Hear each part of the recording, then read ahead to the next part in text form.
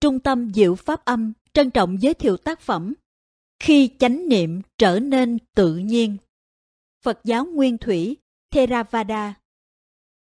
Tác giả, Thiền sư Utechaniya. Việt dịch, Surapano Tống Dũng. Hiệu đính nhóm biên dịch Thiền giữa đời thường. Nhà xuất bản tôn giáo. Kính dân tới cha mẹ và các vị thầy của tôi. Lời nói đầu. Cuốn sách này đưa ra những hướng dẫn thực hành để áp dụng thiền chánh niệm vào cuộc sống một cách thông minh và sáng suốt.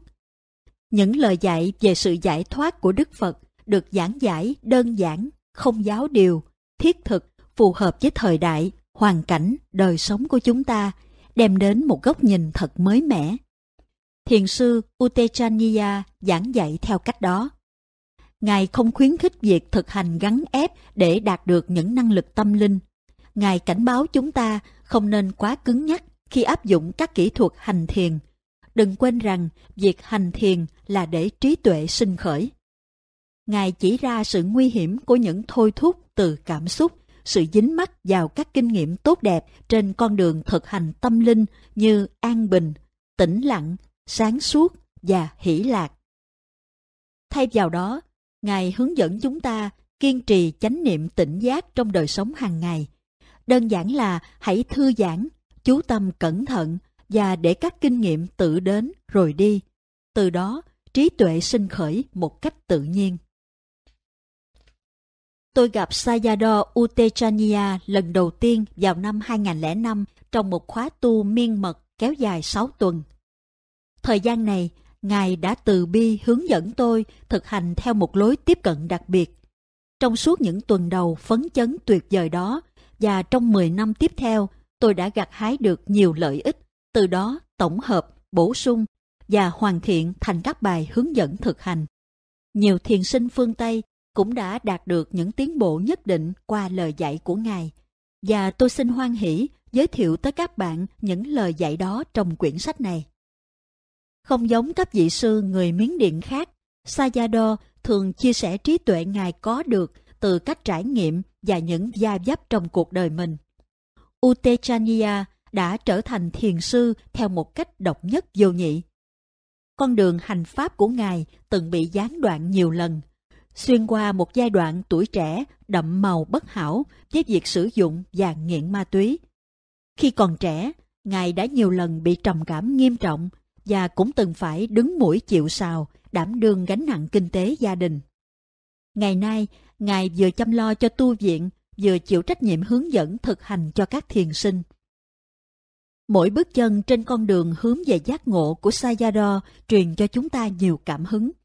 Thông qua những trải nghiệm của Ngài, chúng ta thấy rõ trí tuệ giải thoát có thể đạt được ngay trong hiện tại.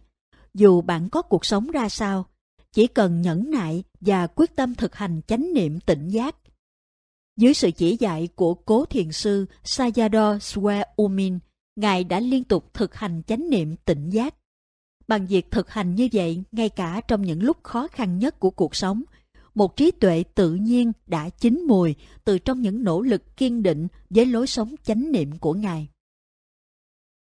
Sayadaw đảm bảo với chúng ta rằng một khi cam kết thực hành một cách trọn vẹn, chúng ta chắc chắn có thể thắp lên ngọn lửa của trí tuệ. Những hiểu biết ngày càng tăng trưởng của Ngài về chánh niệm và trí tuệ đã dẫn tới những tuệ giác thâm sâu về bốn nền tảng chánh niệm mà Đức Phật đã chỉ dạy. Sayadaw cũng đưa ra các chỉ dẫn giúp chúng ta ứng dụng nhuần nhuyễn việc thực hành chánh niệm trên các hoạt động của tâm. Dù trong các bài giảng cơ bản đầu tiên về Pháp, trong những hướng dẫn thực hành chánh niệm hay trong các tài liệu viết về những thách thức gặp phải trong pháp hành, Ngài lúc nào cũng nhấn mạnh rằng chúng ta phải nhận biết tâm mình. Ngài còn chỉ ra thái độ đúng đắn khi thực hành chánh niệm và đưa ra những nhận định thực tế về khả năng giải thoát khỏi khổ đau trong cuộc sống thông qua việc ghi nhận sự chánh niệm của tâm. Thay vì hướng dẫn các kỹ thuật định tâm, Sayadaw Utechania thường chú trọng tới việc áp dụng hiểu biết đúng đắn và thiện xảo trong thực hành chánh niệm. Ngài thường nhắc, để cơ thể thoải mái và tâm trí được thư giãn, hãy kiểm tra thái độ của tâm. Bên cạnh việc rèn luyện thái độ thực hành khéo léo của tâm, Sayadaw bổ sung các hướng dẫn thiết thực về tại sao và làm thế nào để thực hành với sự cẩn trọng, chú tâm. Chúng ta học cách thư giãn, cởi mở, chào đón, không can thiệp, chấp nhận vô điều kiện và quan sát với sự thích thú để thấu hiểu với tuệ giác sâu sắc từng khoảnh khắc trải nghiệm cuộc sống. Quyển sách này là tuyển tập các bài pháp thoại của Sayadaw khi hướng dẫn thực hành cho các nhóm nhỏ thiền sinh không chuyên. Vì vậy, cuốn sách đặc biệt thích hợp cho những người chủ của gia đình, là những người chịu ảnh hưởng bởi những dao động cảm xúc, phải tư duy, giải quyết các vấn đề khó khăn, luôn phải xoay sở giữa nhiều vai trò và nghĩa vụ của một đời sống bận rộn. Ngay giữa tâm điểm của tất cả những bề bộ máy, thực tập chánh niệm và chánh niệm trên tâm là hết sức cần thiết nếu như việc thiền tập của chúng ta đang dần đến độ chín mùi, đạt đến sự hình thành một đời sống có chánh niệm liên tục. Sayadaw nói, hãy coi việc hành thiền và khai mở trí tuệ như một cuộc chạy đua marathon thay vì chạy nước rút. Hãy sẵn sàng học hỏi từ tất cả mọi thứ. Thiền tập là việc của cả đời người. Chúc quý độc giả gặt hái nhiều lợi lạc từ tấm gương và những lời dạy của Ngài Utechaniya. Steve Armstrong Dẫn nhập Ý tưởng viết quyển sách này ra đời từ những trải nghiệm thiền tập và lòng hiếu kỳ của chính tôi khi tự hỏi cuộc đời sẽ đem đến cho mình những gì. Năm 13 tuổi, khi tôi lần đầu tiên ngồi cạnh thầy mình là Sayadaw Sweumin và được Ngài hướng dẫn hành thiền. Cuộc đời tôi đã trải qua muôn vàng hạnh phúc lẫn khổ đau. Lúc đó, tôi cũng đã kinh qua nhiều phương pháp thiền tập và nhiều lối sống khác nhau trước khi hoàn toàn theo đuổi Vipassana. Kỹ thuật mà thầy tôi đã dạy ban đầu và cũng là pháp môn tôi thực hành giảng dạy ngày hôm nay. Ban đầu, tôi định sẽ viết một quyển hồi ký.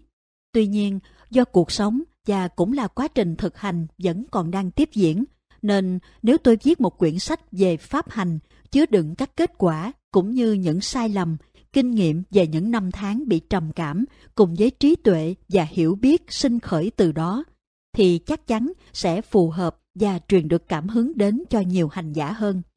Vì đây là một quyển sách về pháp hành nên chúng ta sẽ đề cập chủ yếu tới các vấn đề thiền tập. Thực ra, pháp học cũng cần thiết cho việc hành thiền. Tuy nhiên, hiện tại chúng ta sẽ chỉ tập trung vào những khía cạnh cốt yếu nhất của việc thực hành chánh niệm. Chẳng có gì căn bản hơn thế nữa. Là một thiền sư, công việc của tôi là giảng giải Phật Pháp theo cách tốt nhất để truyền cảm hứng và động lực cho các hành giả, giúp họ có thể nắm bắt xây dựng được trí tuệ ban đầu và từ đó khởi sự hành thiền. Điều tôi dạy không mới, tất cả đều dựa trên bốn nền tảng chánh niệm. Chánh niệm trên thân, chánh niệm trên cảm thọ, chánh niệm trên tâm và thấu hiểu các pháp. Hiểu biết bản chất tự nhiên của danh sắc. Đây là bốn lĩnh vực được ghi trong kinh niệm xứ.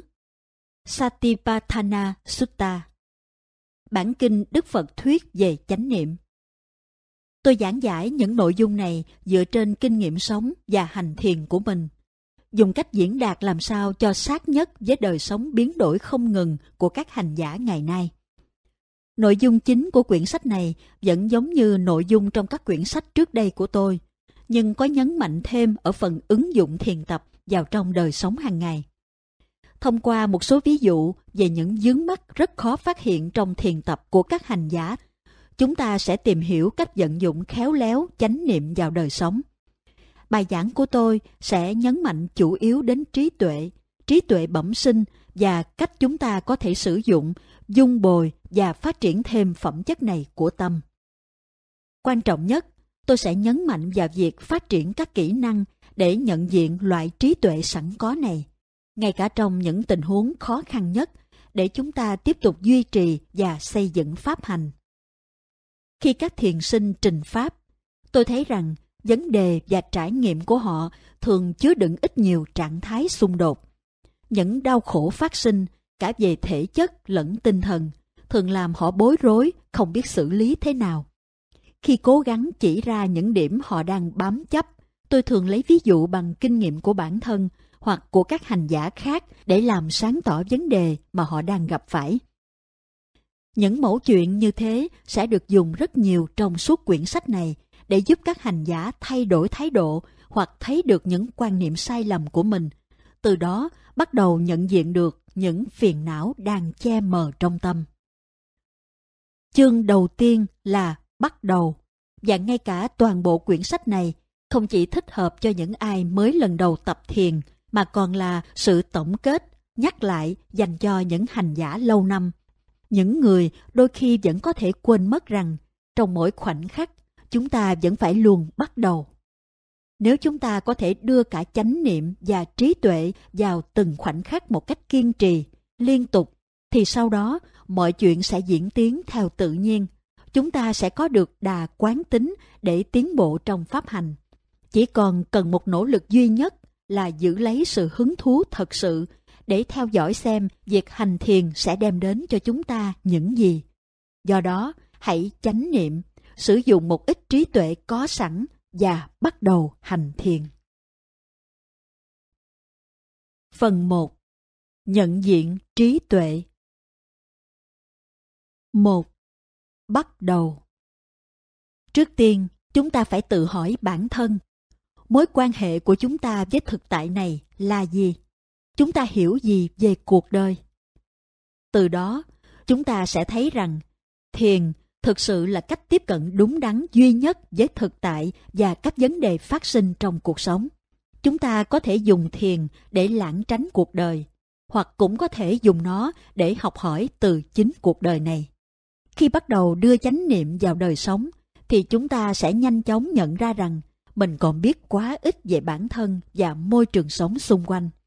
Chúng ta đang đối diện với một cuộc chiến dai dẳng chỉ để duy trì được chút hạnh phúc ít ỏi trong đời. Những khó khăn chúng ta tự tạo ra từ nỗi sợ hãi, chán nản, cô đơn, thói quen, sự tuyệt vọng, những thứ cứ lặp đi lặp lại. Mới kể ra đây sơ sơ là thực tế chúng ta phải đối mặt. Cuộc sống chẳng phải trò đùa, nên cần phải có một đầu óc nghiêm túc để nghiên cứu và hiểu xem cái gì đang làm ta khổ đến thế.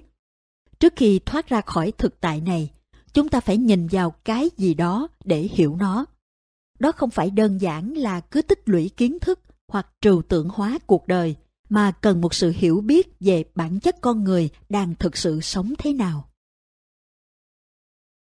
Chỉ có thể bằng một cái tâm tĩnh lặng, tận tụy quan sát, chúng ta mới có thể hiểu được thấu đáo bản chất những khó khăn chúng ta tự tạo ra trong đời.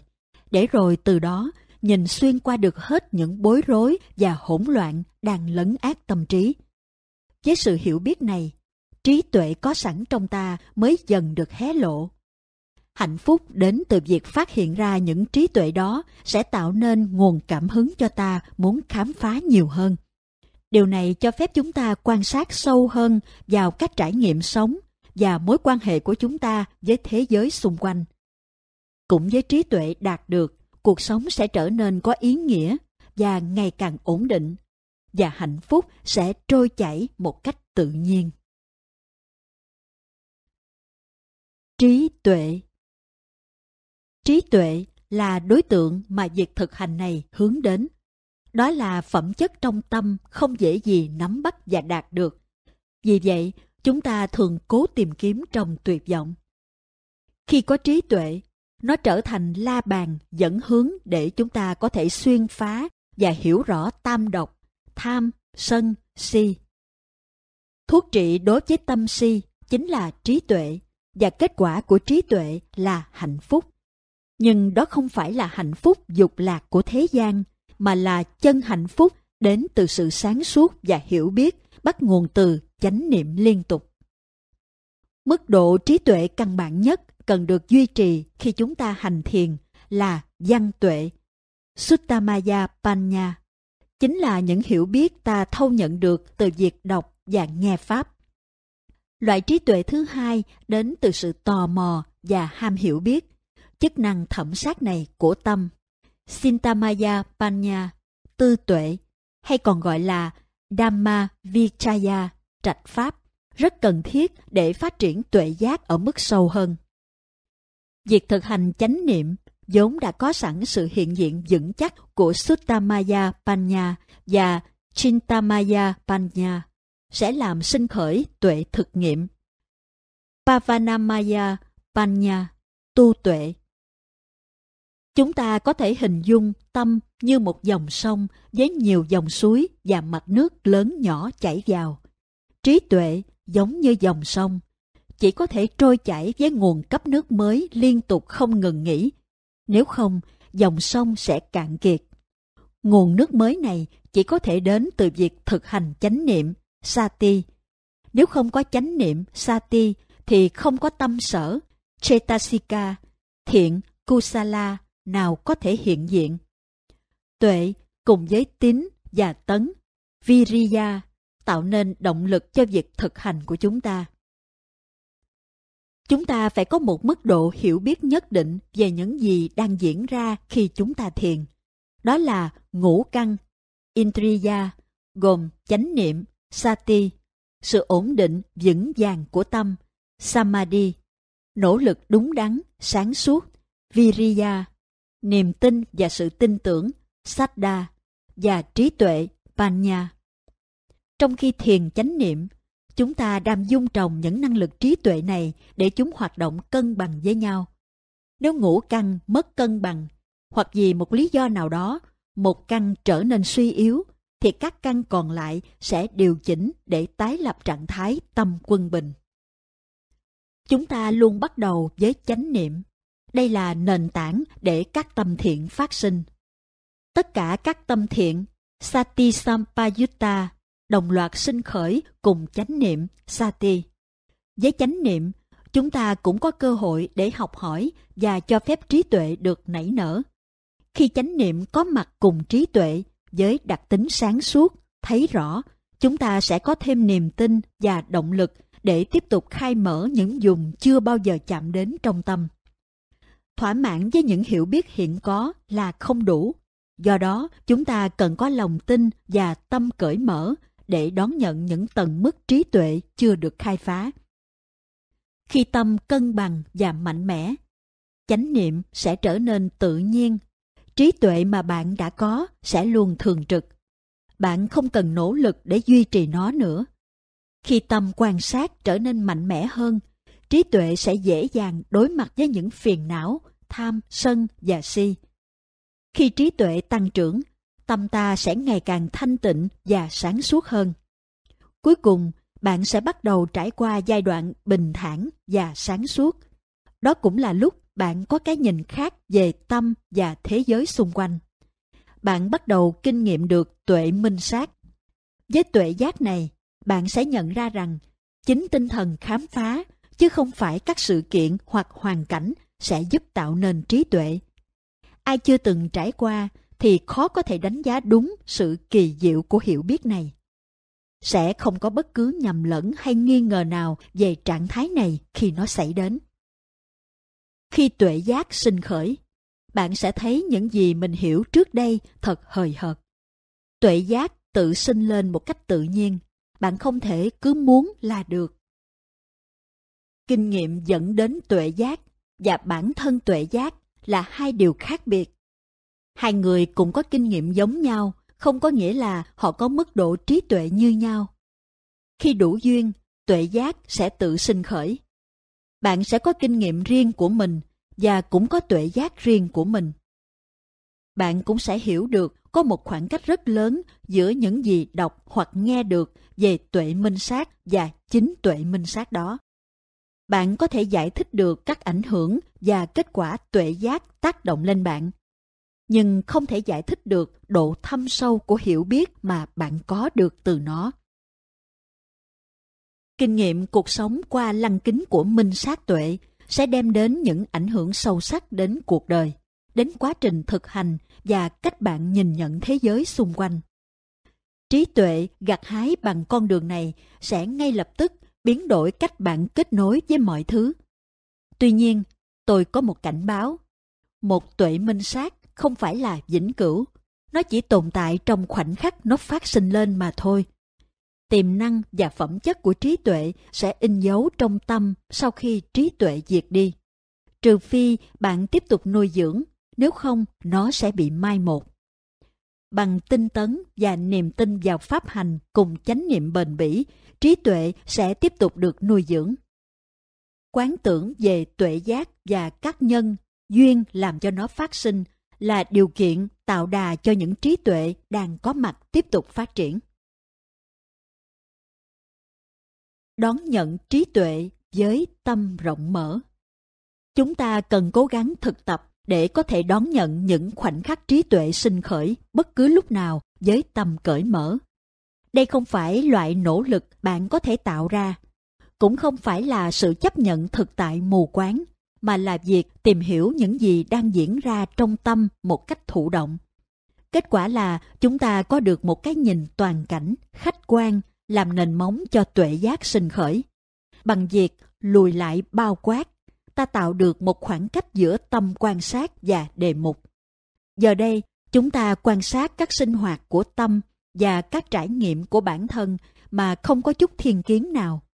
Ta đưa thêm vào đó trí thông minh của một thiền sinh khởi sự thực hành.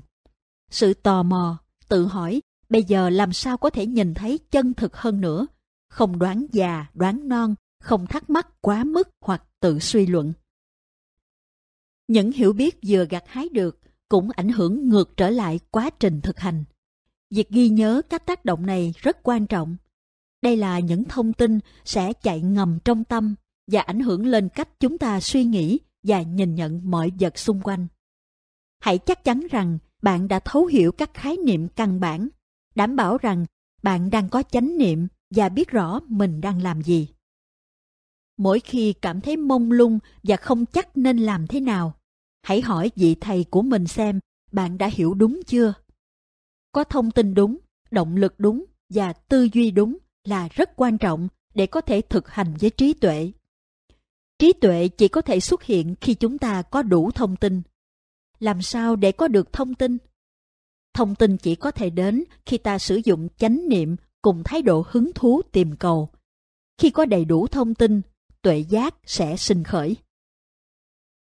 Một cách tự nhiên, vài người đã có sẵn hứng thú với việc điều tra tìm hiểu. Chúng ta đều thông minh bẩm sinh theo những cách khác nhau. Bạn sẽ nhận ra rằng nếu tâm mình có nhiều hứng thú hơn với một điều gì đó, thì bạn chỉ cần rất ít nỗ lực để chánh niệm và duy trì sự quan tâm đến nó. Tâm bạn sẽ bắt đầu cải tiến, tìm những cách tốt hơn và hiệu quả hơn để hoàn thành công việc. Đây là quá trình tự nhiên của tâm và điều tương tự cũng diễn ra với thiền. Một hôm, thầy tôi hỏi, tại sao lại có sự phòng xẹp của bụng? Tôi biết dựa trên cả lý thuyết và kinh nghiệm rằng đó là gì tôi đang thở. Thầy tôi lại hỏi, tại sao lại có sự hít thở? Tôi không biết. Tôi trả lời theo đại ý có sẵn trong đầu. Bởi vì đó là tự nhiên và chúng ta muốn tồn tại. Nhưng đó không phải là câu trả lời từ thực nghiệm và thầy tôi đã không chấp nhận. Thầy bảo tôi đi tìm hiểu điều này. Tôi đã mất một tuần quan sát nghiên cứu trước khi câu trả lời bất thình lình xuất hiện. Thật là rõ ràng và hết sức đơn giản. Khi tôi hít thở, tôi có thể thấy mình đang muốn hít thở. Đó chính là ý định. Đây là công sức phải bỏ ra để có hiểu biết đúng. Một tuần quan sát chỉ để thấy rằng có một mong cầu hít thở để rồi chuyện hít thở xảy ra. Đừng giới hạn bản thân, hãy luôn mở rộng cửa đón nhận những hiểu biết mới và sâu sắc hơn. Bất kể bạn kinh nghiệm đến đâu hoặc có kiến thức hơn mọi người nhiều bao nhiêu, đừng bao giờ thỏa mãn với những kiến thức và mức độ hiểu biết mình đang có. Trí tuệ là không có giới hạn, luôn có chỗ để hiểu biết thêm. Một khi sự hiểu biết của bạn đến từ những kinh nghiệm thì bạn không cần phải cố nhớ lại để sử dụng chúng khi cần bởi vì chúng đã trở thành một phần trong tổng thể chánh kiến của bạn. Trí tuệ sẽ được củng cố và tâm bạn sẽ không còn dao động nhiều từ chánh kiến qua tà kiến nữa. Tuy nhiên, điều này chỉ đúng nếu trí tuệ được liên tục nhắc lại bằng việc thực hành không ngừng nghỉ. Trong những giây phút chểnh mãn hoặc trong những hoàn cảnh đặc biệt, tà kiến sẽ vẫn lên tiếng và làm cho chúng ta khổ sở. Bạn sẽ phải hết lòng tận tụy với thực hành chánh niệm để học bài học này lặp đi lặp lại, rồi từ đó trở nên vững chãi hơn trong mọi tình huống của cuộc sống. Đôi khi, trí tuệ bạn đạt được chỉ gắn liền với một tình huống nhất định nào đó. Bạn nên xem trí tuệ như khoản tiết kiệm của cuộc đời mình. Hãy biết cách đầu tư thông minh và tin rằng quả lành sẽ đến. Bản chất việc thực hành này là gia tăng tài sản và tiếp đó là quản lý một cách khôn ngoan. Mà điểm mấu chốt là duy trì tài sản và gia tăng chúng cùng với lãi tức nếu có thể.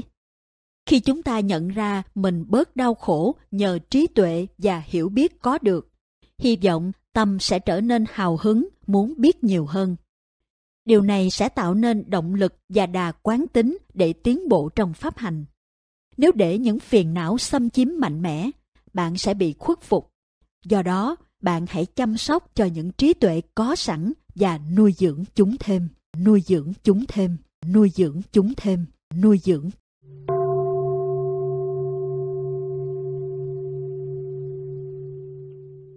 Hãy thư giãn. Tôi luôn hướng dẫn thiền sinh mới là hãy thư giãn và giữ chánh niệm, không trông đợi hay kiểm soát kinh nghiệm và cũng không được tập trung, gắng sức hay cố hiểu kinh nghiệm. Thay vào đó, tôi khuyến khích sự quan sát, theo dõi, chánh niệm hay chú ý. Khi thực hành, việc bảo tồn năng lượng là rất quan trọng, để từ đó bạn có thể thực hành liên tục, lâu dài. Nếu thân và tâm trở nên mệt mỏi và căng thẳng, thì bạn đang tiêu tốn quá nhiều năng lượng vào việc thực hành. Hãy kiểm tra tư thế và cách thức hành thiền của bản thân. Bạn có đang cảm thấy thoải mái và tỉnh táo không? Có thể bạn đang có thái độ sai. Bạn có đang trông đợi điều gì đó sẽ xảy ra không? Nếu đang tìm cầu kết quả hoặc mong muốn chuyện gì xảy ra, bạn sẽ chỉ làm bản thân mệt mỏi. Biết rõ mình đang căng thẳng hay thư giãn là yếu tố quan trọng. Hãy kiểm tra điều này lặp đi lặp lại suốt cả ngày, dù thực hành ở nhà hay ở nơi làm việc. Nếu không, căng thẳng sẽ tăng trưởng. Cho dù đang căng thẳng hay thư giãn, hãy để ý quan sát các cảm thọ và phản ứng của mình. Khi thư giãn, bạn sẽ dễ dàng chánh niệm hơn, không cần nhiều sự cố gắng, và bạn sẽ kinh nghiệm được niềm vui, cảm giác dễ chịu và sự thích thú. Chánh niệm Sati Chúng ta nên hành thiền với thái độ hay quan điểm nào? Trong phần 1 của quyển sách này, chúng ta sẽ định nghĩa một số phẩm chất tâm hiện diện khi hành thiền. Trước hết, chúng ta sẽ phải bắt đầu với thái độ của chính chánh niệm. Đây chính là xương sống của việc thiền tập và là cơ sở để cân bằng các yếu tố khác. Rất nhiều hành giả cho rằng chánh niệm nghĩa là tập trung vào một đề mục và ráng sức giữ sự nhận biết trên đề mục đó với rất nhiều năng lượng.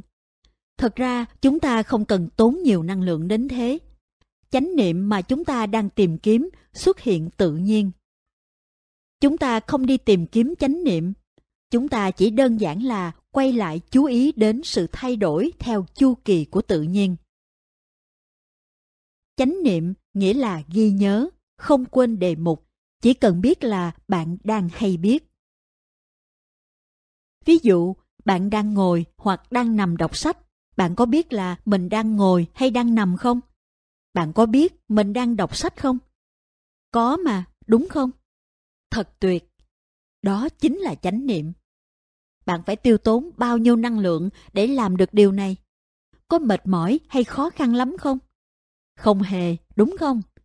Vậy bạn có thể hành thiền. Khi thức dậy vào buổi sáng và mở mắt ra, chúng ta bắt đầu thấy cảnh vật xung quanh. Nhưng chúng ta không biết mình đang thấy, bởi vì chúng ta không có chánh niệm. Khi nói về chánh niệm, tôi thích dùng những từ như là nhận biết và ghi nhận. Tôi không thích dùng từ cố gắng và tập trung vì chúng quá gay gắt. Chánh niệm, sati, nghĩa là ghi nhớ, nhận biết và không quên. Bạn quên những gì? Cái nào là thiện, cái nào là chân chánh? Bản chất tự nhiên của tâm là sự tỉnh thức, tại đó không có gì được tạo thành. Không có bất cứ một điều kiện nào, chỉ là sự hay biết đơn thuần. Chúng ta có thể an trú trong đó. Loại chánh niệm nào mà một thiền sinh cần đến? À, nếu bạn chánh niệm, vậy là đã đủ rồi. Không cần phải cố gắng hoặc dồn sức nhìn rõ từng chi tiết những gì bạn đang kinh nghiệm. Điều tối quan trọng là tăng sức mạnh của tâm bằng chánh niệm liên tục. Khi tâm trở nên mạnh mẽ hơn, nó sẽ tự làm việc của nó một cách tự nhiên. Nhìn thấu các chi tiết tinh tế hơn là công việc của trí tuệ.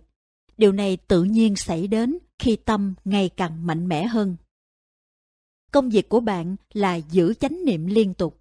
Hãy thận trọng với mức năng lượng bạn đang dùng để chánh niệm ở mỗi thời điểm. Mỗi khi nhắc nhở bản thân giữ chánh niệm hoặc nghĩ về chánh niệm, thì tự nhiên chánh niệm sẽ hiện diện ở đó.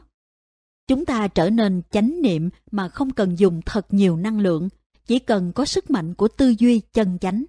Nếu trong thâm tâm ta luôn có ý định giữ chánh niệm, thì chánh niệm rốt cuộc sẽ luôn tự quay về. Vậy chúng ta phải chánh niệm trên đề mục nào? Chúng ta cần nghiên cứu cái gì? Chúng ta đều có những phẩm chất thiện và bất thiện trong tâm. Những thứ bất thiện ta gọi là phiền não. Việc hành thiền thực chất là nuôi dưỡng những phẩm chất thiện đang có và giúp chúng có thêm sức mạnh. Việc thực hành tứ niệm xứ, Satipatthana, có nghĩa là dùng sati hay chánh niệm để dung bồi các tâm thiện. Khi thiền, luôn có hai phần.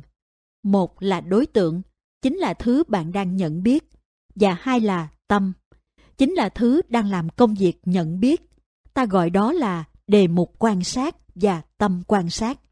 Việc hành thiền hoàn toàn được thực hiện bởi tâm quan sát, còn những đề mục đang được quan sát không quyết định gì đến việc hành thiền. Trong kinh Niệm xứ Satipatthana Sutta, bốn đề mục căn bản được đề cập là thân, thọ, tâm và pháp, các hiện tượng quy luật tự nhiên. Những đối tượng có thể được quan sát này thì luôn tồn tại, luôn ở đó. Nhưng chánh niệm, sati, tâm nhận biết đề mục hay định, samadhi, sự định tâm thì không phải lúc nào cũng có mặt. Niềm tin vào pháp hành, saddha, trí tuệ, panya và chánh tinh tấn, viriya không phải lúc nào cũng hiện diện. Nếu không có chánh niệm thì chắc chắn là si, moha, tham, loba và sân, dosa sẽ có mặt. Cứ như thế, chỉ có một cái ghế mà hai người dành nhau ngồi vào. Nếu Sati và Samadhi cùng hiện diện, thì những phiền não sẽ phải đứng nhìn, vì cái ghế đã bị chiếm mất rồi. Chánh niệm liên tục sinh lên và mất đi. Nó không bền vững. Tôi thường nghe các hành giả được thầy của mình yêu cầu phải liên tục quan sát sự sinh diệt. Một hành giả nói với tôi, Sayadaw, con đã đạt đến trạng thái luôn có chánh niệm, nó không mất đi nữa. Tôi nói, đừng làm nó mất đi. Con đã làm việc chăm chỉ để được như thế. Hãy kiên nhẫn, hãy thư giãn trong chánh niệm. Khi nào có đủ trí tuệ, con sẽ hiểu nó cũng sinh diệt đó thôi. Bạn sẽ hiểu được rằng, thấy một cái gì đó đến rồi đi không phải là cái thấy bằng mắt thường.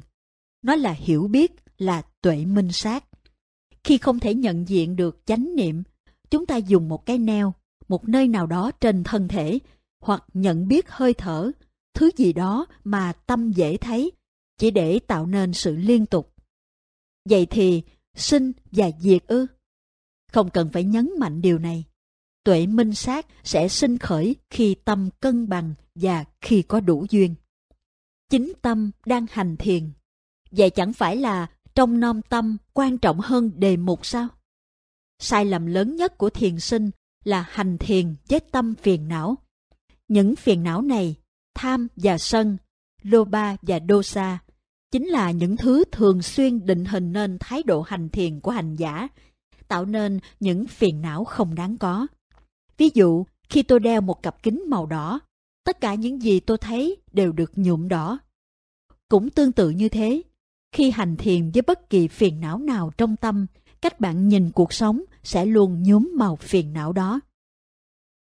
Bằng cách chánh niệm, bạn bắt đầu nhận ra tâm trí của mình và để tâm mình tự làm việc của nó.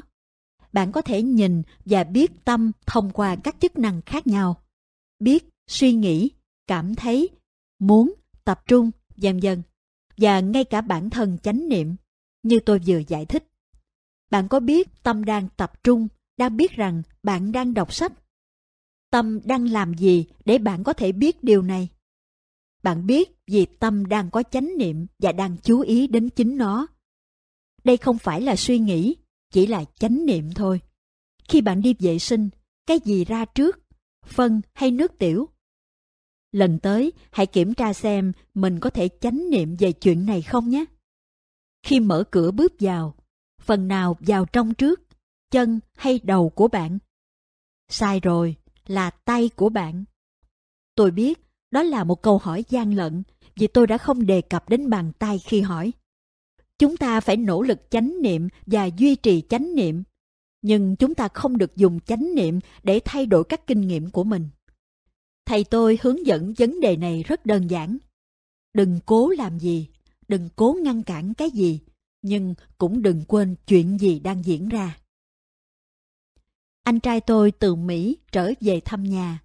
Chúng tôi đang hàng huyên trên lầu nhà ba mẹ, thì tôi nhận ra anh ấy khá căng thẳng. Tôi hỏi chuyện gì, thì anh ấy trả lời. Anh mới mất cái đồng hồ, anh tháo ra vì mồ hôi tay nhiều quá. Cái này mắc lắm, anh đã tìm khắp nơi rồi mà không thấy đâu cả. Tôi nói anh ấy xuống tìm trên bàn ăn dưới nhà và sẽ thấy nó. Anh tôi đi xuống và thấy cái đồng hồ ở đó. Anh ấy nói, làm sao cậu biết được, cậu đã có thần thông rồi à? Không, tôi không có chút thần thông nào.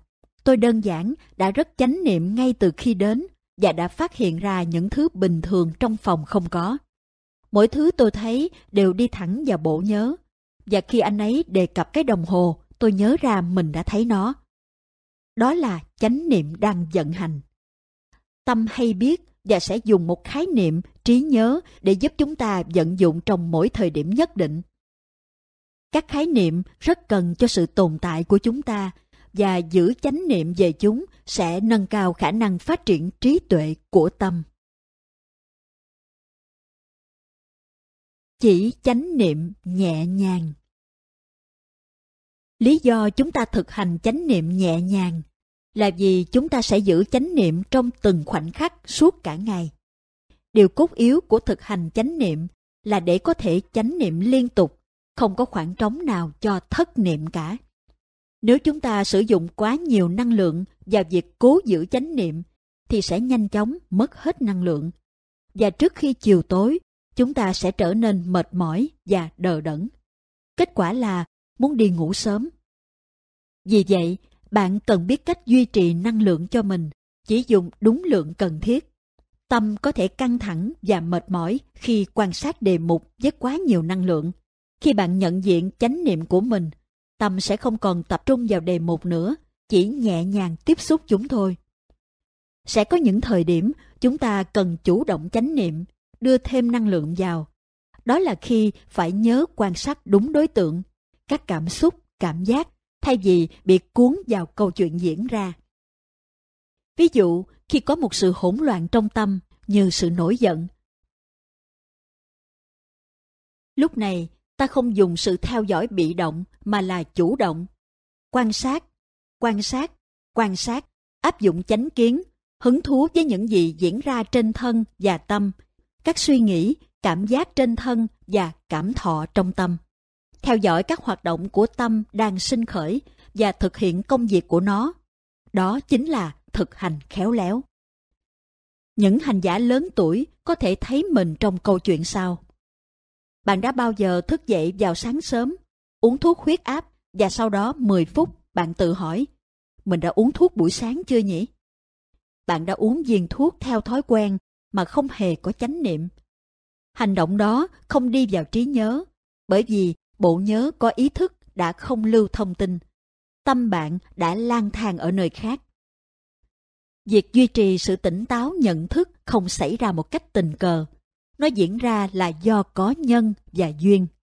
Nếu bạn phát hiện ra đà chánh niệm của mình đã mất, hãy chấp nhận chuyện này. Chỉ đơn giản là bạn đang không có chánh niệm. Chuyện này cũng tự nhiên thôi. Hãy kiểm tra lại tâm mình, tìm hiểu các nguyên nhân vì sao và bạn sẽ bắt đầu nhận ra những điều kiện hoặc quá trình trong tâm khiến cho chánh niệm trở nên liên tục hơn và bên cạnh đó là những hoàn cảnh khiến đà chánh niệm mất đi. Chánh niệm tạo nên nền tảng cho lòng tin và trí tuệ. Quá nhiều tính khiến cho chúng ta trở nên giáo điều và sôi nổi quá mức, trở nên ít trí tuệ và các phiền não sẽ chiếm lĩnh trở lại. Chánh niệm là điểm tựa, là điểm cân bằng, giống như một cái bập bên vậy. Công việc của bạn là học hỏi từ các kinh nghiệm và hiểu cái gì dẫn đến sự mất cân bằng trong tâm.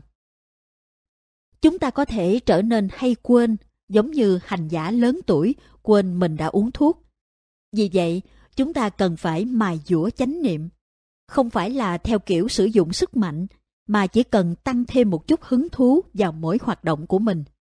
Ví dụ khi bạn đang mặc hay cởi áo, hãy chú ý, bạn đưa tay nào vào trước, tay trái hay tay phải bạn đưa đầu hay tay vào trước. Biết rõ bạn đang thay đồ, biết bạn đang trong hoàn cảnh này và đang mặc một chiếc áo. Việc này rất đơn giản và chỉ cần rất ít nỗ lực. Khi bạn tháo giày đem đi cất, hãy chánh niệm việc cởi giày. Bạn tháo chiếc giày bên nào trước? Hãy ghi nhận từng hành động trong đó. Bằng cách như vậy thì sau này bạn sẽ khỏi phải lăng tăng. Tôi để giày ở đâu rồi? Hãy nỗ lực như vậy rồi nó sẽ nhanh chóng thành thói quen, hoàn toàn tự động. Bằng cách này, chánh niệm của bạn sẽ phát triển đa quán tính và bạn sẽ ít khi quên việc hơn trước. Nhiều hành giả khi mới khởi động thực hành thường hay nói Ồ, tôi cần ngưng chánh niệm lại và nghỉ một chút. Họ đơn giản cảm thấy hơi khó khăn. Việc thực hành của họ mới bắt đầu tiến triển. Họ bắt đầu nhận ra cuộc sống gian khổ hơn, nhiều khó khăn hơn dường như có nhiều thứ hỗn loạn hơn trong tâm. Bởi vì khi có nhiều chánh niệm hơn, họ nhận ra những hỗn loạn dù chúng vốn luôn tồn tại sẵn ở đó. Ban đầu, nếu việc thực hành không diễn ra mạnh mẽ, các phiền não sẽ hiện rõ. Phiền não ở khắp nơi. Chúng rất dễ thấy, đây là tham, kia là sân, vân vân. Khi chánh niệm ngày càng mạnh hơn, những phiền não ngày càng láo cá, Chúng không thể trực diện tấn công bạn nữa, nên sẽ tự biến hình, tự cải trang và cố lẻn vào trong chánh niệm của bạn theo cửa sau. Chúng hiện diện ở đó mà bạn không hề biết. Khi trí tuệ trở nên sắc bén, bạn sẽ giỏi hơn trong việc nhận diện các phiền não vi tế này và chánh niệm của bạn sẽ cần ít nỗ lực hơn. Chánh niệm và trí tuệ tạo nên một sự cộng tác và phối hợp hoạt động với nhau. Khó khăn chính mà nhiều hành giả gặp phải khi thực hành chánh niệm nhẹ nhàng là họ không kiên nhẫn. Họ đơn giản không tin tưởng vào nó. Do đó, họ quay trở lại việc dùng nhiều nỗ lực như trước. Nhưng điều đó không duy trì được lâu. Họ thấy rằng họ không thể vận hành đúng được và bắt đầu nghi ngờ làm sao có thể duy trì cuộc sống khi tiêu tốn quá nhiều năng lượng vào chánh niệm đến thế. Ngược lại, với chỉ chút ít năng lượng để duy trì chánh niệm, bạn có thể tiếp tục làm mọi việc chỉ với một sự ghi nhận nhẹ nhàng chạy ngầm trong tâm ở mọi thời điểm. Vào thời trẻ và ngay cả sau này khi đang bị trầm cảm, tôi thực hành chánh niệm nhẹ nhàng, không phải vì biết phương pháp này hiệu quả. Lúc đó chỉ đơn giản là không ai giúp tôi cả. Tôi đã quá u uất đến nỗi đây là cách duy nhất tôi làm được. Tâm tôi mệt mỏi nên chẳng thể làm gì hơn thế. Một lý do nữa là khi nỗ lực quá mức, ta không thể duy trì được sự thực hành lâu dài. Đây là lý do cản trở việc thực hành hàng ngày. Nỗ lực cá nhân đem đến cảm giác như thể là bạn phải lựa chọn hoặc là chánh niệm hoặc là bị cuốn vào công việc bạn đang cố gắng thực hiện. Ngược lại, khi sử dụng chánh niệm nhẹ nhàng, mặc dù không đạt sự liên tục vào thời gian đầu, nhưng sau đó chánh niệm sẽ nhanh chóng có được quán tính để trở nên liên tục và tự nhiên. Cách này thực sự đem đến cảm giác bạn đang chánh niệm khi làm mọi việc. Bạn thực sự đang sống trong chánh niệm. Đó chính là lúc tôi hiểu được bản chất tự nhiên của thiền, Vipassana, và bắt đầu tin vào khả năng được khai sáng ngay trong đời thường. Khi ta khảo sát tâm trong lúc hành thiền, điều quan trọng là nhận ra được khi nào có sự đồng hóa với đối tượng và khi nào không. Công việc của hành giả là giữ chánh niệm và không bị bận tâm bởi bản thân đề mục hoặc đắm chìm vào trong đề mục. Chỉ cần nhớ giữ chánh niệm. Chỉ với chánh niệm và sự cởi mở thì chúng ta mới học hỏi được nhiều hơn. Khi chúng ta hành thiền, năm năng lực tinh thần, còn gọi là ngũ căn, đang làm việc cùng nhau. Trong đó, chánh niệm chính là yếu tố giúp ta nhớ được khoảnh khắc hiện tại. Xin nhắc lại, ngũ căn là tính, tấn, niệm, định và tuệ. Tôi thường mô tả chúng là lòng tin, nỗ lực đúng, chánh niệm, sự ổn định của tâm và trí tuệ.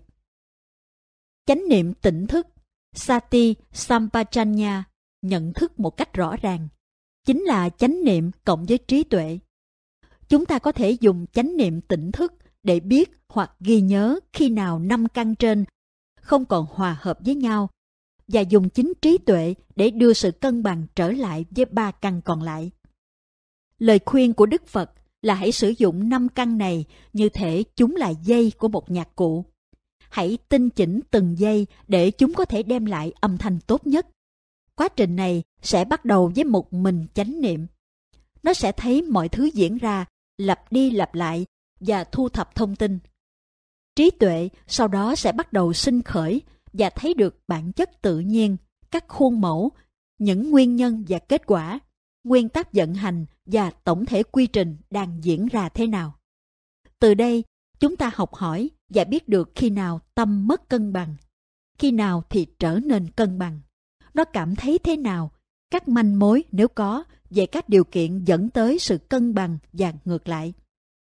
Với những thông tin này, chúng ta bắt đầu chấp nhận và có khả năng làm việc được với cả hai trường hợp ít cân bằng và sau đó là dần dần cân bằng hơn.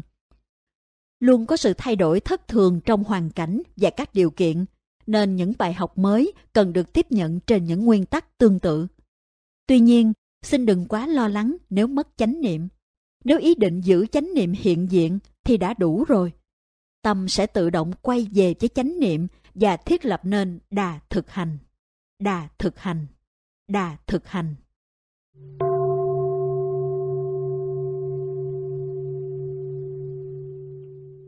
Đề mục. Tôi đã đề cập đến bốn nhóm đề mục. Một đề mục có thể hiểu theo nhiều cách bạn chỉ có thể chánh niệm trên thứ bạn đang kinh nghiệm qua sáu cửa giác quan tâm chỉ có thể tiếp xúc với những gì đến từ sáu cửa giác quan không có cửa giác quan thứ bảy. Cho dù bạn đang tham dự khóa tu hay ở nhà, thì bạn cũng chỉ có sáu cửa giác quan mà thôi. Các đối tượng của sáu giác quan là sắc, cảnh, thanh, hương, vị, xúc và pháp, đối tượng của tâm. Ngoài ra, còn có các cảm xúc và cảm giác bắt nguồn từ các đối tượng của giác quan nêu trên, bao gồm suy nghĩ, cảm xúc, tham, sân, si, trí tuệ, chánh niệm, vân vân. Nếu chúng ta dùng đối tượng của sáu giác quan và các cảm xúc, cảm giác phát sinh kể trên làm đối tượng để chánh niệm, thì đó chính là hành thiền. Có năm trong số các đối tượng kể trên là yếu tố vật chất, còn cái thứ sáu thuộc tâm.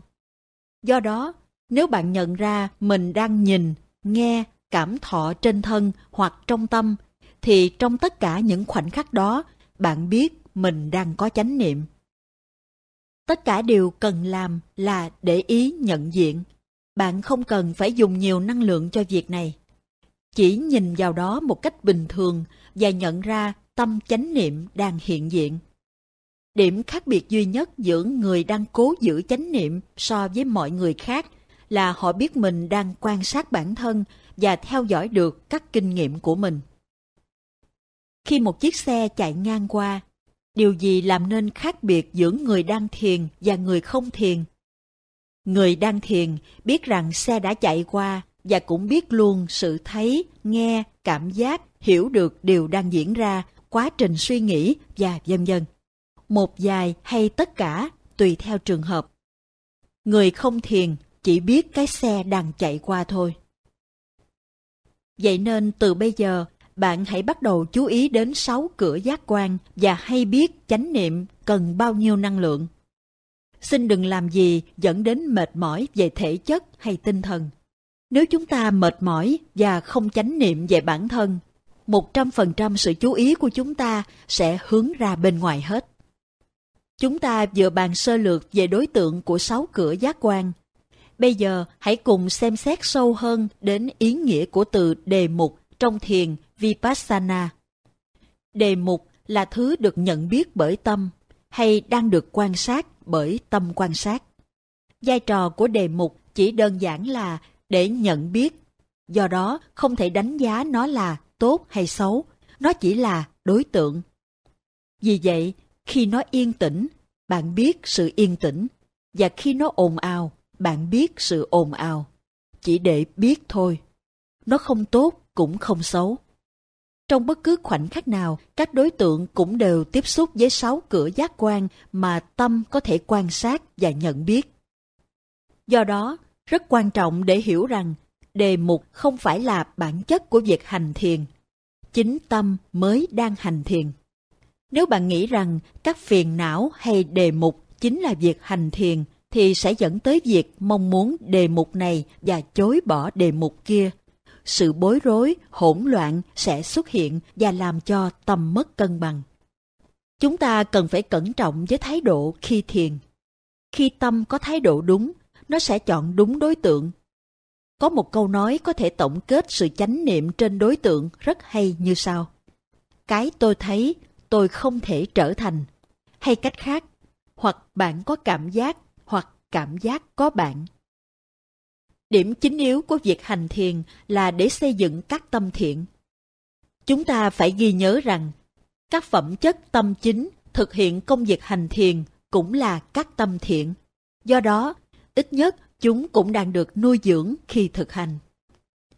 Một khi có thái độ đúng, việc hành thiền sẽ trở nên khéo léo.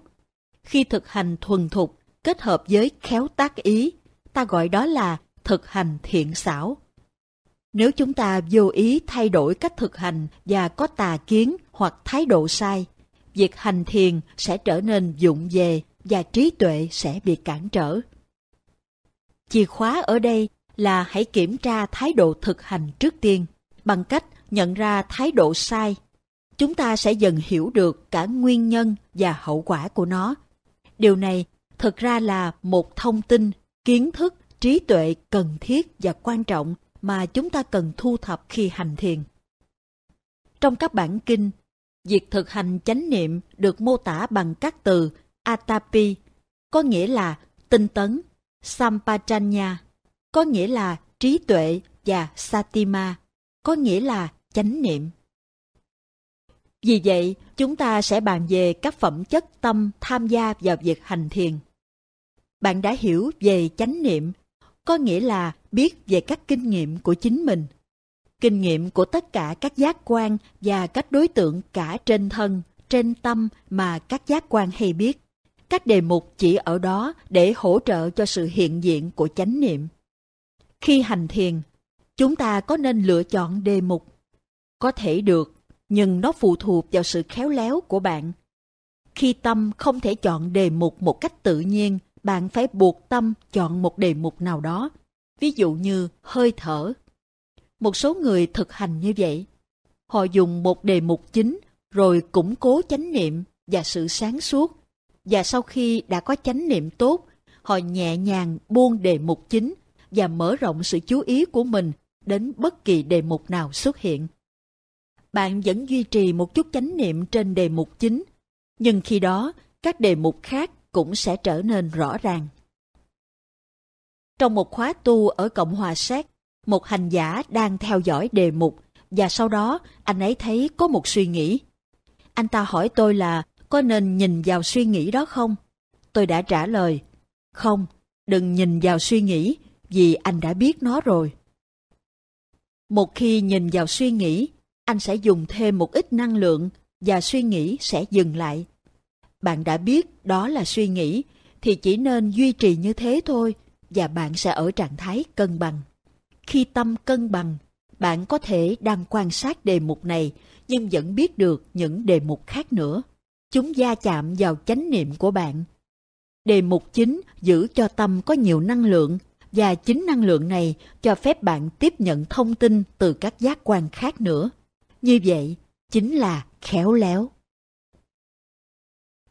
Định Thiền quán Thiền chỉ Phẩm chất tâm thứ hai hoạt động khi chúng ta hành thiền là định, samadhi, sự ổn định nội tâm. Có hai loại samadhi.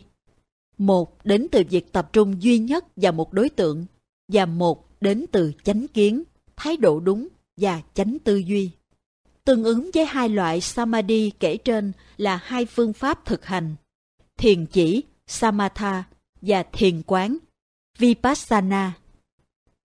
Chúng ta đang luyện tập vipassana bằng thiền chánh niệm. Trong sách vở, bát chánh đạo được chia thành ba nhóm, giới, sila, định, samadhi, tuệ, panya. Khi định nghĩa kỹ hơn về các nhóm này, chúng ta thấy rằng nhóm định bao gồm chánh niệm, samasati, chánh tinh tấn, sama vayama, và chánh định, sama samadhi. Hiểu cho đúng điều này là rất quan trọng. Chữ concentration trong tiếng Anh thực ra đã bao gồm cả ba yếu tố trên, chánh niệm, chánh tinh tấn và chánh định. Đây chính là nhóm định Samadhi trong bát chánh đạo.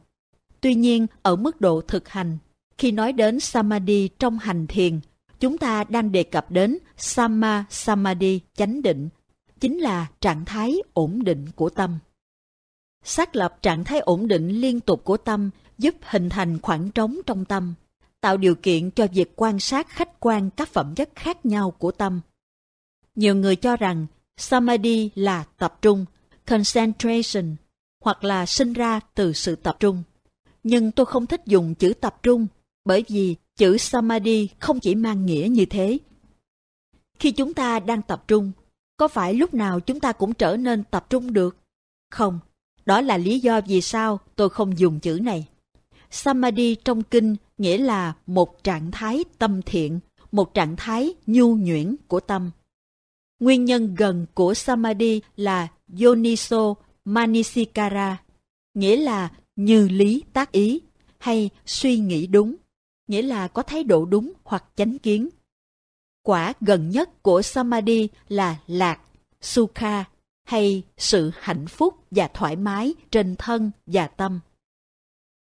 Vì Samadhi có thể đem đến những cảm giác dễ chịu trên thân và tâm, chúng ta rất dễ trở nên dính mắc với những cảm giác này và ngộ nhận Samadhi có nghĩa là đạt được những cảm giác dễ chịu này. Năm 13 tuổi, tôi cùng với một nhóm bạn nghe hướng dẫn thiền lần đầu. Phương pháp thiền đầu tiên tôi học là chánh niệm trên hơi thở Anapanasati, tức Anapana. Là những nam sinh 13 tuổi đang cảm thấy chán nản, chúng tôi sẵn sàng thử nghiệm mọi thứ. Chúng tôi đã nghe về một phương pháp điều khiển hơi thở mạnh bạo qua mũi. Tôi hít thở mạnh đến nỗi âm thanh phát ra rất to và thực hành kiểu này đem lại cho tôi một sự tập trung nhanh chóng. Kết quả là tôi cảm thấy rất bình tĩnh và định tâm.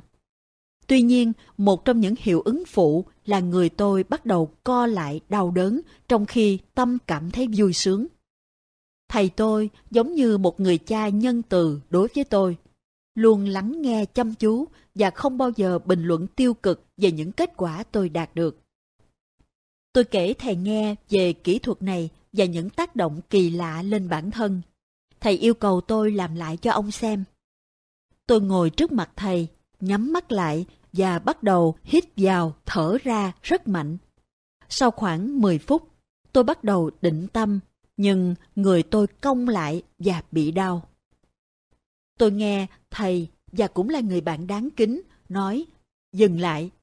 Nên tôi dừng lại và có thể cảm nhận được tất cả những cảm giác vi tế, li ti, rầm ran trong người. Nhưng tôi không muốn thấy những thứ này. Tôi chỉ muốn có định lần nữa. Tôi đã không nghe lời thầy và tiếp tục tập luyện cách này thêm vài lần nữa. Dù biết thế, Sayadogi vẫn không nói gì.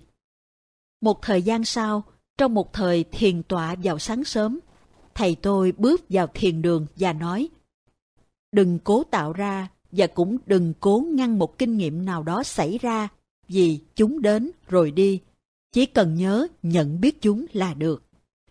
Nghe những lời đó, tôi bắt đầu để ý đến tiếng hít thở lớn của mình và chỉ trong tích tắc tôi nhận ra mình đang cố tạo ra trạng thái định cho bản thân. Tôi đã bị bám chấp vào kỹ thuật này và các hiệu ứng phụ của nó.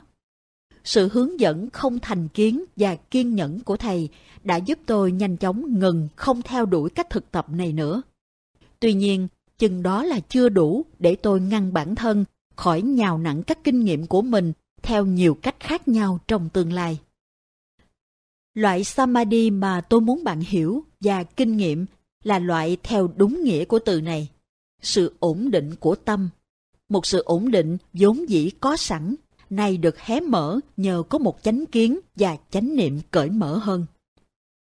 Chánh niệm trên các đối tượng ở tất cả các giác quan, chỉ nhận biết mà không có sự nhận xét hay đánh giá nào. Đây là chánh định Sama Samadhi. Samadhi luôn là kết quả của chánh kiến, thái độ đúng và chánh tư duy. Tuy nhiên, nếu mục tiêu của việc hành thiền chỉ để có Samadhi, thì dù có thể đem lại các trạng thái bình an, nhưng do có sự chú ý duy nhất và một đối tượng để cố gắng phát triển Samadhi, những chức năng khác của tâm như phẩm chất tâm tìm hiểu, khám phá sẽ không được dùng đến. Điều này nghĩa là không thể có một mức độ chánh niệm lớn hơn trên những gì đang diễn ra ở cả thân và tâm. Từ đó, ngăn cơ hội để trí tuệ sinh khởi. Samadhi có thể khá mong manh nếu chỉ được theo đuổi như một mục tiêu. Tôi không phản đối các hành giả luyện tập thiền chỉ, vì đây cũng là khía cạnh quan trọng trong lời dạy của Đức Phật về chánh định, Samma Samadhi hay định tâm chân chánh. Tuy nhiên, người ta có thể luyện tập sai cách. Như tôi thấy ngày càng nhiều trường hợp đến thiền đường của chúng tôi hết lần này đến lần khác. Các hành giả này thỉnh thoảng đến với những vấn đề nghiêm trọng như bối rối, đau đầu nặng và di chuyển như thay ma. Đây chính là lúc tôi thấy cần làm rõ các hiểu biết đúng đắn về thực hành chánh định, chứ không phải sự tập trung. Khi thực hành theo cách đúng, bạn sẽ gặt hái nhiều lợi ích còn theo đuổi sự tập trung sai trái, tà định sẽ dẫn đến đủ loại vấn đề phát sinh. Trong thiền Vipassana, tâm học cách không bám chấp hoặc phản ứng trước bất cứ đối tượng nào. Chánh định khởi đầu với trí tuệ và sau đó nuôi dưỡng trí tuệ phát triển hơn nữa. Bởi vì có chánh kiến, thái độ đúng, chánh tư duy, nên tâm không phản ứng bằng sự ham muốn và khó chịu không có một chút hứng thú nào trước đề mục. Tâm ở trong một trạng thái bình yên và ổn định tự nhiên, cảm thấy nhẹ nhàng, tỉnh táo và tươi mới. Loại samadhi này là một thành phần vốn có của trí tuệ và tạo cơ hội cho nhiều trí tuệ sanh khởi hơn nữa. Cốt lõi của Vipassana là không dính mắt và chánh niệm trên bất kỳ hoặc tất cả đối tượng sinh khởi mà không cố ý tạo ra một kết quả hoặc kinh nghiệm cụ thể nào. Pháp hành này là để hiểu các sự vật hiện tượng theo đúng bản chất vốn có của chúng. Kết quả là gặt hái được trí tuệ không phải vì bạn muốn, mà vì bạn đang thực hành đúng đắn. Chánh niệm thu thập dữ liệu và khi thông tin đầy đủ, trí tuệ sẽ phát sinh. Điều này cho phép chúng ta thấy được tiến trình nhân quả và những con đường khác nhau để trí tuệ khai mở. Trong Vipassana, thay vì chỉ chú ý đến một đề mục, chúng ta cũng chú ý đến tâm, đặc biệt là tâm quan sát, tâm thiền. Chúng ta kiểm tra xem tâm có các phản ứng hay phiền não không, và liệu trí tuệ có hiện diện ở đó hay không. Do đó, với việc thực hành Vipassana, việc có trí tuệ hiện diện trong tâm thiền cũng như khả năng nhận ra và sử dụng trí tuệ là rất quan trọng. Ví dụ, có hai hành giả đang hành thiền. Một người bị quấy nhiễu bởi âm thanh, trong khi người kia chỉ coi âm thanh là một đối tượng quan sát hoặc là một hiện tượng tự nhiên. Vậy hành giả nào sẽ có samadhi? Hành giả khó chịu với âm thanh sẽ căng thẳng hơn, đồng thời sự ác cảm sẽ tăng lên mỗi khi có âm thanh. Trong khi người còn lại không thích mà cũng không ghét âm thanh sẽ vẫn điềm tĩnh và bình yên. Người này đang thực hành với sự hiện diện của trí tuệ, hiểu biết, chánh kiến, thái độ đúng, chánh tư duy.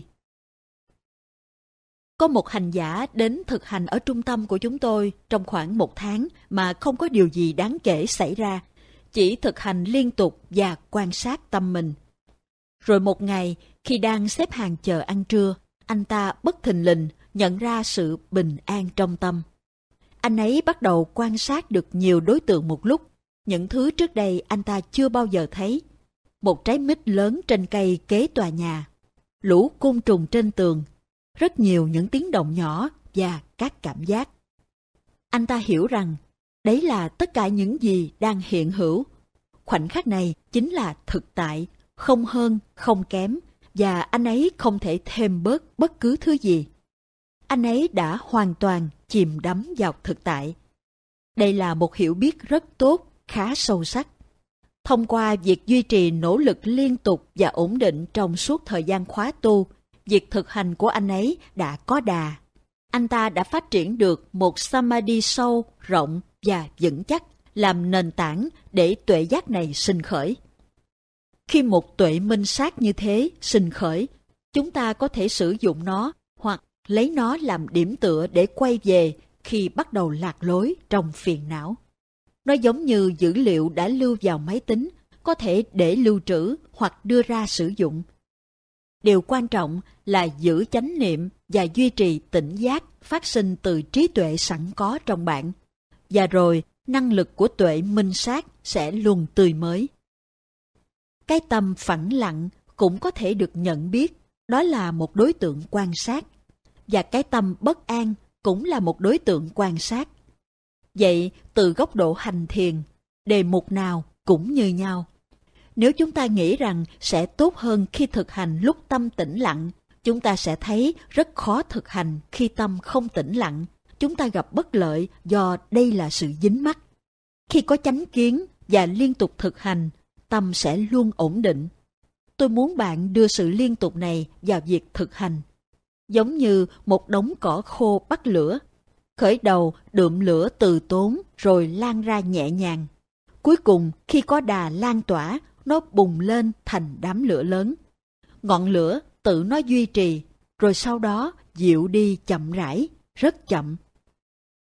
Thực hành như thế, nếu samadhi của bạn có suy giảm vì bất kỳ lý do gì, nó sẽ giảm rất từ từ. Trong cuộc sống hàng ngày, nếu nhiều thứ không được như ý và bạn căng thẳng, hãy tìm hiểu tại sao và sau đó cố gắng thay đổi thái độ. Ngay lập tức bạn sẽ thấy tốt hơn. Tâm sẽ lại ổn định lần nữa. Sama Samadhi luôn hiện diện ở đó. Chánh tinh tấn Viriya Phẩm chất tâm thứ ba hoạt động khi ta hành thiền là chánh tinh tấn. Chánh tinh tấn là năng lực tinh thần có đặc tính kiên nhẫn, bền bỉ và không trông đợi kết quả trong lúc thực hành. Nỗ lực để hành thiền chỉ cần ở mức độ vừa phải, đủ để duy trì chánh niệm nhẹ nhàng, càng liên tục càng tốt trên đối tượng của sáu giác quan. Thỉnh thoảng, tôi lo ngại về chữ nỗ lực. Vì các hành giả thường xuyên dùng nỗ lực một cách dụng về nhằm đạt được điều gì đó. Đây thường là dấu hiệu của tâm tham đang vận hành. Chúng ta dùng quá nhiều năng lượng để đạt được kết quả. Chúng ta trông đợi kết quả. Đó là khuynh hướng tự nhiên. Bất cứ điều gì chúng ta nghĩ, nói hay làm thì đều có tâm tham thúc đẩy đằng sau. Nó trở thành một thói quen. Ví dụ, chúng ta đi khóa tu, thói quen này bắt đầu tác động và chúng ta muốn phải có kết quả gì đó từ khóa tu. Tại sao chúng ta chánh niệm? Bởi vì chúng ta muốn được bình an, chúng ta muốn có một kinh nghiệm thiền tập tuyệt vời và bởi vì vị thầy hướng dẫn chúng ta phải chánh niệm. Một khi chúng ta hiểu rằng chánh niệm có lợi theo cách nào đó, thì chúng ta sẽ muốn có chánh niệm. Đây có thể cũng là tham. Mục đích của thực hành chánh niệm là phát triển trí tuệ. Tuy nhiên, chúng ta cũng không cần phải nóng lòng khao khát trí tuệ. Chúng ta chỉ cần vui vẻ tận hưởng chánh niệm liên tục và vẫn hiểu rõ những lợi ích của nó.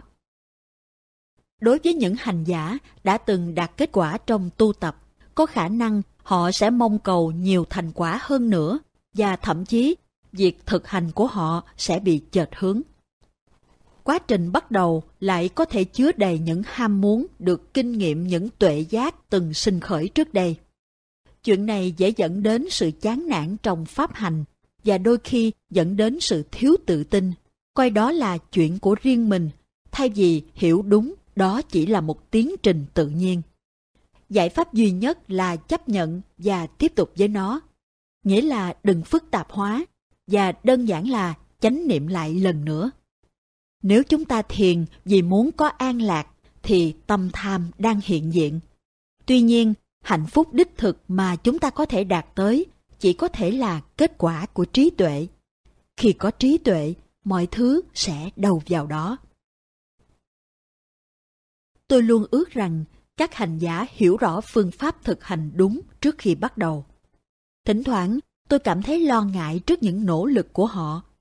Trong một thời gian dài, tôi đã nói chuyện với nhiều người và nhận ra hầu hết họ đã nỗ lực sai cách.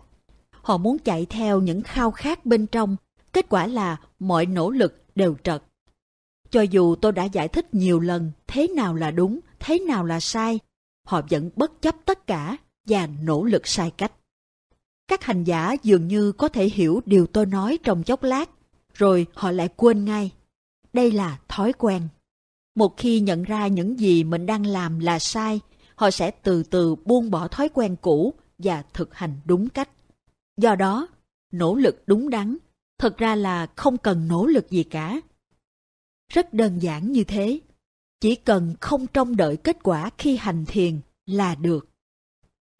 An trú trong chánh niệm và theo dõi xem chuyện gì sẽ xảy ra, cho phép mọi thứ diễn ra một cách tự nhiên theo đúng bản chất của nó, mà không có bất cứ sự kiểm soát nào.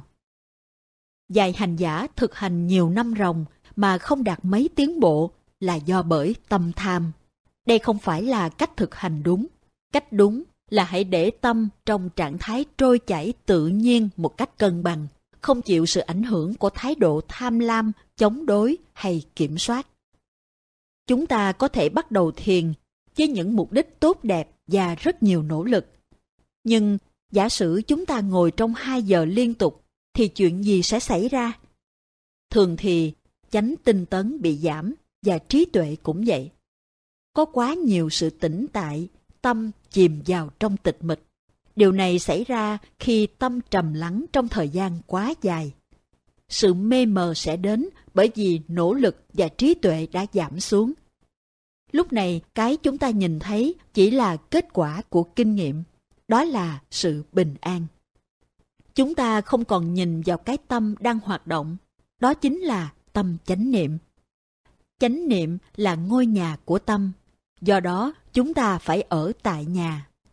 Nếu bạn biết tâm đang hoạt động, nó sẽ không bị hút vào trong đối tượng. Nhưng một khi chánh niệm rơi rụng, chúng ta không còn quan sát nữa vì đã bị hòa vào trong đối tượng mất rồi. Hãy suy nghĩ thấu đáo về vấn đề này. Nếu chúng ta ngồi và tỉnh thức, tại sao tâm lại trở nên mê mờ và ngày càng mê mờ hơn? Bởi vì chúng ta không kiểm tra xem tâm mình còn tỉnh táo và chánh niệm không. Nếu thiền tập là để nuôi dưỡng các tâm thiện, thì càng có nhiều tâm thiện chừng nào, tâm càng được tiếp sức cho mạnh mẽ chừng đó. Vài người thức dậy và cảm thấy rất tỉnh táo vào buổi sáng và họ nỗ lực rất nhiều. Nhưng họ không phát hiện ra điều này vì họ không quan sát xem tâm đang hoạt động thế nào. Đến chiều, họ kiệt sức.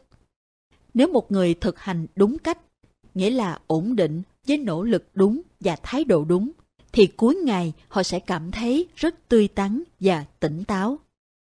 Bản thân tâm chánh niệm đã là tỉnh táo, cho nên mỗi giây phút bạn thực hành đúng, tâm này sẽ tăng trưởng. Nếu chúng ta thực hành đúng, thì mặc dù tỉnh táo vào buổi sáng, chúng ta thậm chí còn có nhiều năng lượng hơn nữa vào buổi tối. Đây là kết quả của nỗ lực đúng và thực hành đúng.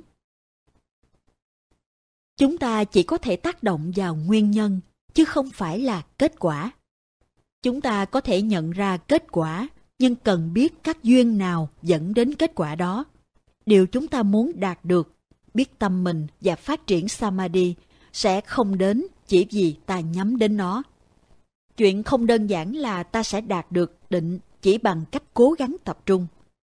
Chúng ta phải biết tâm định được phát triển thế nào. Khi chánh niệm được áp dụng với thái độ đúng, thì định tâm được phát triển. Thật ra, chúng ta có thể chỉ cần nhắc nhở bản thân giữ chánh niệm và kiểm tra xem có đang thực hành với thái độ đúng hay không. Nếu chúng ta có chánh tinh tấn và chánh niệm, thì chánh định sẽ sinh khởi một cách tự nhiên. Một khi hiểu được mối quan hệ nhân quả, chúng ta sẽ biết cách giải quyết mọi tình huống. Cần phải luôn hỏi bản thân rằng, mình có hiểu nhân và duyên dẫn đến việc thành tựu một kết quả nhất định không? Đây chính là thái độ đúng và nỗ lực đúng. Hầu hết các hành giả đều đánh đồng Samadhi với sự tĩnh lặng và tập trung. Trong một phạm vi nhất định thì họ đúng. Nhưng nếu ai đó có thể ngồi trên nệm thiền trong 30 phút hoặc hơn và quan sát các cảm giác khó chịu trong thân, tâm, thì mặc dù thấy nhiều sự khó chịu trong suốt giờ thiền, chẳng lẽ đó không phải là Samadhi đang hiện diện sao?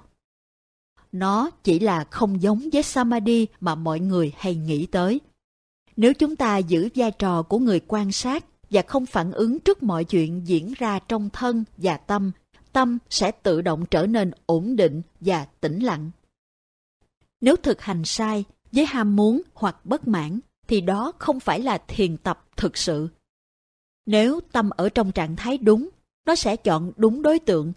Kết quả là chúng ta sẽ thấy được bản chất tự nhiên hoặc khía cạnh pháp của mọi hiện tượng. Đây là chánh kiến và chánh tinh tấn. Chúng ta đang thực sự hành thiền. Chúng ta có thể thực hành bằng trí tuệ hoặc bằng sự nỗ lực.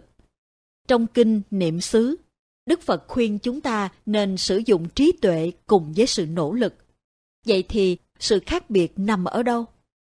Với sự nỗ lực, chúng ta phải quan sát tâm liên tục mỗi khi phiền não xuất hiện, chúng ta phải có mặt ở đó. Bạn có thể luôn có mặt khi phiền não xuất hiện không? Nếu làm được, luôn hiện diện ở đó với chánh niệm, thì bạn sẽ ngăn chặn được phiền não sinh sôi. Bạn phải thực sự chánh niệm trên mọi thời điểm, và đó là một nỗ lực rất lớn. Bạn cần hết lòng tận tụy với việc thực hành. Bạn có dành được nhiều nỗ lực như thế không? Có một cách khác, đó là phát triển các thiện tâm. Nếu tâm thiện luôn hiện diện, tâm bất thiện sẽ bị thế chỗ. Do đó, hãy nỗ lực phát triển các phẩm chất tâm thiện, chánh ngữ, chánh nghiệp, chánh tư duy. Một khi tâm luôn tràn ngập bởi tâm thiện, các phiền não sẽ không chen vào được. Đây là công việc toàn thời gian, phát triển các thiện tâm bên cạnh chánh niệm. Đức Phật dạy chúng ta nhiều pháp môn khác nhau bởi vì chúng ta có nhiều căn tánh khác nhau. Người có tấn căn sẽ thích hợp với phát triển chánh tư duy, chánh ngữ và làm tất cả các thiện nghiệp mà họ có thể. Với họ, cách thực hành này rất hữu dụng vì họ thích làm việc. Đối với người nhạy bén, tỉnh táo và tỉnh thức thì nên thực hành nhiều thêm chánh niệm. Người có sở thích thiên về trí tuệ có thể khai thác các ý tưởng thuộc về chánh kiến và chánh tư duy. Người tập trung tốt thì nên bắt đầu với thiền chỉ, rồi sau đó chuyển sang thiền quán. Người có tính căn tốt có thể bắt đầu bằng niệm Phật, Pháp và Tăng. Bạn có thể kết hợp nhiều cách trên và tối ưu hóa thành một cách thực hành riêng sao cho phù hợp nhất với cá tính của bản thân. Tuy nhiên, cho dù chọn cách nào thì bạn cũng không tiến bộ được gì nếu không biết tâm mình. Với cách thực hành này, điều quan trọng là phải duy trì nỗ lực bền bỉ và liên tục. Nếu làm được như thế, thì sự thực hành sẽ trở nên tự nhiên đến mức có thể tự duy trì. Nếu bạn xây dựng trí tuệ, chánh niệm sẽ tự động có mặt ở đó. Khi bạn đi xe đạp và tác động một lực mạnh lên bàn đạp, sau một lúc xe của bạn sẽ có đà và bạn không cần phải đạp mạnh lên bàn đạp nữa. Nó bắt đầu tự quay và bạn chỉ cần duy trì một lực nhỏ nhất để xe tiến tới trước. Đây chính là ý nghĩa của chánh tinh tấn, nỗ lực đúng, đưa ra một năng lượng vừa đủ để tạo đà cho việc thực hành. Thay vì để các phiền não làm cho sao lãng, chúng ta vượt lên và cho chúng hít bụi phía sau. Nếu ta không duy trì chánh niệm liên tục, thì trí tuệ sẽ không có cơ hội sinh khởi và phiền não sẽ tăng trưởng trong tâm. Trong tâm. Trong tâm. Trong tâm.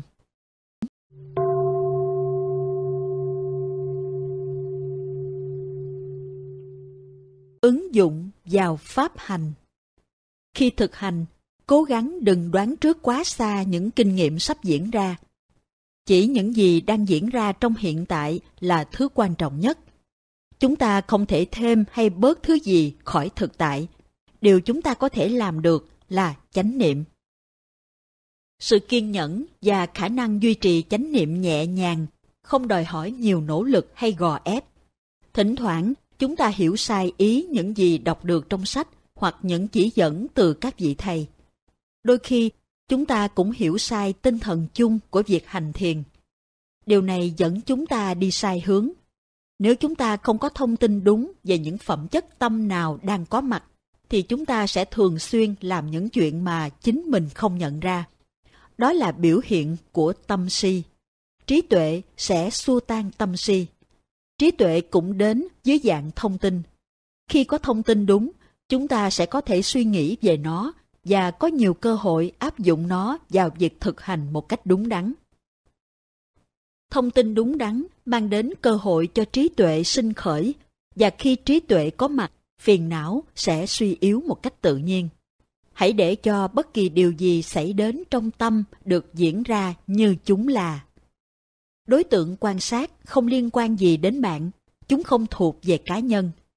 Những thứ mà bạn đang nhận biết chúng chỉ đơn giản là đang diễn ra. Mọi thứ xảy đến trong hiện tại chỉ là kết quả của nhân trong quá khứ và các duyên.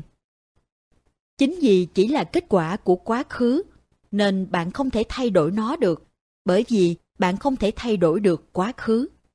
Điều bạn có thể làm trong hiện tại là giữ chánh niệm và đưa thêm chánh kiến vào. Điều này sẽ định hình tương lai. Vì vậy, công việc của một hành giả đầu tiên là áp dụng chánh kiến và sau đó là duy trì chánh niệm. Các hành giả thường đến gặp và nói với tôi, con bị kẹt trong pháp hành, con nên làm gì, con nên tiếp tục thực hành ra sao?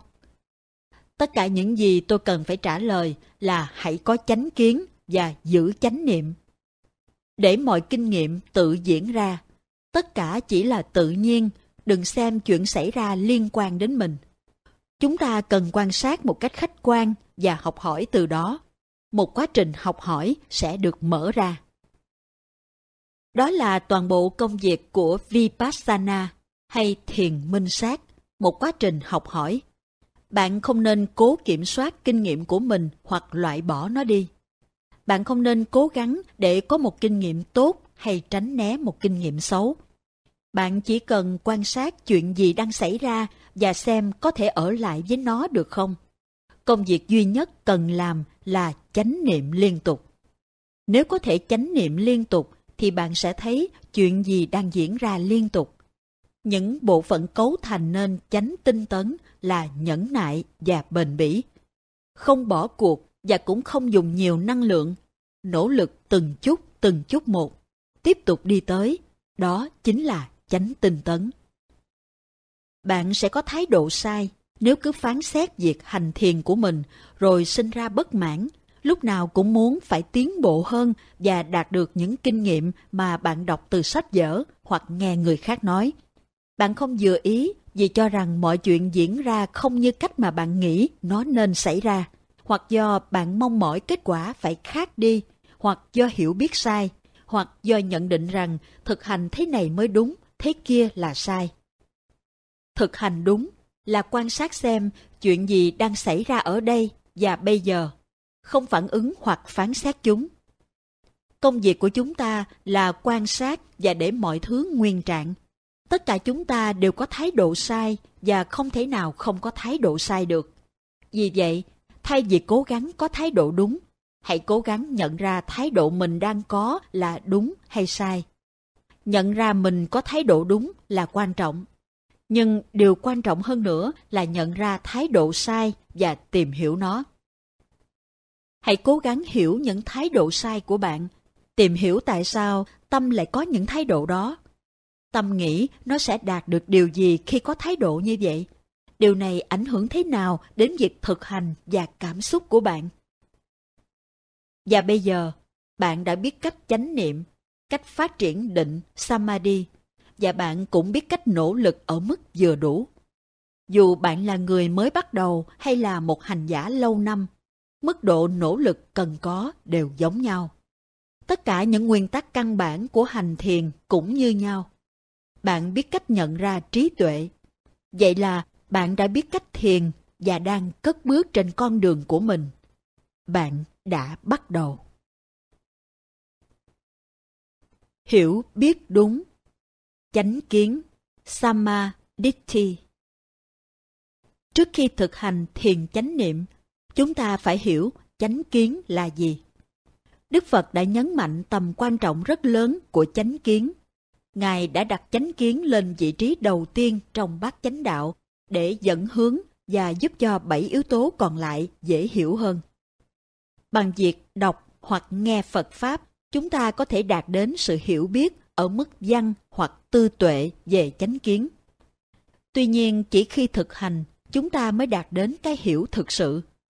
Chúng ta phải thấu hiểu lời dạy của Đức Phật bằng cách xem xét thật kỹ những diễn biến trong chính tâm mình. Bằng cách đơn giản là quan sát với tâm chánh niệm và sự tĩnh tại, chúng ta sẽ sớm thấy đúng bản chất của tâm. Không phải tôi, không phải là tự ngã, không phải cá nhân nào cả. Không ai ở đó. Tâm chỉ là một hiện tượng tự nhiên. Chỉ khi có chánh kiến như vậy, bạn mới có thể thực sự chánh niệm và thực hành thiền Vipassana. Bạn đang thực hành để khám phá ra bản chất này. Có thể sẽ mất một khoảng thời gian trước khi bạn có thể hoàn toàn đưa chánh kiến vào trong pháp hành của mình. Nhưng bằng cách chánh niệm và tìm hiểu những điều đang diễn ra trong tâm, bạn sẽ bắt đầu thấy bản chất tự nhiên trong tất cả các kinh nghiệm của mình. Dài hành giả nói rằng việc thấy tà kiến dễ hơn thấy chánh kiến. Hiển nhiên là vậy, bởi vì khi bạn có chánh kiến, tà kiến sẽ không hiện diện ở đó. Vì vậy, khi bắt đầu lộ diện, tà kiến sẽ dễ bị nhận ra nếu bạn có sự quan tâm và chú ý để thấy được nó. Điều cần thiết là liên tục kiểm tra mức độ chánh niệm cũng như sự ổn định của tâm.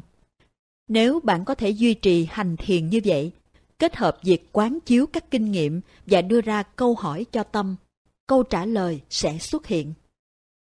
Thực tập như vậy giúp chúng ta thấy được bản chất của các hiện tượng, đây là hiểu biết chân chánh. Khi đạt đến đây thì những yếu tố khác trong việc thực hành sẽ tự động vào guồng. Trong phần hỏi đáp của một khóa tu tại Cộng hòa Séc, một hành giả đã hỏi tôi một câu rất thú vị. Chúng ta có chánh kiến và tà kiến, vậy mục đích của tà kiến là gì? Tôi chưa từng nghĩ đến chuyện này. Vì vậy, tôi tò mò tìm hiểu xem tại sao chúng ta có tà kiến. Kết quả là mục đích của tà kiến chính là sự hiện hữu hay sự tồn tại. Trí tuệ và chánh kiến tách biệt khỏi dòng luân hồi, dòng tuần hoàn của sinh ra, tồn tại và chết. Ngược lại, tà kiến có mục tiêu hướng đến và hòa vào dòng luân hồi. Nó muốn trở thành bản ngã, muốn hiện hữu và trường cửu, muốn tồn tại. Đó là lý do vì sao việc thực hành liên tục quan trọng đến vậy. Nó cho phép chúng ta phát hiện, nghiên cứu và hiểu được tà kiến. Nếu không có chánh niệm, sẽ không có sự hiểu biết và tà kiến sẽ tự động hiện diện. Hãy luôn nhớ rằng thiền chánh niệm là một quá trình học hỏi mà bạn sẽ tìm ra mối quan hệ giữa thân và tâm. Tâm có thể căng thẳng và mệt mỏi khi quan sát các đề mục. Hãy để mọi thứ đơn giản và tự nhiên, chỉ cần thư giãn là được. Không cần thiết phải chậm lại một cách thiếu tự nhiên. Bạn đơn giản là muốn thấy Pháp theo đúng bản chất của nó. Chánh niệm thực sự không phải là tập trung chú ý, mà chỉ đơn giản là sự hay biết các đề mục. Thực hành như vậy, tâm bạn sẽ luôn tươi mới. Bạn không cần phải biết thật rõ mọi chi tiết kinh nghiệm của mình. Chỉ cần chánh niệm và hay biết mình đang chánh niệm trên đối tượng nào. Hãy thường xuyên hỏi bản thân những câu hỏi này. Tôi đang chánh niệm trên cái gì? Mức độ chánh niệm của tôi ra sao? Việc này sẽ giúp cho chánh niệm diễn ra liên tục. Hãy nhớ rằng đề mục chỉ là đề mục thôi, không có con người nào ở đó, chỉ là diễn biến tự nhiên. Đây là chánh kiến. Tôi vừa đề cập sơ lược về những yếu tố căn bản tạo nên việc hành thiền tốt và những hiểu biết cần thiết để bắt đầu thực tập tại bất kỳ thời khắc nào. Tất cả những gì tôi giảng không khác gì thông tin được đưa vào một phần mềm trong máy tính. Tôi cho bạn dữ liệu, nó đi vào tâm của bạn. Hãy nghĩ về nó và bằng cách nào đó ứng dụng vào việc thiền tập của mình. Hãy xây dựng thêm lên từ đấy. Ban đầu khi bắt tay vào thực hành, chúng ta sẽ có nhiều điều lạ lẫm, Chưa hiểu rõ hướng dẫn và không biết phải làm gì. Chuyện này sẽ làm chúng ta căng thẳng và bối rối. Chúng ta thử nhiều thứ khác nhau mà cũng không biết chúng có hiệu quả không. Đôi khi làm như vậy không đem lại tác dụng. Do đó, ban đầu thứ quan trọng nhất đưa vào thiền chính là những lời giảng của các vị thầy. Những gì bạn đọc trong các sách hướng dẫn, chẳng hạn như cuốn sách này, và hiểu biết căn bản của bản thân. Điều cần thiết là bạn có bước khởi đầu đúng. Đó là giới chánh kiến. Trong bát chánh đạo mà Đức Phật chỉ dạy, hai chi phần đầu tiên bao gồm chánh kiến, Samadhi và chánh tư duy, Sama Sankapa, có nghĩa là hiểu biết đúng. Ba chi phần kế tiếp liên quan đến đạo đức hay là giới, Sila. Đó là chánh ngữ, Samavacha, chánh nghiệp, Sama Kamanta và chánh mạng, Sama Achiva. Chánh tinh tấn, Sama Vayama, chánh niệm, Samasati và chánh định, Sama Samadhi tạo thành nhóm gồm ba chi phần cuối cùng. Nếu chi phần đầu tiên, chánh kiến, được áp dụng một cách thông minh và khéo léo, thì một cách tự nhiên, toàn bộ các chi phần còn lại trong bát chánh đạo cũng trở nên thiện xảo, chân chánh. Khi chúng ta thực hành Vipassana, việc có chánh kiến mang tính chất quyết định. Tôi không biết phải lặp đi lặp lại điều này bao nhiêu cho đủ. Đây chắc chắn là điều quan trọng nhất trong pháp hành, bởi vì một khi không có chánh kiến, tà kiến sẽ tự động hiện diện. Tà kiến là tâm si mê. Tà kiến là sự dính mắc vào kinh nghiệm diễn ra. Nếu chúng ta coi những gì mình đang trải qua là tôi hoặc của tôi, thì đó chính là tà kiến. Vậy làm sao để quan sát theo chánh kiến? Tâm cần nhìn mọi thứ theo cách như nhau. Đó là mọi kinh nghiệm chỉ là diễn biến tự nhiên, không có ai quyết định ở đây cả. Tự nhiên chỉ là một quá trình của nhân và quả. Tự nhiên không diễn ra vì chúng ta. Mọi thứ diễn ra quanh chúng ta là tự nhiên, nó tự diễn ra thế thôi. Tâm đang chánh niệm và phản ứng trước các hiện tượng tự nhiên. Đó cũng là diễn biến tự nhiên. Một hành giả nước ngoài đến thực hành ở tu viện của chúng tôi ngay trước khi mùa mưa đến. Đó là vào khoảng cuối tháng 3, đầu tháng 4. Thời tiết nóng gay gắt, Nhiệt độ vào khoảng 105 độ F, khoảng 40,5 độ C. Ngày đến thiền viện, anh ta lên thiền đường để hành thiền vào giữa trưa. Thiền đường dành cho nam giới ở lầu 2, nên thậm chí không khí ở đây còn nóng hơn nữa. Lúc đó, anh ta ngồi xuống thiền, trong đầu nghĩ ngợi. Tôi không làm được đâu, chắc sẽ chảy ra thành nước mất, tôi sẽ chết. Anh ta chưa kịp dừng suy nghĩ thì đã nhận ra tâm mình vẫn mát, chỉ có cơ thể đang nóng thôi. Có một sự tách biệt xảy ra trong tâm. Anh ta biết rằng nếu cứ bổ sung nước, chắc chắn sẽ không sao. Anh ấy nhìn thấy cái nóng là một đề mục, chỉ là diễn biến tự nhiên, không phải chuyện của mình. Một hiểu biết về nhân và duyên đã hình thành. Cơ duyên đã chín mùi cho tuệ minh sát này sinh khởi. Vị hành giả ấy có chánh kiến và chánh tư duy hiện khởi trong tâm. Để lấy một ví dụ khác, tôi muốn hỏi bạn một câu. Khi xung quanh ồn ào hay yên tĩnh, lúc nào sẽ tốt hơn? Khi tâm đánh giá hoặc ưa thích cái gì, nó sẽ tự động phản ứng lại khi cái đối nghịch xuất hiện. Vì vậy, chánh kiến là không thiên vị bên nào. Âm thanh chỉ là âm thanh, là hiện tượng tự nhiên. Khi chúng ta đối xử phân biệt với âm thanh, tham và sân sẽ nhảy vào.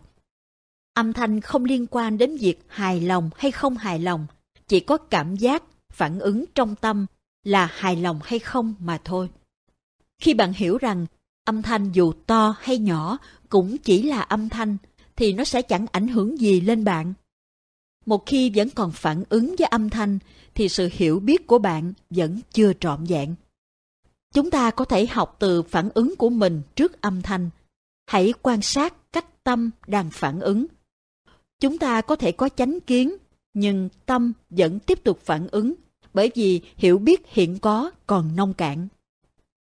Chánh tinh tấn là duy trì chánh niệm trên các đề mục, cả âm thanh và tâm phản ứng với nó. Từ đây, những thông tin quan trọng được thu thập để trí tuệ sinh khởi trong tương lai. Ngôn từ chúng ta dùng để nhắc nhở bản thân về chánh kiến rất quan trọng. Từ việc thực hành được duy trì liên tục, chúng ta đạt đến hiểu biết rằng các kinh nghiệm của chúng ta là tự nhiên. Tuy nhiên, thỉnh thoảng những câu như không phải tôi, không phải của tôi, không có tác dụng mấy bởi vì tâm thấy rất khó chấp nhận chúng. Câu đây là quá trình của tự nhiên nghe dễ chấp nhận hơn. Tâm sẵn sàng chấp nhận câu này hơn là gò ép mình vào khái niệm về vô ngã. Và điều quan trọng nhất vẫn là chánh kiến nhận ra sự liên hệ mạnh mẽ với cái ngã đang có mặt. Ví dụ, cây đau ở đầu gối có thể đến rồi đi, nhưng đầu gối thì vẫn còn đó. Có thể dễ dàng nhận ra cơn đau chỉ là một quá trình tự nhiên. Nhưng chúng ta lại liên hệ đầu gối với bản ngã đầu gối của tôi. Chánh kiến là thấy được việc bạn đang liên hệ cái đầu gối đến bản ngã của mình. Nghĩa là đây là đầu gối của tôi. Thầy tôi tới thiền đường mỗi sáng vào một trong những thời thiền tọa chung.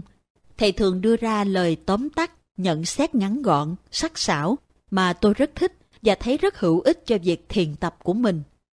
Vào một buổi sáng nọ, thầy bước vào thiền đường và bắt đầu giảng.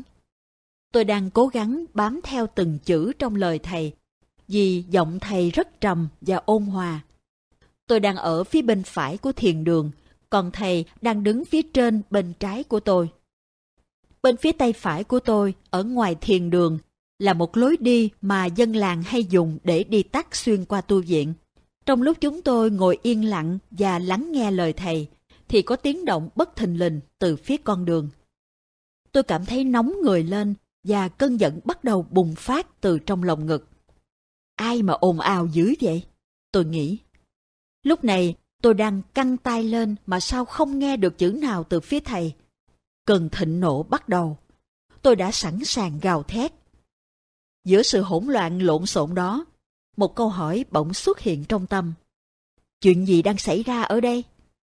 Ngày trước đó, tôi đang hành thiền và cảm thấy rất bình yên, rồi bây giờ tôi đột nhiên nổi điên. Điều này kích thích sự tò mò và tôi bắt đầu theo dõi tâm. Tôi thấy tâm mình chạy qua bên trái để lắng nghe thầy. Kế đến, nó chạy qua bên phải để chửi bới, nguyền rủa những kẻ khờ dại đang om sòm ngoài kia.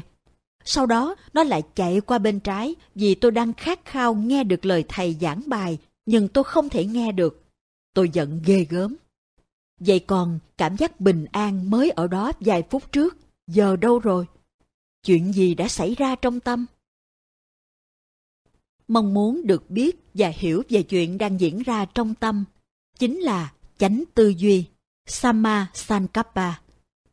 Rồi một sự thấu hiểu xuất hiện, đã có một sự dính mắc vào âm thanh bên trái. Kế đến là có một sự ác cảm ghê gớm với âm thanh xuất hiện bên phải, cùng với những kẻ ngốc ở bên ngoài. Sau khi thấu hiểu như vậy, tôi thấy âm thanh chỉ còn là âm thanh. Không còn nữa sự bám chặt vào lời giảng của thầy hay sự ác cảm đối với những âm thanh bên ngoài nữa. Cả hai chỉ đều là âm thanh, là tự nhiên. Thấu hiểu điều này, tâm trở nên cân bằng và bình tĩnh, đồng thời nhận biết cả hai bên và những thứ khác nữa. Từ câu chuyện này, tôi đúc kết được một công thức mà tôi gọi là công thức con lắc. Khi tâm dính mắc vào sự việc A ở một mức độ nhỏ nhất, một sự việc khác cản trở hoặc cắt ngang sự việc A, tâm sân sẽ nổi lên ở mức độ tương xứng với mức độ dính mắc. Nếu có sự dính mắc vào A ở mức 65 độ, thì khi không thể trải nghiệm A sẽ dẫn đến 65 độ sân hận với việc không thể trải nghiệm này. Đó chính là quá trình hành thiền diễn ra với sự hứng thú và tò mò tìm hiểu. Khi phiền não xuất hiện, nếu bạn đã sẵn sàng thì bài học sẽ đến và bạn sẽ hiểu biết nó trọn vẹn. Vai trò của chánh niệm là để thu thập dữ liệu. Trong câu chuyện trên đã có một khát khao hiểu biết bất ngờ xuất hiện. Chánh niệm giữ vai trò nhận biết tất cả những gì đang diễn ra. Nó biết tâm đang bị kích động và chạy tới chạy lui, kèm theo đó là tất cả các hoạt động và cảm giác diễn ra trong thân và tâm. Khi chúng ta có dữ liệu cho vấn đề, giải pháp chắc chắn sẽ xuất hiện. Khi không có chánh niệm, chúng ta chỉ có thể nhận ra các đối tượng ở cấp độ thô. Ngay bây giờ, chúng ta đang có chánh niệm và chánh định, nhưng đó là chánh niệm ở mức độ thô hay vi tế. Chánh niệm sắc bén có thể thấy được các hoạt động vi tế trong tâm, nhưng chánh niệm hời hợt sẽ không bao giờ thấy được những nguyên nhân đang hiện diện. Khi chúng ta đi từ mức độ thô đến mức độ vi tế, chúng ta nói rằng các duyên đã hoàn chỉnh. Đó là khi chúng ta có thể hiểu được bản chất tự nhiên của tâm. Vậy nên khi tôi nói tìm hiểu hoặc thẩm xét, ý tôi không phải là chủ động suy nghĩ quá đà về những gì đang diễn ra trong tâm. Thông thường, khi quá trình tìm hiểu với sự sáng suốt diễn ra, bánh xe trí tuệ sẽ tự quay với động lực của riêng nó. Tuệ giác có thể sinh khởi từ một phản ứng tâm nhất định. Chẳng hạn như trường hợp tôi đã phản ứng với âm thanh bên trong và bên ngoài thiền đường. Nó cũng có thể sinh lên từ một cái tâm hoàn toàn tĩnh lặng, hoặc chỉ đơn giản là bất chợt lóe lên. Nếu bạn đang rất chật vật, tâm bạn đang mê mờ, uể oải, thì lúc này cần trạch pháp đưa ra một từ hoặc một câu hỏi ngắn, đơn giản cho tâm mà không mong chờ câu trả lời. Trong khi đó, vẫn duy trì chánh niệm. Điều quan trọng là phải hiểu rõ thế nào là trạch pháp và thế nào không phải là trạch pháp. Đó không phải là làm rối não thêm bằng cách suy nghĩ quá nhiều về một số vấn đề nào đó, mà là quan sát và học hỏi từ các phản ứng cũng như mối quan hệ giữa tâm và các đối tượng quan sát. Cơn đau Cơn đau, dù là trên thân hay trong tâm, thì đều có thể là đề mục quan sát. Chúng chỉ là cảm giác, là hiện tượng tự nhiên, sinh lên rồi diệt đi. Mỗi đề mục đều có những tính chất riêng và tính chất chung giống với các đề mục khác. Tôi bị đau đầu gối. Cơn đau đến rồi đi rất nhanh. Đôi lúc đau khủng khiếp và rồi trong phút kế tiếp thì không đau chút nào. Tôi nhanh chóng nhận ra là không có khác biệt nào giữa đau và không đau. Chúng chỉ là một đối tượng có cảm giác hay không có cảm giác, chỉ là hiện tượng tự nhiên. Sự khác biệt duy nhất là thái độ trước cơn đau. Chúng ta có thể trở nên ác cảm hoặc chỉ đơn giản quan sát các cảm giác một cách khách quan. Thái độ chân chánh ở đây chính là kiểm tra và chú ý tới các phản ứng của tâm đối với cơn đau hoặc cảm xúc. Phản ứng của tâm có thể dẫn đến đau nhiều hơn hoặc các căng thẳng trên những phần cơ thể khác nhau. Thông thường nhất là ở ngực, cổ, vai, mặt hay thậm chí là một cảm giác sân. Khi bạn kiểm tra tâm, bạn sẽ thấy có một sự phản ứng với cơn đau. Cơn đau chỉ là cảm giác, một đối tượng và là tiến trình tự nhiên. Điều cần làm ở đây đơn giản chỉ là quan sát trình tự các sự kiện diễn ra để cố gắng nhận dạng những tà kiến, nguồn gốc tạo nên phản ứng trong tâm. Ví dụ như khi thiền tọa, một thay đổi nhỏ trong tư thế có thể làm giảm cơn đau. Tương tự, một thay đổi trong thái độ giúp giải phóng sự căng thẳng trên thân và tâm. Sử dụng sự hiểu biết này, Sintamaya Panya, tư tuệ, chúng ta có thể quán chiếu những tác động qua lại xảy ra giữa thân và tâm, từ đó hiểu được bản chất cơn đau. Quan trọng không phải là làm cho sự đau nhức mất đi, mà là quan sát quá trình thân và tâm tương tác với nhau khi có cơn đau nhức hiện diện. Khi tâm quân bình, tiến trình của thân và tâm hiện rõ, sự đau nhức sẽ suy giảm. Còn lại, cảm giác đơn thuần mà không có tâm phản ứng. Chúng chỉ là diễn biến tự nhiên, sinh rồi diệt. Ngoại trừ trường hợp rất cá biệt, bình thường không có ai thích cơn đau. Vậy làm sao để sống với cơn đau? Tôi đã đề cập đến một số cách đối diện với cơn đau ở những trang trước. Nhưng chúng ta cần làm gì để sẵn sàng khi cơn đau đến? Cần có thái độ đúng. Đau hay không đau, bên nào tốt hơn? Nếu nghĩ không đau tốt hơn thì mỗi lần bị đau ta sẽ thấy không thích, sẽ thất vọng và phiền não sẽ chiếm chỗ trong tâm. Vậy tại sao phiền não lại hiện diện? Vì chúng ta có tà kiến. Phải hiểu rằng đau chỉ là một hiện tượng tự nhiên. Nếu bạn có thể thấy và học hỏi từ các suy nghĩ, cảm xúc, cảm giác trên cơ thể và mối liên hệ giữa chúng, thì bạn sẽ sẵn sàng đón nhận cơn đau và chắc chắn nó sẽ tới. Việc thực hành của bạn chính là theo dõi và học hỏi từ các mối liên hệ này. Không cần phải làm cho đề mục mất đi và việc chúng mất đi hay không cũng đâu có liên quan gì. Bạn đang quan sát vì bạn muốn biết và hiểu bản chất tự nhiên của các hiện tượng. Đây là chánh kiến và thái độ đúng. Chúng ta có thái độ đúng khi chúng ta có chánh kiến, chúng ta có chánh kiến, chúng ta có chánh kiến, chúng ta có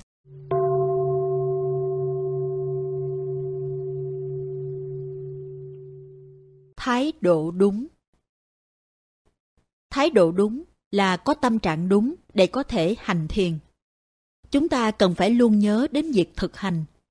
Thái độ đúng cho phép bạn quan sát, chấp nhận tất cả những gì đang đến từ sáu cửa giác quan ở mọi thời điểm một cách chăm chú và thoải mái. Chuyện xảy ra là tốt hay xấu cũng không quan trọng. Nếu được nhìn nhận với thái độ đúng, thì nó sẽ trở thành một trải nghiệm học hỏi khi bạn nhận ra tâm đang phán xét đúng sai rồi đưa ra các phản ứng cùng với những phán xét đó. Bạn không nên cố lái mọi chuyện theo cách mình muốn. Bạn chỉ đơn giản là duy trì việc hay biết các hiện tượng đang diễn ra theo tiến trình tự nhiên của nó. Cứ trông đợi và nghĩ rằng mình muốn nó phải thế này hay thế khác chỉ tạo nên sự lo lắng và dẫn đến bất mãn. Ham muốn và bất mãn sinh ra từ vô minh. Vô minh là gì? Đó là không thấy được diễn biến trong tâm đang xảy ra. Vô minh hay tâm si cũng là phiền não. Do đó, đừng cố tạo ra thứ gì vì như vậy là tham. Đừng bác bỏ chuyện đang xảy ra vì như vậy là sân. Không biết chuyện gì đang xảy ra hoặc đã ngừng lại là si. Chúng ta cần liên tục kiểm tra thái độ của mình Sau khi thực hành một thời gian, việc này sẽ trở thành thói quen tự động.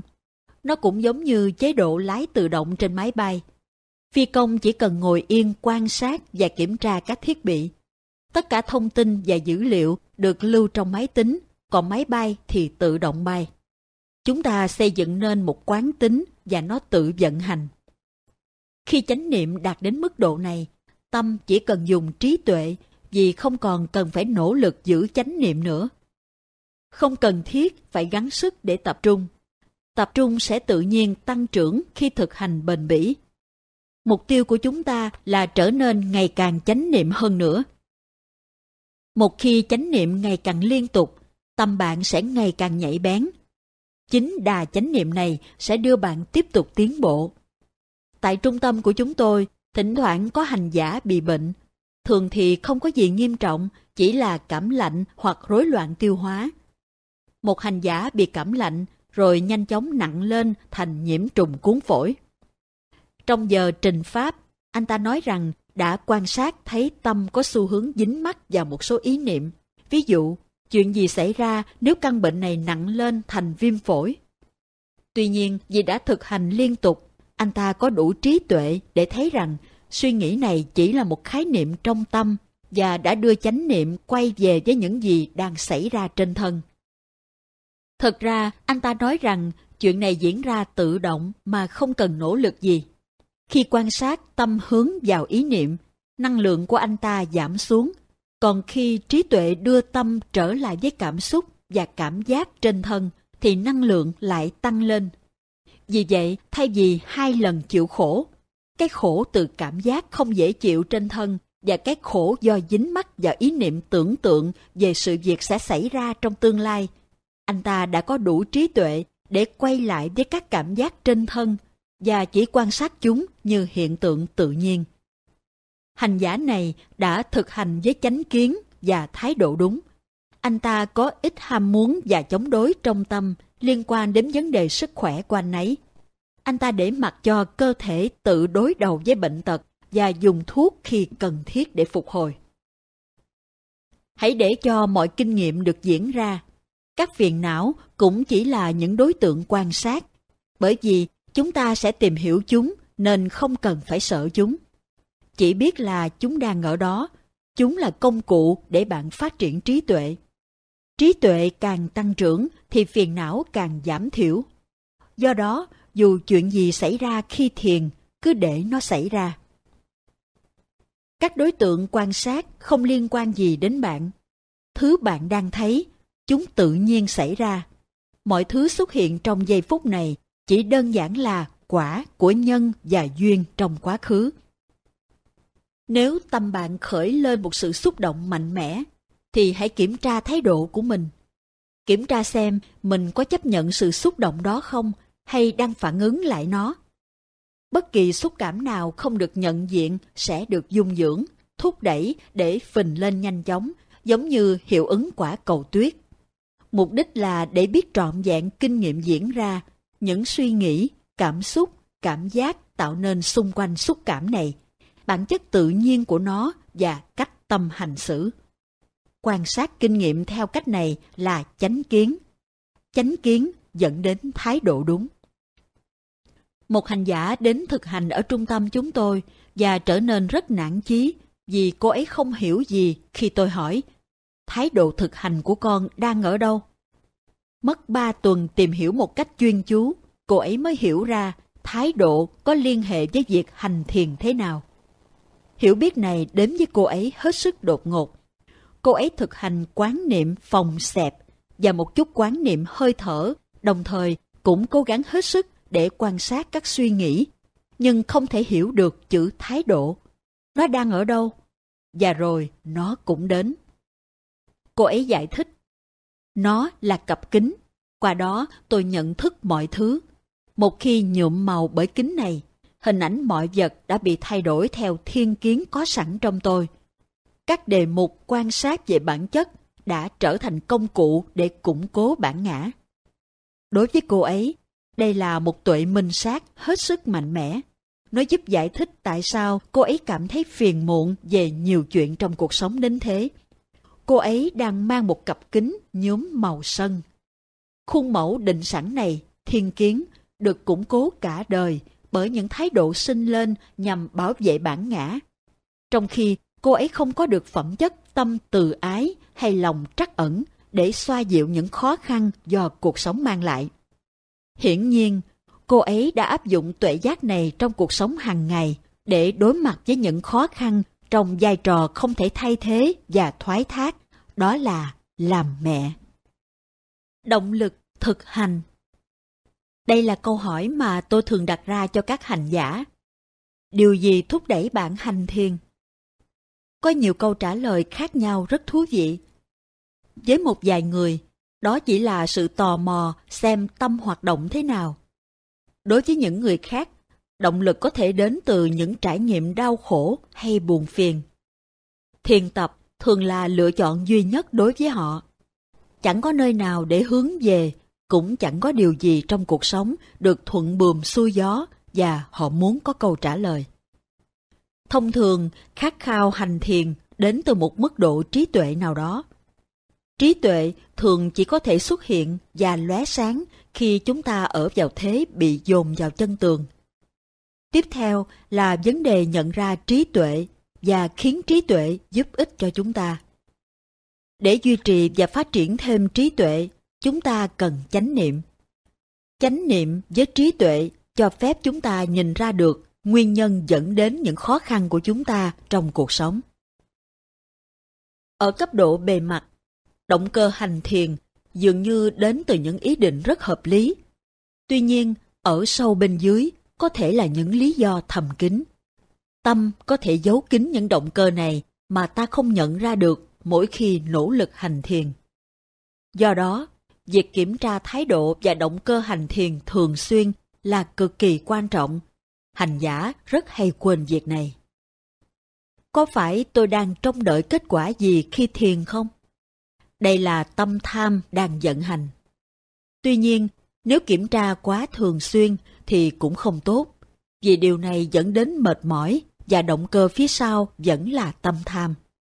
Bạn cần tập luyện để đạt tới sự cân bằng. Có một lần tôi thấy một hành giả vội vàng vào thiền đường khi có tiếng kẽn vang lên. Tôi hỏi, con đi đâu vậy? Con đến thiền đường. Tôi hỏi tiếp, tại sao? Bởi vì họ đánh chuông rồi. Động cơ phía sau hành vi của cô ấy là do thói quen và không phải bởi vì muốn thiền mà bởi vì chuông reng. Đừng bao giờ trở thành hành giả chạy theo tiếng chuông như thế. Hãy nhìn vào động cơ, thái độ của mình và tự hỏi, tại sao tôi làm việc này? hãy sống tỉnh thức. Khi được hỏi tại sao đến với thiền, một nữ hành giả đã kể về thời tuổi trẻ của mình. Cô ấy rất nhút nhát và sống hướng nội. Không ai chú ý nhiều đến cô ta. Sau này cô ấy hành thiền để lôi kéo sự chú ý về mình vì không ai làm thế. Tuy nhiên, khi hành thiền, cô ấy khám phá ra nhiều lợi ích khác và đã tiếp tục thực hành cô đã khai thác được nguồn trí tuệ tiềm tàng nơi bản thân mình. Điều này kích thích sự hứng thú và khơi dậy niềm hoan hỷ với Pháp trong cô. Nó cũng trở thành động cơ dẫn dắt cô tiếp bước trên con đường thiền tập. Trong trường hợp này, động cơ xuất phát của hành giả thiếu chân chánh, nhưng lại thay đổi khi đi sâu vào Pháp hành. Giới Sila một tiêu chuẩn đạo đức thấp trong cuộc sống luôn là nguyên nhân dẫn đến nhiều vấn đề. Nó có thể là nguyên nhân chính gây ra nhiều đau khổ, từ đó thúc đẩy chúng ta hành thiền để tìm hiểu và làm giảm bớt khổ đau. Khi có người hỏi làm sao một hành giả phương Tây có thể hành thiền Phật giáo khi năm giới hoàn toàn xa lạ với đời sống của họ. Achancha vị thiền sư lỗi lạc của Thái Lan đã nói, họ sẽ học về năm giới nhanh thôi. Họ sẽ không thể tiến bộ trong pháp hành nếu không tuân theo các giới luật căn bản đó. Tôi sẽ không kể ra các giới luật ở đây. Các bạn đã trưởng thành và tôi tin rằng vì muốn hành thiền mà các bạn giữ giới. Nếu chưa biết giới luật, tôi khuyên bạn nên nghiên cứu chúng nếu muốn tiến bộ trong pháp hành. Khi tổ chức một khóa tu, tôi không yêu cầu mọi người thọ giới. Đó là trách nhiệm của bạn đối với việc thực hành và đạo đức của chính mình. Tôi chỉ có thể đưa ra hướng dẫn. Đạo đức chỉ có thể đến từ một cái tâm có trí tuệ. Khi bạn có kiến thức, thông tin và các duyên đầy đủ, bạn sẽ có tuệ giác. Bạn sẽ thấy được những nỗi đau khổ mà đời sống không có giới luật mang lại. Giới luật là căn bản của việc hành thiền. Khi chúng ta cam kết sống theo giới luật, thì giới luật sẽ trở thành nền tảng trong cách sống của chúng ta. Có những giới sinh ra từ trí tuệ, và cũng có những giới xuất phát từ các điều lệ tôn giáo và văn hóa. Nói cách khác, chúng ta dừng các hành động bất thiện vì bị buộc phải như thế. Chúng ta phải cố gắng và thực hành các giới từ góc nhìn của trí tuệ. Nó trở thành một phần trong chúng ta bởi vì chúng ta hiểu được giá trị của nó trong việc giúp chúng ta sống một cuộc sống thiện lành. Do đó, việc cố gắng và thiết lập một chuẩn mực đạo đức tốt trong cuộc sống là rất cần thiết, song hành với việc thực hành chánh niệm. Bạn có thể thử phát triển trí tuệ, nhưng nó sẽ vỡ tan nếu nền tảng về giới không đủ mạnh. Sau đó, bạn cứ thử đi thử lại, cố hết lần này đến lần khác, nhưng kết quả đều giống nhau. Tại sao chúng ta làm thế? Chúng ta tìm kiếm một kinh nghiệm nhất định không thuộc về những gì đang xảy ra trong hiện tại. Chối bỏ hiện tại và muốn mọi thứ phải tốt hơn. Để duy trì một chuẩn mực vững chắc về giới trong cuộc sống, trí tuệ phải hiện diện trước. Giới luật và trí tuệ có mối quan hệ tương hỗ. Giới làm nền tảng cho trí tuệ sinh khởi và ngược lại. Trí tuệ, giới luật không thể sinh lên nếu như chánh niệm và sự hiểu biết về các phiền não cũng như những hiểm họa do chúng gây ra không được nhận biết rõ ràng. Trong thời niên thiếu, tôi luôn làm chuyện không tốt và luôn gặp phải những rắc rối. Tôi khiến cha mẹ tôi lúc nào cũng lo lắng. Sau khi gặp thầy tôi vào năm 13 tuổi để học thiền, tôi thấy mình có thể phát triển định khá dễ với nhiều phương pháp khác nhau học từ thầy. Tuy nhiên, tôi và bạn bè còn tìm ra được một cách đạt trạng thái định dễ dàng hơn, chất gây nghiện. Chúng tôi thường tụ tập vào ban đêm ở những góc cầu thang tối trong khu phố Tàu thuộc bến cảng gần trung tâm Yangon. Ở đó, chúng tôi có thể mua mọi thứ, chỉ cần nêu tên ra là được. Chúng tôi từng mua nhiều chai thuốc ho có tên là Cometazine, một hỗn hợp bao gồm dẫn xuất của thuốc viện và thuốc ephedrine dưới dạng siro. Liều lượng thông thường là một muỗng đầy, nhưng chúng tôi thường uống một hơi hết cả chai. Tôi rất thích thú trước cảm giác mà nó đem lại. Đó là trạng thái định mà không cần ngồi vài tiếng đồng hồ trên nệm thiền. Tôi thấy mình có thể dễ dàng tập trung khi uống thuốc này. Chính vì thế mà tôi có thể đọc sách nhiều giờ liền mà không mệt. Tôi thường đi chơi với đám bạn và chúng tôi thực hiện nhiều phi vụ bất hảo vốn đòi hỏi rất nhiều sự tập trung. Chúng tôi thường tụ tập nhiều giờ liền với nhau như thế. Khi thuốc hết tác dụng, chúng tôi thường đi chỗ khác và ngủ trong xe hơi bên bờ sông. Thỉnh thoảng thì đánh nhau với các nhóm khác. Dù sao thì, như bạn có thể đoán được, sự nghiện ngập đã dẫn đến cảm giác khó chịu sau này. Ông nội tôi cũng từng nghiện thuốc phiện Có thể tôi đã thừa hưởng sự ham thích với thuốc kích thích từ ông. Mỗi khi tôi gặp trục trặc với thuốc phiện hoặc các hoạt động với bạn bè, cha mẹ tôi thường gửi tôi đến tu viện của thầy tôi để thầy dạy dỗ. Thỉnh thoảng tôi cũng đắp y và ở lại chùa trong thời gian dài hơn, mỗi lần từ 6 đến 8 tháng. Lúc nào cũng vậy, thầy tôi luôn khơi dậy được sự hứng thú của tôi với pháp hành. Do đó, khi quay về nhà, tôi luôn có động lực để hành thiền và chỉnh đốn lại cách sống. Tuy nhiên, trí tuệ mà tôi vừa phát triển trong những thời gian ở với thầy đã không đủ mạnh để chống chọi được các phiền não, thứ luôn quay lại khi tôi gặp lại bạn bè. Các giá trị đạo đức của tôi không vững chãi trong những năm tháng bước đầu hành thiền đó. Làm sao chúng ta hiểu được cuộc sống nếu không mắc sai lầm? Chúng ta sẽ thường nản lòng và đau khổ với chúng. Nhưng để đi xuyên qua cả cuộc đời, lúc nào cũng trơn tru là điều không thể. Sẽ không lợi ích gì khi cảm thấy đau khổ hay tội lỗi. Tội lỗi thuộc về quá khứ, chỉ là ý niệm. Cảm giác đến từ tội lỗi lại đang diễn ra, do đó nó là một đối tượng. Chúng ta nên chánh niệm trên tâm phản ứng trước đối tượng này. Dính mắc vào tội lỗi cũng xuất phát từ tà kiến. Cùng lắm thì bạn sẽ cảm thấy một chút xấu hổ. Hãy nhận biết nó và học hỏi từ nó. Đó là cách nhìn nhận vấn đề đúng đắn hơn. Những sai lầm này chính là những viên đá lát trên con đường của trí tuệ. Đồng thời cũng cho ta biết mình ở đâu trên con đường. Cẩn trọng quan sát và học hỏi từ sai lầm cũng là biểu hiện của tâm trí tuệ đang làm việc. Khi chúng ta tiến bộ trong pháp hành, trí tuệ và chánh niệm sẽ ngày càng vững chắc và trôi chảy tự nhiên. Chúng sẽ tự động có mặt, giống như một hệ thống không người lái. Khi chánh niệm ngày càng tốt hơn, những kiến thức và sự hiểu biết sẽ đến nhanh hơn, tự nhiên hơn. Trí tuệ và chánh niệm sẽ kết hợp cùng làm việc với nhau. Cả lỗi lầm và trí tuệ của chúng ta sẽ tạo nên động lực thúc đẩy việc hành thiền tiến tới và do đó đem lại nhiều giá trị đạo đức tốt đẹp vào cuộc sống của chúng ta. Quán tưởng về giới là một công cụ rất hữu hiệu trong pháp hành. Việc này giúp luyện tập cho tâm cảnh giác trước tất cả những phiền não đang tràn ngập, đồng thời đưa đến nhiều năng lượng, hạnh phúc và niềm tin trong pháp hành. Chúng ta có thể học hỏi từ những lần phạm giới bằng góc nhìn của trí tuệ.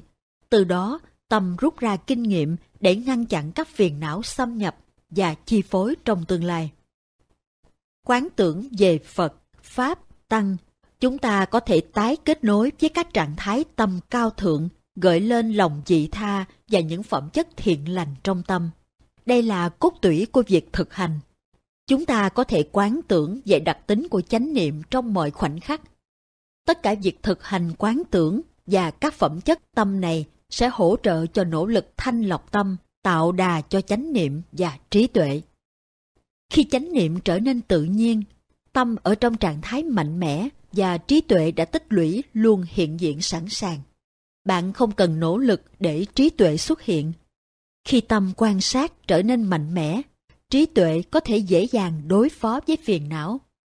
Cánh cửa phiền não đóng sập, trạng thái thanh tịnh của tâm chiếm ưu thế và tâm trở nên cân bằng, buông xả. Cuối cùng, bạn sẽ kinh nghiệm những khoảnh khắc, thậm chí cả những giai đoạn dài trong trạng thái tâm buông xả và tỉnh thức. Khi đó, tâm chánh niệm sẽ nhìn mọi sự vật hiện tượng ở một góc độ hoàn toàn mới lạ. Nói cách khác, bạn bắt đầu kinh nghiệm tuệ minh sát thực sự. Khi tuệ minh sát có mặt, phiền não sẽ tiêu trừ. Trí tuệ sâu sắc tới mức độ nào thì phiền não cũng sẽ được đoạn giảm ở mức độ tương ứng. Ngoài ra, bạn còn biết được trí tuệ hay biết loại phiền não nào. Đây là kinh nghiệm thực tế và là động cơ tối hậu của hành thiền. Thói quen Động lực hành thiền có thể trở thành thói quen. Chúng ta thực hành vì nghĩ rằng nên làm thế, không phải bởi vì cảm thấy thích thú hoặc tò mò. Đây không phải là thái độ đúng đắn trong hành thiền. Tâm có thể lạc lối trong những khuôn mẫu của thói quen.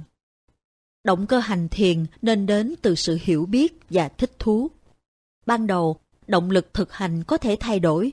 Tuy nhiên, nếu cứ tiếp tục, thì dần dần khi đã thấy được những lợi ích, động lực thực hành sẽ được thúc đẩy bởi trí tuệ nhiều hơn. Khi trí tuệ đã trở nên chắc chắn, chúng ta có thể đưa chánh niệm vào các thói quen, tập quán cũ. Và với trí tuệ hiện có, chúng ta có thể đưa ra những quyết định sáng suốt cần thiết cho cuộc sống. Các khuôn mẫu của thói quen luôn thống trị gần như mọi mặt trong cuộc sống chúng ta. Tôi không yêu cầu bạn thay đổi các khuôn mẫu này, chỉ đơn giản giữ chánh niệm và quan sát chúng. Có thể một vài hoặc hầu hết những khuôn mẫu này là thiện lành và đem lại lợi ích cho bạn. Ví dụ, đánh răng cùng một thời điểm vào buổi sáng hoặc ăn một bữa sáng đầy đủ dưỡng chất trước khi đi làm với những thói quen này, chúng ta thậm chí không cần phải nghĩ đến chúng nữa. Tuy nhiên, đang xen với các thói quen thiện có thể là những phiền não đang ẩn nấp, tham hoặc sân, đặc biệt là chung quanh thức ăn và chuyện ăn uống. Hãy hiểu rõ các thói quen và phân biệt cái nào là thiện, cái nào là bất thiện. Vì vậy mà chúng ta cần để ý quan sát và chánh niệm, nhận biết các phiền não, nhưng đừng nhân nhượng chúng. Tại trung tâm của chúng tôi, có một giờ uống nước vào buổi chiều. Vài hành giả gọi đó là giờ hạnh phúc hay giờ uống cocktail. Nơi để bàn nước là ở ngay lối ra vào của thiền đường. Một hành giả mới đến chưa biết về giờ uống nước này, nên anh ấy đã thiền tọa trong khoảng từ 3 đến 4 giờ chiều. Rồi thiền hành thêm khoảng nửa tiếng dọc theo hành lang của thiền đường. Sau một vài ngày như thế, anh ấy cũng sớm nhận ra có giờ uống nước vào lúc 4 giờ chiều. Do đó, anh ta ngưng thiền tọa mỗi khi nghe tiếng lì va chạm len keng, khoảng 4 giờ kém 10 phút.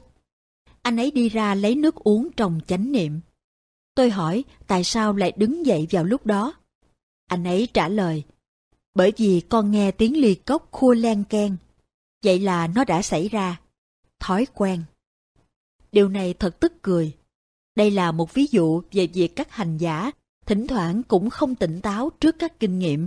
Đối với tâm của mình, sự tồn tại và ngay cả bản thân mình là ai. Tâm họ giống như đã được lập trình sẵn và chỉ làm theo những hướng dẫn nhất định. Chúng ta cần hết sức thận trọng với việc mình rất dễ bị cuốn vào những gì đang quan sát hoặc đang làm. Chúng ta xem những gì mình đang thấy chính là thiền, mà quên mất là thiền chính là sự chánh niệm. Tôi có đang chánh niệm không? Có, tôi đang thiền. Vậy là chúng ta đã bị hút hết tâm trí vào trong kinh nghiệm của mình. Chúng ta quên không kiểm tra xem mình đang chánh niệm thế nào. Tôi có đang chánh niệm không? Tôi đang chánh niệm thế nào? Thói quen thâm căn cố đế này có thể làm ta quên mất phải chánh niệm, làm mất động lực hành thiền hoặc bị lôi kéo bởi các phiền não. Tại sao chúng ta lại quên? Khi không có trí tuệ để kiểm tra tâm chánh niệm của chính mình và để biết nó có đang thiện xảo hay không thì rất khó để đạt sự ổn định và tiến bộ. Nỗ lực đúng và thực hành đúng sẽ đem lại kết quả. Một cách tiếp cận nhẹ nhàng, siêng năng, ổn định để xây dựng chánh niệm và nhận biết tâm đang thực hành sẽ giúp chúng ta tạo nên đà thực hành và tích lũy trí tuệ. Đây là tất cả những động cơ chúng ta cần. Các thói quen cũ xuất hiện là cơ hội tuyệt vời để quan sát, học hỏi và nhận ra là chúng không có lợi ích. Đây không phải là những lỗi lầm mà là những bài học. Khi nhận ra phần nào việc thực hành của mình được thúc đẩy bởi những mong muốn bất thiện thì chỉ cần ghi nhận chúng. Không cần phải cảm thấy ăn năn hay tội lỗi, chỉ cần tìm hiểu xem điều gì đã đưa bạn đến chuyện này. Khi trí tuệ vận hành, mọi thứ diễn ra tự nhiên. Bạn thậm chí không cần phải tiến hành điều tra, nó tự khởi phát và diễn ra ngay trong hiện tại. Chỉ cần ghi nhận khi nào nó có mặt và khi nào nó vắng mặt. Tôi nghĩ đến Newton và quả táo rơi vào đầu ông ấy. Nếu là bất kỳ ai khác, họ sẽ nhặt quả táo và ăn nó. Nhưng Newton thì không. Ông tò mò muốn biết tại sao quả táo lại rơi vào đầu mình. Đó chính là trí tuệ. Đức Phật đã muốn biết tại sao có tuổi già, bệnh tật và cái chết. Khi chúng ta tò mò, tâm luôn hỏi bản thân những câu hỏi như thế. Nó trở thành thói quen. Tại sao? Tại sao? Tại sao? Khi trí tuệ hỏi như vậy, đó luôn là chuyện tốt. Đây là nhân và quả, mà nhân là tại sao, là câu hỏi đang diễn ra. Ngoài giờ ăn, giờ uống nước buổi chiều và giờ thức dậy, trung tâm chúng tôi vận hành mà không có một thời khóa biểu chính thức, có một lịch chung cho các thời thiền tọa. Tuy nhiên, tùy hành giả quyết định họ có làm theo hay không. Do không có thời khóa và hướng dẫn, các hành giả tự đưa ra quyết định cho mình. Tôi sẽ làm việc này hay việc kia, tại sao tôi làm việc này? Khi phải ra quyết định, đó là lúc sử dụng trí tuệ. chúng ta phải sử dụng gì đó từ bản thân. Đây là một phần trong việc huấn luyện suy nghĩ sáng suốt. Tại sao tôi tọa thiền trong khoảng bao nhiêu đó thời gian? Tôi sẽ thiền hành chứ? Chúng ta có thể thấy thói quen của mình và các động cơ bằng cách đưa ra những câu hỏi này. Nếu không tỉnh táo trước những động cơ thúc đẩy, rất dễ rơi vào một thói quen dựa trên tâm tham hoặc do tâm sân xúi dục. Thực hành sáng suốt là đi tìm điểm cân bằng đến từ chánh niệm, sự hứng thú và niềm vui khi thật sự hiểu được bản chất của Pháp. Của Pháp. Của Pháp. Của Pháp.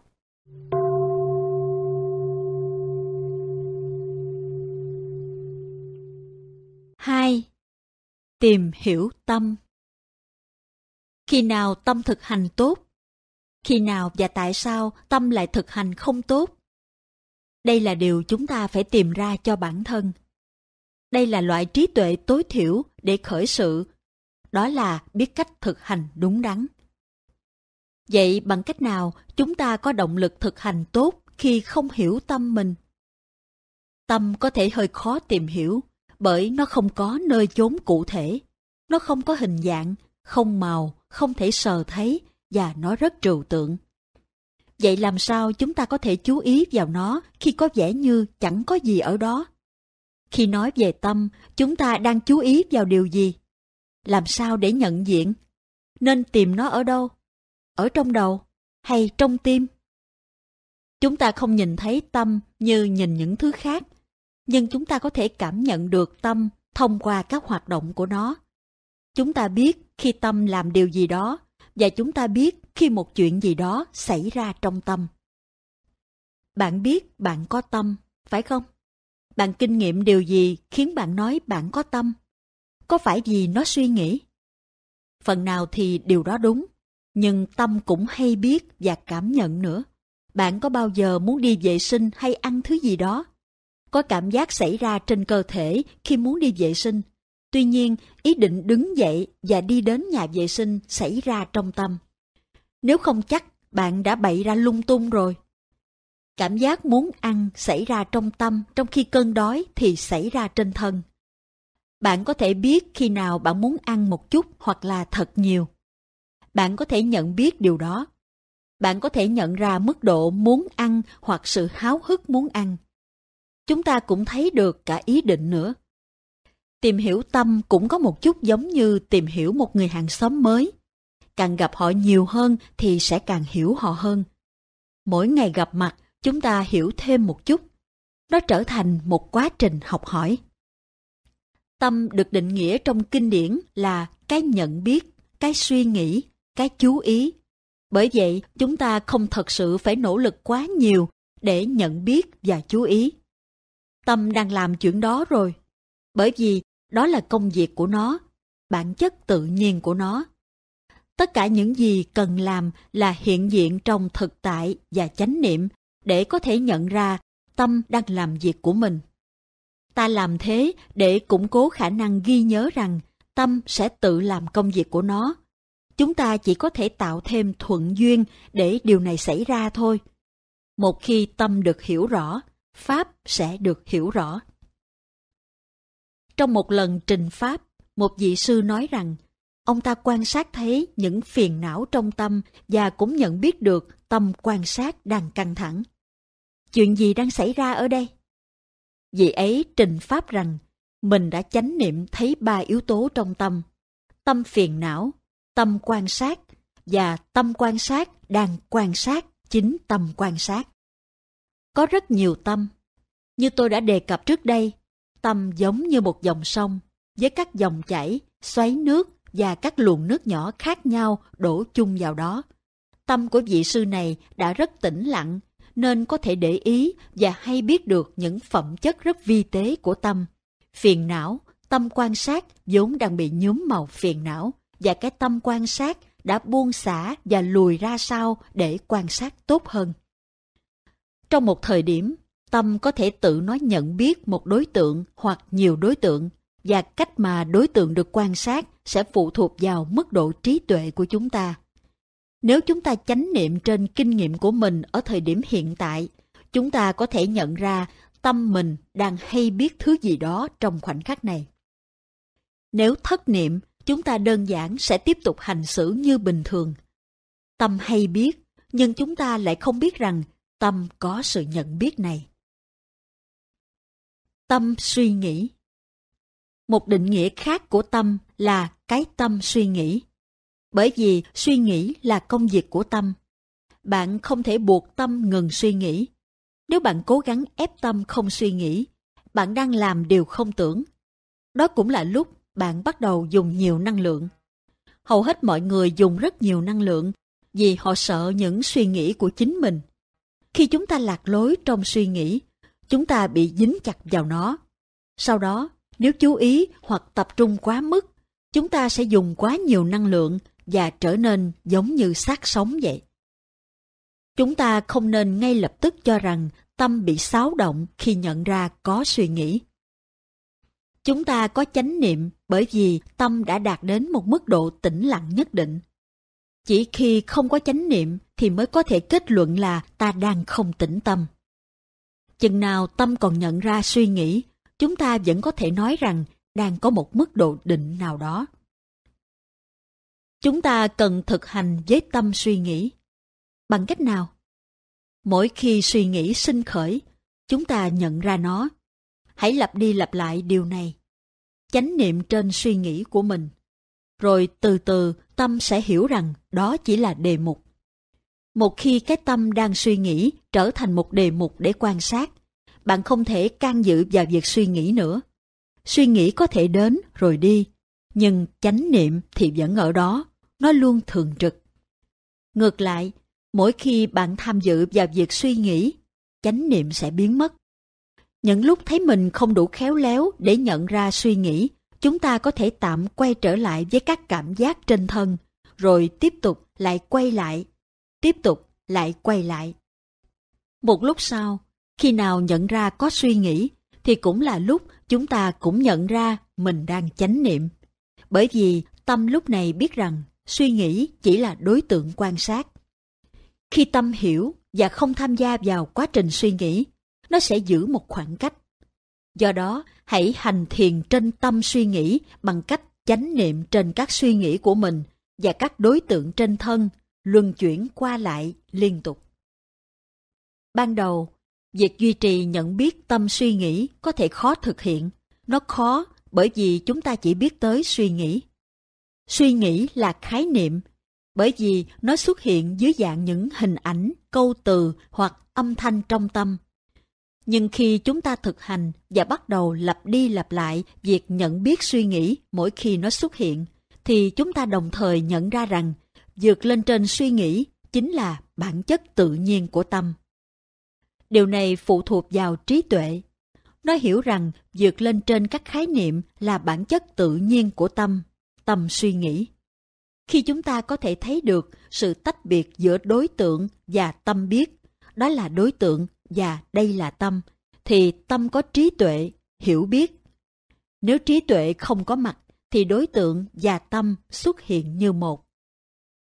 Chừng nào hiểu biết không ở đó, thì mỗi khi có suy nghĩ bất thiện, tâm trí và trái tim chúng ta sẽ bị đốt cháy.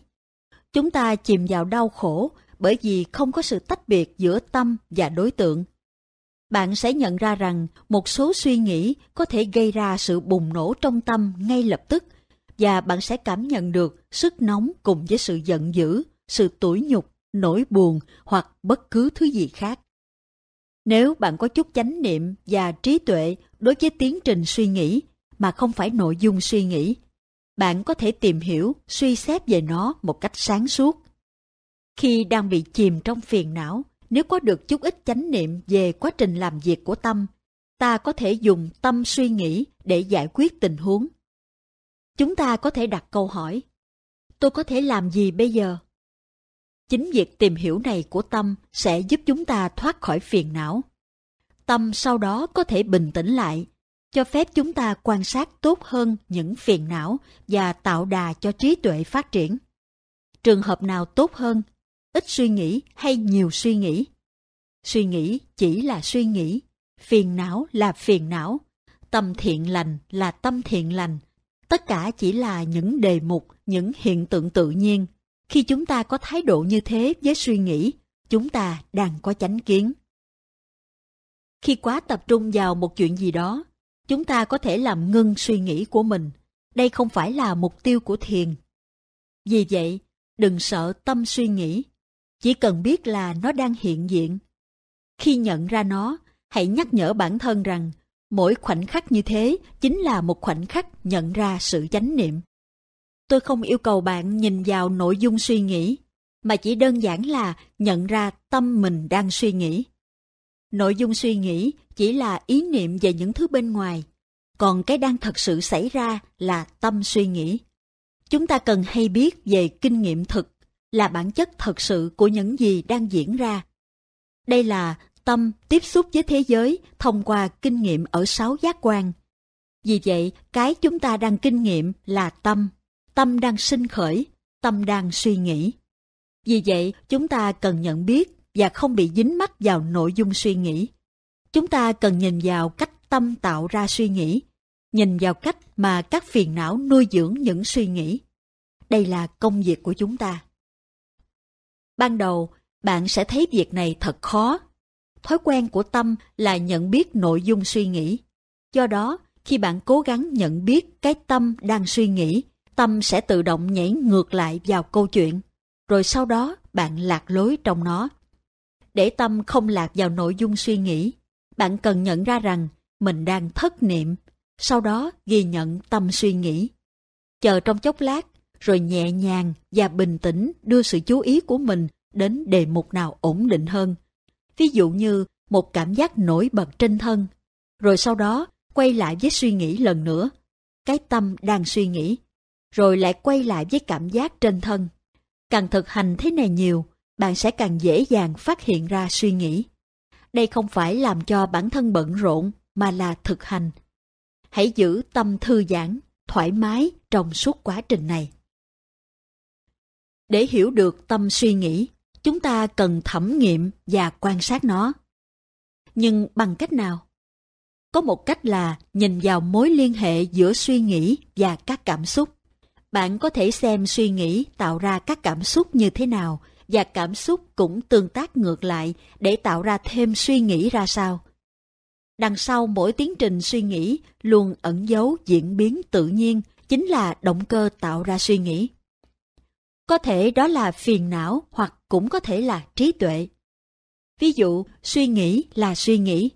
Suy nghĩ có thể đi kèm tâm sân, nhưng tâm sân là tâm sân và suy nghĩ là suy nghĩ. Chúng là hai tiến trình tự nhiên khác nhau, nhưng cái này lại ảnh hưởng lên cái kia. Thẩm sát theo cách này rất hữu ích. Hãy nhìn vào toàn bộ tiến trình suy nghĩ và mối quan hệ giữa suy nghĩ, cảm xúc và cảm giác. Hãy quan sát chúng đồng loạt và tìm hiểu cách chúng tác động qua lại lẫn nhau. Dần dần ta sẽ thấy được mối quan hệ nhân quả trong quá trình suy nghĩ một cách rõ ràng. Khi có cơ hội ứng dụng chánh kiến, chúng ta thấy tâm suy nghĩ là một tiến trình liên tục bồi đắp cho chính nó. Tôi không muốn bạn tập trung quá mức, bởi vì bạn cần để ý đến suy nghĩ của mình.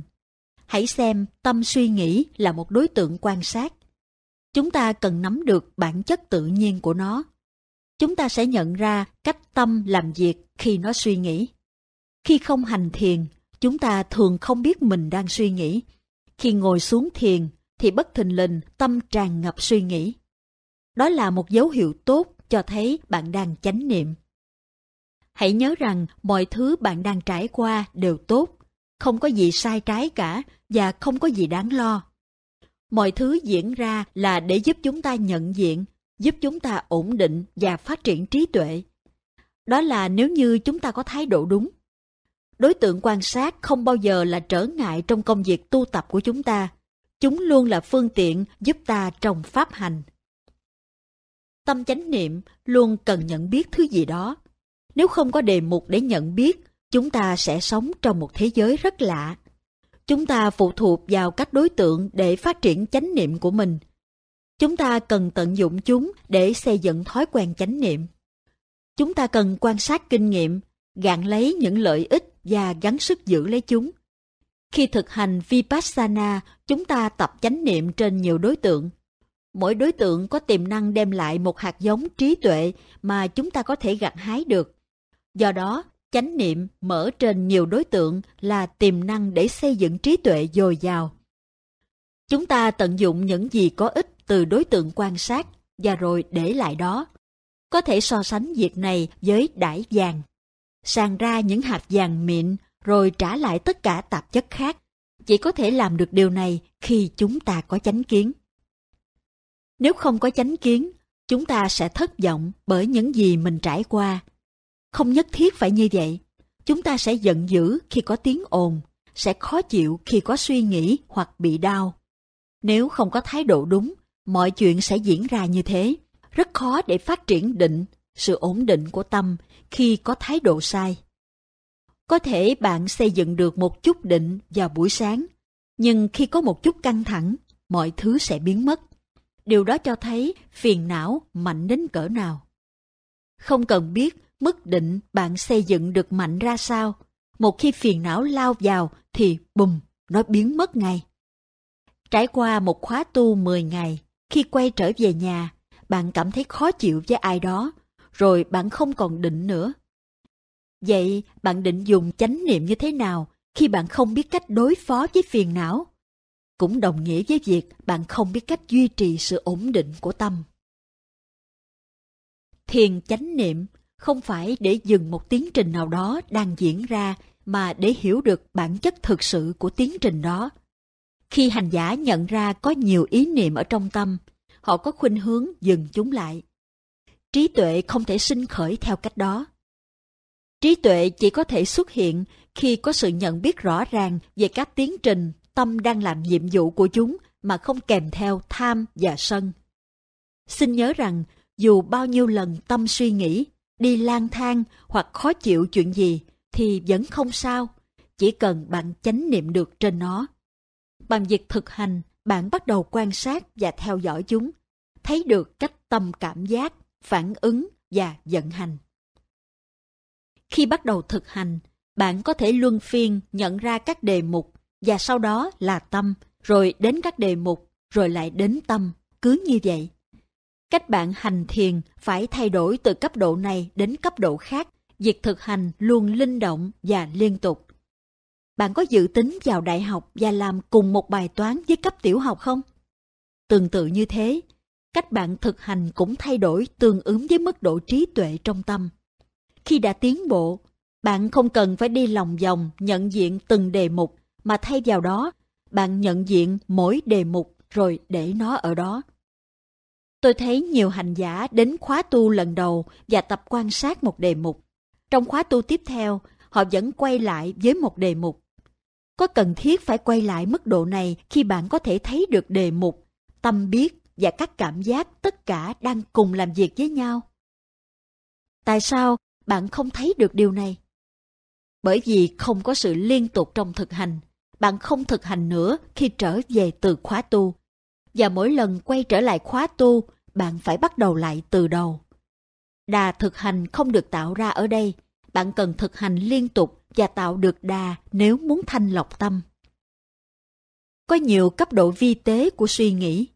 Ngay cả khi đang có chánh niệm sắc bén, chúng ta vẫn có thể đang suy nghĩ ở tầng mức rất vi tế. Tôi có đang chánh niệm không? Có, tôi đang chánh niệm. Chúng ta đang bàn luận về kinh nghiệm đang diễn ra. Sự khác biệt ở mức độ suy nghĩ vi tế này là không có nội dung suy nghĩ. Tâm suy nghĩ đang là đối tượng quan sát chứ không phải là nội dung suy nghĩ. Mức độ suy nghĩ vi tế này hoàn toàn thuần túy do chức năng, không giống như cấp độ suy nghĩ thô. Suy nghĩ ở cấp độ thô thường xuất hiện bất ngờ và rất mạnh mẽ. Bạn có thể nhận diện nó và nếu không quan trọng, nó dừng lại. Nếu nó thú vị và thu hút sự chú ý của bạn, nó sẽ tiếp tục diễn ra trong lúc bạn duy trì chánh niệm nhẹ nhàng, hoặc thông thường là không có chánh niệm gì hết. Khi quan sát một cái tâm suy nghĩ, chúng ta cần học hỏi từ bản chất tự nhiên của nó. Nó thiện hay bất thiện, cần thiết hay không cần thiết. Hiểu được tâm suy nghĩ ở cấp độ này tức là có một mức độ trí tuệ nhất định. Chúng ta cần hiểu tâm suy nghĩ như một đề mục quan sát, là một hiện tượng tự nhiên. Suy nghĩ cũng chính là tâm. Khái niệm Panyati Chúng ta hiện đã rõ rằng những suy nghĩ là đối tượng quan sát, nhưng chúng có phải là những chế định, khái niệm? Có, bởi vì tâm có thể chánh niệm trên suy nghĩ, nên nó cũng biết suy nghĩ là những chế định, không phải thật, chỉ là ý niệm trừu tượng. Ví dụ, nếu như bạn có thể nghe tiếng hàng xóm đang chặt cây với một cái rìu, thì đó là đối tượng hay khái niệm? Nó là cả hai. Âm thanh chặt cây là đối tượng vì nó xuất hiện và tiếp xúc với nhĩ căn. Nó đang được nhận biết. Đây là một tiến trình tự nhiên. Hình ảnh xuất hiện trong tâm về người hàng xóm đang chặt cây là khái niệm. Nó là một ý niệm trừu tượng, bởi vì bạn đâu có thấy được người hàng xóm và càng không biết anh ta có đang chặt cây không. Thứ bắt được chỉ là âm thanh thôi. Bạn giả định rằng nó xuất phát từ người hàng xóm. Giả định này là một khái niệm đến từ bộ nhớ của bạn. Khái niệm này cũng là một đối tượng quan sát, bởi vì nó khởi lên từ sự tiếp nhận âm thanh và chuyển thể thành một suy nghĩ hay một hình ảnh trong tâm, vốn cũng là một cửa giác quan. Suy nghĩ được nhận diện. Điều quan trọng là bạn phải nhớ rằng chúng ta không thiền trên âm thanh và khái niệm kèm theo một cách riêng lẻ. Chúng cùng nhau xảy ra và tâm biết việc này. Nếu muốn biết chuyện gì đang xảy ra thì chúng ta không tìm hiểu khái niệm, nội dung suy nghĩ, mà chúng ta tìm hiểu quá trình suy nghĩ, một chức năng hoạt động của tâm. Suy nghĩ tạo ra hình ảnh trong tâm. Chúng ta có thể nhìn vào nguyên nhân để hiểu về toàn bộ tiến trình nhân quả giữa thực tại, khái niệm. Chúng ta cần các khái niệm trong hoạt động hàng ngày, nhưng chúng ta cũng cần biết rằng chúng chỉ là những chế định và không bị dính mắc vào chúng. Có 6 loại chế định, phương hướng, hình dạng, màu sắc, thời gian, địa điểm và tên gọi. Liên quan đến ai đó, thì thứ mà ta thường nghĩ đến là tên, một chế định luôn thường trực sẵn. Vì vậy, khi đề cập đến một đối tượng, tôi thường nói đó là thứ đang được nhận biết. Bạn có thể nhận biết âm thanh hoặc bạn có thể nhận biết không có âm thanh. Đó cũng là một đối tượng bởi vì bạn biết nó. Một lần tôi đang ở Miến Điện. Vào buổi tối, ở đó có rất nhiều ve sầu tạo nên tiếng ồn liên tục rất to trong không trung. Đây là một đề mục quan trọng làm tôi phải chú ý trong một thời gian dài. Tâm tôi sau đó nhận ra, bên cạnh âm thanh của ve, phần còn lại của không gian là tĩnh lặng. Vì vậy, không chỉ có tiếng ve mà cũng có sự tĩnh lặng bên cạnh đó nữa. Tôi có thể nhận ra cả hai cùng lúc. Với sự nhận diện này, không chỉ tồn tại hai đề mục mà còn là hai tâm tương ứng, mỗi tâm quan sát một đề mục. Nhìn chung, chúng ta bị cuốn hút bởi những đề mục nổi trội, thô tháo. Ví dụ khi bị đau, chúng ta biết có cơn đau. Khi không đau, chúng ta nghĩ là không có cảm giác. Nhưng thực ra đó cũng là một đề mục vì chúng ta biết là không có cơn đau. Vì vậy, đôi khi để kiểm tra xem thứ gì đó có phải là đề mục hay không, chúng ta cần hiểu rằng cái gì có thể nhận biết được đều là đề mục. Nếu nhận diện được đề mục thì từ sâu trong hiểu biết, ta thấy rằng phần vi tế cũng được nhận diện, mặc dù dường như bạn thấy không có gì. Thực tại luôn song hành cùng với chế định đang phủ lấp trên nó. Thực tại của các chế định quen thuộc với chúng ta cần được hiểu rõ. Điều này rất quan trọng. Chúng cần được hiểu rõ vì thực tại hiện diện cùng với chế định và thực tại là đối tượng của trí tuệ. Tưởng Sanya Công việc của tưởng Sanya là ghi nhớ mỗi khi tiếp xúc với đối tượng. Nó ghi nhận đặc tính của đối tượng. Khi tiếp xúc với đối tượng, ý niệm về đối tượng đã có sẵn ở đó, trí nhớ và hình ảnh tưởng tượng là tưởng.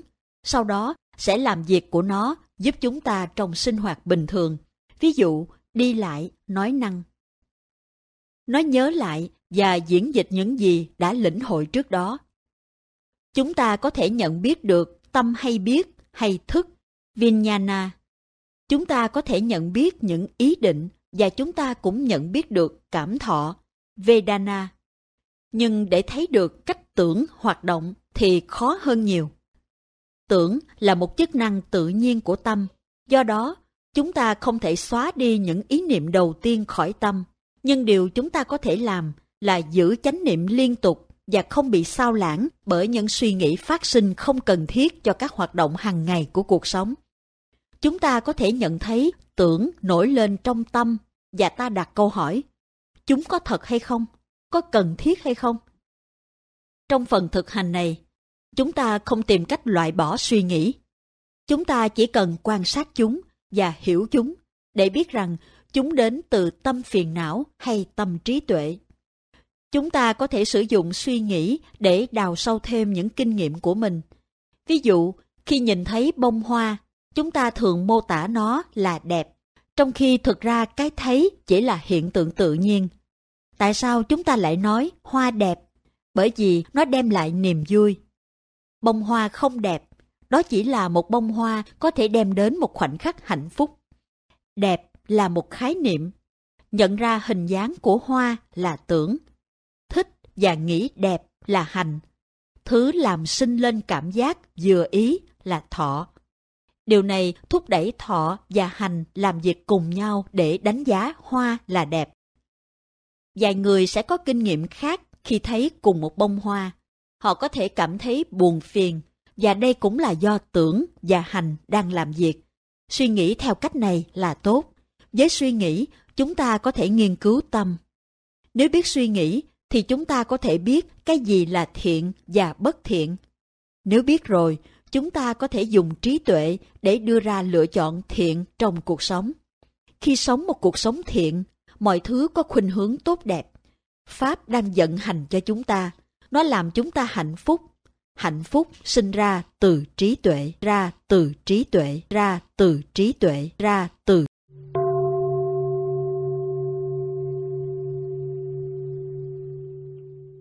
ba Phiền não Chúng ta đã sẵn sàng để bắt tay vào việc thực hành.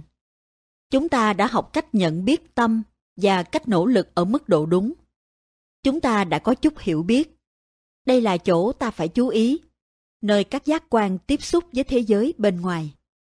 Rất thường xuyên tại điểm tiếp xúc này, hay còn gọi là cửa giác quan, một trong những phiền não đang rình rập, chờ đợi để nhảy vào mà không bị phát hiện. Đây là nơi chúng hay quay lại. Phiền não giống như những mật vụ, chúng rất gian xảo và khó nhận diện. Cả chánh niệm và trí tuệ đều là người gác cổng, luôn ở đó canh chừng xem ai đang đi qua cánh cửa giác quan. Nếu quý vị định bước vào, chúng tôi sẽ dõi theo quý vị. Khi thực hành Vipassana, chúng ta thanh lọc tâm không phải bằng cách đuổi các phiền não đi, mà chỉ nhận biết những gì ta đang cảm nhận được ở mọi khoảnh khắc và phân biệt xem đâu là thiện, đâu là bất thiện để thực hành và ứng dụng trong cuộc sống. Chúng ta muốn hiểu biết các phiền não và hiểu biết chúng một cách sâu sắc. Phiền não là gì? Từ Pali tương ứng, Kilesa. Nghĩa đơn giản là những phẩm chất bất thiện có thể làm ô uế hay suy đồi tâm. Nói cách khác, đó là những phẩm chất tiêu cực của tâm có tiềm năng khiến ta đau khổ, tạo nên chướng ngại trong cuộc sống. Khi bàn về những phiền não trong pháp hành, chúng ta nói về tham, loba, sân, dosa và si, moha. Từ tham, sân, si có thể chia chi tiết hơn nữa. Nhưng để cho đơn giản, chúng ta quy hết chúng vào tham, sân và si. Hãy xem xét một ví dụ về sự phiền não. Một người vừa ăn trộm một vật gì đó và phản ứng đầu tiên là tìm cách che đậy chuyện mình làm. Đây là việc làm của phiền não. Tham, sân, si đều tham gia vào đây. Đầu tiên là tham, sự khát khao và ham muốn được chiếm hữu đồ vật. Tiếp theo là si, bởi vì khởi đầu bạn không nhận thức được rằng ăn trộm sẽ khiến bạn đau khổ. Kế đến là sân, không thích bị phát hiện. Khi có nhiều phiền não hơn trí tuệ trong tâm, thì phiền não sẽ che đậy bất kỳ hành động sai trái nào bằng những biện minh. tâm có thể tìm cách bào chữa cho hầu hết mọi thứ. Si, Moha Phiền não sống trong dương quốc của tâm si. Và tâm si sẽ làm mọi thứ để đưa tham và sân đến với chúng ta. Si là một nghệ sĩ hóa trang. Nó sẽ phẩy ít màu mè, tô điểm tí chút và xịt chút hương thơm để dẫn dụ chúng ta. Tham và sân có thể ngụy trang với những lý lẽ thuyết phục chúng ta ngay lập tức. Đây chính là si.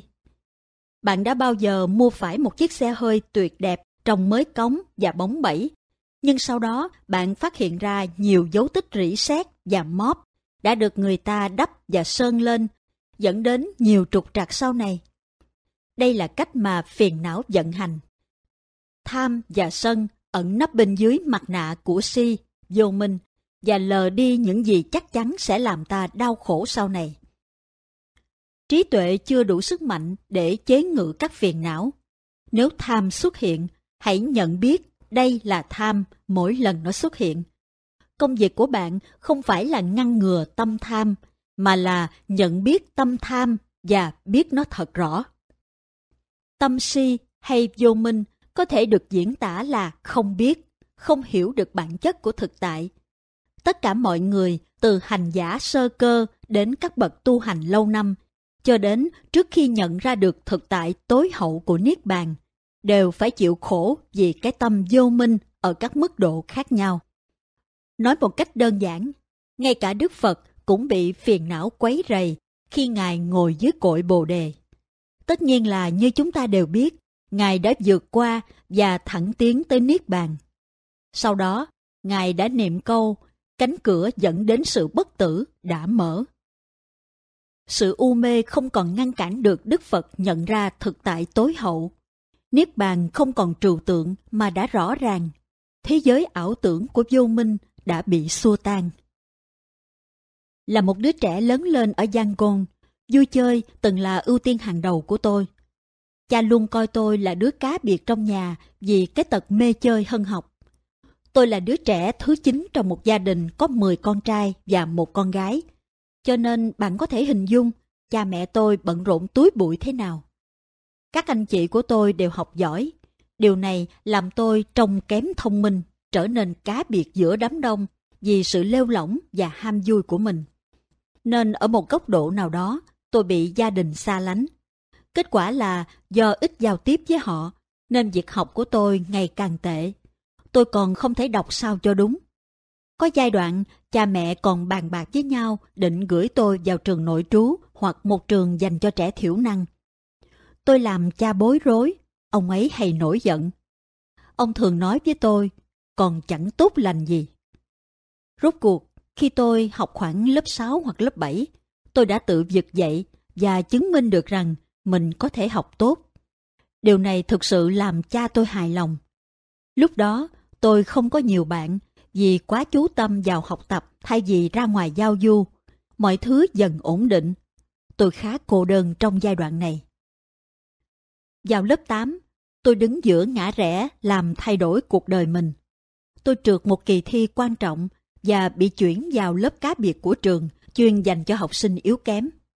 Trong lớp này, tôi quen nhiều bạn xấu và học được toàn những trò bất hảo. Các thói quen rất xấu như nói dối, lừa đảo và sau này là sở thích uống thuốc ho Cometazine. Có thể nói rằng đời tôi lúc đó tràn ngập sự u mê. Trước những hậu quả tôi đã gây ra, cha thường xuyên gửi tôi đến tu viện để học thiền với sư phụ là Sayadaw Swe Umin. Gia đình tôi luôn kính trọng và yêu quý Sayadaw. Chúng tôi luôn hỗ trợ thầy trong mọi cố gắng đưa Phật Pháp đến các học trò của mình. Cha tôi gặp thầy lần đầu tiên là ở trung tâm thiền Mahasi, nơi ngài thực hành và phụ trách trả lời trình Pháp cho thiền sinh nam. Khi thầy rời nơi đó và mở thiền viện của mình, cha tôi đã theo ngài về trung tâm mới. Tôi còn nhớ, hầu hết mỗi cuối tuần và các ngày nghỉ lễ, gia đình chúng tôi lại xách ba lô, 11 đứa trẻ cha mẹ và mấy người anh em họ đến thiền viện. Ở đó, thầy giao cho chúng tôi những nhiệm vụ nhỏ, ví dụ như học thuộc các bài kinh chẳng hạn. Thầy cũng dạy chúng tôi thiền, Tôi thiền thì cứ như cá gặp nước. Chính vì mối quan hệ như vậy mà cha tôi tin tưởng gửi tôi cho thầy mỗi lần tôi gây rắc rối ở nhà. Tôi hoàn toàn tin tưởng thầy. Đó là một người kiệm lời, nhưng luôn khiến tôi thấy mình có thể trải lòng, nói về mọi thứ, và tôi đã làm thế. Tôi đã kể cho thầy nghe cặn kẽ từng chi tiết mọi chiến tích của tôi với bạn bè. Thầy luôn ngồi nghe một cách nhân từ mà không hề có một biểu hiện Phật ý nào. Sau đó, thầy chỉ ra những điểm tích cực mà tôi đã làm, rồi hướng dẫn để tôi tự thực hành. Thầy đã kiên trì ảnh hưởng lên tôi trong suốt thời gian này. Tâm si là thứ phiền não thường hay nói với chúng ta, nói rất đẹp, nói rất đáng sợ hoặc nói rất đáng ghét. Khi chúng ta tức giận và trách cứ người khác vì sự giận dữ của mình, chúng ta thường phô bày sự phẫn nộ chính đáng. Tôi đúng, bạn sai rồi. Tất cả các phiền não đều tham dự vào đây. Tham và sân được che phủ bởi si. Tâm si làm hai việc. Thứ nhất, nó che giấu bản chất thật, và sau đó nó đưa đến một ảo tưởng mà chúng ta cứ nghĩ đó là sự thật. Đó chính là tâm si, không chỉ không cho chúng ta biết đến sự thật mà còn lừa chúng ta bằng một thứ khác thay thế. Con người có thể sống cả đời như vậy. Bạn có thể cảm thấy rất may mắn khi có cơ hội thực hành chánh pháp, tìm ra bản chất cái gì là thật, cái gì là giả. Thuốc trị tâm si chính là trí tuệ. Tâm si có thể được nhận ra rất rõ khi bạn có thể nhận ra trí tuệ bởi vì hai yếu tố này hoàn toàn đối nghịch. Mỗi khi có chánh niệm, bạn có thể thoáng thấy sự thật, nhưng nếu trí tuệ chưa được phát triển, tâm si sẽ quay lại giống như một đám sương mù phủ đầy mặt đất, che đậy sự thật.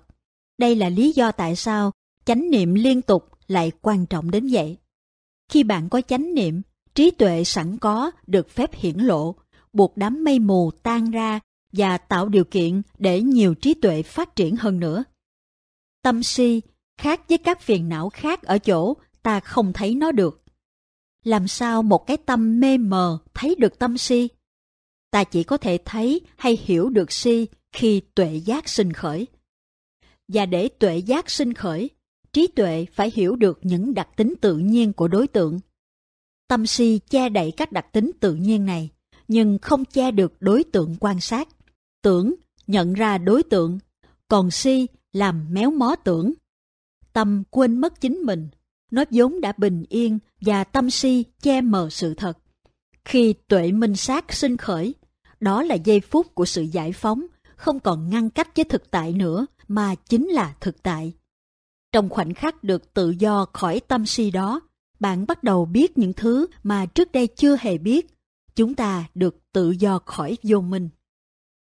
Một hành giả đã trình pháp gần đây, anh ta thuật lại cách mà từ lúc tỉnh dậy sáng hôm đó và nhấc đầu khỏi gối, anh ta nhận ra tâm mình đã đưa ra phán xét thế nào. Trong cả ngày hôm ấy, tâm anh ta tràn ngập phán xét. Ồ, cô ấy thật đẹp. Anh kia không thực hành nghiêm túc. Tôi không thích món này. Và còn nhiều nhiều nữa.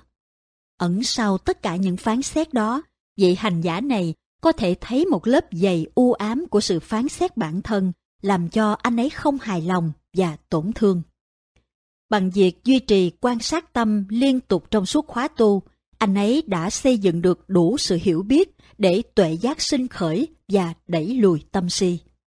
Điều này làm cho anh ấy thấy được những bình phẩm, phán xét trong tâm. Bức màn được dán lên và những phiền não bị lộ diện hoàn toàn, không trốn vào đâu được. Đà thực hành đã xoay về phía trí tuệ.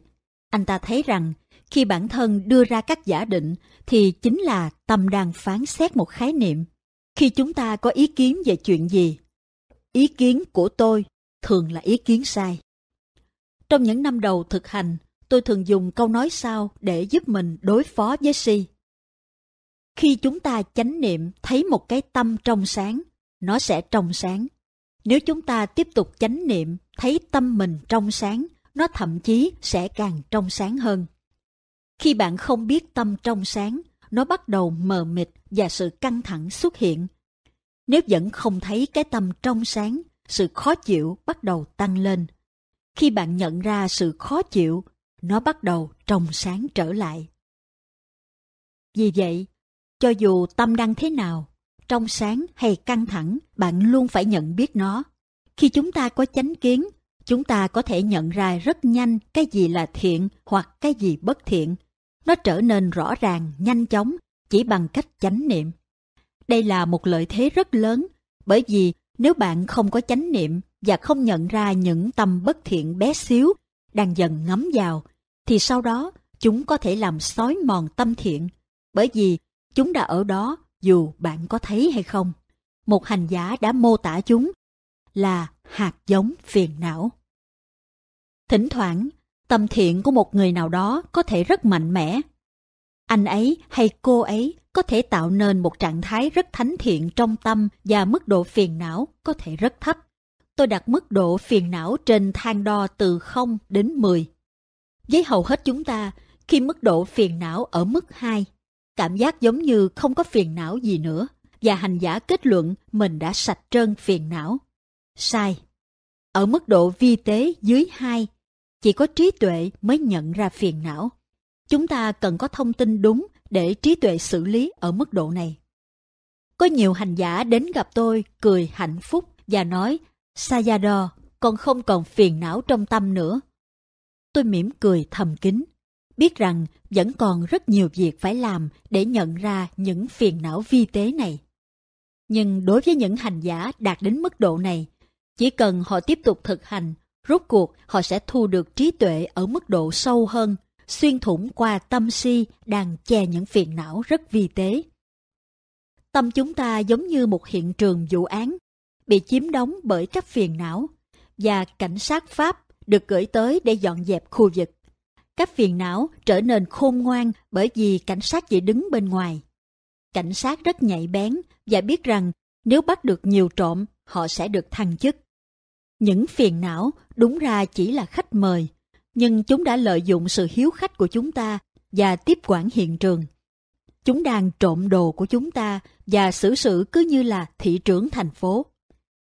Chánh niệm giống như một viên cảnh sát mới vào nghề. Chỉ cần mẫn làm việc ở xa, thu thập bằng chứng tại hiện trường.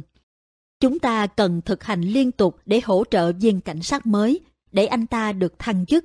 Chúng ta liên tục cổ vũ anh ấy. Quyết định là của bản thân chúng ta. Dọn dẹp toàn bộ khu vực hay tiếp tục phớt lờ nó. Tâm si không thấy được bản chất thật những gì diễn ra quanh ta. Nó chỉ thấy những thứ mà ta tưởng rằng sẽ khiến mình hạnh phúc và bằng lòng, nhưng cuối cùng lại đem đến bất hạnh cho ta. Tham, lô ba Trong các phiền não, tham hay ham muốn có lẽ là thứ dễ thấy hơn cả. Tuy vậy, không phải lúc nào ta cũng nhận ra nó. Tham luôn ở đó, chế ngự tâm chúng ta ngày này qua ngày khác, liên tục thôi thúc các giác quan và tạo cảm giác bức bối do luôn muốn có được kinh nghiệm tốt hơn những gì hiện có. Bản chất của tham là dính mắt giống như keo bám chặt vào mọi chỗ. Không phải lúc nào ta cũng thấy được ham muốn. Khi ta không nhận ra mong muốn được trải nghiệm tốt hơn thì đó là si đang có mặt. Vậy làm sao chúng ta phát hiện ra điều này và nhận ra các ham muốn đang hiện diện? Những suy nghĩ có thể được nhận diện trong cảm xúc. Tâm có thể đưa ra nhiều lý do hợp lý cho một hành động mà nhìn qua trông rất sáng suốt. Tuy nhiên, động cơ phía sau có thể chỉ là những lời biện minh nắp sau vỏ bọc trí tuệ để thuyết phục chúng ta không đối diện với sự thật. Có một cách để xác định ham muốn là thiện hay bất thiện, đó là từ các cảm xúc liên quan. Nếu là thiện, cảm xúc sẽ rất tốt, thoải mái, đúng đắn và thư giãn. Nếu là bất thiện, cảm xúc sẽ ngược lại và ảnh hưởng đến hạnh phúc của chúng ta, sẽ có sự căng thẳng. Do đó, chúng ta không chỉ nghiên cứu phản ứng của tâm trước các kích thích giác quan mà còn dựa trên phản hồi của cả thân lẫn tâm về các trải nghiệm hiện tại thông qua cảm xúc. Bạn có thể gọi đó là thực hành toàn diện. Khi bạn thực hành và nhận ra tâm đang muốn đi đâu đó, hoặc tâm nghĩ có chuyện gì đó chưa tốt, hoặc nó nghĩ lẽ ra nên khác đi, thì hãy nhận ra đó chính là phiền não. Hãy xem đây có phải là thái độ chủ đạo trong thực hành lúc đó không? Tôi còn nhớ trong một lần trình pháp với thầy vào những năm đầu mới hành thiền và tôi đã bị những phiền não làm cho chán nản. Thầy nói, con thấy được phiền não, vậy là đủ. Khi trình pháp xong, tôi cảm thấy rất hài lòng vì tôi đã nỗ lực vừa đủ để thấy được chuyện gì đang xảy ra trong tâm mình. Bài học này ghi dấu ấn đậm nét trong tôi. Nếu tôi có thể quan sát thấy nó, thì chính việc quan sát này là tốt rồi. Khi tâm muốn thứ gì đó mà không được, nó bắt đầu cố gắng nhiều hơn. Nó sẽ dùng nhiều năng lượng hơn bởi vì nó muốn thay đổi. Sau đó, nó trở nên bực bội và thậm chí sẽ dùng nhiều năng lượng hơn nữa. Nếu chúng ta không biết việc này, thì chính là tâm si đang hiện diện. Tâm cố gắng nhiều hơn nhưng không biết ranh giới thế nào là quá nhiều hoặc quá ít nỗ lực và trở nên kiệt sức. Vì vậy, nếu chúng ta thực hành với tâm tham, chúng ta sẽ trở nên mệt mỏi. Trí tuệ không thể nào sinh sôi được. Lúc mới thực hành, tôi là một người nghiện tập định. Tôi thích nó đến mức có lúc tôi thậm chí không muốn ngủ. Tôi tiếp tục thiền để lúc nào cũng cảm nhận được trạng thái an lạc của định. Tôi đi, rồi ngồi, rồi nằm, rồi lại ngồi. Tôi không muốn ngủ, chỉ muốn tiếp tục thiền. Có một lần tôi đã hành thiền nhiều đêm và trong lúc nằm xuống, một con rệp cắn tôi. Tôi nghĩ, cái gì vậy? Ngay lập tức, định biến mất. Tôi rất khó chịu, nhưng lại nghĩ, ồ, mình sẽ tiếp tục, định sẽ sớm quay lại. Vì vậy tôi tiếp tục, rồi cứ tiếp tục hành thiền mà chẳng thấy gì. Tôi chán nản và tức giận. Trước đó lập định không quá khó, bởi vì tôi đã có nó ngay trước khi con rệp cắn. Nó không thể biến mất nhanh như vậy được. Tôi tiếp tục cố gắng nhiều hơn, nhưng trời đã mau đến sáng và tôi kiệt sức. Qua ngày kế tiếp, tôi vẫn không có định. Tất cả những gì tôi đạt được là sự tuyệt vọng. Vào ngày thứ ba, tôi bị đau nửa đầu. Thậm chí phải dán salon pass vào hai thái dương để làm dịu cơn đau, nhưng vô dụng. Cuối cùng tôi bỏ cuộc, quay trở lại theo dõi hơi thở, dừng việc cố gắng lấy lại định. Đột nhiên, định trở lại và trong khoảnh khắc đó tôi nhận ra thủ phạm đã ngăn cản tôi vào định. Tham. Ngay khi tôi giảm nhẹ sự cố gắng, tham biến mất và định quay trở lại. Khi chúng ta cố gắng quá mức, nó tạo nên căng thẳng trong tâm. Thái độ của chúng ta không đúng, chúng ta muốn đạt kết quả khi thực hành. Đó chính là tham. Làm sao để không dính mắc vào thứ mà bạn làm việc rất vất vả vì nó, ví dụ như tiền. Câu hỏi này áp dụng cho tất cả những thăng trầm của cuộc đời. Được và mất, khen và chê, hạnh phúc và đau khổ, danh tiếng và tai tiếng, dần dần. Với tiền bạc, thật ra bạn đâu có để dành tiền. Tâm, nhân và quả đã làm tất cả việc đó. Có những duyên nhất định xuất hiện cùng nhau. Bạn làm việc chăm chỉ và bạn kiếm được tiền. Bạn may mắn khi không ai trộm số tiền đó và bạn xoay sở để giữ được nó. Được rồi, bạn đã nỗ lực, nhưng thực chất là tâm làm chuyện đó. Nếu các điều kiện không hội tụ thì tiền không thể ở đây được. Khi chúng ta tâm niệm rằng tiền là của tôi, chúng ta bị dính mắc vào nó rất mạnh. Nếu chúng ta thấy rõ được những điều kiện góp phần vào việc tích lũy tiền thì sẽ có ít sự dính mắc bởi vì chúng ta thấy nó là một quá trình. Người làm kinh doanh thường đề cập đến dòng tiền, dòng tiền vào, dòng tiền ra, cả một quá trình của rất nhiều nhân và duyên tham gia vào. Không hại gì khi cẩn thận với tài sản và chi tiêu một cách sáng suốt. Nhưng tham và dính mắc vào tài sản sẽ luôn gây ra đau khổ theo cách này hay cách khác. Khi thực hành Vipassana, chúng ta dễ dính mắc vào ham muốn phát triển các trạng thái tâm an lạc.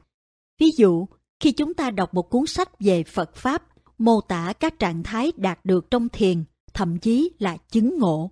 Những trạng thái rất bình an, hạnh phúc, nghe thật thú vị. Đây là các trạng thái chúng ta chưa bao giờ trải qua, nên chúng ta bắt đầu mong muốn được như thế. Đây là loại ham muốn thiện hay bất thiện.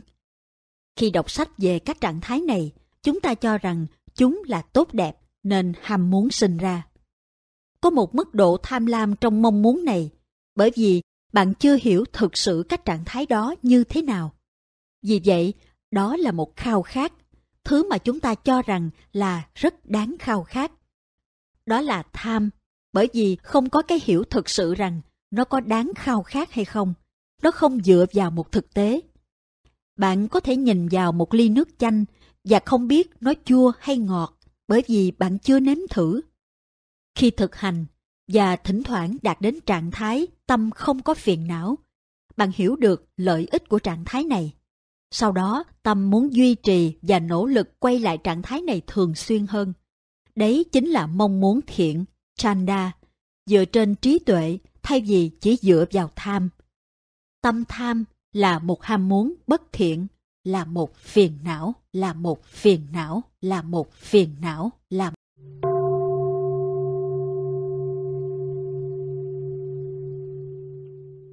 Tâm tham và thức ăn Như hầu hết chúng ta đã biết, tâm tham và thức ăn thường song hành với nhau. Khi ăn, chúng ta có khuynh hướng lạc lối trong các khái niệm. Ví dụ, thức ăn là rau, cá, gà, heo hay bò thì thật ra chỉ là một khái niệm sanya, một cái tên và chúng ta không thể ăn một cái tên hay một hình ảnh được. Thứ có thật là bản chất tự nhiên của đồ ăn, vị như mặn, ngọt, chua, cay, đắng. Cấu tạo như cứng giòn, mượt, lỏng. Nhiệt độ và mùi và sự kết hợp tất cả các pháp này. Khi cơn đói kéo đến thì cùng với nó là mong muốn được ăn, sau đó là ý định ăn xuất hiện. Lúc này, nếu chánh niệm và trí tuệ hiện diện, chúng ta chỉ ăn những gì cần thiết cho sức khỏe và sự vận hành của cơ thể. Không may cho hầu hết chúng ta, tâm phân biệt có thể chiếm quyền kiểm soát ngay khi có ý định ăn. Chánh niệm và trí tuệ biến mất, và tham có thể túc trực ngay cửa giác quan mà chúng ta không biết. Trước khi kịp nhận ra thì chúng ta đã lạc lối trong cảm giác thích và không thích. Theo sau đó, có thể là sự dính mắc, tạo điều kiện cho nhiều trạng thái tâm tiêu cực khác như mặc cảm, sự ghê tởm, chán ghét, khiến chúng ta đau khổ. Chiến lược của chúng ta là chánh niệm, nhận biết và không khái niệm hóa, biết vị, cấu tạo, mùi, biết khi nào cơn đói được thỏa mãn đơn giản chỉ cần chánh niệm cùng với trí tuệ. Phiền não sẽ nói với chúng ta rằng thêm một miếng gà nữa chẳng hại gì đâu, ngon quá đi mất. Nếu có những vấn đề như vậy với chuyện ăn uống, chúng ta trước hết cần ý thức được vấn đề và gia công chánh niệm trên đó. Kế đến, hãy quan sát các phản ứng trong tâm và đừng để bị cuốn theo chúng. Ngay lúc có ý định ăn, hoặc trí tuệ hoặc tâm tham chiếm được ưu thế vượt trội và chỉ một trong hai sẽ chiến thắng. Là người quan sát, hãy chọn trí tuệ. Phe hiển nhiên sẽ nhẫn tâm đè bẹp tâm tham. Tôi luôn nói với các hành giả, hãy quan sát ý định của mình. Mọi chuyện diễn ra rất nhanh, chỉ trong nháy mắt, chúng ta có thể nhảy sang bên này hoặc bên kia, trí tuệ hoặc lòng tham. Chỉ cần một khoảnh khắc thất niệm, tâm dính mắt sẽ nhanh chóng cuốn ta đi. Chúng ta có chiến lược, nhưng làm sao chúng ta tìm được sức mạnh để chống lại cái tâm tham này? Chúng ta không chống lại nó, chúng ta chánh niệm trên nó, quan sát nó và biết nó theo đúng bản chất của nó. Bởi vì đó là một phẩm chất tâm, nó cũng là hiện tượng tự nhiên, là pháp. Chúng ta nghiên cứu nó, trở nên quen thuộc với nó. Từ tâm quan sát này, chúng ta xây dựng trí tuệ ứng dụng vào việc đối diện với những tâm đang khiến ta đau khổ. Chúng ta cần chánh niệm và đủ trí tuệ để nhận ra tâm phân biệt này cùng khả năng quan sát các phản ứng và không lạc lối trong đó. Nếu chúng ta có thể duy trì được việc thực hành thì sau đó sẽ tạo được đà quán tính và gặt hái hiểu biết về những gì cần thiết hoặc không cần thiết cho hạnh phúc của bản thân. Để hiểu được rằng thân xác này là tự nhiên, không phải của riêng ai và được duy trì bởi tự nhiên là chuyện không đơn giản. Chúng ta trải qua cả đời được củng cố bởi niềm tin rằng thức ăn sẽ đem đến hạnh phúc. Nó có thể đem đến niềm vui trong chốc lát, nhưng không phải là hạnh phúc lâu dài. Chúng ta chỉ cần nhìn vào đáy bồn cầu mỗi buổi sáng để hiểu rằng đồ ăn không tồn tại vĩnh viễn và không đem đến hạnh phúc thực chất. Hầu hết rắc rối xung quanh chuyện ăn và thức ăn là kết quả từ cái tâm chủ quan. Đó là tâm dính mắc vào ý niệm rằng việc ăn uống mới đem lại hạnh phúc. Và đằng sau nó cũng có thể là tâm sân vi tế với bất cứ thực phẩm gì mà ta không đủ thích thú để ăn, khi cơ thể rõ ràng không cần thêm dinh dưỡng nữa. Hoặc trong một số trường hợp rối loạn ăn uống, lại không ăn khi rõ ràng có nhu cầu cần phải bổ sung dinh dưỡng. Chỉ có thể bằng chánh niệm và quan sát liên tục, chúng ta mới xây dựng được trí tuệ cần thiết để hiểu được nhân và quả của thói quen xung quanh việc ăn uống. Trong lúc đang ăn, nếu tâm nói món này ngon thì hãy chánh niệm, tâm tham đang ẩn nấp. Nếu tâm nói món này thực sự ngon thì tâm tham đang hiện diện. Chánh kiến đồng nghĩa với việc có thái độ rằng cơ thể này là một hiện tượng tự nhiên và chỉ được nuôi dưỡng bằng tự nhiên.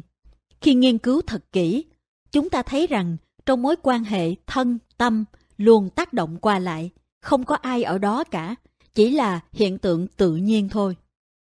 Có góc nhìn khách quan này, chúng ta có thể tự do quan sát và sử dụng trí tuệ để có những quyết định giúp tăng cường sức khỏe toàn diện của thân tâm. Một người sáng suốt sẽ tận dụng kinh nghiệm để phát triển chánh niệm, định và trí tuệ. Người không có trí tuệ sẽ chỉ phản ứng trước cùng một tình huống hết lần này đến lần khác bằng tham và sân. Tại trung tâm thiền, chúng tôi cung cấp cả thực phẩm chay và mặn. Các hành giả Malaysia thường là những người ăn chay, nên họ rất hài lòng khi được cung cấp đúng thực phẩm cho mình. Vậy tại sao lại hài lòng với rau củ? Lựa chọn ăn chay của họ nghe qua rất sáng suốt, nó đem lại cho họ một lối sống lành mạnh. Tuy nhiên, sự nguy hiểm là tâm tham có thể tăng trưởng. Chúng ta đang chăm sóc sức khỏe của ai? Của tôi. Tâm có thể bắt đầu ám ảnh với sự lựa chọn này. Tâm tham xâm chiếm dưới dạng những ám ảnh. Tình huống dạng này có thể sẽ khó thấy hơn trong các quốc gia mà người ta lớn lên với chế độ ăn chay hoặc có phong cách sống như vậy. Thầy của tôi cũng đã dạy về vấn đề này. Thầy nói, ăn chay hay ăn đồ sống, tức không qua nấu nướng bằng lửa, không có nghĩa là ngọn lửa của phiền não không đụng đến bạn. Đồ ăn không quyết định việc có ô nhiễm hay không. Để thoát khỏi sự thiêu đốt của phiền não khi ăn, ta cần có chánh niệm và trí tuệ. Đó mới là điều quan trọng. Điểm cuối cùng liên quan đến thức ăn là mắt có thể đem lại rắc rối. Chánh niệm trên cái thấy nhưng không chủ động nhìn khi ăn có thể là một chiến lược tốt. Chúng ta có thể sẽ bị sao lãng bởi những gì xảy ra xung quanh. Tuy nhiên, không phải tất cả mọi người đều muốn ăn với đôi mắt nhắm. Một hành giả đã mô tả khi bước vào nhà ăn, anh ta nhận ra mình ngồi một bên bàn có góc nhìn ra toàn bộ phần còn lại của nhà ăn. Vì vậy, anh ta có thể nhìn được mọi người đang ăn gì và cũng có thể thấy hành giả xinh đẹp đang ngồi ở bàn đối diện. Cách anh ấy đã làm là chuyển vị trí, ngồi vào chỗ bên kia bàn và quay mặt vào tường. Từ đó, do không có gì để nhìn, anh ta có thể quan sát các phản ứng trong tâm đến từ việc không nhìn thấy những thứ muốn nhìn. Vị hành giả này đã chánh niệm thấy tâm phản ứng thế nào trong tình huống đó nhưng đã không chánh niệm thấy tâm sân vi tế đặt lên các phản ứng này, dẫn đến anh ấy phải chuyển chỗ ngồi. Anh ấy có thể đơn giản là giữ nguyên chỗ ngồi và tiếp tục quan sát xem chuyện gì diễn ra trong tâm. Tâm sân, đô sa Tham và sân, nếu nhìn trên một trục ngang thì có thể thấy chúng ở hai đầu đối nghịch. Khi bắt đầu thực hành, đây là cách hành giả sẽ thấy các phiền não này.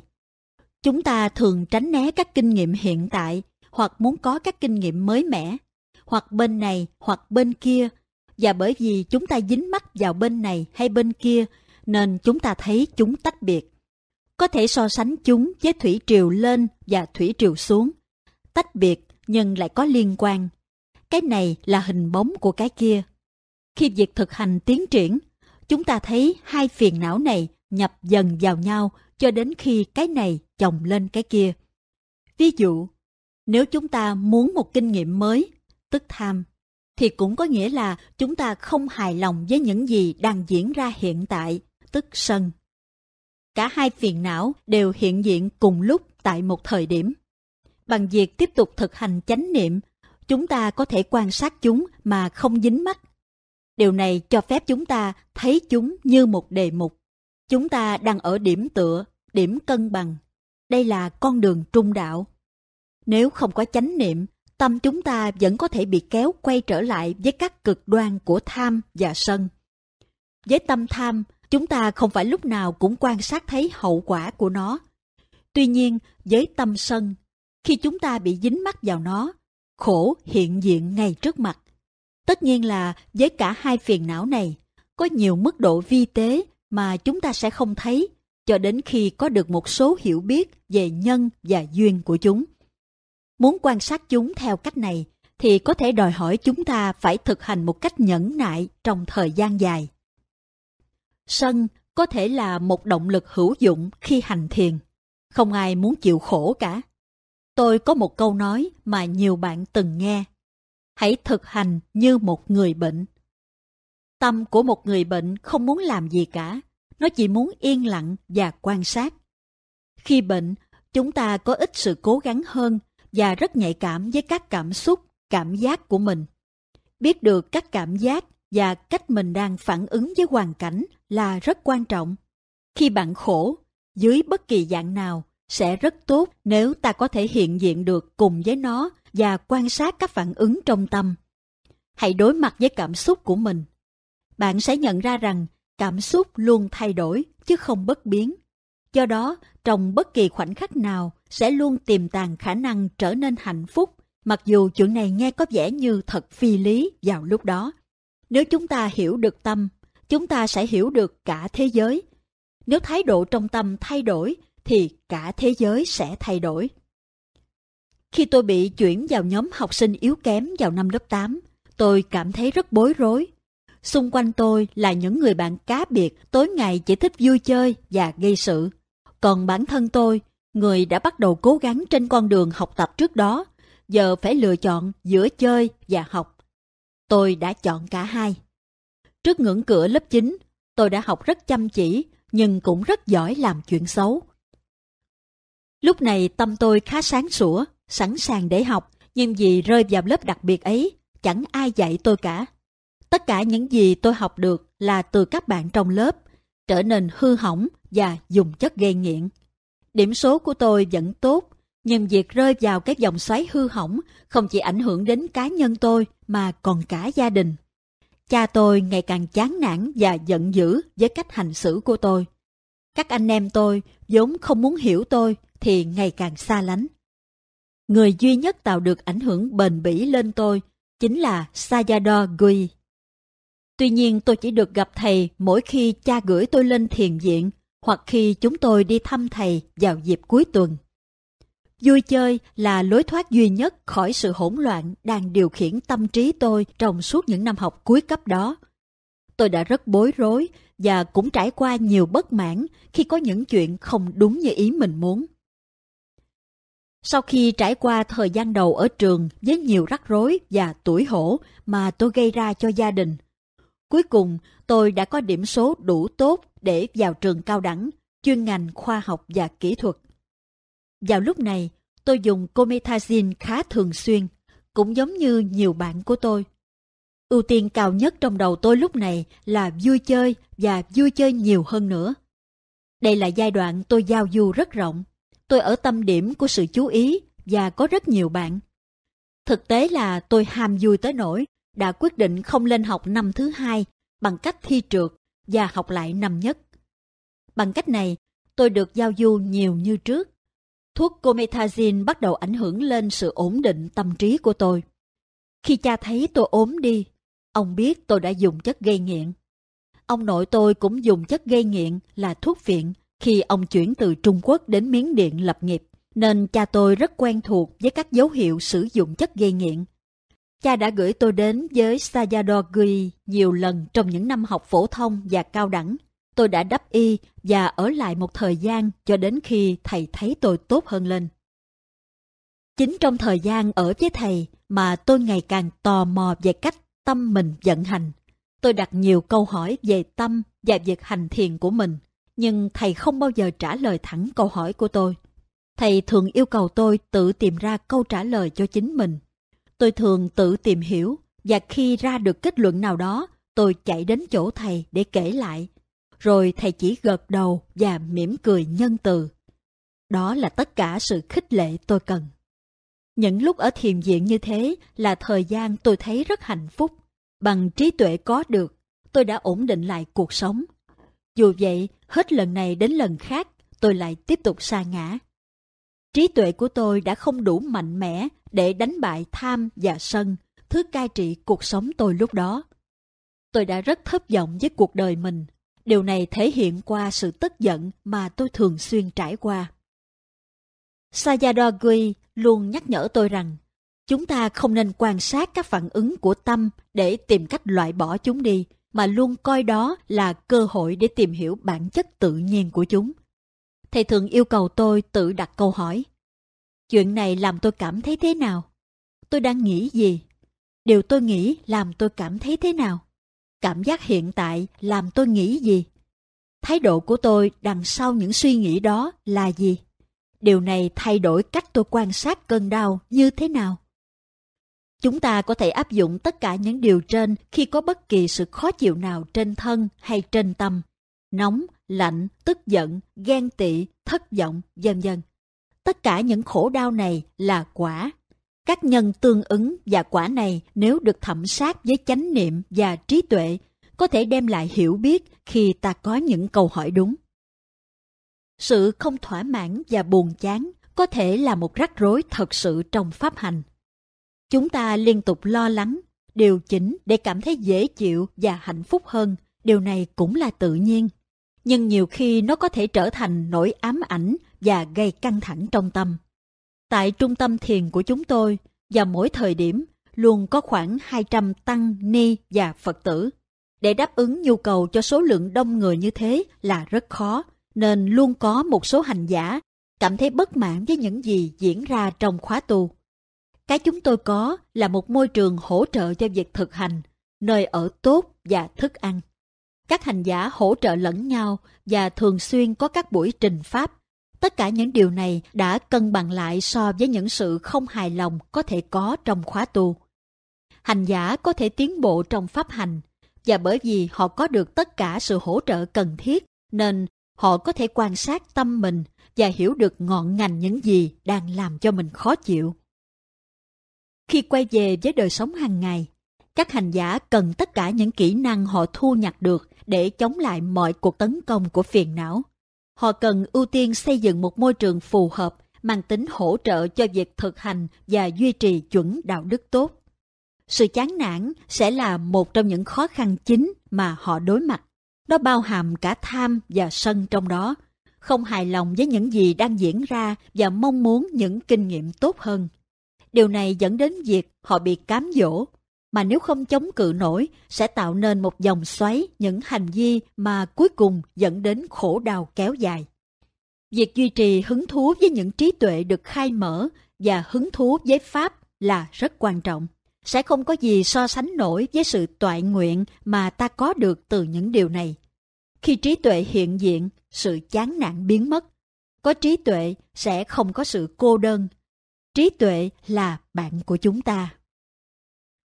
Trong thời gian đầu thực hành, hành giả có thể thấy việc hành thiền của mình bị đứt đoạn, không liên tục. Có thể có nhiều tâm sân xuất hiện. Chúng ta có ít hiểu biết nhưng lại có yêu cầu cao về kết quả hành thiền. Khi mọi chuyện không suôn sẻ, chúng ta trở nên thối chí. Chúng ta không muốn có những kinh nghiệm xấu. Bởi vì chúng ta đã có đủ những thứ không hài lòng trong cuộc sống, chứ chưa nói gì tới thiền. Mỗi khi gặp chuyện gì không như ý, chúng ta từ chối nó. Tôi không muốn như vậy. Nên chúng ta dừng thực hành, rồi bắt đầu lại, mặc dù đôi khi không muốn thế. Đằng sau đó, trí tuệ thúc đẩy chúng ta. Khi tâm thực sự hiểu giá trị của chánh niệm, chúng ta không dừng lại, chúng ta tiếp tục. Chúng ta bắt đầu hiểu được tâm, chúng ta biết nó quỷ quyệt thế nào. Vipassana là việc thực hành mang tính phổ quát, có thể thực hiện ở mọi nơi, trong mọi hoàn cảnh. Chúng ta có thể thực hành trong đời sống thường nhật, nó đơn giản đến mức có thể gói gọn trong một vài chữ, chỉ quan sát và để yên mọi thứ. Chúng ta có thể phì cười vì sự đơn giản này. Khi chúng ta cần nhớ rằng tâm tự làm công việc của nó, khi chúng ta trải qua những giai đoạn đau khổ và quay về trạng thái bình thường hoặc trạng thái cân bằng, tâm sẽ nhớ lại những gì diễn ra và tái hiện nó dưới dạng pháp trong tâm. Khi tôi trải qua thời kỳ hư hỏng, sử dụng chất kích thích, nhậu nhẹt và nhìn chung là cư xử bất hảo, tôi không tỉnh táo lắm. Còn giờ đây, trong lúc hành thiền, tôi nhớ lại những động cơ thúc đẩy dẫn đến các hành vi đó. Tại sao lại nhớ đến chúng vào lúc này? Bởi vì tâm làm công việc của nó suốt những năm tháng tôi hư hỏng và bây giờ nó đã là một cái tâm trí tuệ và tĩnh lặng. Tôi đã vượt qua bên kia ranh giới của giai đoạn đau khổ đó và mọi thứ đã biến đổi thành trí tuệ. Đó chính là tâm, hiện tượng tự nhiên làm công việc của nó, chuyển đổi phân bón thành dưỡng chất lành mạnh. Trí tuệ không bao giờ tham gia vào kinh nghiệm, nó luôn đứng lùi lại. Chính chánh kiến đã giúp giữ khoảng cách với các kinh nghiệm để có cái hiểu về kinh nghiệm tốt hơn. Trí tuệ là sự tự do, bất kỳ chuyện gì cũng có thể xảy ra và bất kỳ chuyện gì xảy ra đều là kinh nghiệm, cho dù là chuyện gì thì đều tốt cả. Chúng ta vừa tìm hiểu những khía cạnh chung của tiến trình mà trí tuệ được sinh ra từ chánh niệm. Chúng ta có thể tìm hiểu sâu hơn nhiều trong pháp học của Phật giáo và tôi chắc rằng nhiều bạn sẽ thích. Tuy nhiên, tôi chỉ giảng về pháp hành. Đơn giản chính là phương châm của thực hành chánh niệm. Tất cả quý vị đều bận rộn, do đó thiền chánh niệm thực sự là một công cụ đa năng hữu dụng cho bất kỳ tình huống nào. Nó quá quý giá. Vì vậy, cho dù bạn là một hành giả lâu năm hay một người mới thực hành, thì phần đầu của cuốn sách này đã trang bị cho bạn một số thứ để suy ngẫm và ứng dụng. Bạn sẽ dần quen với cách tâm làm việc, cách nhận diện và đương đầu với phiền não, và sự tinh tế trong việc khai mở trí tuệ. Với việc thực hành chánh niệm, chúng ta cần luôn nhắc nhở bản thân phải chánh niệm thật nhẹ nhàng, thư giãn và liên tục. Chúng ta cần chánh niệm trên sự chú ý của mình và không dính mắt hoặc đặt quá nhiều năng lượng vào một đối tượng nhất định nào. Hãy trải rộng tâm ra để nhìn thấy bức tranh toàn cảnh cả trong và ngoài, cả trên thân và trên tâm. Cách chúng ta thực hành như vậy được gọi là Vipassana. Quan sát Pháp diễn ra và để yên mọi thứ, để yên mọi thứ, để yên mọi thứ.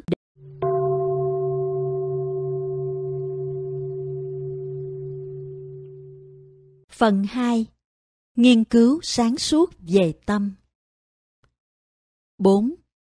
Nhân và duyên Chúng ta đã hoàn thành phần nghiên cứu căn bản về thực hành Vipassana.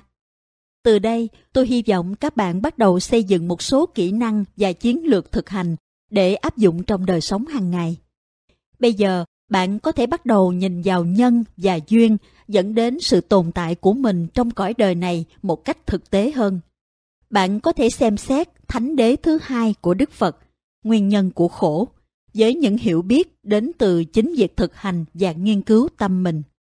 Nếu lạc lối trong mê cung và muốn tìm đường ra thì sẽ rất hữu ích nếu chúng ta nghiền ngẫm xem ta đã đến đó bằng cách nào. Ta có thể xem xét kết quả hiện tại cùng chuỗi các sự kiện dẫn đến những gì đang xảy ra. Đó là lý do vì sao chúng ta phải thực hành để hiểu mối quan hệ nhân quả và có trí tuệ nhằm giúp chúng ta ngắt và vượt lên trên dòng luân hồi, thứ mang đến cho ta quá nhiều đau khổ và sầu não. Trong phần này, chúng ta sẽ thực hành nhìn vào những khuôn mẫu hành vi diễn ra xung quanh các kinh nghiệm khó chịu mà chúng ta gặp phải trong cuộc sống. Trong suốt những năm tháng vị thành niên và cho đến khoảng 20 tuổi, tôi bị trầm cảm mãn tính. Tôi sẽ chia sẻ những kinh nghiệm của mình và cách tôi vượt qua những khó khăn này để các độc giả có thể tìm hiểu. Nhiều bạn sẽ nhận ra những khuôn mẫu và kinh nghiệm này quen thuộc đối với bản thân và biết đâu có thể vận dụng những hiểu biết này vào trong việc thực hành của mình. Chỉ khi nào tâm ta sạch bóng tham, sân và si, chúng ta mới có thể thật sự nhìn rõ bản chất thật của các pháp. Khi tôi đang học năm thứ hai cao đẳng, lúc đó tôi khoảng 20 tuổi, thì anh cả của tôi, người đang phụ giúp việc kinh doanh cho gia đình, mất vì bệnh bạch cầu. Gia đình chúng tôi rất đau xót, anh ấy mới chỉ có 38 tuổi. Cha tôi nhận thấy trong số tất cả các anh em, tôi là người ít nỗ lực học hành nhất, nên cha quyết định kéo tôi ra khỏi trường cao đẳng để phụ ông kinh doanh. Đây là một cú sốc và sự thay đổi lớn trong cuộc đời tôi. Bất thình lình, tôi bị đưa ra khỏi môi trường vui chơi với nhiều mối giao du yêu thích và bị đẩy vào nơi mà tôi cảm thấy là bị gò ép trong trách nhiệm của người lớn. Tôi thích đến trường gặp bạn bè, mặc dù cách cư xử của tôi không đáng tin cậy, nhưng tôi chứng tỏ được khả năng học và kiếm đủ điểm cần thiết để lên lớp trong hệ thống trường cao đẳng. Còn bây giờ, tôi phải ở ngoài cửa hàng cùng cha hàng ngày và bị ông giám sát chặt chẽ. Tôi trở nên lo âu và thường xuyên nổi nóng. Điều này trở thành một khó khăn lớn trong cuộc sống của tôi. Cửa hàng 356, khu B, trong khu bán sỉ của chợ Teengyize, một chợ trung tâm Yangon, trở thành nơi tôi làm việc hàng ngày. Teengyize nằm trong khu của cư dân theo đạo hồi tại trung tâm Yangon, kế khu Hoa Kiều, nơi tôi và bạn bè rất thích lui tới. Khu tòa nhà B có mái dòm cao và các xà bằng gỗ tết là một khu vực rộng lớn, sầm uất với nhiều tiếng trả giá ồn ào cùng với tiếng la hét chửi thề của các tiểu thương. Cha tôi là một thương nhân sắc sảo. Đất nước bị suy thoái trong nhiều năm, nên ông ấy đã dùng nhiều phương pháp để vượt lên các đối thủ kinh doanh. Ông ấy đã nghĩ ra cách để cắt may Taipao NG, loại áo cổ tàu truyền thống dành cho nam giới mặc vào dịp trang trọng mà không chừa lại giải thừa. Theo thông lệ, áo Taipao NG phải được may đo riêng cho từng người để mặc thật vừa vặn. Nhưng chúng tôi là tiệm đầu tiên sản xuất hàng loạt loại trang phục này. Dĩ nhiên, bằng cách này, chúng tôi có giá bán hàng cạnh tranh so với các cửa hàng và đại lý khác trong thành phố. Và bởi vì sản xuất hàng loạt, chúng tôi có thể bán sỉ sản phẩm đến các cửa hàng khác trong thành phố, đảm bảo được doanh thu bán hàng. Chính trong môi trường này mà tôi bắt đầu nhận ra rằng trầm cảm có thể trở thành một vấn đề nghiêm trọng trong cuộc đời mình. Tôi không phải là một người hạnh phúc. Các bạn tôi dần bị cuốn theo các nhóm khác trong trường, bỏ tôi lại bơ vơ với câu hỏi cuộc đời tôi sao khổ thế này. Tôi trở thành một chàng trai nóng tính. Cuộc sống này không còn gì vui nữa và tôi rất đơn độc.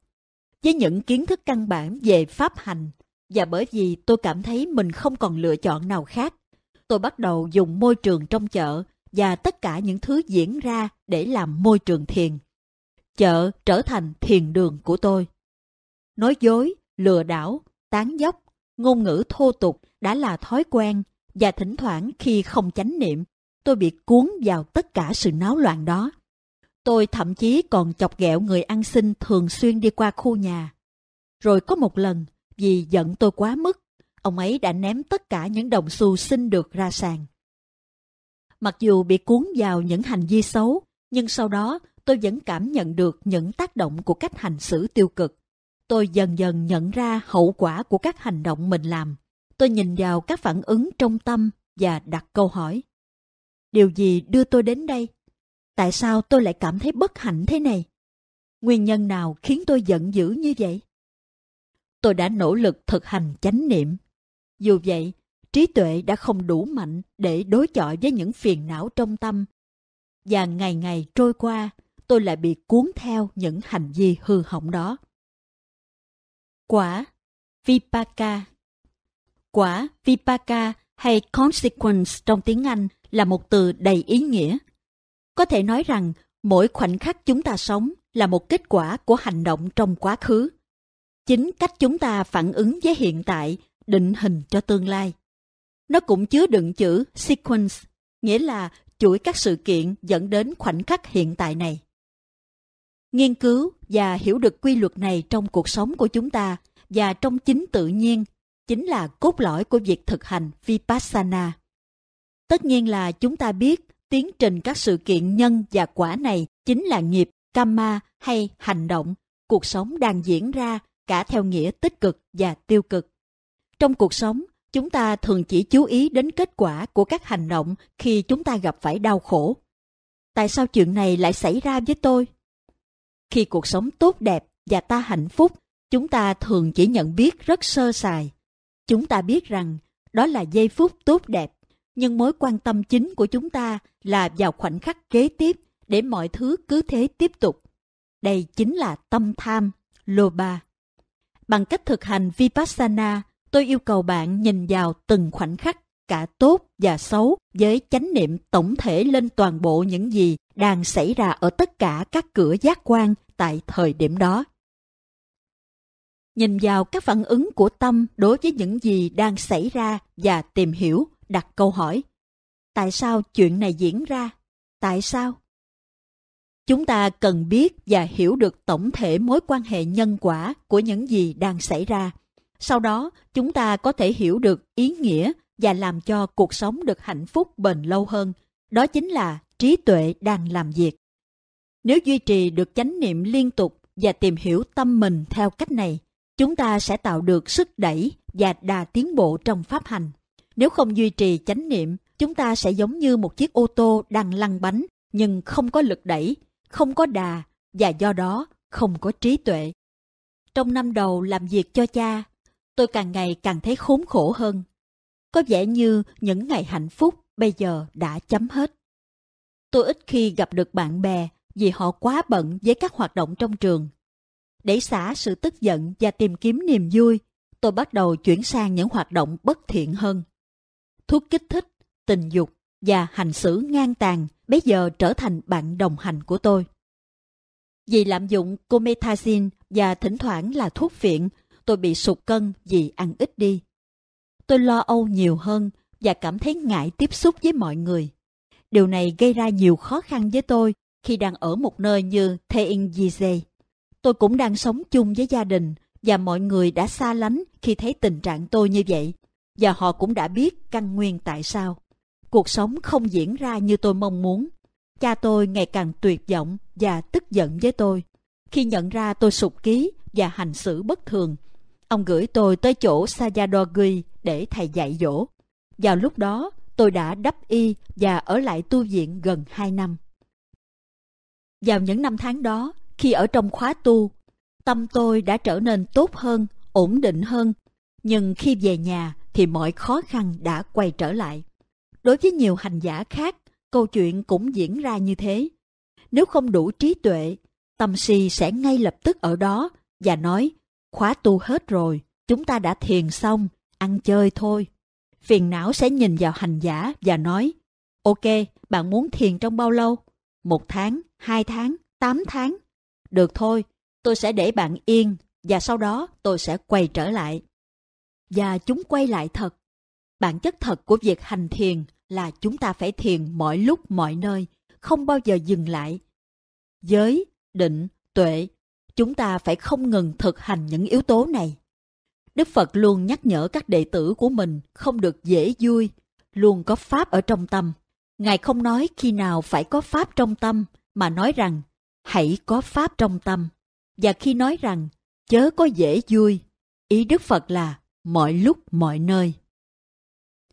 Chúng ta chỉ thực sự bắt đầu thực hành khi tâm đạt đến một trạng thái bình lặng. Đây chính là cái cửa sổ trên bức tường si mê mà xuyên qua đó ta nghiên cứu những trải nghiệm của mình. Đức Phật hiểu rất rõ tâm si nguy hại thế nào, bởi vì khi trí tuệ không hiện diện, thì tâm si tự động có mặt. Một khi si đã mở rộng cánh cửa, nó sẽ kéo theo tất cả các phiền não khác. Khi rời khóa thiền, bạn cần tiếp tục thực hành. Tôi còn nhớ những năm đầu thực hành, thầy tôi nói với tôi khi tôi rời tu viện, con sẽ hạnh phúc hơn nếu con chánh niệm hơn. Lúc đó tôi đã không hiểu hết ý thầy. Nhưng bây giờ, khi tâm tôi đã trưởng thành hơn và tôi hiểu thêm về thái độ đúng, tôi có thể thấy được mối quan hệ giữa chánh niệm và hạnh phúc. Hiểu biết này có thể dùng trong bất kỳ lúc nào khi kinh nghiệm cả nỗi đau trên thân hoặc trong tâm. Và bây giờ, nó chính là thước đo chính xác nhất đối với việc thực hành của tôi. Nghiệp Thiện, bất thiện, tâm sở tác ý. Như hầu hết các bạn đã biết, nghĩa đen của chữ Pali, Kamma có nghĩa là hành động.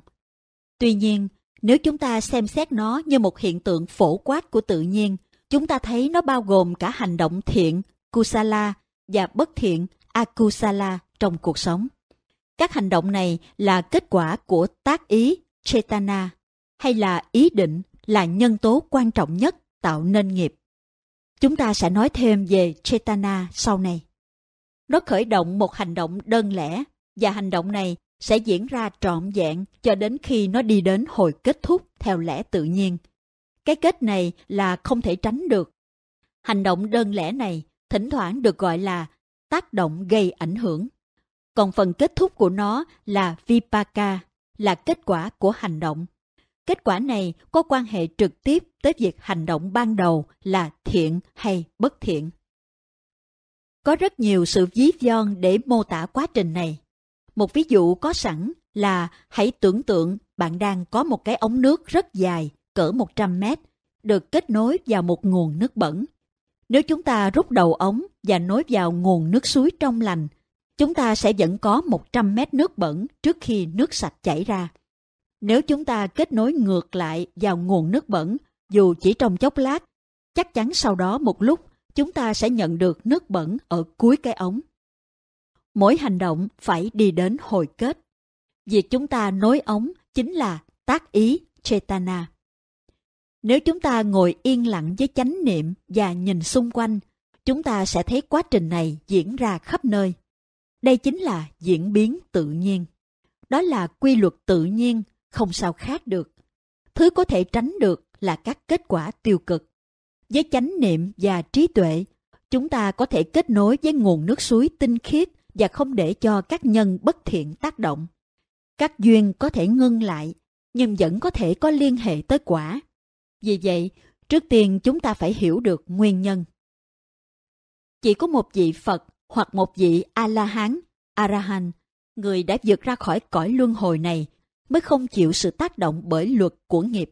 Mặc dù vậy, họ vẫn chịu các quả trổ ra từ duyên quá khứ cho đến khi các quả hết hiệu lực. Nghiệp không phải là phần thưởng hay sự trừng phạt đến từ một đấng quyền năng tối cao nào đó. Nó cũng không phải được đóng dấu vào trong số phận chúng ta, không phải là định mệnh. Nó là hành động do chúng ta thực hiện và tác động lên chính chúng ta. Nghiệp không giống một câu chuyện đã được kể xong trong quá khứ mà chỉ đang được kể đến bây giờ. Với quan niệm như vậy, chúng ta thấy rằng mình có thể đảo chiều hoặc làm đứt đoạn tiến trình của nghiệp cũng giống như chúng ta có thể chuyển từ nguồn nước bẩn sang nước sạch. Ví dụ, một người cả đời đã xây dựng thói quen hay nổi giận và là người dễ nổi nóng. Nếu người đó luyện tập chánh niệm, anh ấy hay cô ấy sẽ sớm thấy được lợi ích của việc thực hành và ngay trong giây phút hiện tại có cơ hội để lựa chọn tiếp tục nổi giận hoặc cố gắng chánh niệm trên đó và phát triển trí tuệ. Đó là tùy người ấy quyết định.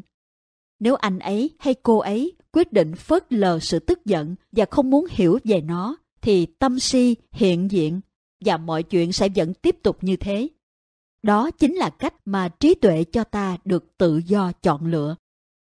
Chúng ta không thể tưởng tượng nổi lượng nghiệp mà ta đã tích lũy có thể trổ quả trong hiện tại lớn cỡ nào. Tâm ta như một cái nút nhấn được kích khởi bởi cả điều kiện bên trong và bên ngoài nhân tạo nên quả và nhân chứa đựng trong nó kết quả. Nghiệp là một chủ đề mà ta có thể nghiên cứu rất sâu về nó và việc này thật thú vị.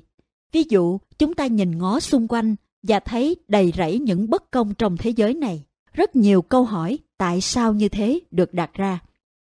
Chúng ta có thể nghiên cứu sâu vào lý thuyết về tiền kiếp và điều này cũng gợi lên rất nhiều câu hỏi.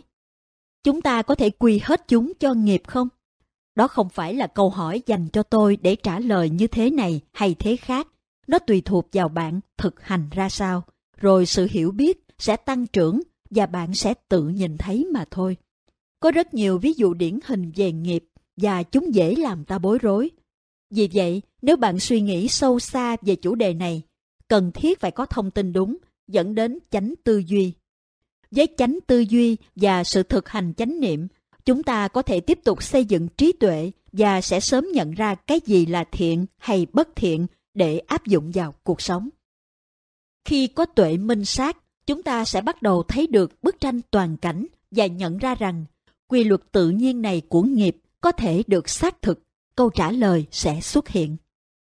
Khi nói đến ý định hay sự mong muốn, Chetana, chúng ta đang nói về một tiến trình có điều kiện, nhân và quả.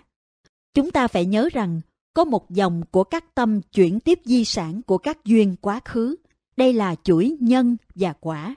Các duyên trong một tâm đem kết quả đến tâm kế tiếp.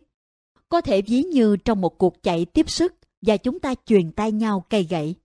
Trong khoảnh khắc kế tiếp, tâm chọn lựa và thêm các ảnh hưởng của nó vào cái có sẵn ở khoảnh khắc trước. Nó thêm vào hoặc bớt đi từ phẩm chất tâm của khoảnh khắc trước rồi mất đi và quả sẽ tiếp tục được truyền cho tâm tiếp theo. Mỗi tâm đều bắt đầu với một cái gì đó có sẵn, đó chính là duyên. Nhưng trong hiện tại, tâm đó có cơ hội để đưa thêm đóng góp của nó vào trước khi diệt đi. Khi mọi thứ phụ thuộc vào duyên, có nghĩa là có một dòng chảy của nhân và quả diễn ra, thì được gọi là luân hồi hay samsara. Ở thời điểm hiện tại, tâm được tự do chọn lựa và nếu có đủ trí tuệ cùng hiện diện với các duyên ảnh hưởng này thì đó sẽ là một lựa chọn sáng suốt. Bản thân tác ý là trung tính. Chỉ khi nó hoạt động chung với một tâm thiện hoặc bất thiện thì mới quyết định đến kết quả của các sự kiện trong tương lai. Một cái tâm trí tuệ có thể lựa chọn nên tin vào điều gì và tiếp tục hoạt động thay vì tự suy giảm. Mọi thứ thiện hay bất thiện đều bắt đầu trong tâm. Tại sao lại có phẩm chất thiện và bất thiện trong tâm? Các phẩm chất này sinh khởi do phản ứng của chúng ta trước các đề mục. Tất cả những gì thiện khởi đầu bằng thái độ đúng, tâm trạng đúng và tác ý đúng. Yoniso Manasikara, như lý tác ý. Tất cả những gì bất thiện bắt đầu với thái độ sai, tâm trạng sai hoặc tác ý sai. Ayoniso Manasikara, phi như lý tác ý. Hãy luôn cố gắng sống với những hành động thiện, lời nói thiện và các phẩm chất tâm thiện. Hãy làm mọi thiện pháp, bố thí, dana, giữ giới, sila, phát triển định tâm, samadhi và thực hành thiền minh sát, bhavana. Trong đó, thực hành thiền minh sát là cao nhất, là hành động thiện lành nhất. Tôi không thể nhấn mạnh hết được tầm quan trọng của việc đạt được sự hiểu biết về những phẩm chất tâm này, thiện và bất thiện. Có một lần, khi đang đi từ chợ về nhà, tôi quyết định chơi đùa với tâm tham. Thời tiết khá nóng bức nên tôi cảm thấy rất khát nước. Lúc đó tôi đang đi qua khu phố Tàu, ngang qua các cửa hàng, tôi thấy rất nhiều đồ uống ướp lạnh cực kỳ hấp dẫn. Coke, Fanta, Sprite và nước uống đóng chai. Nếu đang khát thì tất cả những gì mình cần là nước. Tôi nghĩ trong đầu như vậy. Nhưng tâm tham lại nói, mày có tiền trong túi, hãy dừng lại và mua một lon nước có ga. Trí tuệ bỗng lên tiếng, hãy chờ đến lúc về nhà và uống một ly nước. Cứ như thế, cuộc hội thoại nội tâm đã diễn ra khi tôi đi ngang qua từng cửa hàng. Về đến nhà, tâm tham đã quay lại ngay tức khắc nên tôi đi thẳng đến tủ lạnh để lấy nước mát. Nhưng ngay lúc đó tôi dừng lại và suy nghĩ. Chỉ là cơn khát, thứ mình cần là nước, không nhất thiết phải là nước mát trong tủ lạnh.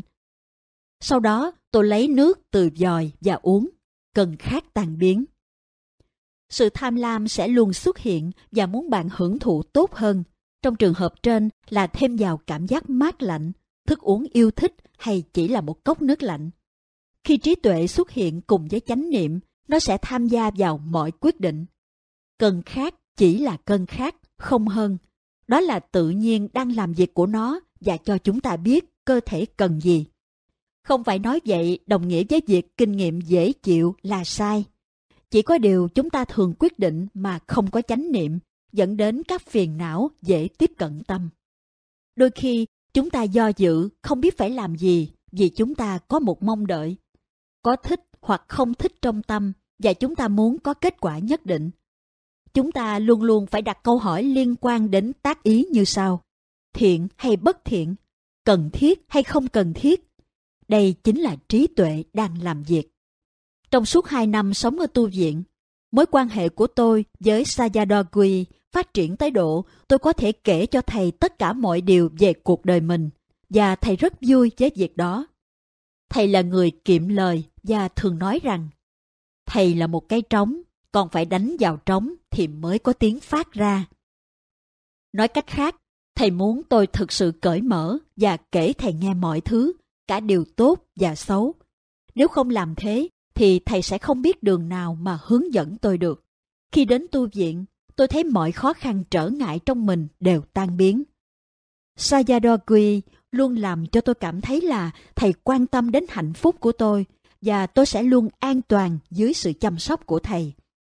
Thầy nói tôi có thể đến gặp lúc nào cũng được, ban ngày hay ban tối, nếu tôi có khó khăn muốn thảo luận. Thỉnh thoảng tôi lẻn đến chỗ của thầy lúc thầy đang ngủ, rồi ngồi đó hành thiền. Đó là một đặc quyền mà tôi nghĩ không phải ai cũng có được. Trong những năm tháng đầu tiên đó, được ở gần Sayadogui và thực hành với thầy đã thực sự đem lại một chỗ nương náu tránh khỏi sự hỗn loạn đang kềm tỏa tâm trí tôi. Thầy luôn dặn dò mỗi khi tôi rời tu viện, còn hãy tiếp tục thực hành. Nhưng tôi chẳng bao giờ làm theo. Tôi chỉ đi về và tiếp tục với những gì đã làm trước đó, tái phạm những hành vi cũ. Nương tựa, Phật, Pháp, Tăng Khi bị dồn vào chân tường và thế giới xung quanh tưởng như vỡ nát, chúng ta sẽ hướng về đâu? Chúng ta sẽ làm gì? Đây là khó khăn mà tất cả mọi người phải đối mặt ở một giai đoạn nào đó trong cuộc đời. Chúng ta có thể hướng về phía bạn bè hoặc những người thân yêu để tìm kiếm sự giúp đỡ và họ có thể hỗ trợ ta thật sự. Nhưng cuối cùng thì tự thân chúng ta vẫn phải đi tìm câu trả lời. Cần rất nhiều sự dũng cảm để làm cho tâm trở nên đủ ổn định và điềm tĩnh. Từ đó, tiếp thu những kiến thức và hiểu biết giúp chúng ta nhìn vào những gì đang diễn ra trong cuộc đời một cách khách quan và bình tĩnh. Đó là bài kiểm tra thực sự đối với ý chí của chúng ta. Đáp án cho những vấn đề của chúng ta có thể được tìm ra ngay trong chính tâm này. Để đạt được hạnh phúc, chúng ta phải tìm ra một điểm tĩnh lặng mà nó không phụ thuộc vào bất cứ điều gì. Bất kỳ ai trong số chúng ta đều có Phật tánh vốn có này. Tiềm năng thức tỉnh trước cái gì là thật, cái gì thuộc về bản chất ở mọi thời điểm. Chúng ta có thể tìm thấy không?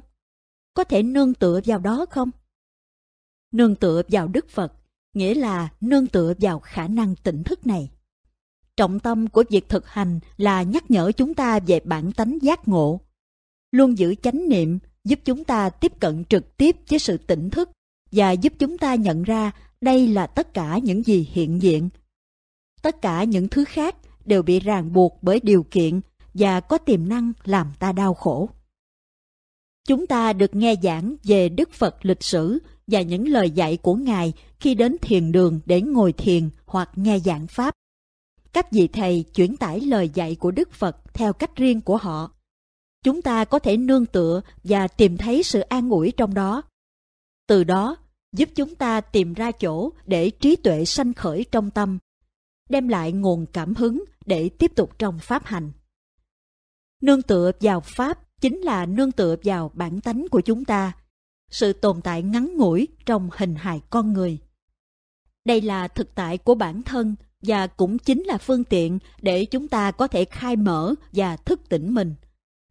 Chúng ta phải tìm thấy niềm tin và hy vọng để làm thế. Không chỉ tin vào lời Phật dạy, mà còn tin và hy vọng vào sự thực hành của chính mình. Chúng ta phải tin vào chánh niệm, Nhờ nó mà chúng ta có thể thấy được vô số các pháp đang sinh lên và diệt đi trong tâm ở mỗi thời điểm. Pháp là thực tại của chính chúng ta và chúng ta có thể đặt lòng tin vào những hành giả đi trước đã truyền lại những kinh nghiệm và sự chỉ dạy. Chúng ta có thể nhìn xung quanh và tìm nguồn an ủi từ chính bản chất tự nhiên, áp dụng chánh niệm và học hỏi từ sự phụ thuộc rất thực của chúng ta vào những hỗ trợ của tự nhiên để tồn tại.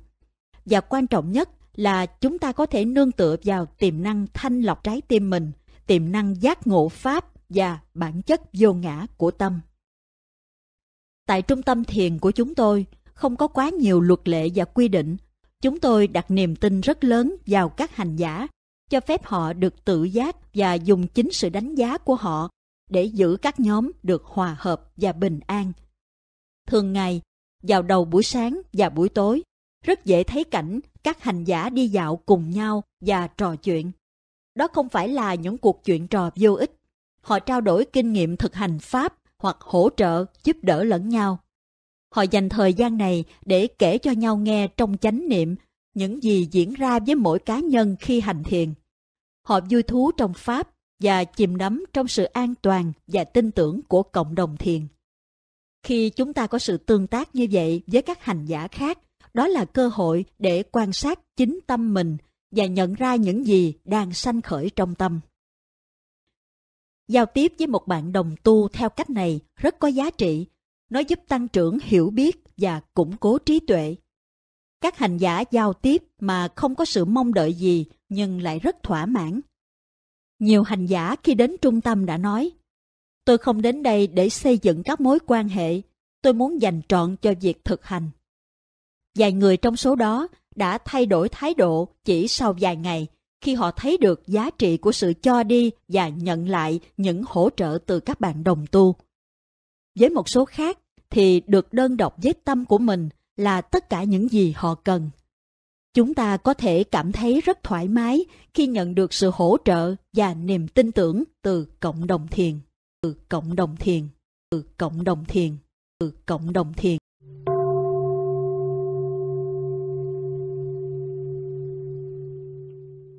Năm Trầm cảm Lần đầu tôi bị trầm cảm là khi bị buộc phải bỏ học về phụ việc kinh doanh của gia đình. Bệnh của tôi lúc đó không nặng và cũng không kéo dài. Tôi không nhận ra tại sao mình bị như vậy và cũng không thấy được mối liên hệ giữa các dấu hiệu bên ngoài của sự nóng giận và các cảm giác bên trong là sợ hãi, lo lắng và căng thẳng với mức độ trầm cảm mà tôi đang có. Việc dùng chất gây nghiện chắc chắn không giúp ích được gì, mà còn làm trầm trọng thêm vấn đề. Bởi vì tôi đã mất kiểm soát bản thân, nên mới phải đến chỗ Sayadogui ở trong một thời gian dài. Vào lúc này, thầy thường để ý đến các cảm xúc của tôi và hay nói rằng hãy tiếp tục thực hành và quan sát tâm. Tôi thực hành thiền chỉ, phát triển định, bởi vì đó là cách duy nhất tôi có thể dùng để thoát khỏi nỗi lo âu, sợ hãi đang diễn ra. Khi thực hành thiền chỉ, nỗi sợ của tôi mờ dần, bởi vì tôi tập trung vào một đề mục.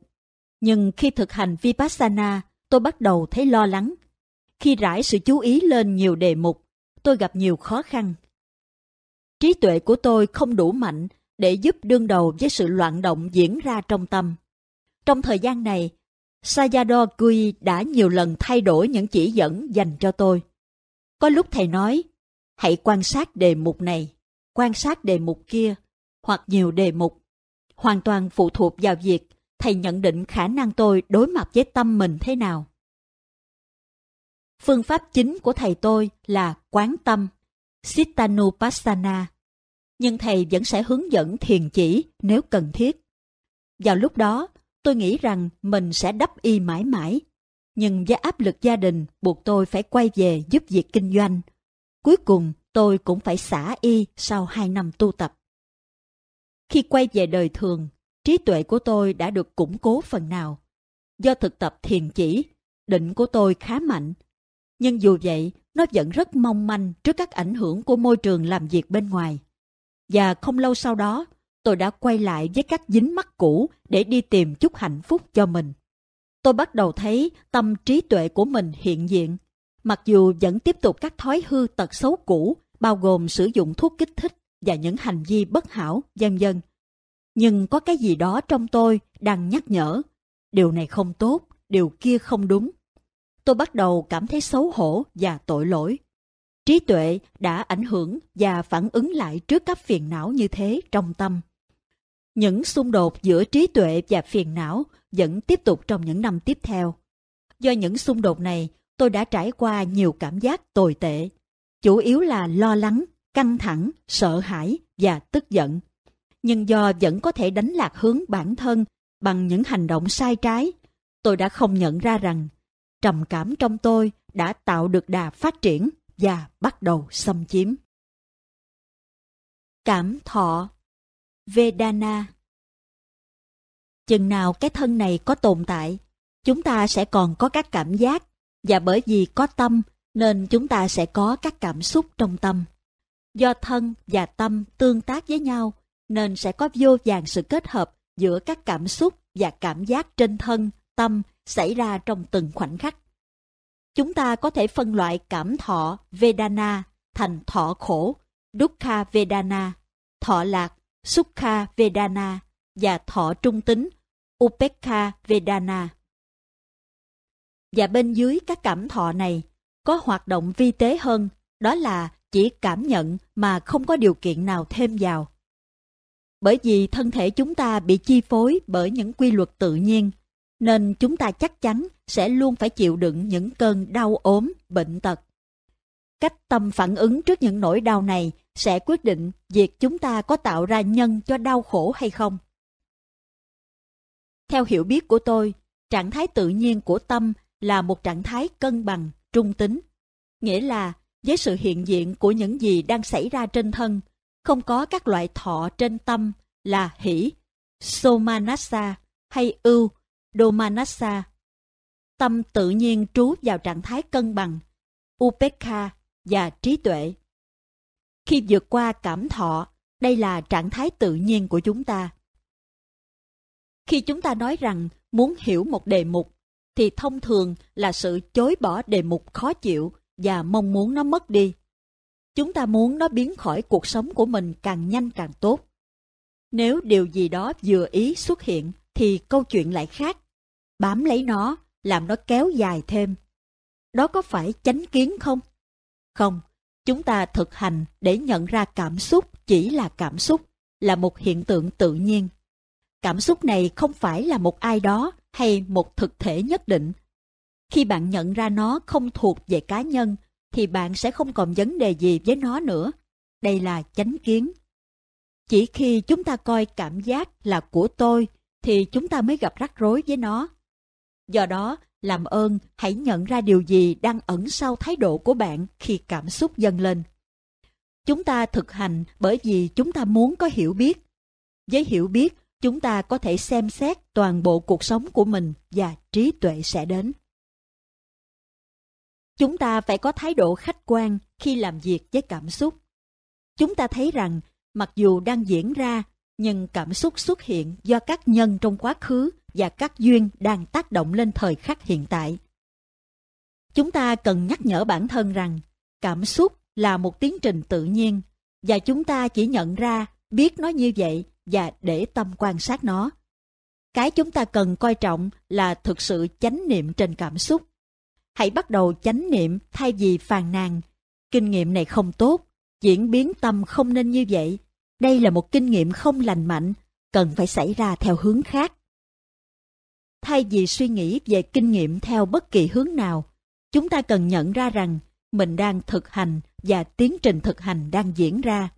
Bởi vì chúng ta chánh niệm và biết rằng mình đang có chánh niệm. Việc thực hành đang diễn ra tốt rồi, nên hãy chỉ chánh niệm trên các hoạt động của cảm thọ, làm bất kỳ chuyện gì hơn thế đều tạo ra các duyên mới. Một ngày kia, thầy đã dạy tôi, khi nhìn thấy mọi thứ như chúng đang là, đó là chánh kiến. Điều này tác động rất mạnh lên tôi, và từ đó tôi cố gắng nhìn vào mọi thứ mà tôi kinh nghiệm một cách trung lập ngay cả khi những suy nghĩ trong tâm vô cùng kinh khủng hay là nghĩ tới những điều tồi tệ về người khác. Tôi biết chuyện gì đang diễn ra trong tâm, nghĩa là tôi đang làm đúng việc cần làm, chỉ cần chánh niệm. Phán xét một kinh nghiệm hay cải tiến nó chỉ tạo nên một duyên khác. Tôi muốn tất cả các bạn cảm nhận được rằng kinh nghiệm không quan trọng bằng sự hiện diện của chánh niệm. Đây là điều quan trọng nhất trong việc thực hành của chúng ta. Thọ khổ Dukkha Vedana Thánh đế thứ nhất của Đức Phật, khổ, Dukkha, chỉ có thể hiểu từ góc nhìn của chánh niệm thực sự trên kinh nghiệm đang diễn ra. Để thấy được sự thật về khổ, không có nghĩa là nó phải xuất hiện ngay tại thời điểm chịu đau khổ. Chỉ khi chúng ta thấy và hiểu được đau khổ có thể đến từ sự hài lòng và hạnh phúc, thì chúng ta mới thực sự thấy được sự thật về khổ. Chúng ta đang nhìn vào nhân và quả. Nếu có một sự khao khát tìm cầu sự dễ chịu hay hạnh phúc, thì cũng sẽ có sự chối bỏ đối với cảm giác khó chịu và sự không hạnh phúc. Nếu nghĩ rằng chỉ khi chịu đau khổ, chúng ta mới thấy được sự thật về khổ, thì làm sao chúng ta có thể hiểu được việc kinh nghiệm trạng thái định, lạc hoặc bình yên cũng là khổ? Nếu ta nhìn nhận các kinh nghiệm theo cách đó, có nghĩa là tâm si đang có mặt. Thánh đế về khổ được nhận thức bởi một trí tuệ sáng suốt, thì hoàn toàn đối nghịch với nhận thức của một hành giả không có trí tuệ. Hiểu biết đúng về sự thật về khổ là một trí tuệ. Hiểu biết về khổ không phải là trải nghiệm khổ. Khi hiểu biết như thế, tâm cảm nhận được năng lượng, sự tự do và không dính mắc. Tâm lúc này không có ham muốn và phiền não, trong khi trải nghiệm khổ thì làm cho kiệt quệ và thường là suy nhược. Chỉ khi tâm không cho rằng một kinh nghiệm là dễ chịu thì nó mới hiểu được thánh đế thứ nhất về khổ. Dựa trên kinh nghiệm, sự quan sát khổ không đơn giản và dễ hiểu. Cảm xúc của chúng ta có thể rất lẫn lộn. Mà không, tâm không thể cùng lúc có cả cảm xúc thiện và bất thiện. Nhưng bản chất của tâm là biến động. Chuyện này diễn ra quá nhanh đến nỗi cảm xúc của chúng ta dường như lẫn lộn. Mọi thứ như thể đều ở đó cùng lúc. Tốt và xấu, trí tuệ và dại dột, tất cả đều cùng xảy ra. Do đó, đừng mong đợi quá nhiều. Nhiều hành giả trình pháp rằng, và rõ ràng là như vậy, nhờ có chánh niệm mà họ sẽ luôn đưa ra quyết định đúng vào thời điểm đó. Hầu hết chúng ta đang ở giai đoạn học hỏi và chỉ có thể quan sát, giữ chánh niệm trong khi tâm làm công việc của nó, hết lần này đến lần khác. Khổ là sản phẩm phụ của tâm si. Nếu làm việc với nó bằng một thái độ thiện xảo, chúng ta có thể học hỏi từ nó. Và một sự hiểu biết về khổ có khả năng đẩy lùi tâm si. Nếu quan sát thật kỹ lưỡng những cảm xúc phát sinh khi trải nghiệm khổ đau, chúng ta có thể hiểu biết về khổ, vốn sinh ra từ sự bám chấp vào các đối tượng ở các cửa giác quan. Toàn bộ tiến trình khổ sẽ chứa đựng dữ liệu và thông tin cần thiết cho tuệ giác sinh khởi. Chỉ bằng việc tìm hiểu nhân và duyên của khổ mà chúng ta sẽ đạt đến bất kỳ hiểu biết nào về nó. Nếu có thể đơn giản là hiện diện cùng với cái khổ, thì chúng ta có khả năng tìm ra một điểm bình yên tĩnh lặng, giống như tại tâm bảo, nơi ta có đủ không gian cho phép mình lùi lại và bắt đầu tìm hiểu xem cái gì đã làm chúng ta khổ. Từ đây, chúng ta có thể đạt được một hiểu biết về kinh nghiệm đang diễn ra. Mặc dù kết cục cuối cùng của hành động có thể vẫn chưa lộ diện hoàn toàn. Có thể có một lượng lớn cảm xúc lẫn lộn mà bạn đang trải qua và thấy rất khó để thấu suốt. Bằng việc liên tục chánh niệm, tâm bắt đầu tĩnh tại sâu hơn, chánh niệm trở nên sắc bén hơn và chúng ta có thể bắt đầu quan sát, tách từ từ và nhận diện từng cảm xúc đơn lẻ dẫn đến nguyên nhân của các vấn đề. Từ cách nhìn khách quan này, chúng ta có thể thấy nguyên nhân và bản chất vô ngã của các cảm xúc. Chúng ta thấy chúng không phải tôi, không phải của tôi, không khổ đau, chỉ là hiện tượng tự nhiên thế thôi. Đây là trí tuệ đã thế chỗ cho tâm si. Đây là tuệ minh sát. Khi chúng ta có được chút đà chánh niệm, nhưng sau đó lại xa vào một hoạt động bất thiện, thì quả diễn ra ngay lập tức và rất rõ ràng. Nỗi khổ mà chúng ta phải chịu là rất thô và hiện ngay trước mặt. Chúng ta kinh nghiệm được đúng bản chất của nó. Đây chính là diễn biến tự nhiên. Bởi vì có đà chánh niệm, chúng ta ít có khuynh hướng dùng những sự tiêu khiển để làm giảm nhẹ những cảm giác khó chịu trong tâm. Thay vào đó, chúng ta hiện diện cùng với chúng. Sự đau khổ có thể rất mãnh liệt, nhưng vì có đà chánh niệm, chúng ta có thể quan sát đúng bản chất của nó và vượt qua nó khá nhanh. Tất nhiên, miễn là chúng ta có thể nhận ra nguyên nhân và không tiếp tục bám chặt vào đó. Chúng ta cần song hành với kinh nghiệm và nghiên cứu kinh nghiệm để hiểu được tại sao nó xảy ra. Nếu chúng ta cố gắng suy diễn kinh nghiệm, nghĩa là biện minh hoặc lập luận về nó, thì chúng ta sẽ bị dính chặt vào trong khái niệm hay câu chuyện. Điều này chỉ kéo dài thêm khổ đau, bởi vì nội dung câu chuyện sẽ làm phát sinh thêm cảm xúc. Chúng ta phải luôn luôn quay lại và đối diện với cảm xúc. Bằng cách tiếp xúc hoàn toàn với nó, chúng ta có thể có được trí tuệ và tiếp tục tiến bộ. Tuệ giác ở đây là thấy được tiềm năng đau khổ có thể sinh khởi khi dính mắc vào bất kỳ đối tượng giác quan nào. Dù chúng mang lại cảm giác dễ chịu hay khó chịu. Nói cách khác, chúng ta thấy khổ hiện hữu trong đề mục quan sát. Nếu chúng ta không thấy được như vậy, thì tâm si đang hiện diện. Những cảm xúc mà tôi đã trải qua tất nhiên là rất đa dạng và hỗn tạp. Lo lắng, sợ hãi, buồn rầu và vượt lên tất cả là sự giận dữ. Lúc đó, tôi 25 tuổi và đã quay về hẳn với việc kinh doanh của gia đình. Tôi chịu trách nhiệm quản lý cửa hàng, nghĩa là chẳng còn vui chơi gì nữa. Vì tôi mong muốn những thứ khác từ cuộc sống thay vì phải làm việc trong chợ, nên ngoài sự tức giận, một lần nữa tôi lại rơi vào cảm giác chán nản. Tôi đã theo dõi tâm mình và tự hỏi có thể làm gì với nó. Câu trả lời lúc nào cũng vậy là tranh đấu hoặc bùng lên giận dữ. Tôi đập phá đồ đạc và vài lần tự làm mình bị thương. Có một lần tôi đã đánh vào vật gì đó rất mạnh dẫn đến gãy xương bàn tay. Rồi một lần khác tôi bị thương ở chân do đá vào một cái gì đó. Nếu không có được thứ mình muốn ngay lập tức, tôi sẽ hét lớn và nổi điên. Mỗi khi nổi giận với cha mẹ, tôi sẽ cố tình làm những điều họ không thích để khiến họ phải phiền lòng. Sau trận lôi đình, ngay lập tức tôi cảm thấy nhẹ nhõm. Tôi không nghĩ là nó đã hết hoàn toàn, nhưng ở bên trong nó chỉ tạm thời rút lui. Sau một khoảng thời gian yên ắng, tôi lặp lại cái dòng luẩn quẩn đó. Lần sau lại ngang bằng hoặc tệ hơn lần trước. Cuối cùng thì một lần nữa, tôi quay lại tu viện với Sayadaw Gui. Và lần này là do tự tôi quyết định. Với những gì đã trải qua, tôi thấy mình không có nhiều sự lựa chọn. Trở lại tu viện lần này, tôi thực hành rất kiên định. Tôi tập trung chủ yếu vào phương pháp thiền chỉ và đã đạt được sự tập trung khá mạnh.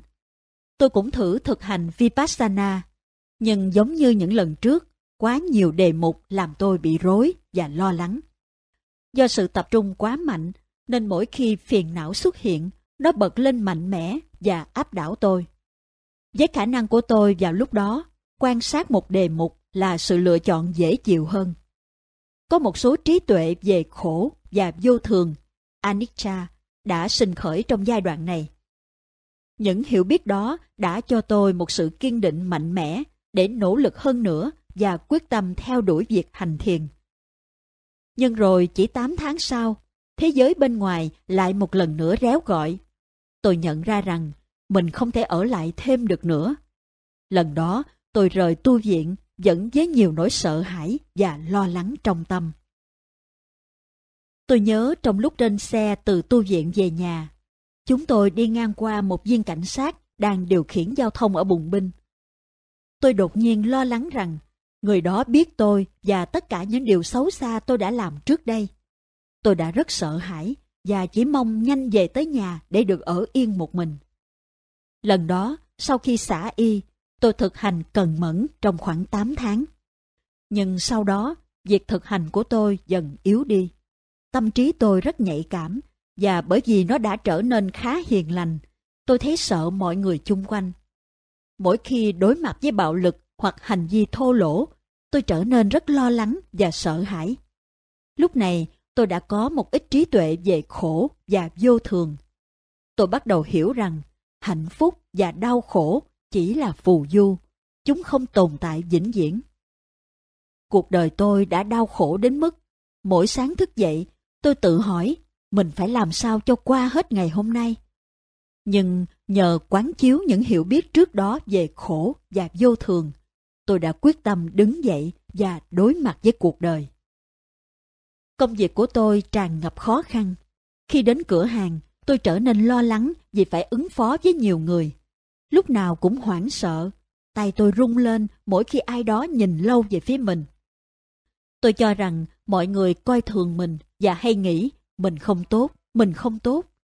Do cảm giác rằng mọi người đang phán xét mình, nên tôi chỉ muốn một mình đơn độc. Tôi không hề muốn tham gia vào đám đông chút nào nữa. Tôi ở nhà nhiều hơn và tự chơi cờ. Do đó tôi đã chơi rất giỏi. Sự tập trung làm cho tôi cảm thấy nhẹ nhõm hơn đôi chút so với các cảm xúc bình thường. Trong thời gian này, tôi giao tiếp rất ít với gia đình. Họ thường để tôi một mình. Tôi thấy cách duy nhất để vượt qua trầm cảm là tự mình nỗ lực loại bỏ nó theo cách riêng. Lúc này tôi rất đau khổ. Tôi theo dõi tâm mình và cố tìm hiểu xem tại sao mình hành động như thế này hoặc nghĩ như thế kia. Nó đem lại chút ít hiểu biết, nhưng không giúp tôi nhẹ nhõm hơn khỏi nỗi buồn phiền thực sự. Tôi chỉ thực sự giải thoát khi ngủ. Vô thường Anicca Bằng việc thực hành Vipassana, chúng ta có thể học hỏi từ chính tự nhiên. Nếu nhìn xung quanh, chúng ta sẽ thấy tự nhiên luôn thay đổi và mất đi, không có gì là trường tồn, bất biến. Một cái cây phát triển theo các điều kiện của mùa màng, ra hoa, tạo hạt, rồi chết.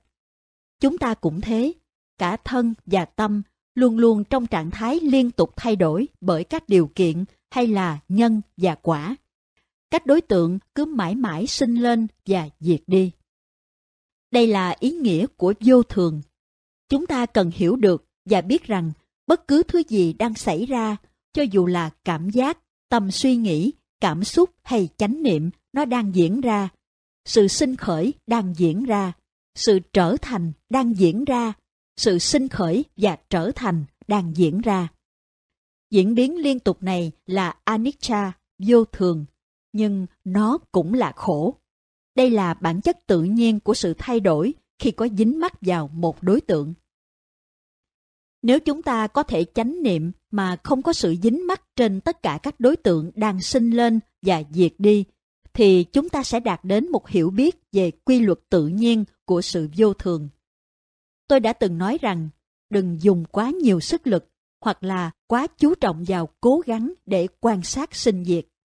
Nhìn thấy thứ gì đó sinh và diệt cũng chỉ là một kinh nghiệm. Về mặt lý thuyết, thì dù bạn thấy cái gì đó nó có thể có hoặc không đem lại những hiểu biết về vô thường. Sự hiểu biết về vô thường sẽ xuất hiện một cách tự nhiên. Nó là một tuệ minh sát do việc thực hành được duy trì liên tục. Hiểu biết này sẽ chỉ xảy ra khi bạn thu thập đủ thông tin từ việc quan sát liên tục. Tâm nóng giận Khi tôi còn bé, Cha tôi thường đưa tôi và tất cả các anh chị em đi thăm thầy. Sayadaw Kui hỏi chúng tôi đã thấy ma quỷ lần nào chưa? Chúng tôi trả lời là chưa. À, các con có muốn thấy ma quỷ không? Chúng tôi đều đồng thanh nói có. Và Sayadaw Kui nói, lần tới, khi nổi giận, hãy đi nhìn mình trong gương và các con sẽ thấy con quỷ trong đó.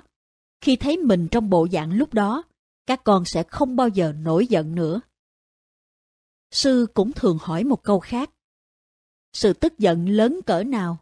Cỡ nắm tay hay trái banh? Chúng ta thường dán nhãn cho sự tức giận của người khác là sự tức giận của họ hay sự tức giận của chính mình là sự tức giận của tôi. Nhưng đây là cái nhìn sai lạc. Sự tức giận của người Trung Quốc có lớn hơn sự tức giận của người Ấn Độ không? Không, chúng như nhau cả thôi. Tức giận là tức giận. Nếu chúng ta coi các phiền não là của mình hay dán nhãn sự tức giận, chúng ta đang không thực sự hành thiền. Chúng ta không thể nào hiểu nổi bản chất tự nhiên đích thực của chúng. Sân và tham có những tính chất riêng. Sân có tính phá hủy hoặc tiêu diệt và dữ dội. Trong khi đó, tính chất của tham là bám níu và dính chặt vào, giống như keo. Nó giữ chặt và không muốn thả ra. Chúng ta có thể nhìn vào sự nổi giận như một hiện tượng tự nhiên. Nó xuất hiện và mất đi. Đây là một phần của tự nhiên. Và trong tâm chúng ta cũng có các hành, sankhara, do các nhân trong quá khứ và duyên. Thứ mà chúng ta luôn khăng khăng cho rằng nó là thực tại của chính mình. Chúng giống như những nút thắt trong tâm, có thể rất vi tế và khó thấy. Sức bùng nổ thực sự của tâm sân là tự nhiên và hoạt động giống như một bộ khuếch đại, để từ đó chúng ta có thể đưa ra quan điểm của mình. Đây là cách chúng ta sử dụng để bảo vệ các quan điểm mà mình đang nắm giữ. Nó có thể xảy ra quá nhanh và vượt ngoài tầm kiểm soát chỉ trong tích tắc. Vậy làm sao chúng ta có thể đương đầu với một sức mạnh như thế? Khi cơn sân bùng nổ, có thể là đã quá trễ, chúng ta đã bị nó cuốn theo. Đám cháy đã nằm ngoài tầm kiểm soát và chúng ta không có nước để dập lửa. Tuy nhiên, bằng cách sử dụng chánh niệm, chúng ta có thể học cách nhận ra các dấu hiệu sớm, sự căng thẳng trên cơ thể và các hoạt động trong tâm trí. Sau đó, nỗ lực để nhận biết và tìm hiểu các hoàn cảnh thực tế và cả những điều kiện trong tâm sẽ chầm ngòi cho cơn giận. Điều này sẽ đem lại hiểu biết giúp gỡ rối các nút thắt. Có một lần tôi đã rất giận dữ sau khi thực hành liên tục trong một khoảng thời gian dài. Trước đó, ít nhất trong 6 tới 8 tháng trời, sự giận dữ không phải là vấn đề đối với tôi. Tôi đã cảm thấy không khỏe trong suốt cả ngày làm việc. Trở về nhà vào buổi tối, tôi nói em trai lấy cho mình ít thuốc tây. Cậu ấy trả lời tôi một cách thô lỗ. Vậy là tôi đã nổi điên ngay lập tức. Chị gái của tôi sau đó chạy đến và nói, Nè, sao cậu lại có thể nóng nảy như thế khi đã hành thiền miên mật? Ngay lập tức, tôi nhận ra hậu quả do cơn sân của mình gây ra cho cả nhà. Em trai tôi mặt mày sợ hãi và những người còn lại thì rất lo lắng. Tôi có thể thấy được cả tiến trình cơn sân đã tích lũy ra sao trong ngày bởi vì tôi đã cảm thấy không khỏe nhưng vẫn phải xoay sở buôn bán một mình. Do đó, nó đã đạt đến cực đỉnh vào buổi tối khi em tôi lên tiếng và làm cơn thịnh nộ bùng phát. Tôi đã nghĩ, sao mày dám nói chuyện với tao kiểu đó? Và rồi, bùm, cơn thịnh nộ nổi lên. Tôi đã bùng nổ như một quả bom hydro. Trí tuệ của tôi chưa đủ mạnh để thấy được các dấu hiệu cảnh báo sớm của sự giận dữ trong suốt cả ngày và dập tắt đám lửa trước khi nó trở thành một thảm họa. Tôi xin lỗi em mình ngay lập tức và nói với cậu ấy, không phải lỗi của cậu, là lỗi của anh. Từ đây, tôi đã hiểu rất rõ toàn bộ tiến trình và một ít trí tuệ đã sinh khởi. Tâm tôi lúc này hiểu rất rõ ràng rằng chẳng có lý do để nổi giận với bất kỳ ai trong bất kỳ tình huống nào hoặc hoàn cảnh nào. Nó không đem lại lợi lạc cho ai cả. Từ dạo đó, tôi nghĩ ra một kế hoạch để chống lại cơn giận. Công thức cơn giận 010. Mỗi khi tôi nhận ra mình đang giận ở mức độ 1, tôi sẽ chú tâm cẩn thận và đưa nó về không.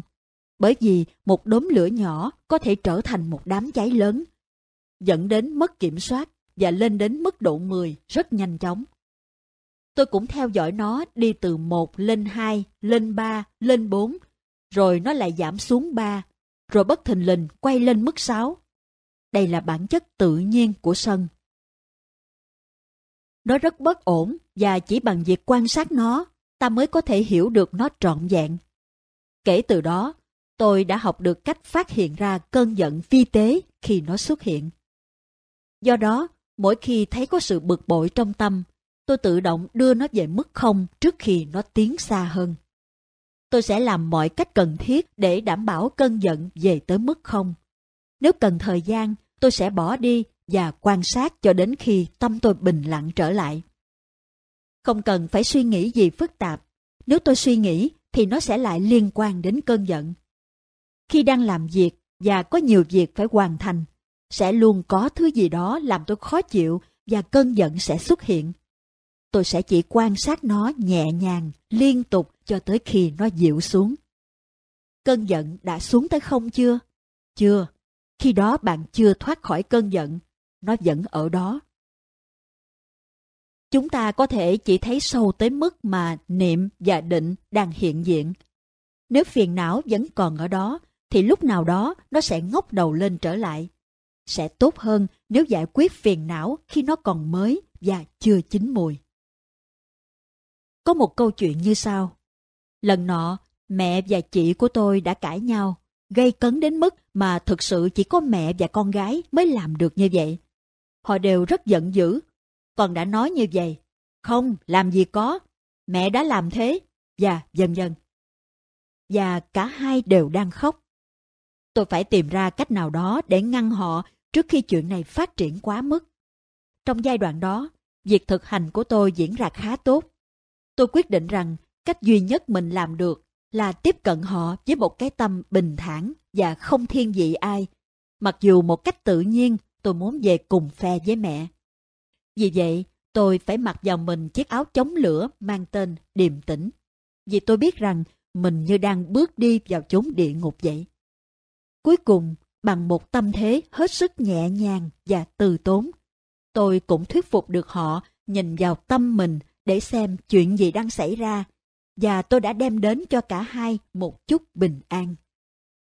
Sự tức giận đã làm cho chánh niệm của họ mờ mịt tới mức họ đã hành xử và bị dính mắc vào những cảm xúc thuần túy, khiến cả hai phải đau khổ nghiêm trọng. Vì tôi nói chuyện với họ bằng một cái tâm điềm tĩnh, nên tôi đã giúp họ giảm được cơn giận của mình tới mức thấy được những diễn biến trong tâm đang làm họ buồn phiền rất nhiều. Chúng ta cần phải hiểu được bản chất tự nhiên của cơn giận Chính quá trình suy nghĩ dẫn đến sự đột ngột tăng tốc của cảm xúc. Với sự hiểu biết này, khi cơn giận xuất hiện trở lại, chúng ta có thể phát hiện các dấu hiệu cảnh báo sớm khi chúng bắt đầu sinh khởi và làm gì đó để dịu tâm trí. Hãy tự hỏi bản thân, mình cảm thấy thế nào? Dễ chịu hay khó chịu? Tâm đang chấp vào cái gì khiến nó giận đến vậy? Có chuyện gì mà tâm thấy không thể chấp nhận được? Chúng ta có thể khám phá nhiều hơn về cơn giận bằng cách theo dõi diễn biến của tâm, chứ không phải nội dung câu chuyện. Tại sao trước đây tâm không nổi giận mà bây giờ lại như thế? Hoạt động nào khiến tâm nổi giận? Chúng ta đạt được hiểu biết về tiến trình này ở mức độ nào thì cơn giận sẽ giảm đi ở mức độ tương ứng. Các hoạt động của phiền não dừng lại và cơn giận sẽ yếu đi sau đó. Khi chị dâu tôi nổi giận vì chuyện gì đó hoặc với ai đó, chị ấy sẽ bắt đầu tranh luận bằng cách lôi kéo ai đó đồng ý với mình. Chị ấy sẽ nêu chủ đề mà mình đang thấy khó chịu và nói, đây là chuyện chúng ta nên bực mình, nó phiền phức quá, cậu nghĩ sao? Do đã thiền một thời gian, tôi biết cách tháo ngòi nổ tình huống này từ rất sớm. Tôi thường nói, chẳng có gì phải nổi giận hết, chị cứ khăng khăng giữ lấy ý kiến đó nên thấy không chấp nhận được thôi. Nếu tôi im lặng thì cũng có nghĩa là tôi không đồng ý với chị ấy và chị ấy sẽ trở nên giận dữ nhiều hơn. Khi tôi nói chẳng có lý do gì để giận, chị ấy không nói tiếp được bởi vì không có gì tiếp thêm cơn giận và làm cho nó lớn lên. Chúng ta có thể dùng cách tương tự với tâm trí của chính chúng ta. Khi không còn chú ý vào câu chuyện và quan sát quá trình một cách tổng quát, Chúng ta không chỉ hiểu về cơn giận và nguyên nhân của nó, mà việc này còn có tác dụng làm trạng thái tâm bớt căng thẳng. Tâm trí chúng ta luôn làm việc, nó tạo ra các phán xét và thiết lập nên những chuẩn mực, nên hay không nên, ý niệm về tôi và của tôi. Nó đeo bám vào một trong số những ý niệm đó và không thích sự thật rằng điều này đã bị xâm phạm. Đây là vấn đề mà tâm luôn chống đối. Lúc tôi nổi điên lên với em trai mình, câu chuyện là cậu đã làm vậy với tôi. đây là thứ châm ngòi cho cơn giận. Niềm tin của tâm vào ý niệm về bản ngã và tầm quan trọng của bản ngã khi nó bị xâm phạm. Tôi lớn hơn cậu và cậu không nên nói chuyện với tôi theo kiểu đó. Niềm tin này sau đó đã tạo nên cơn giận. Ví dụ trong xã hội phương Tây, mọi người thích xếp hàng. Họ tin rằng đây là cách làm đúng khi đi mua hàng hoặc đợi mua thứ gì đó khi có đông người cùng muốn một thứ. Vậy là công bằng. Nhưng khi có một ai đó chen hàng, mọi người sẽ nổi giận vì niềm tin của họ đã bị xâm phạm. Tôi đứng chờ nãy giờ, còn anh thì không. Tôi chờ để nhận đồ ăn, còn anh khiến mọi người phải chờ lâu hơn bằng cách chen ngang. Sao anh dám làm như vậy? Tâm tự thuyết phục chính nó rằng có rất nhiều thứ đã bị cản trở. Cũng có cả niềm tin rằng khi một người bị đánh giá là có hành vi không thích đáng, thì cách cư xử thích hợp là nổi giận với người đó. Chúng ta nghĩ rằng giá trị của chúng ta đã bị xâm phạm bởi hành vi của người khác, nên chúng ta nổi giận. Tâm luôn giận động và dễ dàng tìm ra thứ để nổi giận. Chúng ta thường bị lệ thuộc vào lời nói của người khác, những lời ca tụng hay lăng mạ, và nhìn chung là tự động bị ảnh hưởng. Khi chúng ta có thể quan sát được tiến trình của cơn giận một cách tổng quan, trí tuệ sẽ sinh khởi, các phiền não do đó cũng sẽ rút lui. Cơn giận chỉ là cơn giận, nó chỉ là bản chất của Pháp, vậy thôi, vậy thôi, vậy thôi, vậy thôi.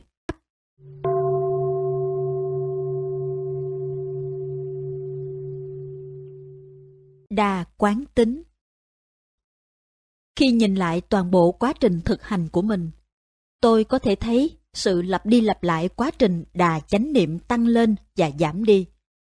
Các hành động của tôi đều rơi vào thái cực, những việc cực tốt rồi những việc cực xấu. Tôi đã tham gia hành thiền tại tu viện và thanh lọc bản thân, để rồi khi về nhà thì trượt dài theo những thói quen cũ. Vì vậy mà chánh niệm của tôi không liên tục, dẫn đến định cũng không tốt. Tôi có thể thấy được những yêu cầu để tiến bộ trong pháp hành, nhưng vẫn chưa có sự cân bằng vì tâm vẫn còn ô nhiễm. Việc thực hành của tôi là một chuỗi những quá trình khởi đầu và dừng lại. Cũng giống như trong môn nhảy cao, bạn chạy tới để lấy đà, nhìn lên và thấy thanh xà trên cao. Sau đó bạn ngừng lại và trở về chỗ cũ. Không có đủ đà để thực hiện cú nhảy. Đà quán tính rất quan trọng trong mọi khía cạnh của cuộc sống, học tập, giao tiếp xã hội. Chính đà quán tính đã giúp cải tiến và khiến chúng ta làm gì cũng ngày càng dễ dàng hơn. Nó cho phép chúng ta phát triển. Nếu một người bác sĩ ngưng thực hành trong 6 tháng và sau đó quay trở lại, anh ấy hay cô ấy sẽ cảm thấy không chắc chắn và lỗi nhịp. Bất kể làm công việc gì, chúng ta cần phải gia chạm, sát sao và thật quen thuộc với nó. Đây chính là thứ đem lại đà quán tính. Nhiều hành giả kể lại lần đầu tiên họ tham dự khóa thiền hoặc họ đã thực hành lâu ra sao. Có thể là những 20 hay 30 năm. Nhưng họ có hoàn toàn chánh niệm trong bao nhiêu đó thời gian không? Nếu tính tổng số thời gian hoàn toàn chánh niệm, có thể họ sẽ thấy một bức tranh khác. Theo khuynh hướng chung, chúng ta thường cho rằng chánh tinh tấn là bỏ ra thật nhiều nỗ lực vào một thời điểm nhất định nào đó. Nhưng ngược lại, chánh tinh tấn chính là sự kiên nhẫn và bền bỉ liên tục trên cả quãng đường dài, không bỏ cuộc và không bao giờ dừng lại. Chúng ta phải thực hành một cách liên tục, nỗ lực thật nhiều trong khoảng thời gian ngắn với mong muốn gặt hái thứ gì đó, chính là tham. Trí tuệ là nhìn vào sự dài hạn, nỗ lực nhẹ nhàng nhưng ổn định trong suốt khoảng thời gian dài, để rồi gặt hái một thành quả xứng đáng. Chúng ta càng hiểu biết về các yếu tố tự nhiên và cách chúng vận hành, thì càng dễ hiểu tiến trình mọi thứ dần phơi bày ra thuận theo tự nhiên. Khi một cái gì đó trở nên tự nhiên, nghĩa là đà quán tính của nó rất mạnh mẽ, nó trở thành tính chất tự nhiên của bạn. Trầm cảm cũng có đà quán tính riêng của nó, nghĩa là những cảm xúc kèm theo như tức giận, lo lắng, sợ hãi, căng thẳng cũng có đà quán tính, góp phần vào tình trạng suy nhược chung.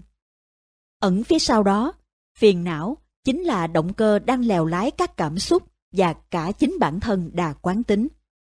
Ngay cả khi công suất của phiền não này giảm bớt, thì các tác hại của nó vẫn được duy trì trước khi trí tuệ có thể chống lại được đà quán tính của nó. Mọi người nói rằng những con tàu lớn như tàu chở dầu chẳng hạn, khi chạy hết tốc lực sẽ cần đến 20 dặm để dừng hẳn sau khi đã tắt động cơ.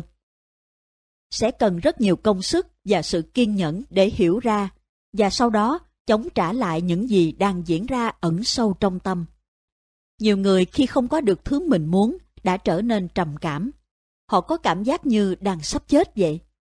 Ngày này qua ngày khác, năm này qua năm khác. Tâm nói, tôi căng thẳng quá. Người trầm cảm biết rõ tâm của họ. Họ biết mình đau khổ thế nào. Vấn đề là cách nhìn sai lạc. Luôn suy nghĩ rằng tôi đang trầm cảm, sẽ chỉ càng nuôi dưỡng ý tưởng đó phát triển. Cách duy nhất là làm sao để sinh khởi trí tuệ. Nếu bạn có thể nuôi dưỡng một tâm thiện, đà quán tính đang thúc đẩy trầm cảm sẽ bị dừng lại, quay đầu và sau đó hoàn toàn bị chế ngự. Bạn phải thực hành giới, định và tuệ. Đây là những cái thắng sẽ hãm đà quán tính của trầm cảm. Giống như một con tàu lớn, thay đổi quán tính của một trạng thái tâm để nó đi theo hướng thiện thay vì bất thiện là rất khó khăn.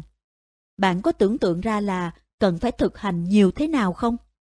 Khi chúng ta nhìn vào thứ gì đó, thích hoặc không thích sẽ sinh khởi. Khi nghe thấy âm thanh nào đó, thích hoặc không thích cũng sanh khởi. Đây là điều bình thường đối với chúng ta. Bạn có thể tưởng tượng được thay đổi chuyện này khó thế nào không? Khi chúng ta xây dựng được thói quen nhìn và nghe với chánh niệm và trí tuệ, quá trình hãm đà quán tính của bất thiện từ từ được bắt đầu. Chúng ta dần tin tưởng vào chánh niệm và trí tuệ này cho tới khi đà quán tính này chậm lại và đảo chiều. Sau đó, nếu chúng ta kiên nhẫn và bền bỉ, con lắc sẽ đu về phía trí tuệ. Thực hành chánh niệm liên tục tạo nên đà quán tính cho trí tuệ. Nó giống như hiệu ứng quả cầu tuyết. Trí tuệ cứ tăng lên mãi. Nhắc nhở bản thân luôn chánh niệm là không đủ. Để đà chánh niệm được mạnh mẽ hơn nữa, chúng ta phải thực hành với thái độ chân chánh để có một tâm quan sát hoàn toàn không ô nhiễm. Ví dụ, nếu chúng ta lo lắng về sự tiến bộ trong pháp hành, thì trước tiên chúng ta phải nhận ra được đây là phiền não, rồi sau đó lấy nó làm đối tượng quan sát. Mỗi khi thấy nghi ngờ, bức rứt, khó chịu, bất mãn, căng thẳng, thất vọng hoặc hoan hỷ, thì hãy quan sát chúng, khảo sát chúng và tự hỏi những câu như tâm mình đang có những loại suy nghĩ gì? Thái độ hiện tại và động cơ thúc đẩy của nó là gì? Tôi đang cảm thấy thế nào? Điều này giúp chúng ta thấy được cách thức phiền não tác động lên bản thân. Quá trình này cần một thái độ kiên nhẫn, tò mò và hứng thú khi thực hiện. Khi chúng ta ngày càng nhuần nhuyễn trong việc quan sát với thái độ đúng, chánh niệm sẽ trở nên mạnh mẽ và liên tục hơn. Theo thời gian, việc thực hành của bạn trở nên chín mùi và chánh niệm sẽ có được đà quán tính của nó. Từ đây, bạn sẽ dần tự tin trong hành thiền. Bạn sẽ bắt đầu duy trì chánh niệm một cách tự nhiên. Chánh niệm tự nhiên này sẽ đem lại cảm giác tự do mà bạn chưa bao giờ trải qua. Bạn sẽ biết rõ khi đạt trạng thái ấy và bạn sẽ hầu như lúc nào cũng cảm nhận được nó. Tâm trở thành một đối tượng của chánh niệm và bạn có thể nhận biết được tâm chánh niệm. Với đà quán tính như vậy, tâm trở nên điềm tĩnh và ổn định hơn. Đảo ngược tình thế, sự quyết tâm. Những năm ở độ tuổi từ 25 đến 27, tôi đã một lần nữa rơi vào trầm cảm. Lần này là khá nặng và kéo dài. Đây là lần thứ ba tôi bị bệnh này và cũng là lần bị nặng nhất. Tôi đã có chút trí tuệ từ những khóa thiền trước đó, nên sự dính mắc vào lối sống hư hỏng đã yếu đi một chút. Cuối cùng thì tôi cũng không thể duy trì lối sống như vậy hơn nữa. Bởi vì tôi thấy thật khó để tìm thấy hạnh phúc trong đời, nên tôi thường nổi giận. Chính đó là nguyên do khiến tôi trở nên trầm cảm và rồi lại nổi giận và trầm cảm hơn. Tôi bắt đầu nhận ra cách mà chu trình trầm cảm đang vận hành, bởi vì thói quen có một lực hút rất mạnh mẽ. Và ở một mức độ nào đó, tôi biết tâm mình nên tôi có thể thấy được các thói quen, nhưng chỉ là không đủ trí tuệ để thay đổi các hành vi cũ. Tôi dường như không thể làm gì trước hoàn cảnh này. Những việc tôi làm thường rơi vào thái cực, việc tốt và rồi sau đó là việc xấu. Bởi còn quá nhiều phiền não, nên tôi luôn cảm thấy rất lo âu và sợ hãi. Tôi không còn bạn bè, bởi vì họ còn bận lo công việc riêng, và tôi cũng phải chu toàn trách nhiệm với công việc của mình. Tôi không có thời gian gặp gỡ họ. Vui chơi từng là ưu tiên số một trong cuộc đời tôi. Đây cũng là cách mà tôi lôi kéo bạn bè. Bây giờ thì chẳng còn gì vui cả. Nếu tôi có đi đâu thì cũng luôn là đi một mình. Tôi thấy việc gặp gỡ đám đông thật phiền phức. Khi gặp mọi người hay ở nơi làm việc, tôi luôn lo lắng và sau đó là giận dữ bởi vì tôi nghĩ mọi người đang cố tình làm phiền tôi. thật ra họ chỉ đang làm công việc bình thường của mình. Thỉnh thoảng tôi nghĩ rằng những cảm giác trong mình là không đúng, nhưng vào lúc đó, niềm tin vào những nỗi sợ hãi dường như mạnh mẽ và dễ dàng có mặt hơn nhiều so với trí tuệ. Bên ngoài tu viện hoặc trung tâm thiền, mọi người không có được sự quyết tâm để tiếp tục thực hành trong đời sống hàng ngày. Họ không hoàn toàn hiểu được cách thức đúng để thực hành. Kinh nghiệm của tôi với trầm cảm đã cho tôi thấy con đường. Bởi vì tôi đã hầu như luôn ở trong trạng thái quá đổi đau khổ, nên tôi cảm thấy mình không có sự lựa chọn nào khác ngoài việc đầu hàng và theo dõi tâm mình thật sát sao. Trải qua những năm tháng hành thiền, tôi hiểu rằng mình không nên kháng cự lại đối tượng mà để cho nó tự làm công việc của mình, còn bản thân chỉ quan sát các cảm xúc. Tôi thấy điều này rất khó thực hiện, nên tôi đã tìm ra một cách để tiến hành và đồng thời duy trì chánh niệm. Trong giai đoạn này, tôi bắt đầu dùng ống hít mũi mùi bạc hà của hãng Vicks như một đề mục để hành thiền. Do có mùi rất nồng, nó làm tôi thực sự chú ý vào đề mục hơi thở. Đối với tôi lúc này, hơi thở là đối tượng quá vi tế. Tôi nhận ra rằng mùi bạc hà rất mạnh của ống hít thực sự thu hút sự chú ý của tâm và sự nhận biết trở nên thật rõ ràng. Trầm cảm chấm dứt trong chốc lát, rồi sau đó quay lại như cũ. Sử dụng ống hít là cách duy nhất đem lại cho tôi sự khuây khỏa, thoát khỏi tất cả những đau đớn tinh thần mà tôi phải chịu đựng. Ống hít là một đề mục nổi trội, rất dễ làm tôi phải chú ý khi tôi làm việc hoặc ở giữa chốn đông người và trong tâm có nhiều lo lắng. Tôi sẽ luôn đưa ống hít lên mũi. Tôi đã đi lòng vòng với cái ống hít dính trên mũi. Mọi người hỏi tôi, sao gắn thứ đó trên mũi hoài vậy? Tôi đã không tiết lộ rằng tôi dùng ống hít để hành thiền. Họ chỉ nghĩ tôi bị cảm hay bị bệnh viêm xoang. Nếu bị dồn vào chân tường và sử dụng quyết tâm của mình, chúng ta sẽ luôn tìm được cách gì đó để đối phó với vấn đề. Giải pháp có thể chỉ đem lại sự giải tỏa tạm thời, nhưng đôi khi nó cũng đủ để kích thích trí tuệ và tìm được cách tiến lên. Chúng ta phải thử nhiều thứ khác nhau và bất kỳ phương pháp nào khả dụng khi gặp khó khăn. Cũng trong thời gian này, tôi đã đọc rất nhiều sách. Một cuốn trong số đó là của Sayadaw Mogok, một thiền sư vĩ đại người Miến Điện, người đã hành thiền và dạy thiền vào nửa đầu thế kỷ 20. Có 36 bài pháp thoại trong cuốn sách này. Ngài nhấn mạnh việc quan sát sinh diệt trong thân và tâm với sự nhấn mạnh đặc biệt ở tâm. Mỗi buổi sáng khi đi vào nhà vệ sinh, tôi cầm theo cuốn sách và đọc 6 trang trong đó. Hoàn tất xong mọi việc thì tôi mới đi làm. Do đọc 6 trang trong cuốn sách này mỗi ngày, tôi hiểu được rằng thông điệp và các phương pháp thực hành khác nhau đến từ các vị thầy khác nhau, về bản chất là giống nhau và có cùng mục tiêu đối với tâm. Tôi dần hiểu được những gì họ nói đến, đó là hành thiền liên tục. Sau khi hoàn tất quyển sách, tôi dừng việc đọc lại và dành nhiều thời gian hơn cho pháp hành. Duy trì chánh niệm quan trọng hơn nhiều. Đọc sách có thể đem lại nhiều lợi ích cho việc thực hành, nhưng đó thực ra chỉ là các khái niệm hoặc ý tưởng.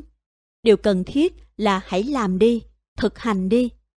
Nỗ lực trong việc duy trì thực hành suốt cả ngày và vào tất cả các ngày. Nói về thiền, thật ra chỉ có thiền chỉ và thiền quán là chúng ta nên luyện tập. Trong thiền chỉ có 40 đề mục khác nhau mà chúng ta có thể dùng để xây dựng định. Nhưng mỗi lần chỉ sử dụng một đề mục mà thôi. Chúng ta có thể trở nên tập trung cao độ nhờ thực tập phương pháp này. Trong thiền quán, tất cả các đề mục đều được sử dụng để tạo nên sự tập trung. Đây là phương pháp mà tôi ưa thích hơn, nhưng tôi cũng sử dụng cả thiền chỉ để phát triển định nếu không có thời gian nghiên cứu và học hỏi từ thiền quán. Tôi biết rằng nếu tôi có thể duy trì sự bình an thì trí tuệ sẽ đến dễ dàng. Trí tuệ chỉ có thể xuất hiện nếu định được duy trì. Và điều cần thiết là phải thực hành liên tục.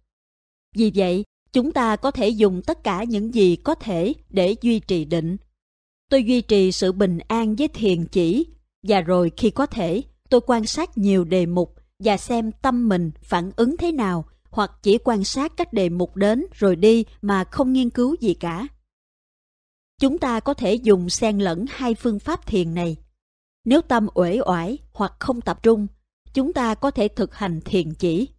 Khi có định lực, chúng ta có thể hành thiền minh sát. Trong giai đoạn trầm cảm, tôi chủ yếu nhận biết, nhận biết, nhận biết các cảm xúc. Nhưng vì có chánh niệm liên tục, nó trở thành một quá trình học hỏi, thu thập dữ liệu thực sự. Bất kỳ đề mục nào nằm trong tầm nhận diện của chánh niệm sẽ là cơ hội để ta học hỏi. Đây là quá trình nhanh hơn, chánh niệm trên thân và tâm với sự chú trọng nhiều hơn vào tâm. Ở trung tâm của chúng tôi có một tu sĩ bị trầm cảm rất nặng. Trước đây, vị đó chưa bao giờ hành thiền, ngay cả phương pháp quán niệm hơi thở. Vì vậy, tôi khuyên nên chánh niệm trên các cảm xúc. Do rất quyết tâm vượt qua căn bệnh của mình, nên sau khi tôi hướng dẫn phương pháp chánh niệm trên cảm xúc, vị ấy bắt đầu dùng tất cả nỗ lực để quan sát các phản ứng của tâm. Sau một tháng thực hành, bệnh trầm cảm đã thuyên giảm. Vị ấy thay đổi và hạnh phúc hơn rất nhiều. Sau đó, vị ấy đã tăng cường việc tập luyện bằng phương pháp quán niệm hơi thở, song hành với phương pháp thiền quán. Phương pháp thiền quán này nếu được duy trì liên tục có thể giúp tiến bộ rất nhanh. Ưu điểm của việc quan sát cảm xúc như một đối tượng thuộc về thân mà không kèm theo bất cứ suy nghĩ nào đó là các cảm xúc thì liên kết với tâm. Và khi các cảm xúc lắng xuống, bạn vẫn đang kết nối với tâm. Điều này mang đến cơ hội để nhận biết và tìm hiểu nhiều cảm xúc vi tế hơn mà không có một tâm phản ứng xuất hiện. Sau hai năm bị trầm cảm và cảm thấy rất khổ sở, tôi thấy mình không có lựa chọn nào khác ngoài việc nỗ lực hơn nữa trong hành thiền. Các phương pháp khác đều vô dụng. Tôi đã thử mọi cách để có cuộc sống hạnh phúc, nhưng thứ cuối cùng tôi có thể nghĩ đến là thiền. Thầy tôi luôn nói, các hành giả không biết cách thực hành đúng khi ở bên ngoài tu viện, họ không áp dụng những gì học được, và vì vậy không kiên định trong pháp hành. Động cơ thực hành suy giảm và đà quán tính cũng dừng lại đây là vấn đề tôi gặp phải. Tôi nhận thấy mình không thể tiếp tục dùng chất gây nghiện và các hành động bất thiện, nhưng rồi tôi không thể tìm được cách nào khác để hạnh phúc. Trạng thái lờ đờ này chỉ làm tăng thêm trầm cảm. Sau đó chuyển hóa thành sự giận dữ và rồi trầm cảm nặng hơn. Tôi cảm thấy tội lỗi về tất cả những hành vi xấu mình đã làm, dù không khi nào tôi muốn tự sát. Tôi không có động lực để tự làm hại bản thân tôi biết rõ là sẽ có đường thoát ra. Sự bất thiện của việc không hành thiền có bản chất như thế. Không duy trì thực hành liên tục là sai lầm lớn nhất của tôi trong những năm bị trầm cảm đó. Bago, những bài học ở rừng thiền Vào giai đoạn này, tôi luôn bận rộn buôn bán ở cửa hàng, vì vậy rất khó để tham dự các khóa tu. Tuy nhiên, tôi cũng liều để tham gia.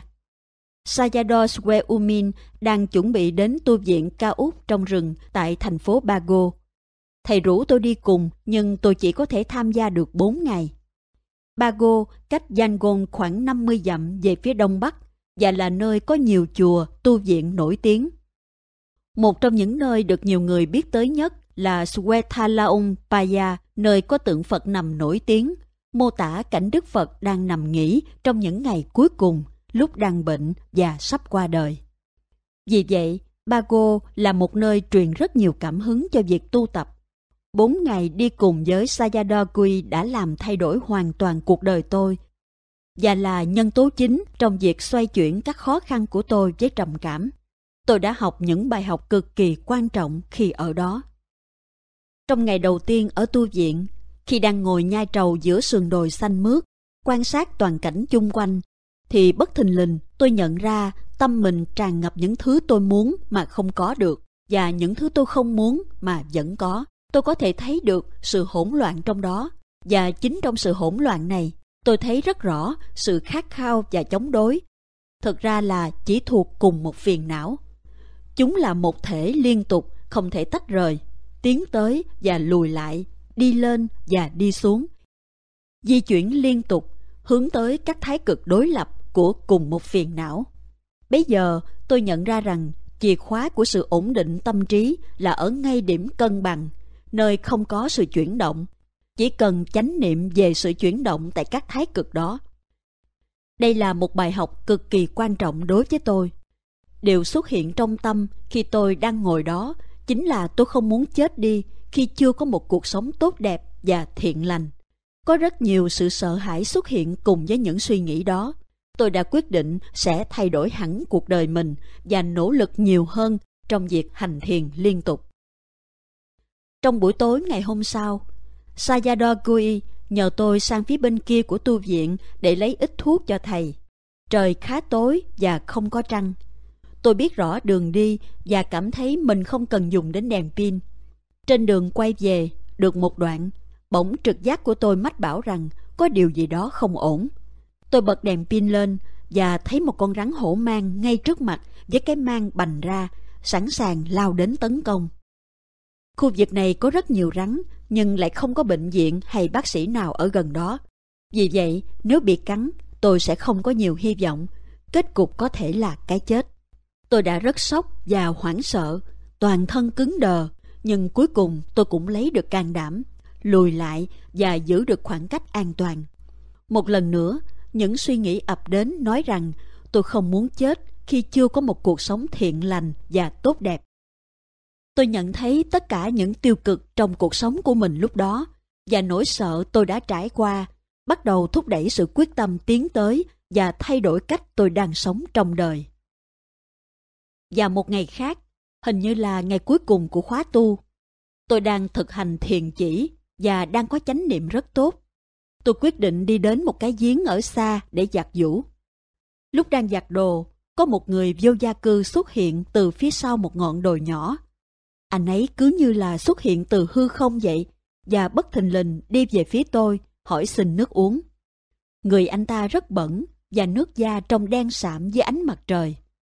Tôi không nhớ rõ gương mặt anh ta, chỉ nhớ anh ấy đã mặc một cái xà rông, trang phục truyền thống của người Miến Điện, rách tả tơi. Tôi lùi lại và đổ đầy cái gầu nước. Anh ấy cầm lấy, uống một cách vội vàng. Sau đó, anh ta bỏ đi. Lúc biến mất cũng nhanh như khi xuất hiện.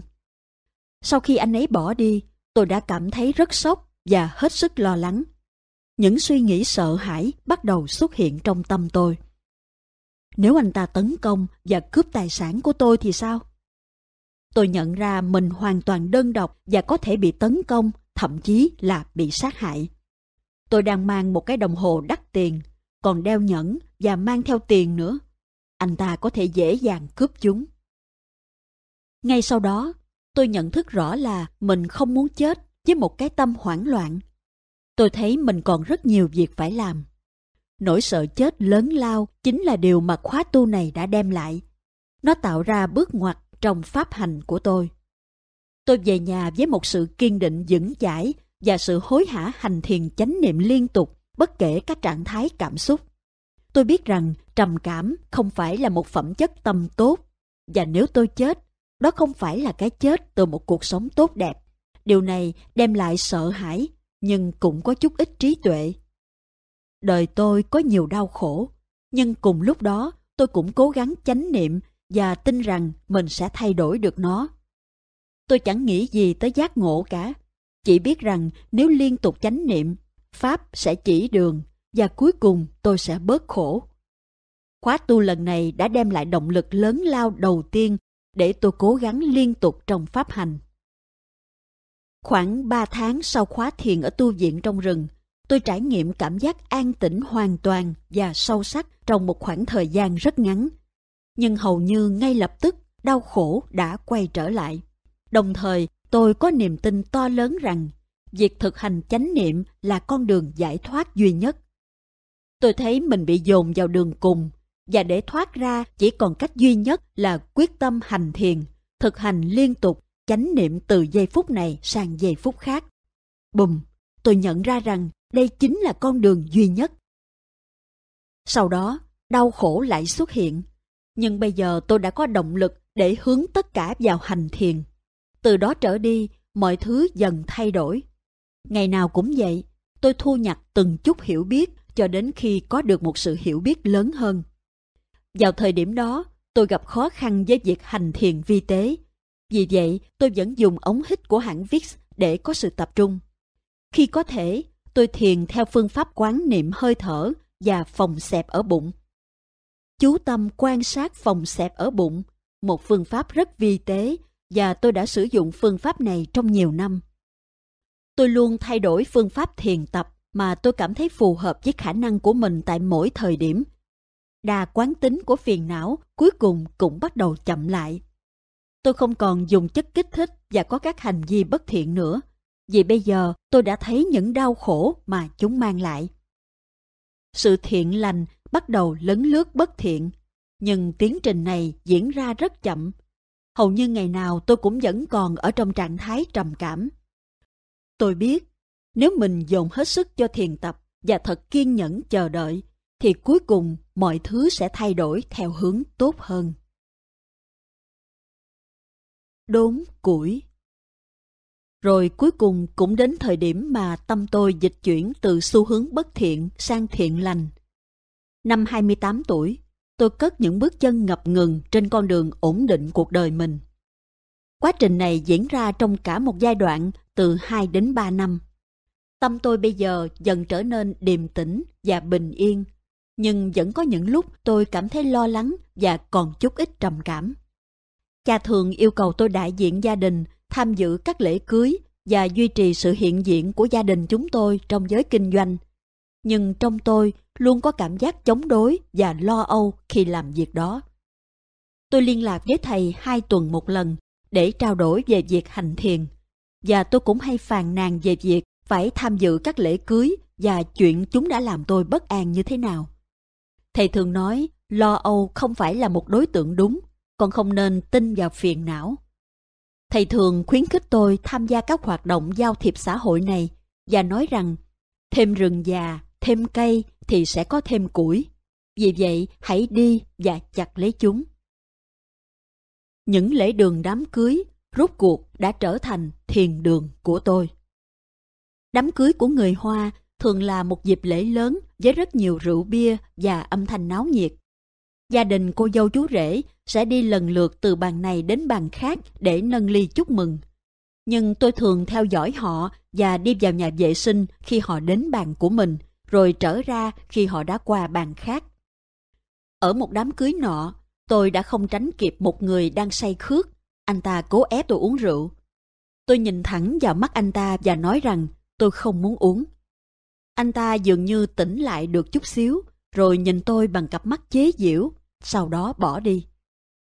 Tôi bắt đầu xây dựng được những chiến thuật và cách thức để xử lý những tình huống này. Tâm tôi dần nhận ra rằng mình không cần phải bận tâm tới các đối tượng nữa. Bởi vì tôi đã dành nhiều công sức cho việc hành thiền liên tục trong môi trường ở chợ với âm thanh huyên náo dây quanh. Nên tâm tôi đã hình thành thói quen tự động chánh niệm mỗi khi bước vào đám đông hoặc những nơi ồn ào khác ngoài nơi làm việc. Khi xây dựng chánh niệm và định trong các môi trường giao tiếp xã hội, tôi đã trở nên tự tin hơn và nhờ đó tôi càng hành thiền hiệu quả hơn tại nơi làm việc. Tôi có thể thấy giá trị của việc thực hành liên tục và điều này đã được củng cố trong mọi hoạt động hàng ngày của tôi. Trước khi học cách thực hành trong môi trường xã hội, tôi dành nhiều thời gian nhất có thể để tự mình thực hành định. Dù đã có được sự bình ổn, nhưng vì hay chống đối nên tôi thấy rất khó có được sự bình an. Tôi không thực hành giỏi, nhưng đơn giản là đã liên tục cố gắng hết lần này đến lần khác. Dần dần, sau một khoảng thời gian dài thực hành khi có nhiều người xung quanh, thói quen trong tâm tôi đã thay đổi. Chánh niệm tăng trưởng và nó dần trở nên tự nhiên. Khi tôi thấy được sự chống đối trong tâm mình là do xuất hiện các điều kiện bên ngoài, tôi chủ động bắt đầu thực hành trong môi trường xã hội để vượt qua sự chống đối này. Tôi tìm tới những địa điểm hay làm mình cảm thấy bất an, bởi vì tôi biết đây chính là điểm yếu của mình. Thỉnh thoảng tôi đi vào quán bar và hành thiền để thử thách bản thân. Đây là nơi tôi học được cách thiền trong khi mắt vẫn mở. Cách này giúp ích nhiều hơn cho việc thực hành trong đời sống hàng ngày. Mọi người thường say xỉn và nói chuyện lớn tiếng. Tôi muốn tìm hiểu những thứ này ảnh hưởng lên tâm tôi thế nào.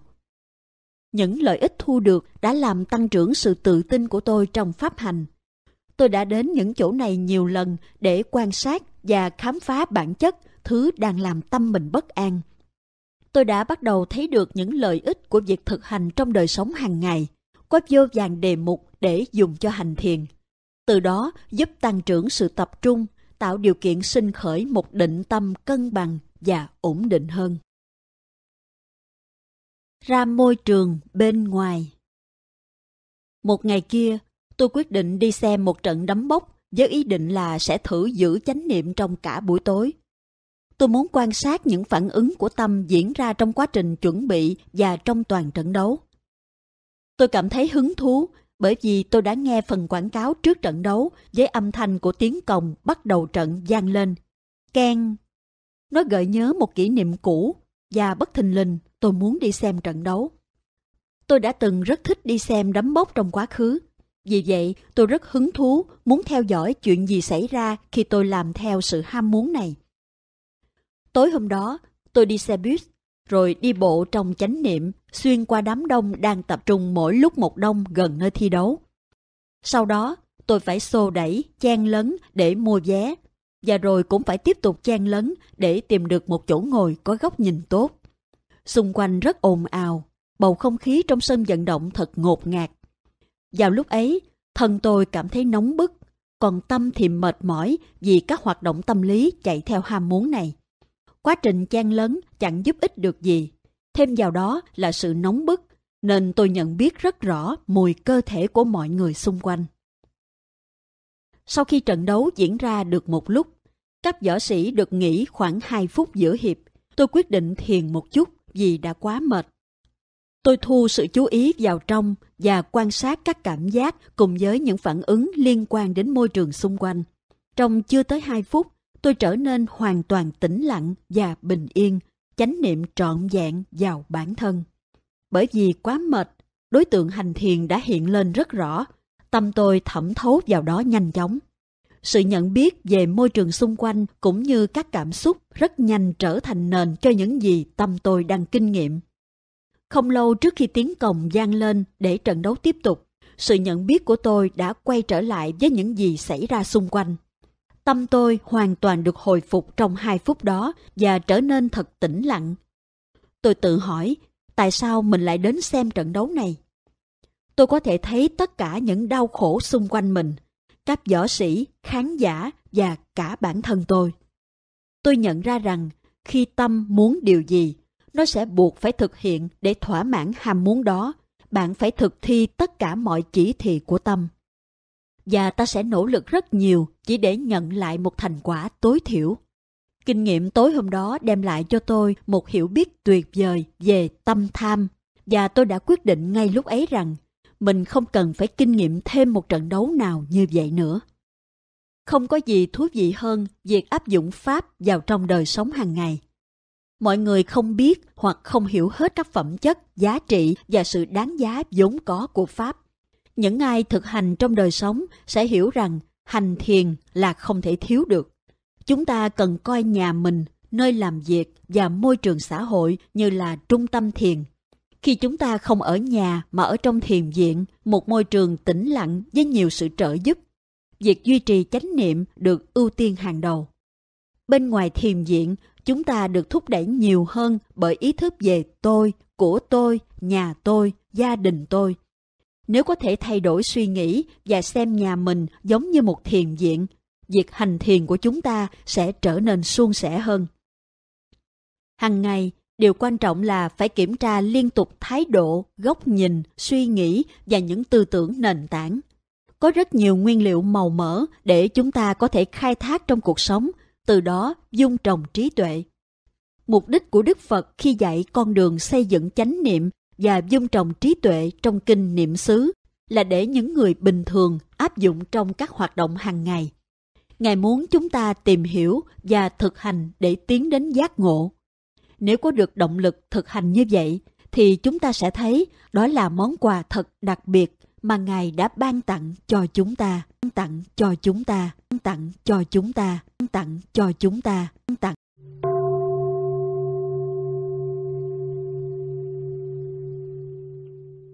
Động lực thứ hai, minh sát tuệ, các tầng tuệ minh sát. Động lực to lớn thứ hai thúc đẩy tôi hành thiền sâu hơn, chính là khi tuệ minh sát sinh khởi trong tâm. Ồ, điều này thật kỳ lạ, rất thú vị. Tôi chưa bao giờ nghĩ chuyện như thế có thể xảy ra. Hiểu biết của tôi bất thình lình trở nên cực kỳ mạnh mẽ và có chiều sâu hơn trước. Nó đồng loạt xuất hiện bởi vì tôi đã mong ước có hiểu biết sâu sắc hơn. Tâm tôi luôn hứng thú và muốn tìm hiểu nhiều hơn. Tôi đã hành thiền rất chăm chỉ. Trước đây, động lực để thực hành đến từ sự sợ hãi, lo lắng và muốn chấm dứt những đau khổ do trầm cảm. Nhưng đồng thời, tôi cũng nỗ lực để quan sát tâm mình và cố tìm hiểu cái gì ở đằng sau những trạng thái tâm ấy. Khi tuệ minh sát xuất hiện, động lực thực hành đã thay đổi thành sự hứng thú muốn hiểu biết nhiều hơn. Giờ đây, tôi có thể thấy rõ những kết quả tiềm năng của quá trình thực hành chánh niệm liên tục. Nó thật lạ, bởi vì nếu những phiền não là những gì chúng ta nghĩ, thì trạng thái tâm phiền não sẽ là rất mạnh, và đây là cách chúng ta sẽ nhìn nhận thế giới. Khi những phiền não giảm xuống và trí tuệ tăng lên, thế giới chúng ta nhận thấy trở nên hoàn toàn khác biệt. Trước đây, tôi chưa bao giờ nghĩ như thế. Vì vậy, khi tuệ minh sát cụ thể này xuất hiện, nó làm tôi hoàn toàn ngạc nhiên. Chuyện này xảy ra bất thình lình và khiến tôi bị cuốn hút. Nó đem lại cho tôi tất cả động lực cần thiết để tiếp tục thực hành và khai mở thêm nhiều hiểu biết hơn nữa. Rõ ràng là khi chúng ta hứng thú với bất kỳ điều gì, chúng ta sẽ nhìn thấy được nhiều hơn. Nếu có chuyện gì đó nằm trong tầm nhìn của bạn, dù trong khoảng thời gian dài hay ngắn, bạn sẽ bắt đầu thấy nó và nhận ra các khuôn mẫu. Bạn sẽ bắt đầu hiểu được chuyện gì đang xảy ra. Bạn cần để cho bất kỳ chuyện gì diễn ra được tiếp tục như nó đang là, mà không có sự can thiệp nào. Nếu bạn nhảy vào và phá rối tiến trình của tâm thì đúng vậy, có thể bạn sẽ khiến nó dừng lại. Nhưng liệu bạn có học hỏi được gì từ trạng thái tự nhiên của nó không? Không. Hãy để mọi thứ bộc lộ một cách tự nhiên. Công việc duy nhất của bạn là quan sát, nhận biết, học hỏi, thu thập dữ liệu và rút ra kinh nghiệm. Càng nhiều kinh nghiệm, hiểu biết của bạn càng sâu. Bạn cần quan tâm đến bản chất của thân và tâm. Chuyện gì đang xảy ra trong tâm? Chuyện gì đang diễn ra trên thân? Một tâm hay trạng thái tinh thần liên quan đến những trạng thái khác như thế nào? Hãy tạm để những nội dung câu chuyện qua một bên khi nghiên cứu thân và tâm của mình. Đừng cố giải quyết những diễn biến câu chuyện khi mọi thứ đang không diễn ra theo cách mà bạn vẫn nghĩ. Cố gắng làm như vậy là tham. Khi trí tuệ tăng trưởng, những phiền não sẽ rơi rụng dần và do đó sẽ có ít ham muốn trong tâm. Bạn sẽ thấy rằng cuộc sống của mình thật ra không có nhiều vấn đề. Khi chúng ta không chấp nhận mọi chuyện như nó đang là, chúng ta thiêu đốt bản thân và trở nên kiệt sức về những ham muốn thay đổi liên tục. Thay vào đó, sẽ tốt hơn nếu chỉ thư giãn, quan sát và để mọi thứ tự nhiên. Trong những năm tiếp theo, tôi ngày càng chín chắn hơn trong pháp hành và thành thạo hơn trong việc quan sát tâm như nó đang là. Những từ này trở thành khẩu hiệu mà tôi lặp đi lặp lại mỗi khi gặp khó khăn như nó đang là. Như nó đang là. Tôi đã hiểu được điều đó và thấy rằng thực hành như vậy sẽ giúp tôi thoát khỏi khó khăn. Hết lần này đến lần khác, khổ đau quay trở lại, nên tôi biết mình có thể không bao giờ ngừng được việc thực hành.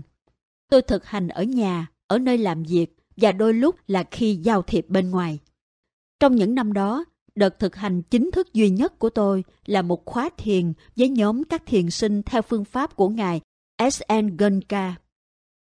Tôi rảnh được 10 ngày và đó là khóa thiền duy nhất thích hợp. Tôi tham gia nhưng đã không làm theo lời hướng dẫn của họ. Phương pháp của Ngài Gönka rất nghiêm khắc. Nếu bạn là một hành giả chuyên tu theo dòng này thì bạn cần phải làm theo. Còn tôi làm theo cách của mình. Tôi thấy họ nói rất nhiều và tâm tôi hướng theo âm thanh. Tôi rất quan tâm đến các phản ứng trong tâm mình trước âm thanh. Tôi thích nguyên tắc chánh niệm trên cái nghe, nhưng không thích cách tâm mình phản ứng trước âm thanh. Tôi thực hành với âm thanh và cái nghe hàng ngày và nhận ra khuynh hướng tâm mình theo đuổi âm thanh. Khi tâm bắt đầu đi lạc về phía âm thanh, tôi nhận ra chuyện đó. Ồ, được rồi. Sau đó, tôi quay lại quan sát những phản ứng diễn ra trong tâm. Thỉnh thoảng tôi đến các đám cưới của người Hoa, lắng nghe ban nhạc biểu diễn và lấy âm thanh của một nhạc cụ duy nhất làm đề mục.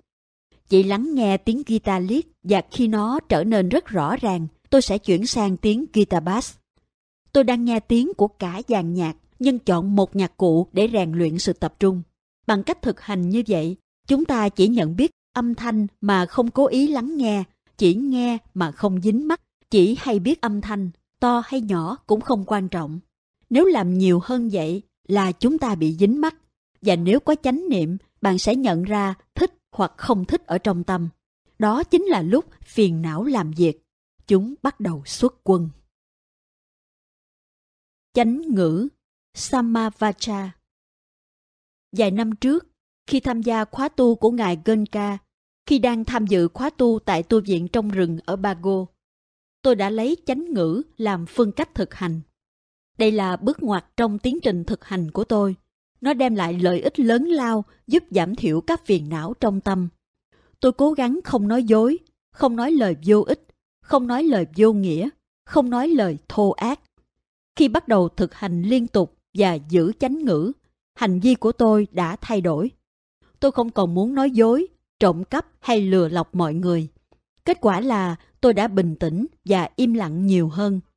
Khi tôi nói, tôi nói một cách nghiêm túc và chân thật. Gia đình tôi cũng nhận ra những thay đổi này. Trước khi hành thiền nghiêm túc, tôi luôn bị coi là thành phần cá biệt trong nhà. Lời nói của tôi có rất ít trọng lượng, ý kiến mọi người thường được coi trọng hơn. Nhưng giờ đây, do tôi nói ít hơn, mỗi lần nói, gia đình sẽ ngồi lắng nghe bởi vì đó là điều giá trị. Họ hiểu rằng mỗi khi tôi nói thì đó là kết quả của những suy nghĩ cẩn thận và nghiêm túc. Thỉnh thoảng họ cũng được cảnh tỉnh vì biết điều tôi nói là sự thật. Anh trai tôi, một doanh nhân thành đạt, luôn xuất hiện một cách thân thiện, tươi cười và cởi mở. Mọi người luôn thích kết bạn với anh ấy từ lần gặp đầu tiên. Một ngày kia, tôi nói với anh rằng, em có thể nhận ra anh đang đau khổ và em biết anh đang không thực sự hạnh phúc. Gương mặt anh ấy rũ ra, giống như vừa lột bỏ một cái mặt nạ. Anh ấy hỏi, sao em biết? Sau đó, mối quan hệ giữa chúng tôi đã gần gũi hơn rất nhiều. Đó là do những thay đổi trong cách ứng xử và thái độ đối với pháp hành của tôi. Khi chúng ta thực tập một trong tám yếu tố của bát chánh đạo, nó thường tạo ra ảnh hưởng và hỗ trợ cho tất cả các yếu tố còn lại. Khi thực hành chánh ngữ, có những thay đổi ngay lập tức và lâu dài trong cách tôi đối đãi với mọi người. Tương tự, quan điểm của tôi về cuộc sống và thế giới chung quanh cũng chuyển biến sâu sắc. Tôi không còn muốn sống cuộc đời quá nhiều đau khổ như trước đây. Tất cả những gì tôi muốn là sự đơn giản và tự do để thực hành một cuộc sống bổ ích và tốt đẹp. Lựa chọn và thực hành một trong các yếu tố của bát chánh đạo là một chuyện, nhưng hiểu rõ nó đem lại lợi ích như thế nào cho pháp hành lại là một chuyện khác. Chúng ta có thể thực hành mù quáng mà không thực sự hiểu nó giúp ích gì cho chúng ta. Chỉ có thực hành theo một cách đúng đắn, sau đó quan sát chuyện gì thực sự đang diễn ra trong tâm và ảnh hưởng của nó lên chính chúng ta và những người khác, thì chúng ta mới có hiểu biết thấu đáo về giá trị những hành động của bản thân. Để đem đến sự hiểu biết về các khía cạnh bất thiện trong tâm chúng ta và việc chúng làm khổ ta như thế nào. Chánh ngữ phải được thực hành như một sự rèn luyện đạo đức và phải bao gồm chánh kiến, chánh tư duy. Động lực thực hành như thế luôn đến từ trí tuệ và thiết lập nền tảng cho tuệ minh sát sinh khởi. Với những bước đi vững chắc như vậy, trí tuệ sẽ được xây dựng dựa trên nền của trí tuệ mà chúng ta đã có sẵn. Vào các ngày Chủ nhật, gia đình chúng tôi thường tụ tập và ăn uống cùng nhau.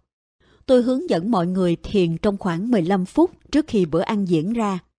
Sau khi ăn xong, tôi thường hỏi mọi người cảm nhận thế nào về cuộc sống của mình và liệu họ có cảm thấy hài lòng không? Tôi nhớ rằng một người em trai của tôi đã trả lời là không và một người nữa nói ồ khoảng 50-50. Còn một người khác thì nói rằng khoảng 60-40. Có một lần, chị dâu của tôi đã khóc khi chia sẻ cảm nghĩ của mình về gia đình. Vì thế cứ vào mỗi chủ nhật, chúng tôi nói về giáo pháp và các chủ đề liên quan, rồi chia sẻ cho nhau nghe những cảm xúc của mình trong cuộc sống. Từ dạo đó, hoàn cảnh và vị thế của tôi trong gia đình dần được cải thiện. Khi có trí tuệ, bạn sẽ tự động biết được cách giúp đỡ người khác, nó trở thành bản chất tự nhiên của bạn. Bất cứ điều gì được nói ra từ một cái tâm trí tuệ sẽ luôn dựa trên sự thật và sự hiểu biết. Trong một gia đình, nếu không nói gì, chúng ta sẽ trở thành những người xa lạ. Việc nói hay không đòi hỏi rất nhiều trí tuệ, cần cân nhắc về mặt thời điểm, nơi chốn, cùng với những yếu tố khác thuộc thời điểm và hoàn cảnh đó trước khi chúng ta quyết định có thích hợp để nói hay không. Vì sao chúng ta có thể giữ chánh niệm khi yên lặng, nhưng lúc bắt đầu nói chuyện, chánh niệm lại trôi mất? Nếu tôi yêu cầu mọi người giữ im lặng, họ sẽ có chánh niệm về việc này và kiềm chế không nói cho tới khi tôi bảo ok, bắt đầu nói, nhưng phải trong chánh niệm, thì dường như họ không thể làm được như vậy. Có lẽ sẽ dễ hơn khi yêu cầu mọi người giữ chánh niệm trong yên lặng. Trong kinh niệm xứ, Đức Phật nói đến việc chánh niệm trên lời nói, nhưng các hành giả dường như không hiểu được chuyện đó. Việc này quá khó. Chánh niệm không có đà tiến, nên rất khó để dạy họ làm việc này. Chúng ta cần phải luyện tập nhiều hơn. Luyện tập ở đây chính là dạy dỗ tâm và nên có một nguyên tắc căn bản sau. Nếu thực sự cần thiết thì nói, và nếu không cần thiết thì không nói. Rất đơn giản nhưng cũng rất khó thực hiện. Việc này đòi hỏi nhiều luyện tập và trí tuệ để hiểu được khi nào cần nói hoặc không. Trong một khóa tu, việc này không khó. Nhưng ngay khi chúng ta quay về đời sống hàng ngày, chánh niệm trên lời nói biến mất và tất cả thói quen cũ bắt đầu xuất hiện trở lại. Với chánh niệm liên tục trên tất cả các đề mục khi chúng sinh khởi, chúng ta sẽ sớm phát triển được kỹ năng đưa chánh niệm vào khía cạnh thực hành rất quan trọng này. Cuộc hôn nhân không hòa hợp khi tôi 33 tuổi, cha mẹ tôi với trí tuệ của mình đã quyết định rằng tôi nên cưới vợ. Mối quan hệ của tôi và vợ tôi là kết quả do cha mẹ tôi xe duyên và được sắp xếp bởi một người mai mối. Trước đây, vì tôi là một cậu bé hoang dã nên không ai nghĩ tôi sẽ lấy vợ. Khi bệnh trầm cảm của tôi giảm bớt và cuộc sống nhìn chung bắt đầu ổn định, cha mẹ tôi đề cập tới vấn đề hôn nhân vì họ thấy tôi bây giờ đã có thể chu toàn trách nhiệm của mình với gia đình. Tôi không chút xíu nào do dự hay thắc mắc gì về quyết định của họ, vì tôi nghĩ đây là chuyện mà ai rồi cũng có lúc thực hiện trong đời. Tôi nghĩ rằng đây là cách tốt để có được một cuộc sống hạnh phúc và bình yên. Nhưng sau đám cưới, tôi bắt đầu có thêm những mâu thuẫn nội tại mới. Những nghĩa vụ mới đã làm tăng thêm ý thức về bản ngã với rất nhiều tôi, của tôi hiện hữu trong tâm. Nhà tôi, gia đình tôi, quần áo của tôi và ngay cả đôi giày của tôi, cuộc sống mới của tôi. Trước đó, tôi sống trong nhà của gia đình và chưa bao giờ phải nghĩ nhiều thế cho bản thân. Mọi thứ đều được làm cho tôi. Giờ đây, những trách nhiệm mới đã củng cố và tăng thêm ý niệm về bản ngã trong tôi. Trong các khóa tu trước, tôi đã kinh nghiệm chút ít tuệ về bản chất của anatta hay vô ngã. Do đó, bằng việc thực hành, tôi đã sớm nhận ra rằng ý thức về bản ngã mà tôi đang kinh nghiệm trong hôn nhân chỉ là ngôn từ và ý niệm, là các khái niệm mà tôi có thể bị dính mắc vào đó. Tôi có thể thấy rất rõ dòng luân hồi và do đó có thể rèn luyện tâm mình sao cho ý niệm về cái tôi giảm bớt. Trước lúc kết hôn, tôi đã tiến bộ trong pháp hành đến một mức độ khá sắc bén và chánh niệm liên tục trong cuộc sống hàng ngày. Tôi thậm chí còn chánh niệm khi đang ở trong mùng, khi sắp ngủ vào mỗi tối. Ở giai đoạn này, động lực thực hành của tôi đã thay đổi. Trước đây, tôi thực hành để tiêu diệt trầm cảm. Thứ bây giờ đã được hiểu rõ và không còn gây khó khăn cho cuộc sống của tôi nữa. Giờ đây, tôi thực hành thuần túy để phát triển trí tuệ. Tôi cảm thấy thích thú về điều này. Kiến thức và các bài học giờ đây mở ra trước mắt, khiến tôi háo hức muốn hiểu biết nhiều hơn. Tôi rất hoan hỷ sống trọn vẹn trong sự say mê chánh pháp. Hai năm sau khi kết hôn, vợ tôi sinh con trai. Khi họ cho tôi xem mặt thằng bé, tôi nhận ra ý thức về bản ngã trong tôi đã giảm đi nhiều thế nào. Lần đầu tiên thấy nó, tôi không hề có cảm giác hay cảm xúc mạnh mẽ nào về đứa trẻ này hay việc nó sinh ra đời. Tôi nghĩ, vậy là có một người nữa đã sinh ra trên thế giới. Tôi không có cảm giác quyến luyến sâu nặng với con. Tôi không hề nghĩ, ồ, đây là con mình, hãy nhìn sản phẩm tôi đã tạo ra này. Tôi không thấy chút gì kiêu hãnh, chỉ có một cảm giác điềm tĩnh và bình thản lớn lao. Thái độ này có thể là nhẫn tâm đối với nhiều người.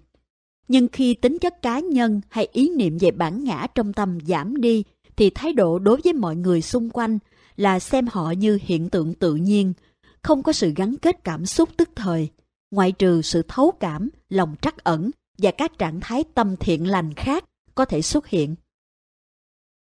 Chúng ta bắt đầu thấy tất cả những gì diễn ra chỉ là hiện tượng tự nhiên. Không có ai ở đây cả.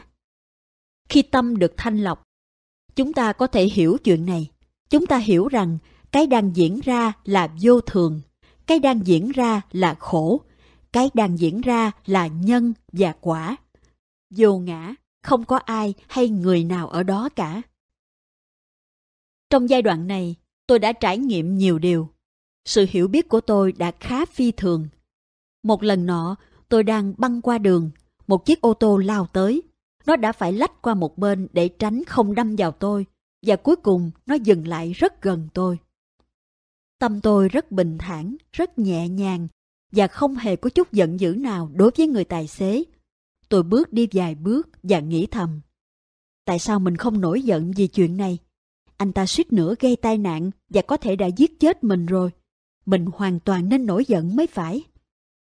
Nhưng tôi chỉ tiếp tục bước đi, nhìn ngó, lắng nghe và quan sát thế giới với một sự bình an trọn vẹn. Chúng ta có thể có nhiều trải nghiệm như thế trong ngày, luôn đối diện những điều mới mẻ. Nhưng khi tâm quan sát được thanh lọc, khi chánh niệm và trí tuệ hoàn chỉnh, thì những kinh nghiệm đơn giản sẽ trở nên phi thường. Thông thường, chúng ta luôn có tà kiến khi tiếp xúc với các kinh nghiệm. Bây giờ khi có chánh kiến và hiểu biết đúng, nhận thức của chúng ta cũng đảo chiều. Chúng ta hiểu rất sâu sắc rằng đối tượng chỉ đơn thuần là đối tượng và không còn khó chịu vì những chuyện diễn ra. Không còn sự si mê, tham lam hay sân hận, chúng ta hoàn toàn thanh thản với bản thân. Ở nhà, mọi thứ không phải lúc nào cũng hòa hợp và bình yên. Vì đã luyện tập chánh ngữ khá lâu, tôi thu sự chú ý vào bản thân mình và trở nên khá hướng nội. Vợ chồng tôi không còn tán gẫu với nhau nữa, hoặc ít nhất từ phía tôi. Cô ấy trở nên khó chịu khi giữa chúng tôi thiếu đi sự giao tiếp, và kết quả là cô ấy đã khóc rất nhiều. Khi vợ tôi mang thai, tôi quyết định né tránh cô ấy. Tôi muốn thử làm việc này trong một năm xem sao, vì tôi bắt đầu nung nấu ý định xuất gia lần nữa và muốn từng bước kiểm chứng sự lựa chọn này. Tuy nhiên, tôi chưa bao giờ đề cập đến ý muốn xuất gia với vợ hay gia đình tôi, vì điều này sẽ khiến họ rất buồn. Vợ tôi có nhiều lý do để buồn phiền. Chuyện giữa chúng tôi không phải là một cuộc hôn nhân bình thường theo bất kỳ nghĩa nào. Cô ấy thật không may khi cưới tôi đúng lúc tôi có sự tiến bộ mang tính bước ngoặt trong pháp hành. Bệnh trầm cảm của tôi đã thuyên giảm và tôi bắt đầu tìm hiểu một cách nghiêm túc những nguyên nhân khiến tôi đau khổ. Tôi đã gặt hái thêm những hiểu biết về các phiền não và ngày càng có được thái độ khách quan trong mối quan hệ với chúng. Môi trường làm việc ở chợ không còn khiến tôi lo lắng. Tôi có thể đối phó với con người và sự ồn ào một cách dễ dàng. Do duy trì chánh niệm liên tục, việc thực hành của tôi đã có đà mạnh mẽ, đến mức tôi thấy con đường duy nhất phía trước là tôi sẽ đắp y lần nữa. Trong ngày sinh nhật của mình, ngày 7 tháng 4 năm 1996, tôi đã nói với vợ và gia đình rằng tôi muốn vào tu viện xuất gia tu hành một thời gian. Tôi đã ra đi và không bao giờ quay lại. Tôi đã ở trong tu viện từ đó tới giờ. Nhiều lần họ đến tận nơi cố gắng thuyết phục tôi quay về, nhưng tôi vẫn luôn có niềm tin vững chắc rằng mình đã quyết định đúng. Hành thiền, thuốc chữa bệnh Tôi thường được yêu cầu đưa ra lời khuyên dành cho những người bị trầm cảm. Họ có nên dùng thuốc không? Điều này hoàn toàn tùy thuộc vào hoàn cảnh và cá tính của người đó. Trong một số trường hợp, việc sử dụng thuốc kết hợp với hành thiền rất có tác dụng. Việc dùng thuốc trong chừng mực nào đó có thể làm cho bệnh nhân đủ khuây khỏa để hành thiền, từ đó làm giảm đà trầm cảm. Chỉ dùng một mình thuốc sẽ không có tác dụng đánh bại hoặc chữa lành trầm cảm. Thật vậy, nó có thể làm giảm nhẹ triệu chứng, nhưng liệu có thể tiêu diệt tận gốc căn bệnh? Không, cần hiểu rõ nguyên nhân căn bệnh. Hiểu biết này chỉ có thể đến từ quá trình nghiên cứu tâm trí thông qua hành thiền. Tất nhiên là tôi chưa từng uống thuốc chữa trầm cảm, nên không có kinh nghiệm gì trong chuyện này tôi đã dùng một loại thuốc của riêng mình, đó là một dạng thuốc viện. Tôi có nhiều kinh nghiệm về việc này và tôi chắc rằng nó không chỉ góp phần làm trầm cảm nặng thêm mà còn đem lại đủ sự giải tỏa tạm thời khỏi các khó chịu để tôi có thể hành thiền và quan sát các khuôn mẫu chung của đời mình. Tuy nhiên, tôi sẽ không khuyến khích các hành giả làm theo cách này. Đối với tôi, nguyên nhân của trầm cảm thực sự khá đơn giản và tôi chắc rằng nó cũng xảy ra tương tự đối với hầu hết mọi người mắc bệnh này. Nói một cách đơn giản, khi các khó khăn xuất hiện trong đời, chúng ta cảm thấy chán nản. Sau đó, chúng ta khao khát một thứ gì đó để đánh lạc hướng tâm trí và xoa dịu bớt muộn phiền. Thông thường, mong mỏi một thứ gì đó chính là bất thiện, và khi không đạt được như mong đợi thì trầm cảm trở nên rõ rệt. Nếu chúng ta kháng cự, trầm cảm sẽ có thêm sức mạnh và trở nên ngày càng dai dẳng. Theo thời gian, nó trở thành đà của tâm và rồi ta thấy như thể mình đang chết mòn. Ta có cảm giác mất mát đến cùng cực. Khi tâm cảm thấy bất an, thì có nghĩa là các phiền não đang rất mạnh mẽ. Tâm sẽ cảm thấy khó chịu dù chỉ với một chút xíu điều không như ý. Thỉnh thoảng, Chúng ta không thấy điều này, bởi vì nó ảnh hưởng lên chúng ta ở mức độ tiềm thức. Ví dụ, bạn muốn 10 thứ và bạn có được chúng thì tâm bạn bình yên, không có vấn đề gì. Nếu bạn không thể có một hoặc hai trong số đó thì tâm sẽ trở nên kích động. Nếu bạn không đạt được phần nửa số mình cần thì tâm trở nên chán nản. Nếu bạn không đạt được gì thì tâm trở nên điên dại. Pháp sẽ chỉ đường. Cách duy nhất là bạn phải thực hành liên tục. Trong mỗi khoảnh khắc, hãy nhớ giữ chánh niệm và sử dụng bất kỳ trí tuệ nào có thể để nghiên cứu và học hỏi từ những gì đang gây trở ngại trong tâm. Từ đây, chúng ta sẽ xây dựng được niềm tin vào pháp hành. Kế đến, chúng ta tạo dựng đà thực tập và với sự kiên nhẫn, hiểu biết sẽ sinh khởi và trầm cảm sẽ thoái lui. Điều cần thiết là hãy cho phép Pháp chỉ đường cho bạn.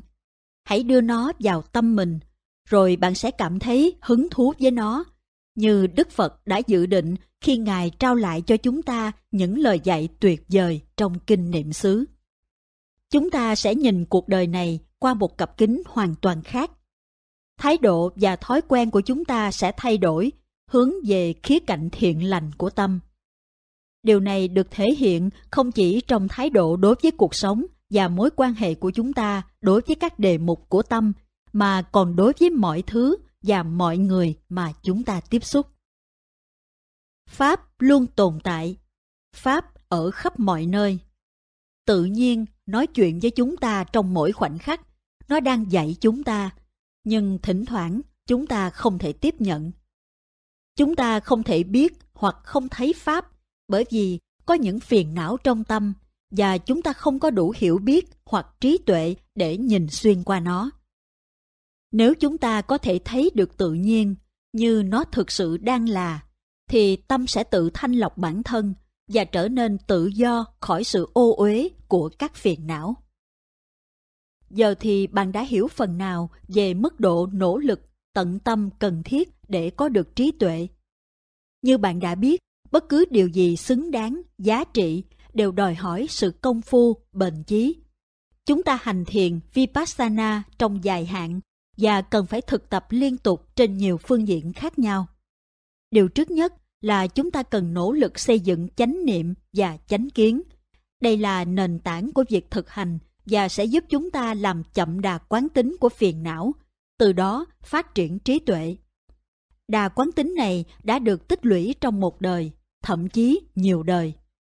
Chúng ta phải nghiên cứu, dạch ra kế hoạch và thử nghiệm với mỗi khía cạnh trong cuộc sống quan sát cách thức chúng ta triển khai pháp hành, thử cách này, thử cách kia, làm mọi thứ cần thiết để tìm ra cách tâm vận hành và những phương thức xảo quyệt mà phiền não đang dùng để khiến bạn hiểu sai về hạnh phúc. Bạn làm chậm được đà quán tính của phiền não ở mức độ nào thì đà quán tính của cái tâm vô nhiễm sẽ phát triển ở mức độ ngang bằng hoặc cao hơn như thế. Bạn là thầy của chính mình tính cách của bạn là độc nhất. Do đó, cách bạn thực hành cũng sẽ hoàn toàn độc nhất. Những lời dạy của Đức Phật mang tính chất chung, không dành riêng cho bất kỳ loại nhân cách nào. Chúng bao hàm tất cả, và bạn dùng chúng như kim chỉ nam để áp dụng và điều chỉnh việc thực hành theo cách phù hợp nhất với cá nhân mình. Mọi chuyện cũng tương tự khi bạn làm việc với vị thầy giải pháp của bạn. Người có thể đưa ra lời khuyên để rồi bạn có thể ra đi và tự ứng dụng theo cách riêng của mình. Chỉ có bạn mới biết tâm mình và cách thực hành nào đem lại kết quả. Vài người trong số các bạn đã thực hành trong nhiều năm và đã thu thập được tất cả những dữ liệu, thông tin cần thiết để có được trí tuệ sâu sắc. Tuy nhiên, bạn vẫn đang lăn lộn với đà quán tính của tâm bị ô nhiễm. Điều gì sẽ giúp làm chậm và sau đó đảo chiều đà quán tính này. Với kiến thức và dữ liệu mà bạn đã thu thập, có thể là chưa quá nhiều. Hy vọng bạn sẽ có đủ thông tin và cảm hứng đến từ cuốn sách này để bổ sung vào lượng kiến thức đó, để tạo sự cân bằng và cho phép đà quán tính tiến về phía trí tuệ. Điều này sẽ làm thay đổi cách bạn quan sát thế giới cho phép một niềm hạnh phúc tự nhiên và bền vững hơn đến với cuộc đời của bạn. Khi bạn có một sự thôi thúc hướng đến trí tuệ, Pháp sẽ chỉ đường cho bạn. Sau đó, cuộc sống sẽ ngày càng dễ dàng hơn, càng dễ dàng hơn, càng dễ dàng hơn, càng dễ dàng.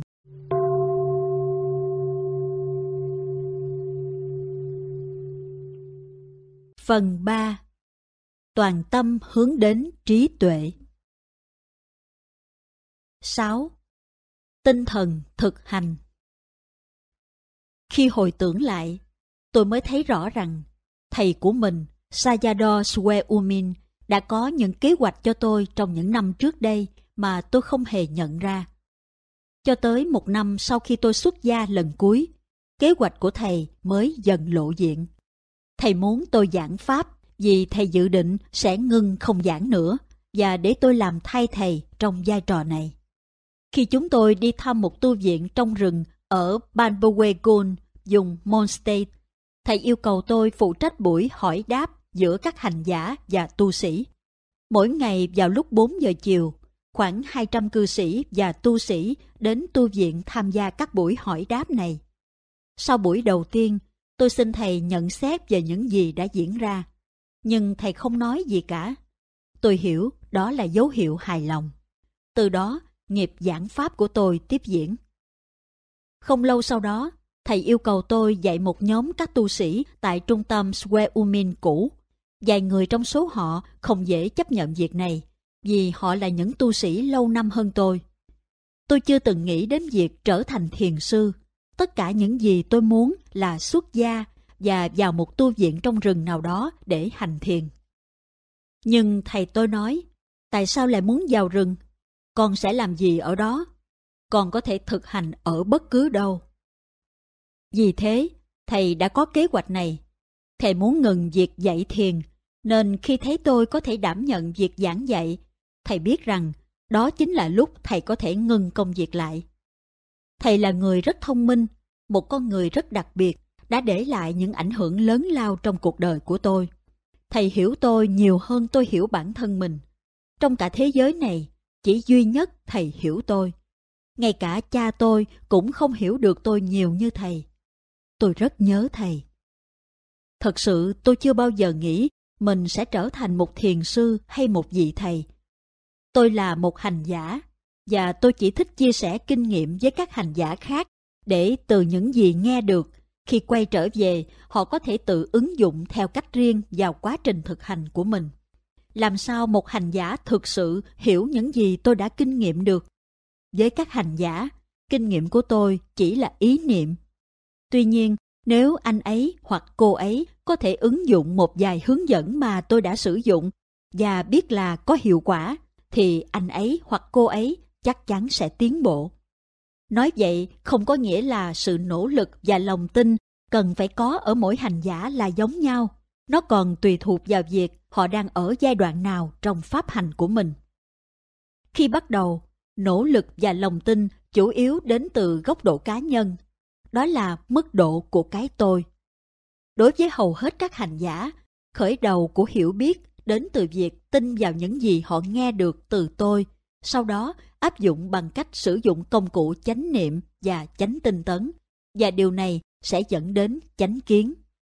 Từ góc nhìn của chánh kiến này, nếu sự hứng thú và tìm tòi được áp dụng đúng cách, thì ngày càng có nhiều trí tuệ được phát lộ. Trí tuệ khi đó sẽ là nhân tố thúc đẩy những nỗ lực của hành giả. Sau đó, nỗ lực đến lượt nó lại thúc đẩy để hành giả có hiểu biết hơn nữa. Qua đó đem lại cho họ sức bật và động lực để tiến xa hơn trong pháp hành. 7. Tâm thiền Tại sao tâm đau khổ? Tại sao tâm si mê?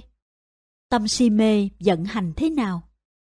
Những câu hỏi này chỉ có thể được trả lời bằng cách nghiên cứu tỉ mỉ và hiểu được đặc tính của các trạng thái tinh thần và bản chất của danh sắc, thân, tâm, ý thức. Chỉ khi đó, tâm mới hiểu được vô thường, khổ và vô ngã một cách sâu sắc. Vì vậy, nếu bạn tiếp tục thực hành thì chánh niệm sẽ có mặt một cách tự nhiên và sự hiểu biết các trạng thái tâm trên sẽ xuất hiện. Tư tưởng của thiền quán không phải là tôi đang thiền, mà là việc hành thiền đang diễn ra tự nhiên. Bất kỳ lúc nào tâm trở nên cân bằng thì sự hiểu biết sẽ sinh khởi tự nhiên. Không phải là tôi đang thiền, mà là việc hành thiền đang diễn ra.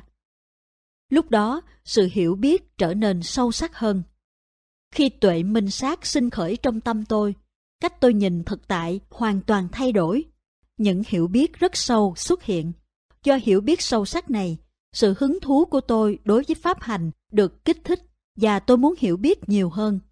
Tôi có một động lực lớn lao để liên tục thực hành. Bạn không thể chủ động tạo nên điều này, nó xảy ra tự nhiên các duyên đã đầy đủ để hiểu biết này xuất hiện. Tâm tìm thấy sự cân bằng mà không cần một nỗ lực kiểm soát nào. Không có cái tôi nào ở đó, hoàn toàn vô ngã. Loại hiểu biết này sinh khởi phụ thuộc vào nhiều thứ. Tự nhiên, các duyên, đối tượng, tâm chánh niệm, mạnh lên hay yếu đi. Nhưng chủ yếu là tâm trở nên cân bằng và bức màn che phủ được đẩy lùi, trí tuệ sẽ sinh khởi. Có một lần tôi đi du ngoạn đến chùa Swedagon. Trên đường đi, tôi dừng lại và quan sát ngôi chùa từ xa. Chuyện này diễn ra trước khi tôi kinh nghiệm được tuệ minh sát. Nhưng từ những hiểu biết có sẵn, tôi nhận ra tâm mình đang quan sát ngôi chùa theo một cách mới lạ.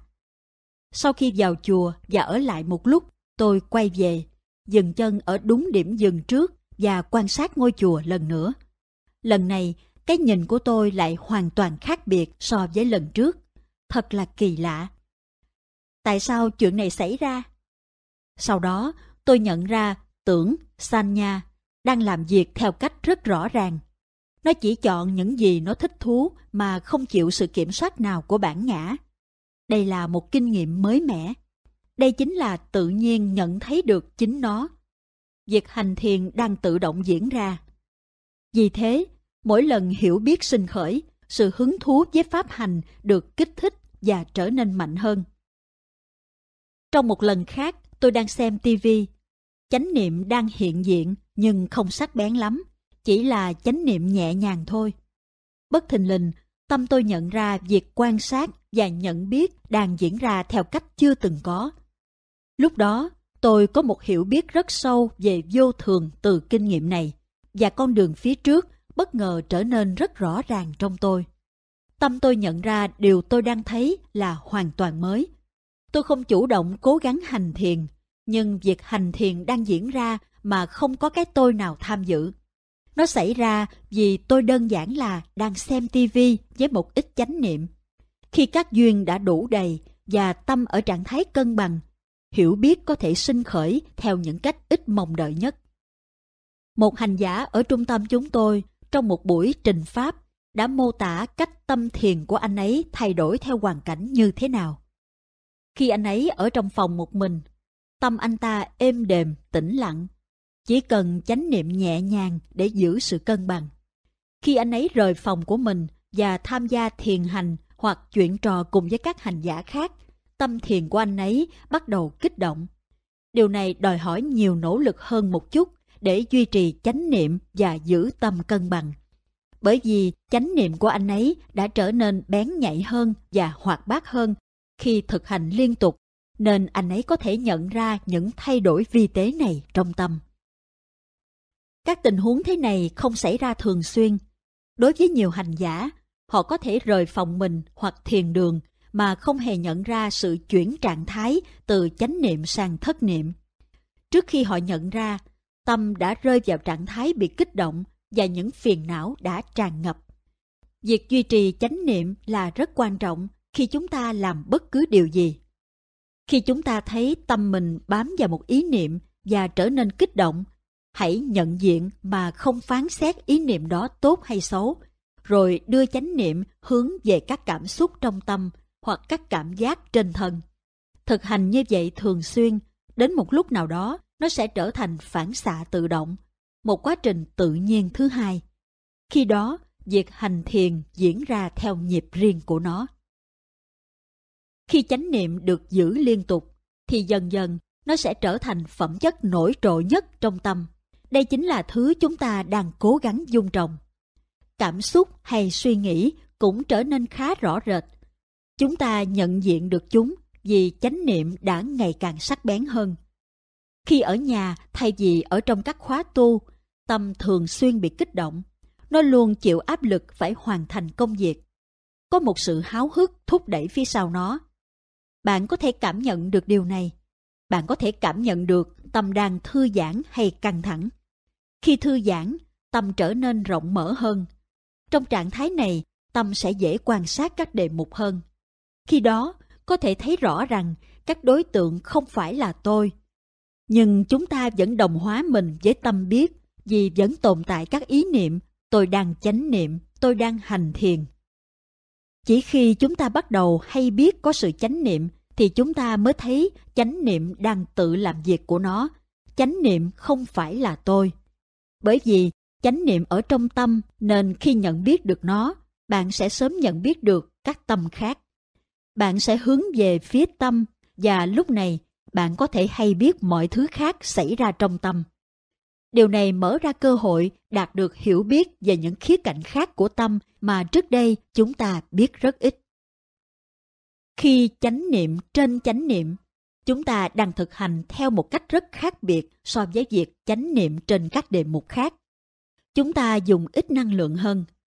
Trước khi điều này có thể xảy ra, chúng ta phải trải qua quá trình thu thập hiểu biết về những gì thực sự đưa đến việc chánh niệm trên chánh niệm. Thực hành thiện xảo là thực sự nhận biết được quá trình đó và biết nó thật rõ. Điều này bao gồm cả việc chấp nhận những thời điểm chánh niệm có vẻ như không quan trọng cho đến khi chúng ta hiểu được cái gì mang đến chánh niệm và sự trong sáng cho tâm. Sự chấp nhận này bao gồm chấp nhận cả việc quay về mức chánh niệm cơ bản lẫn những thời điểm chánh niệm tuyệt vời, vốn không kéo dài. Chúng ta học đi học lại những bài học này cho đến khi chánh niệm kéo dài một cách ổn định hơn. Khi hiểu được chánh niệm, chúng ta thậm chí không cần phải cố gắng, nó sẽ tự động xảy ra. Chúng ta không thể tập trung vào chánh niệm. Tại sao? Bởi vì nó không ở đâu cả, không có chỗ nào dành riêng cho nó. Do đó, một khi hiểu được chánh niệm, không cần phải tập trung vào nó. Nếu bạn tập trung, nghĩa là bạn đã cho nó thời gian, không gian, nơi chốn cụ thể, cũng có nghĩa là khái niệm đã xem vào. Tôi phải nhấn mạnh lại lần nữa, tôi không muốn bạn tập trung quá mức vào một đề mục. Chỉ nên chánh niệm nhẹ nhàng, không phải vào một đề mục mà trên bất kỳ đề mục nào xuất hiện, trên bất kỳ cửa giác quan nào vào mỗi thời điểm và biết là mình đang chánh niệm. Chúng ta không rà quét hoặc đi tìm kiếm đề mục. Mỗi hành giả sẽ có cách tiếp cận đề mục khác nhau. Đối với nhiều người, tùy theo năng lực thực hành, thì thiện xảo có nghĩa là khởi đầu với một đề mục, nhưng biết rằng nhận diện các đề mục khác khi chúng xuất hiện là cần thiết. Tôi muốn nhấn mạnh rằng điều quan trọng nhất là không dính mắc vào bất kỳ đề mục nào một khi những đề mục khác xuất hiện. Khi chúng ta đã có chánh niệm và kinh nghiệm thực hành vững chắc, có một mối nguy hiểm xuất hiện. Đó là bạn cho rằng mình đã có đủ sự hiểu biết. Đây là vấn đề mà nhiều hành giả mắc phải khi tiến bộ trong thực hành. Nó là một dạng của si mê. Hành giả rất dễ rơi vào trạng thái không còn hứng thú hay quan tâm gì tới pháp hành. Mặc dù vẫn có chánh niệm, tỉnh táo và có sự cân bằng trong tâm, nhưng bạn không hứng thú lắm với những gì đang diễn ra trong tâm. Việc thực hành bị ngưng trệ, không thể tiến triển. Các phương pháp cũ để đối phó với tâm không đem lại sự hứng thú và bản thân pháp hành trở nên vô vị. Do đó, ở mức độ vi tế, các phiền não đang lẫn trốn và đau khổ đang diễn ra. Đã có sẵn một mức độ hiểu biết về đau khổ, bản thân nó là trí tuệ. Chúng ta có thể dùng trí tuệ này để dẫn đường. Nhận biết thực tại không bao giờ là vô vị, vì đó là công việc chúng ta làm cả đời. Vậy làm sao chúng ta có thể sử dụng trí tuệ này để tạo nên sự hứng thú và tìm thấy động lực tiến bộ trong pháp hành? Chúng ta bắt đầu công việc với chính chánh niệm. Nếu nghiên cứu xem chuyện gì đang xảy ra trong tâm, bạn có thể sẽ thấy chánh niệm của mình đã trở nên quá lơi lỏng, nên bạn sẽ muốn thêm chút lực đẩy đằng sau. Tôi phải nhấn mạnh kỹ chỗ này rằng, quan trọng là đừng làm một cách thái quá, đừng đi tìm đề mục, đừng thúc ép mình quá mức. Chỉ vận dụng một ít nỗ lực hoặc một ít hứng thú vào việc thực hành chánh niệm mà thôi. Theo thời gian, tâm sẽ quen với chuyện làm việc cùng với tâm chánh niệm sắc bén hơn này. Nó sẽ trở nên tự nhiên và cần ít sự cố gắng hơn. Cũng giống như cơ thể trở nên quen thuộc với khối lượng nặng khi tập gym. Tâm lúc này bắt đầu thấy những thứ mà trước kia không thấy hoặc không biết đến, khiến cho tâm hứng thú hơn và khao khát hiểu biết nhiều hơn. Chính điều này sau đó sẽ tạo điều kiện cho những trí tuệ sâu xa hơn được sinh khởi. Khi làm việc với chánh niệm theo cách này, điều quan trọng là cho phép trí tuệ dẫn dắt và chỉ ra điều gì cần làm để khuấy động sự hứng thú và giữ cho mọi thứ tiến triển. Nếu bạn có chút ít hiểu biết, đừng trở nên lười biếng. Hãy duy trì nó, hãy sử dụng nó. Chẳng có ý nghĩa gì khi bạn sống trong một căn hộ áp mái nhưng lại che hết rèm lại.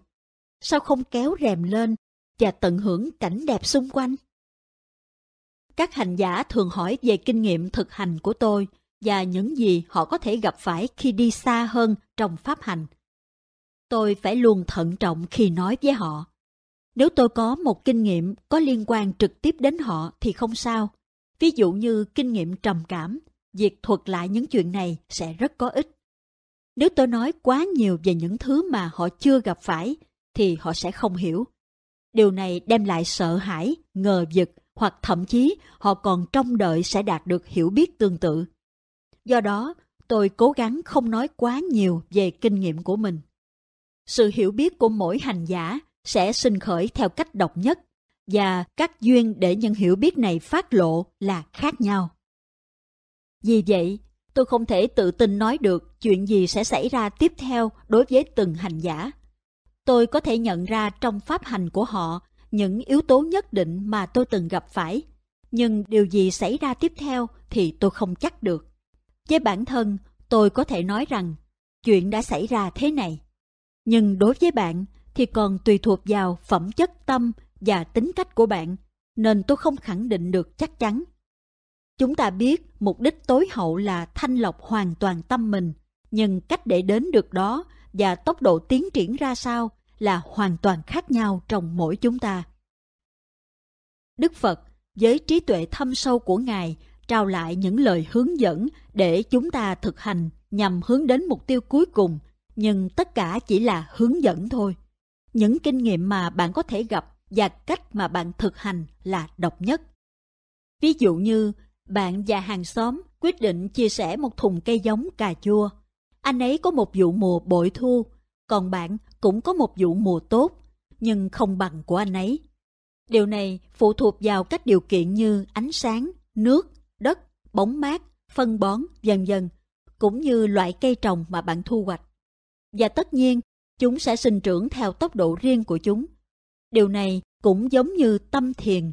Sau tất cả, bản thân nó cũng là tự nhiên. Nếu chúng ta cung cấp các điều kiện đúng, hiểu biết sẽ tự xuất hiện. Hiểu biết đúng sẽ xảy ra khi tâm cân bằng và các duyên có mặt đầy đủ. Các duyên cho trí tuệ, sự hiểu biết. Chúng ta có thể đọc cả ngàn chữ hoặc nặng óc suy nghĩ tìm cách làm cho tâm cân bằng và dán màn trí tuệ. Nhưng cuối cùng, chúng ta vẫn phải hành thiền và tạo duyên để nó xảy ra. Tâm thiền vượt lên trên ngôn từ, vượt lên trên lý lẽ, vượt trên bản ngã, nó yên lặng và tĩnh mịch. Thực tại quy ước, conceptual reality phải được hiểu ở một mức độ nào đó, thì khi đó chúng ta mới nói được là chúng ta đang thực sự hành thiền. Việc hành thiền đang diễn ra. Tự nhiên đang nhận biết lấy chính nó.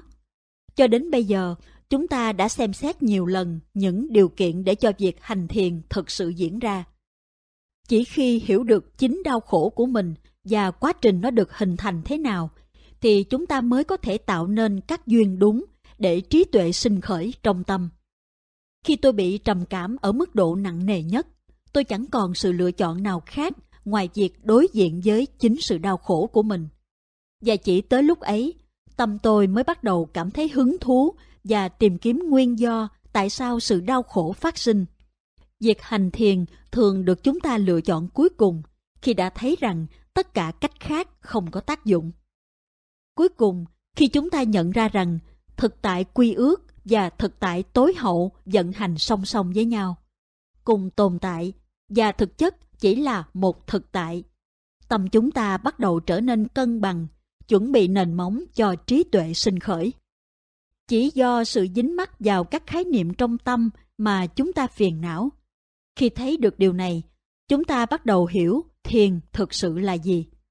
Đó là khi các duyên cần thiết để có hiểu biết hội tụ.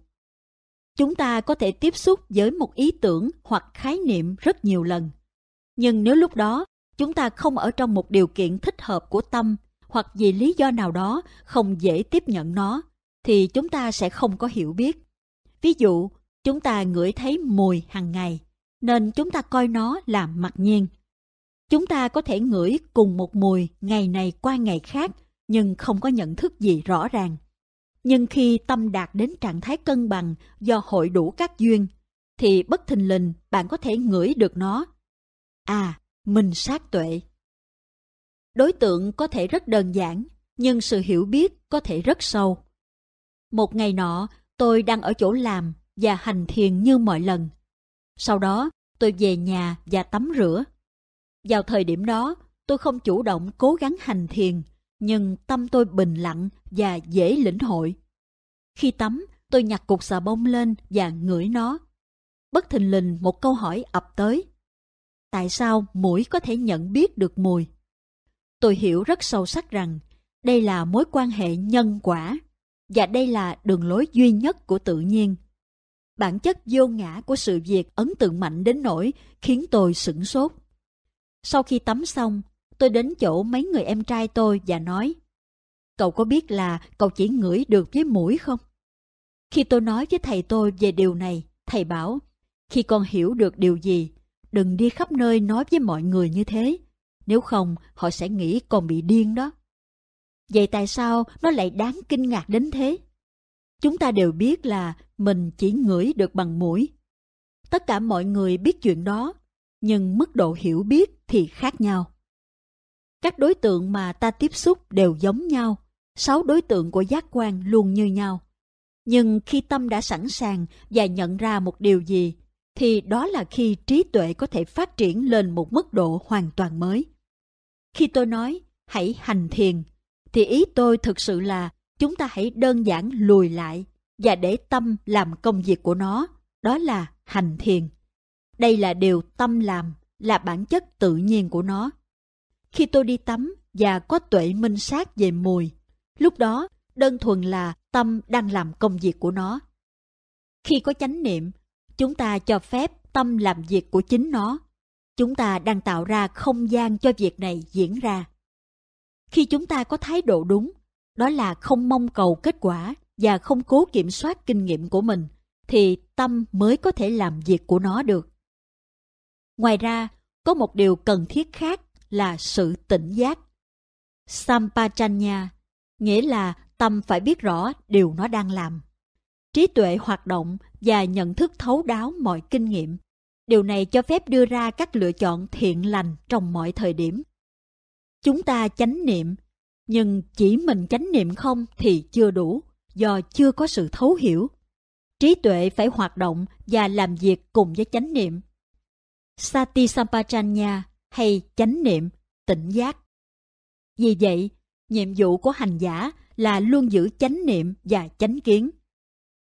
Tôi đã nói đủ nhiều về chánh niệm, nhưng với chánh kiến thì chúng ta sẽ không biết nói đến bao giờ cho đủ, vì nó luôn luôn thay đổi và sẽ tiếp tục thay đổi cho tới lúc tâm hoàn toàn trong sạch. Nếu thực hành đúng cách thì cuộc sống sẽ luôn tươi mới và thú vị, bởi vì chúng ta sẽ thấy ngày càng nhiều điều hơn. Chúng ta đang quan sát tự nhiên diễn ra theo một cách sâu sắc nhất có thể. Đây là tự nhiên đang kinh nghiệm chính tự nhiên, nghiệm chính tự nhiên, nghiệm chính tự nhiên, nghiệm chính.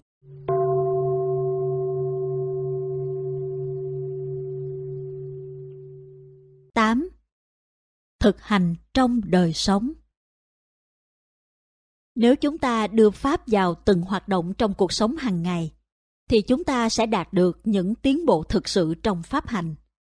Chúng ta chắc chắn sẽ gặp phải nhiều khó khăn vì không phải mọi người xung quanh ai cũng hành thiền. Và với cách sống thiền này, chúng ta thường đi ngược lại so với những xu hướng phổ biến của mọi người. Những khó khăn lớn nhất đối với việc thực hành thường xuất phát từ gia đình và bạn bè. Tôi còn nhớ lúc anh trai mất, tôi đã rất buồn rầu và giận dữ Mọi người đã tránh né tôi vì họ sợ tôi. Dì, anh rể và anh cả đã cố gắng nói chuyện với tôi, nhưng tôi vẫn nổi nóng.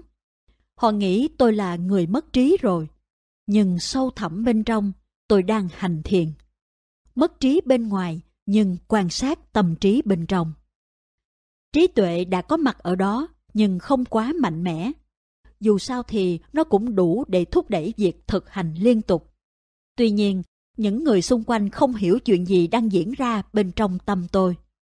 Vào thời điểm đó, tôi hiểu rằng họ đã cố gắng giúp đỡ mình, nhưng họ không biết tôi đang trải qua những gì và họ không hiểu được công việc bên trong tâm mà tôi đang thực hiện. Như vậy, cả tôi và họ đều không sai, nên thật dễ hiểu và tha thứ trong tình huống này.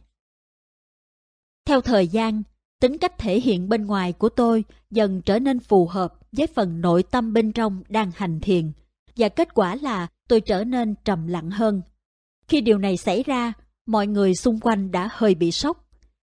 Chuyện gì xảy ra với con người nóng tính, điên rồ mà họ đã quen thuộc từ lâu thế này?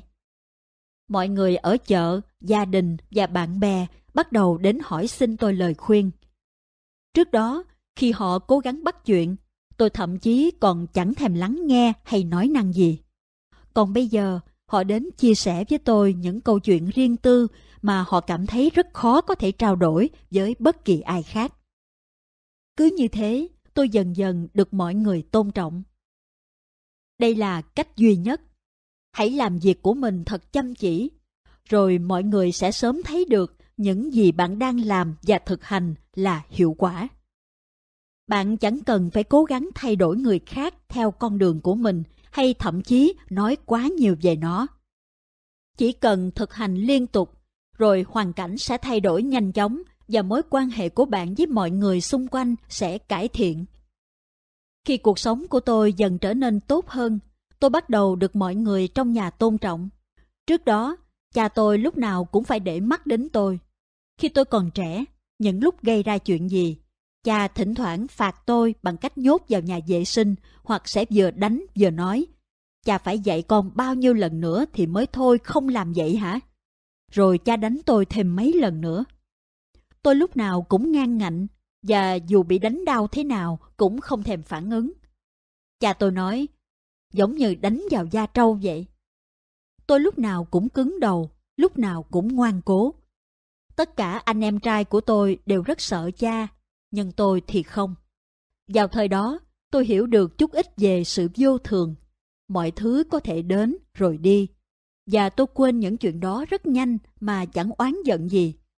Theo thời gian, tôi bắt đầu hiểu được cha mình. Ông chỉ làm những gì cảm thấy tốt nhất cho tôi, mặc dù những điều này cũng bắt nguồn từ sự si mê. Tôi đã bắt đầu hiểu được bản chất tự nhiên của si mê, bởi vì tôi thấy nó ngay trong tâm mình. Vì thế, tôi tha thứ cho những gì cha đã đối xử với tôi trước đây, và dần dần mối quan hệ cha con đã thay đổi. Khi tôi kết hôn, thái độ của ông dành cho tôi đổi khác hoàn toàn vì ông nghĩ tôi bây giờ đã tự chịu trách nhiệm cho bản thân. Vì vậy, cho dù thái độ của gia đình và bạn bè không đúng như bạn trông đợi, thì thực ra họ thường chỉ muốn những điều tốt nhất dành cho bạn, mặc dù đa phần những mong muốn đó đến từ tâm si. Điều quan trọng là cố gắng hiểu được nguyên do vì sao họ làm thế và quan sát bất kỳ phản ứng nào trong tâm bạn đối với sự tương tác giữa bạn và mọi người xung quanh. Khi tôi thay đổi, cha tôi dần tự hào về sự tiến bộ trong cách hành xử của tôi. Tôi nhớ rằng nếu như tôi tặng ông một món quà hoặc một món trang phục, ví dụ như một cái áo, thì ông sẽ luôn mặc nó và cảm thấy rất tự hào về việc tôi là người tặng ông món quà đó. Tôi bắt đầu hiểu được cha và yêu ông rất nhiều, bởi vì sau này tôi nhận ra rằng ông luôn quan tâm đến tôi. Một hành giả hỏi tôi có phải chỉ có thể giác ngộ nếu độc thân không? Không đâu, bất kỳ ai cũng có thể giác ngộ. Người bạn đời của bạn có thể chính là duyên thúc đẩy bạn đến chứng ngộ. Thỉnh thoảng, dường như nền tảng của một mối quan hệ chính là sự tham lam và dính mắc. Nhưng chúng ta có thể thay đổi nền tảng này. Không phải lúc nào chúng ta cũng tràn đầy tham và sân. Cách chúng ta thực hành chính là nhận diện sự dính mắc.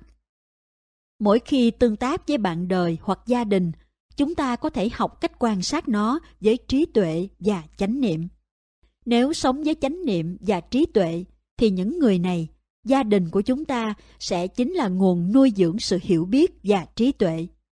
Nếu chúng ta có hiểu biết đúng, thì những đối tượng này sẽ khơi gợi các cảm xúc yêu thương, lòng trắc ẩn, sự vui sướng, đồng cảm và sự cân bằng. Tại sao chúng ta bắt buộc phải đến một khóa tu để gợi lên các cảm xúc đó? Chúng ta có thể làm điều này tại nhà. Các thành viên trong gia đình được cho là những người gần gũi nhất trong cuộc sống chúng ta. Họ nên là những người có thể gợi được các cảm xúc này. Nếu chúng ta có thể dùng bất cứ đối tượng nào, bất kỳ ai trong cuộc sống của chúng ta, mà ở đó việc tiếp xúc với các hoàn cảnh hoặc con người mang đến các phẩm chất tâm thiện lành, thì chúng ta đang dựng bước trên con đường tiến đến giải thoát. Chúng ta đâu có tiếp xúc với nhiều người, chỉ gia đình, đồng nghiệp và bạn bè, và chúng ta gặp họ hầu như mỗi ngày. Ngay cả khi chúng ta nổi giận, hãy xóa bỏ nó, xóa nó khỏi tâm bạn. Bạn có kỹ năng và phương tiện để làm việc này. Tại sao lại nắm giữ và để nó tự nhiên cháy âm ỉ mà không hề hay biết? Tất cả những phản ứng tự động đó chỉ là những trạng thái tâm thiếu sự uốn nắn Vì thế, chúng ta dùng chúng để phát triển chánh niệm và trí tuệ. Chánh tư duy sama Sankappa Chánh tư duy là bước thứ hai trong bát chánh đạo của Đức Phật. Khi chúng ta thực hành bát chánh đạo, mỗi yếu tố đều đang hỗ trợ tất cả những yếu tố còn lại. Với chánh kiến, chúng ta nhận biết những gì đang diễn ra trong thời điểm hiện tại. Chúng ta đang kinh nghiệm diễn biến của các hiện tượng tự nhiên. Không có ai, không có con người nào cả. Nếu chúng ta giữ được thái độ như vậy và chánh niệm trên những gì đang xảy ra, thì chúng ta đang có chánh kiến và chánh tư duy. Trong thời gian ở khóa tu, chúng ta được hỗ trợ để nỗ lực áp dụng chánh tư duy.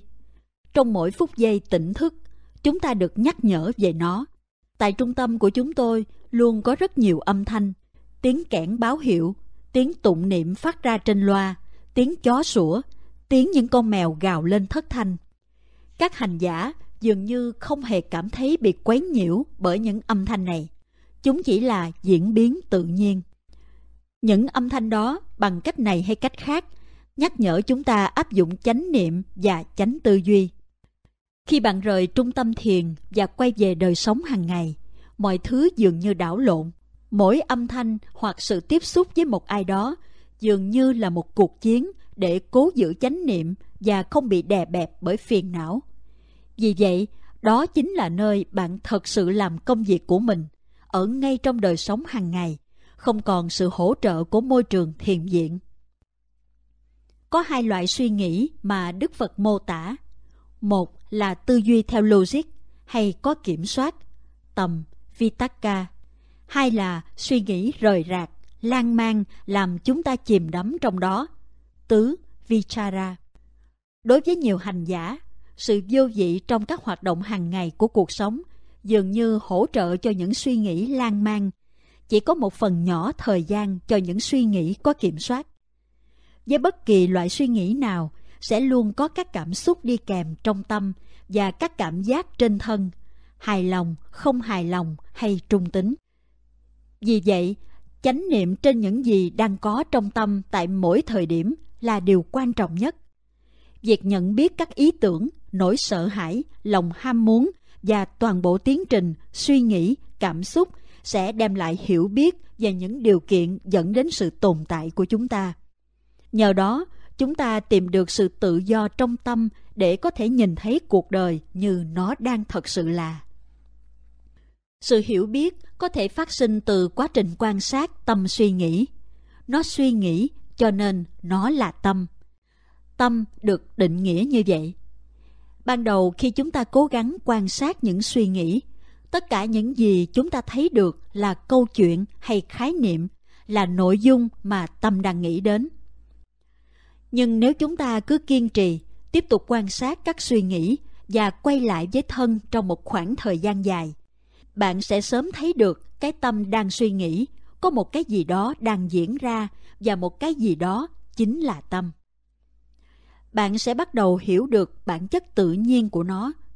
Sau đó, bạn sẽ hiểu được sự khác biệt giữa khái niệm hay là nội dung câu chuyện trong những suy nghĩ và thực tại của cái tâm đang suy nghĩ.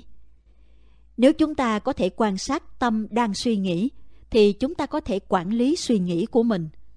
Điều này mở ra cơ hội khám phá và hiểu mọi kinh nghiệm của chúng ta.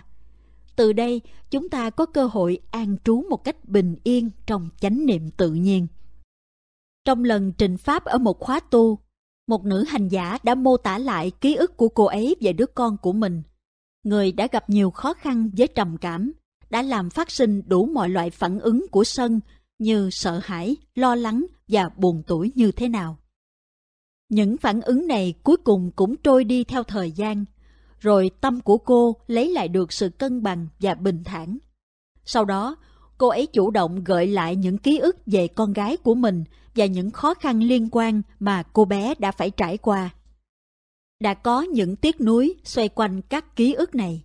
Ví dụ như, lẽ ra tôi nên cư xử khác đi.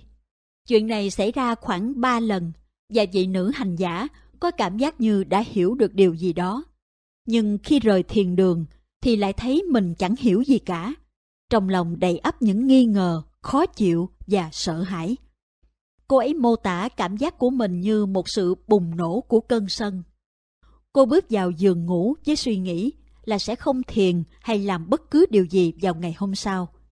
Tuy nhiên, nữ hành giả thức dậy với một cảm giác thật trong sáng và dường như có cái gì đó đã được nhổ lên tận gốc rễ. Cô ấy hiểu một cách thực sự sâu sắc rằng ký ức chỉ là ký ức. Những chuyện khắc sâu trong trí nhớ đã qua đi từ rất lâu và không thể nào thay đổi được. Cô biết rằng đó chính là trí tuệ. Nhưng nói về nó sau khi nó đã xảy ra thì thật là sáo rỗng và cô tự hỏi liệu sự hiểu biết này có còn hiện hữu khi cô quay về nhà.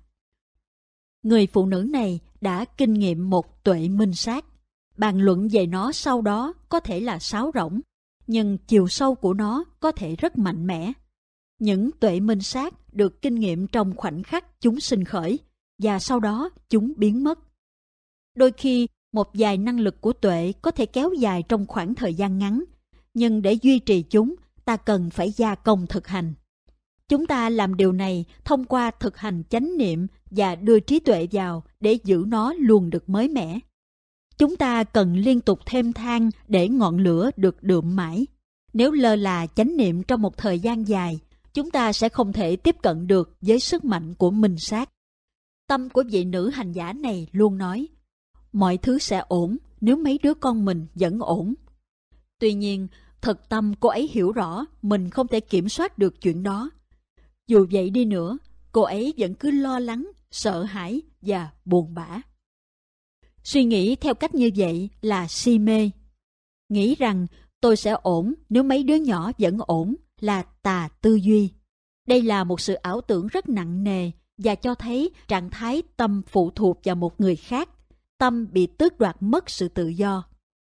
Một cái tâm đúng đắn sẽ luôn luôn ổn bất kể những người khác, hoàn cảnh hay nơi chốn. Khi bạn có trí tuệ, khi tâm không tin rằng nó đau khổ bởi vì người khác, hoàn cảnh hay nơi chốn, thì đó chính là chánh tư duy. Đó chính là lúc tâm được tự do. Chánh tư duy giúp cho chúng ta luôn nhắm đúng hướng. Đức Phật đã mô tả cái cách mà tâm luôn luôn hướng về phía bất kỳ suy nghĩ nào đang nổi trội nhất bên trong nó. Nếu những suy nghĩ của tham đang có khuynh hướng nổi trội, thì chúng cũng sẽ được tiếp tục duy trì trong tâm. Nếu chúng ta có suy nghĩ của sự buông bỏ, biết ơn, sự rộng lượng hoặc bất kỳ một suy nghĩ tích cực nào, thì đó cũng chính là hướng mà tâm sẽ tiếp tục đi tới. Khi tôi còn trẻ và đang còn làm việc với cha mình ở chợ, tất cả những gì tôi có thể nghĩ đến là vui chơi và luôn tìm cách để vui chơi.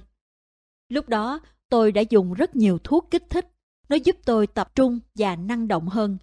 Và kết quả là tôi có thể dành được nhiều sự nỗ lực và năng lượng của mình vào công việc. Điều này làm cha tôi vui lòng cho tới khi ông nhận ra tiền từ doanh số bán hàng bị thiếu. Sau đó, ông đã hiểu ra những gì mà tôi đang làm. Những suy nghĩ tham lam chiếm lĩnh hết tâm trí đã khiến tôi làm mọi thứ để có được điều mình muốn, và hậu quả là những xung khắc đã xảy ra giữa hai cha con tôi. Kết quả sẽ luôn là những rắc rối cho đến khi chúng ta thấy được những khuynh hướng như vậy trong chính thói quen tư duy của mình. Sự si mê sẽ luôn che giấu những thói quen và các khuynh hướng này cho đến lúc chúng ta đối diện với phiền não của mình và nỗ lực để phát triển và khuyến khích các tư duy thiện lành trong tâm. Chúng ta thường có thể nhận ra việc gì là tốt đẹp, nhưng dường như bất lực để thực hiện nó. Trí tuệ vẫn chưa được vững chắc, nên nó không đủ sức mạnh để vượt qua tâm bất thiện. Sự ổn định và liên tục trong pháp hành chính là chìa khóa để củng cố trí tuệ. Sau đó, đà thực hành sẽ hướng tâm vào các hoạt động thiện lành. Đối với việc thực hành trong đời sống hàng ngày, sẽ không có một khoảng trống ngoại lệ nào. Pháp phải song hành với mọi thứ ta làm để nhắc nhở chúng ta về hướng đi của mình. Nếu không, chúng ta sẽ luôn làm mảnh đất màu mỡ để phiền não phát triển. Mục tiêu đúng Suy nghĩ đúng Ý định đúng Có ý định và động lực để đưa việc thực hành vào trong đời sống hàng ngày là một chuyện, nhưng thực hiện sao cho đúng cách lại là chuyện khác. Một trong những công việc chính của tôi đối với các hành giả là đảm bảo họ thực hành đúng cách. Nếu bạn đang lái một chiếc mô tô, bạn cần phải biết mình đang đi đâu, đôi khi cần phải kiểm tra bản đồ. Thỉnh thoảng, mục tiêu và sự quyết tâm không đủ lớn, chúng ta dễ dàng đánh mất sự tập trung, dẫn đến mất chánh niệm. Cuộc sống và Pháp phải luôn luôn đi cùng nhau. Nếu không, mục tiêu của chúng ta sẽ không bao giờ trở thành sự thật. Chiếc xe mô tô sẽ chạy vòng vòng mà chẳng tới đâu. Dài hành giả hiểu rõ cách thực hành và đã thực hành trong nhiều năm, nhưng sự nỗ lực của họ không đủ lớn. Họ vẫn thích tận hưởng cuộc sống và còn rất nhiều ham muốn. Họ bước đi trên cả hai con đường đối nghịch nhau. Những hành giả này sợ rằng nếu họ dành nhiều nỗ lực cho thực hành hơn nữa thì sẽ mất đi những thú vui trong cuộc sống. Khi họ thật sự nỗ lực, trí tuệ sẽ sinh khởi, làm cho sự tương phản giữa trí tuệ và ham muốn ngày càng rõ rệt và dữ dội hơn. Sự tương phản có thể rất mạnh mẽ và dẫn đến những nghi ngại. Cuộc sống dường như không thú vị, không có sự tận hưởng, nhưng họ cũng có đủ trí tuệ để biết là dành thời gian cho sự ham muốn sẽ làm bản thân đau khổ. Đây chính là sự tiến thoái lưỡng nan của nhiều hành giả. Cách duy nhất là đưa Pháp vào trong cuộc sống một cách trọn vẹn, song hành với việc thực hành chánh niệm và khám phá tâm trí của mình. Đây chính là nơi bạn tìm thấy tất cả niềm vui và sự tận hưởng cần thiết. Do đó, hãy thực hành đúng để xây dựng chánh kiến và cuộc đời sẽ hé mở một cách tự nhiên, rồi bạn sẽ đi đúng hướng.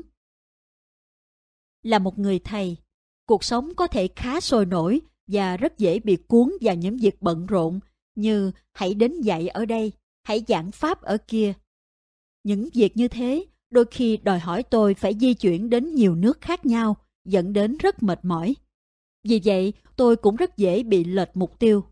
Nên điều quan trọng đối với tôi là phải tạm nghỉ một chút, lùi lại để tái tập trung và nghĩ về nơi tôi cần đến. Năm nào tôi cũng nói với các hành giả rằng tôi định sẽ tạm nghỉ, nhưng điều này chưa bao giờ xảy ra cả. Có thể sẽ nhanh thôi. Đối với tôi, động lực để thực hành và giảng dạy không khó. Mỗi ngày tôi đều gặp những tình huống thú vị mới mà các hành giả trình pháp với mình. Những chuyện như vậy lại kích thích sự hứng thú của tôi. Khi mới xuất gia, tôi hoàn toàn chìm đắm trong Pháp. Rất nhiều Pháp đàm, đọc sách, tư duy về Pháp, mỗi khoảnh khắc đều là Pháp. Ngày nay, tôi phải đảm đương nhiều thứ không trực tiếp liên quan đến Pháp. Mặc dù trí tuệ có mặt, tôi vẫn phải suy nghĩ nhiều đến việc lên kế hoạch và quản lý. Những việc đôi khi chẳng đi đến đâu. Vì vậy, có mục tiêu đúng là rất quan trọng. Thỉnh thoảng bạn nên dành riêng một ít thời gian để tạo khoảng trống trong tâm. Từ đó có thể tìm ra hướng đi mà bạn muốn nhắm đến. Nếu liên tục đưa chánh niệm vào từng hành động trong cuộc sống, bạn sẽ thực hành đúng, trí tuệ sẽ sinh khởi và chỉ đường cho bạn.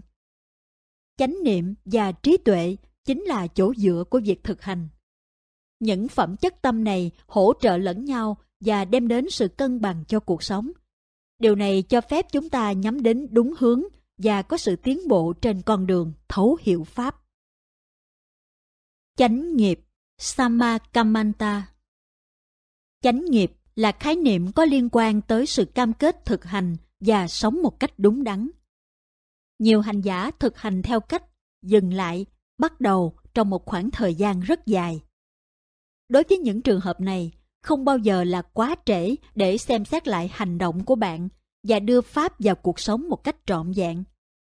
Chúng ta có thể đặt câu hỏi, tôi đang đối xử với bản thân và mọi người như thế nào? Chất lượng cuộc sống của tôi và những người xung quanh ra sao?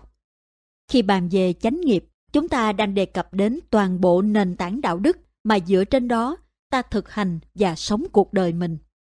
Trong phần đầu của cuốn sách này, chúng ta đã tìm hiểu về giới và cách thức mà giới có thể được phát triển dựa trên cả trí tuệ lẫn các yếu tố bị điều kiện hóa của tâm. Giới hình thành từ việc thực hành Vipassana là kết quả của tâm trí tuệ. Nó cũng bao hàm lòng từ bi với chính bản thân chúng ta và người khác. Chúng ta thấy rằng nếu không có chánh niệm và trí tuệ đằng sau ý định hành động, thì những hành động mang tính ý chí đó có khả năng sẽ gây ra tổn thương và đau khổ. Vì vậy, theo ý nghĩa này, nói về chánh nghiệp là chúng ta đang bàn về nghiệp, karma. Một quyết định thiện lành dẫn đến hành động mà nó sẽ đưa đến quả tích cực cho chúng ta và những người xung quanh. Khi sống với những nguyên tắc không cố ý làm hại, chúng ta đang hành động về lòng nhân từ đối với tất cả chúng sinh. Trong đời thường, đây chính là cách chúng ta phải dùng để quản lý đời mình nếu muốn tiến lên trên con đường giác ngộ. Nếu không có giới, bạn có thiền được không? Giới, tuệ và định là kết quả của một quá trình hành thiền tốt. Do đó, nếu những phẩm chất này không hiện diện, thì tại sao bạn lại thực hành? Làm sao có thể hành thiền được chứ? Nếu không thể hành thiền được, thì sẽ chẳng có ai hành thiền cả. Thỉnh thoảng, không có giới hoặc yếu tố này không mạnh mẽ, nhưng bạn vẫn thực hành. Dần dần, dần dần, một chút trí tuệ xuất hiện và bạn thay đổi cuộc đời mình. Sau đó, bạn có niềm tin và hy vọng vào pháp hành. Từ đó, giới trở nên mạnh mẽ hơn và ngày càng được củng cố. Trong đạo Phật, chúng ta nói về Kama Sakata Samma Ditti. Đây là chánh kiến với một sự hiểu biết về nghiệp của chính mình hay hiểu biết về nhân quả. Bạn làm những việc xấu, bạn nhận lấy kết quả xấu. Việc tốt đưa đến kết quả tốt. Đây là một sự hiểu biết căn bản, nhưng đối với hầu hết hành giả, nó không hiện hữu khi họ bắt đầu bước vào pháp hành. Vì vậy, trong giai đoạn đầu, chúng ta không thực sự tin vào bất cứ thứ gì trong số những điều kỳ lạ này. Chỉ khi có tiến bộ trong pháp hành và có thể phải chịu tổn thương vài lần thì chúng ta mới chịu tin và tự nhận ra rằng sự thiếu vắng của giới sẽ thực sự làm cho chính chúng ta và những người khác đau khổ. Dưới thời của Đức Phật, có nhiều nhân vật xấu cuối cùng đã trở thành những vị A-la-hán. Họ đã có sẵn một nền tảng trí tuệ, thứ đã thúc đẩy họ khám phá Pháp trong quá trình thực hành. Do đó, ban đầu giới không cần phải hoàn hảo để có thể hành thiền. Chỉ cần kiên nhẫn và chánh niệm trong pháp hành. Sau đó, trí tuệ chắc chắn sẽ đến. Trong hoạt động hàng ngày, các giác quan của chúng ta có thể phải liên tục đối mặt với chướng ngại đến từ các đối tượng tiềm ẩn khả năng kéo theo phiền não, thách thức các giá trị đạo đức của chúng ta. Những thói quen và sự ham mê tưởng như đã lắng dịu hoặc được xử lý trong các khóa tu, này quay trở lại quấy phá. Để có thể đối phó với những ưu phiền này, tâm trí tuệ của chúng ta trước hết phải tương ứng hoặc mạnh hơn cái tâm bị ô nhiễm hay bị điều kiện hóa kia. Tâm trí tuệ này chỉ có thể đến thông qua việc duy trì chánh niệm liên tục trên nền tảng trí tuệ sẵn có của chúng ta. Có một hành giả đã thực hành được vài năm và vẫn đang nghiện ngập nhiều thứ, trong đó có thuốc lá, cần sa, rượu và thỉnh thoảng là cocaine và thuốc lắc. Mặc dù dùng thuốc kích thích nhiều như thế, anh ta vẫn cố gắng hành thiền liên tục hết mức có thể. anh ấy dần có chút trí tuệ và bắt đầu giải quyết thuốc lá trước và cuối cùng đã bỏ được thói quen hút thuốc. Rồi trong một buổi tối hội họp cùng bạn bè, tất cả mọi người đều cùng nhau dùng nhiều cocaine. Thông thường trong những dịp như vậy, anh ta sẽ hút cần sa sau cùng để có được cú đáp nhẹ nhàng khi bớt say thuốc. Riêng buổi tối hôm đó, do không có cần sa, nên khi thuốc kích thích dần mất tác dụng, anh ấy đã rơi vào một trạng thái vô cùng tuyệt vọng và cuối cùng là thức trắng cả đêm. Anh ấy đã giải thích như sau. Tôi cảm thấy quá tệ khi nằm ở đó và cố gắng ngủ.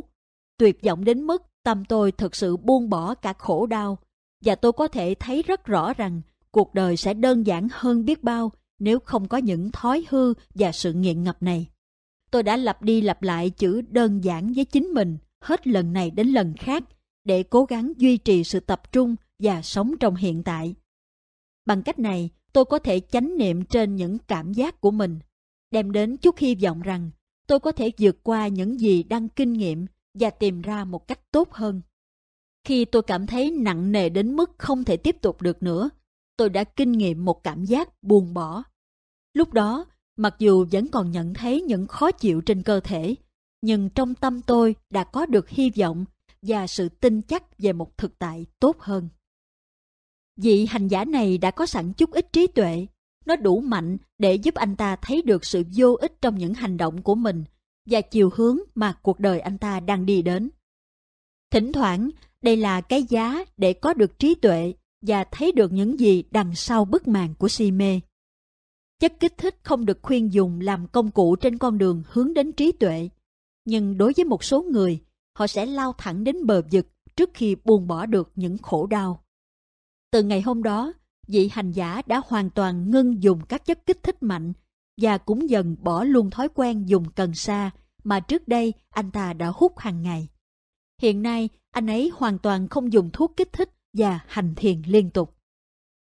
Chúng ta thường xuyên cố gắng buông bỏ các thói quen và sự ham mê nghiện ngập, nhưng chừng nào còn chưa phát triển được trí tuệ đủ mạnh để tách khỏi phiền não, thì chừng đó chúng ta sẽ còn trượt dài theo các thói quen cũ. Cho dù cuộc sống khắc nghiệt đến đâu, chúng ta vẫn phải liên tục thực hành. Đây là con đường duy nhất.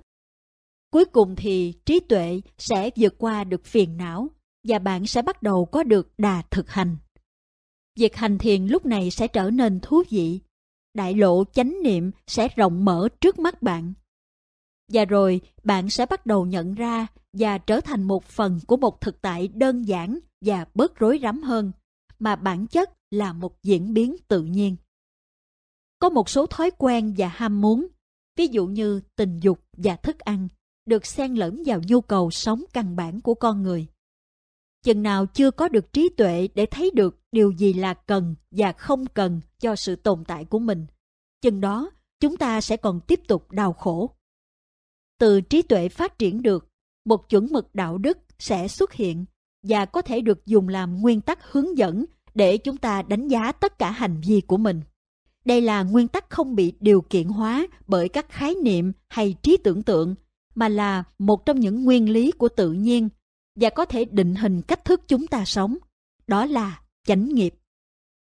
Trong đời sống hàng ngày, trí tuệ sâu sắc hơn có thể sinh khởi từ việc ta đối mặt với những tình huống thực tế.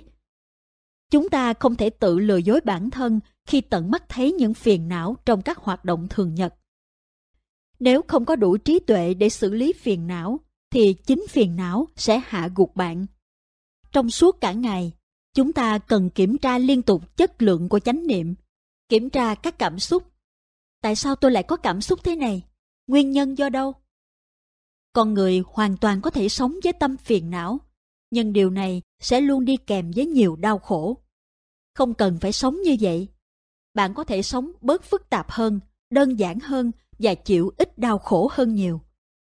Chính các phiền não làm cho cuộc sống của chúng ta trở nên rối rắm, tham lam, muốn mọi thứ tốt hơn và cố gắng thoát khỏi những tình huống mà chúng ta không thích hoặc không trông đợi.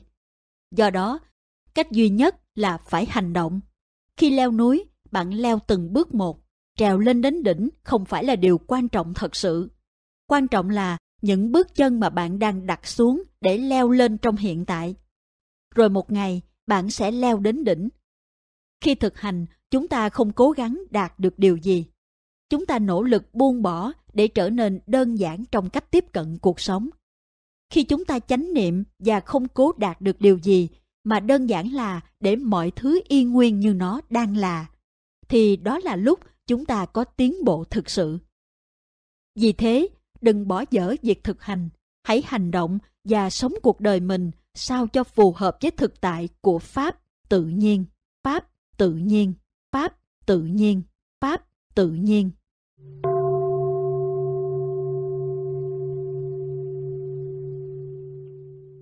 Ngày càng thuần thục trong Pháp hành Cuối cùng, khi đã có được một số kết quả trong Pháp hành, chúng ta trở nên thông minh hơn trong cuộc sống. Nếu chúng ta đã nỗ lực và liên tục thực hành, chắc chắn chúng ta sẽ bắt đầu thấy kết quả. Mọi thứ tự động diễn ra và cần ít sự nỗ lực hơn. Việc thực hành bắt đầu trở thành bản chất của chúng ta và tâm sẽ trở nên khách quan hơn trong mối quan hệ với các phiền não. Trong nhiều trường hợp, sẽ có một số phản ứng trước những đối tượng nhất định. Và bởi vì vẫn còn đó một mức độ si mê, chúng ta sẽ hết lần này đến lần khác bị dính mắc Tuy nhiên, vì chúng ta đã xây dựng được đà chánh niệm, nên sự dính mắc thường chỉ tồn tại trong thời gian ngắn.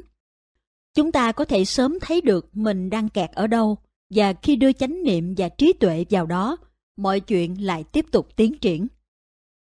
Những dính mắc như thế có thể khá khắc nghiệt, và chúng ta có thể thấy chúng tàn phá cuộc đời mình như thế nào. Một hành giả trình pháp rằng, chỉ trong một khoảnh khắc mất đi chánh niệm cô ấy có thể thấy được hiệu ứng dữ dội như một cơn sóng thần. Cô ấy kể lại, nó giống như ném một hòn sỏi vào mặt nước hồ yên tĩnh và thấy các con sóng tỏa ra khắp nơi, ngày càng lớn hơn. Nguyên nhân hoặc hành động ban đầu dường như vô hại vào lúc đó, nhưng hậu quả có thể rất thảm khốc và quá mức chịu đựng. Vì vậy, chỉ cần một lời nói hay một cử chỉ cũng có khả năng đem tới hệ lụy gây ra nhiều khổ đau cho chính ta và người khác. Trong kinh niệm xứ, Đức Phật dạy rằng, khi nói hãy chánh niệm, khi im lặng hãy chánh niệm. Chúng ta đã nghiên cứu chánh ngữ và tầm quan trọng của nó trong đời sống hàng ngày.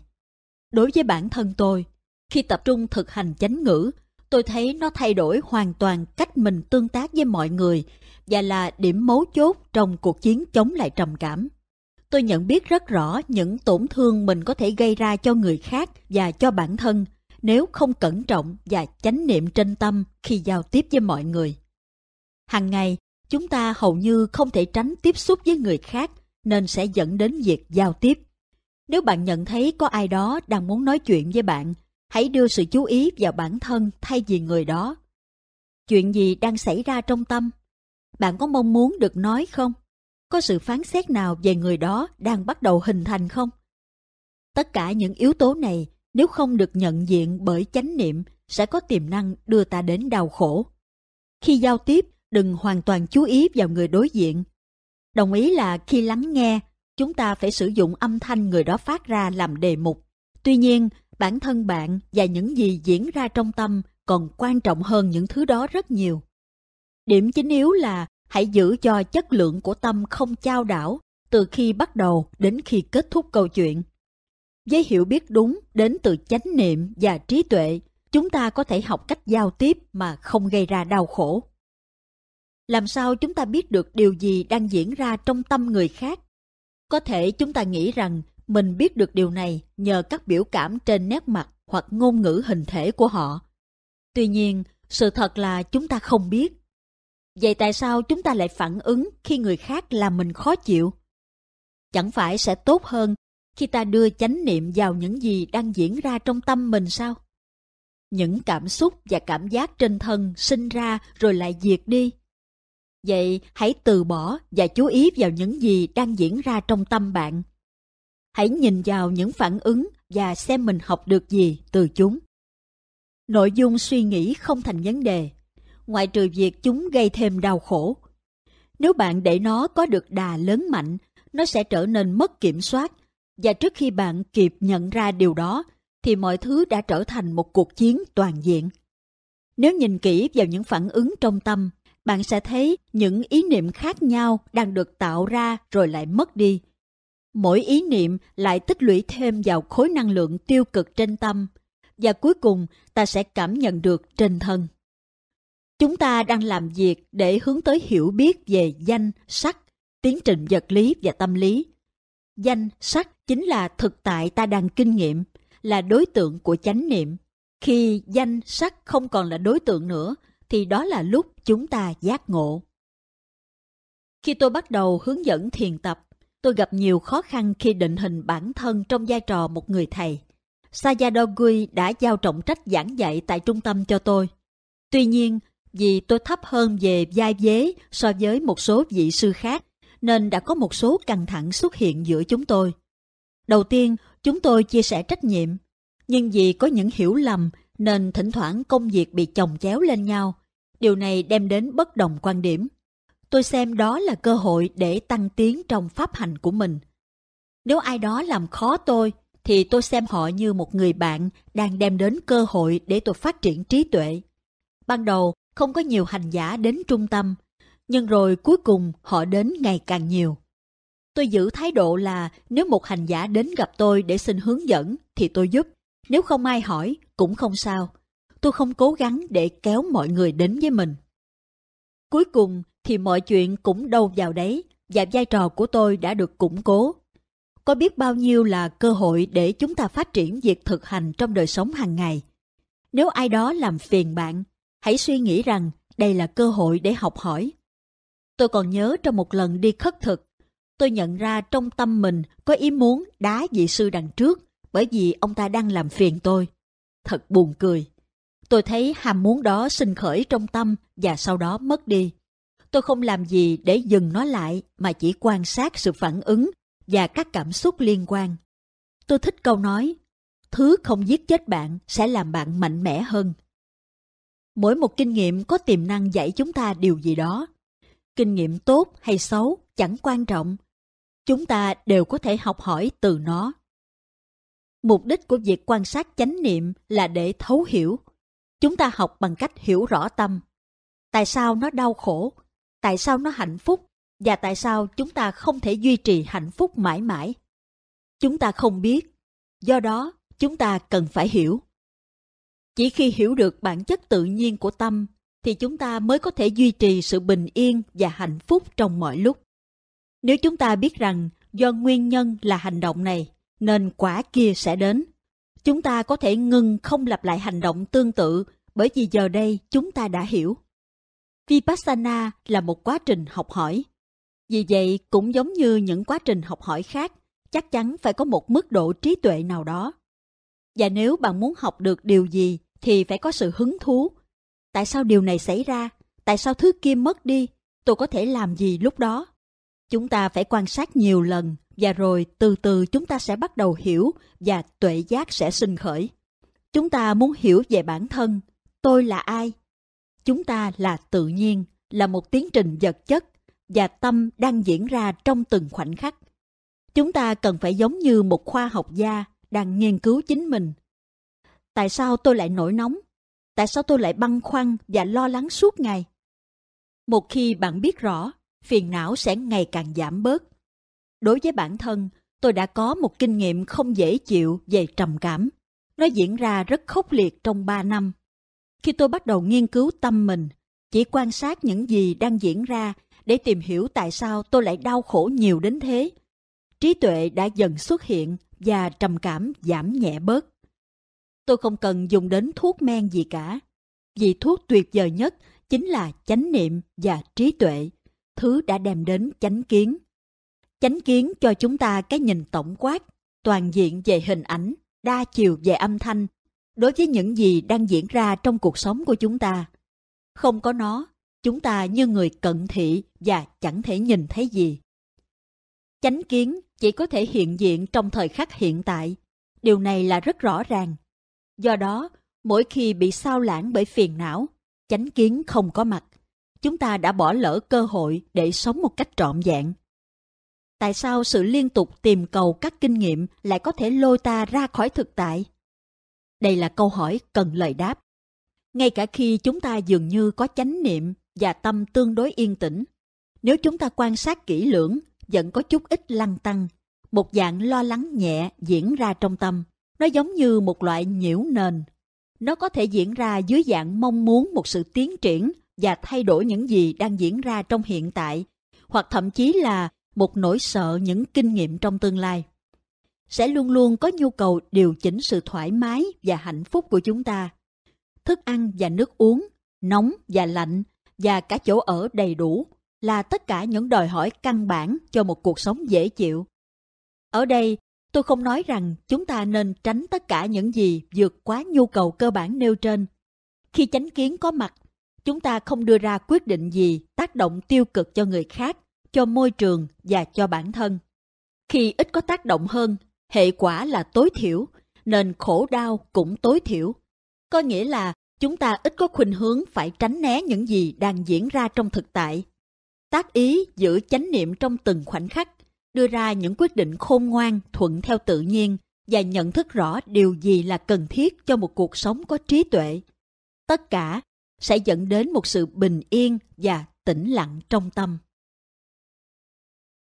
Mất chánh niệm nhiều hành giả lo lắng về việc mất chánh niệm, nhưng đó không thực sự là một vấn đề. Nếu có ý định giữ chánh niệm trong tâm, thì bạn sẽ luôn quay lại được với nó. Do đó, chính ý định giữ chánh niệm hay chánh tư duy và chánh tinh tấn sẽ thúc đẩy bạn tiến bộ trong pháp hành. Khi trí tuệ mạnh mẽ, thì chúng ta không bao giờ lạc xa khỏi chánh niệm. Trí tuệ biết cách làm thế nào để giữ chánh niệm. Chính trí tuệ tiếp năng lượng cho tâm quan sát. Trí tuệ, tính tâm và chánh tinh tấn. Ba yếu tố này độc lập hoặc kết hợp với nhau hỗ trợ cho sự tồn tại của chánh niệm. Tuy nhiên, trí tuệ là yếu tố mạnh nhất. Tính tâm thực ra cũng là một chức năng của trí tuệ. Có được chánh tính cũng là một dạng của trí tuệ sẽ tự động thúc đẩy những nỗ lực tiến về phía trước. Có những người không có nhiều trí tuệ hoặc tín tâm nhưng lại rất giỏi trong việc cố gắng. Do đó, họ chỉ biết nỗ lực để giữ chánh niệm và sau đó phát triển trí tuệ để củng cố tín tâm và rồi họ lại tiếp tục với chánh niệm. Điều này giống như tiền bạc. Nếu chúng ta hiểu được giá trị của tiền thì chúng ta nỗ lực rất nhiều để kiếm tiền. Trong thế giới này, bạn không thể làm gì mà thiếu tiền. Do đó, bạn không còn lựa chọn nào khác ngoài việc kiếm tiền để tồn tại. Nếu chúng ta hiểu rằng chánh niệm là yếu tố cần thiết để dẫn đến một cuộc sống thiện lành, thì chúng ta sẽ nỗ lực để có chánh niệm. Có hai cách để có chánh niệm trong thời khắc hiện tại. Nỗ lực hoặc tự nhắc nhở bản thân có chánh niệm. Chúng ta có thể tự hỏi, tôi có đang chánh niệm không? Điều này cũng sẽ đưa đến chánh niệm khi bạn tận tụy trên con đường theo đuổi chánh niệm, thì một thoáng đảng trí mất chánh niệm không còn quan trọng, bởi vì bạn đã có những sự thúc đẩy tuyệt vời từ tín, tấn và trí tuệ để giữ bản thân ở lại. Khi nỗ lực, có rất nhiều phương pháp mà chúng ta có thể học hỏi để duy trì chánh niệm trong các hoạt động hàng ngày. Khi tôi ngồi nói chuyện với thầy, thầy luôn đặt một tay lên vai bên kia và gõ nhịp ngón trỏ hoặc ngón giữa một cách thoải mái. Thầy dùng việc nhịp tay này để giữ chánh niệm khi nói chuyện. Tôi thì thường dùng ngón trỏ hoặc ngón giữa cùng với ngón cái để xoa hoặc gõ vào nhau, từ đó giữ chánh niệm khi làm việc ở chợ. Tôi còn nhớ một người bạn của tôi ở chợ, một tín đồ đạo hồi, bán hàng ở cửa hàng bên cạnh. Một lần nọ tôi nói với anh ấy, lại thiền đi. Anh ta nói, không không, nên tôi nói, cậu có thấy những cảm giác khi gõ các ngón tay vào nhau không? Anh ta bắt đầu cảm thấy thích thú với chuyện này, nên tôi hỏi tiếp. Cậu thấy cảm giác trên ngón trỏ hay ngón cái? Anh ấy bắt đầu tò mò hơn và theo dõi như thế trong nhiều giờ liền trong lúc chúng tôi ngồi bán hàng cho khách. Dù không gọi hành động đó là thiền, nhưng anh ta đã chú ý và rất chánh niệm. Chúng ta có thể dùng bất cứ thứ gì làm đề mục để giữ mình trong thực tại. Hãy nhớ rằng, chúng ta chỉ dùng chánh niệm nhẹ nhàng để theo dõi đề mục, chứ không chìm sâu vào nó. Duy trì năng lượng Chừng nào chúng ta duy trì được chánh niệm, chúng ta sẽ có năng lượng. chúng ta sẽ cảm thấy ít mệt hơn bởi vì chúng ta thông minh và hiệu quả hơn trong từng hành động. Việc giữ chánh niệm theo nhịp độ của cuộc sống hàng ngày là rất quan trọng. Tôi đặc biệt nhấn mạnh điều này với các hành giả ở mỗi khóa tu. Nếu bạn di chuyển từ từ, chậm chạp tại trung tâm thiền, thì bạn định đương đầu với nhịp sống hàng ngày bằng cách nào?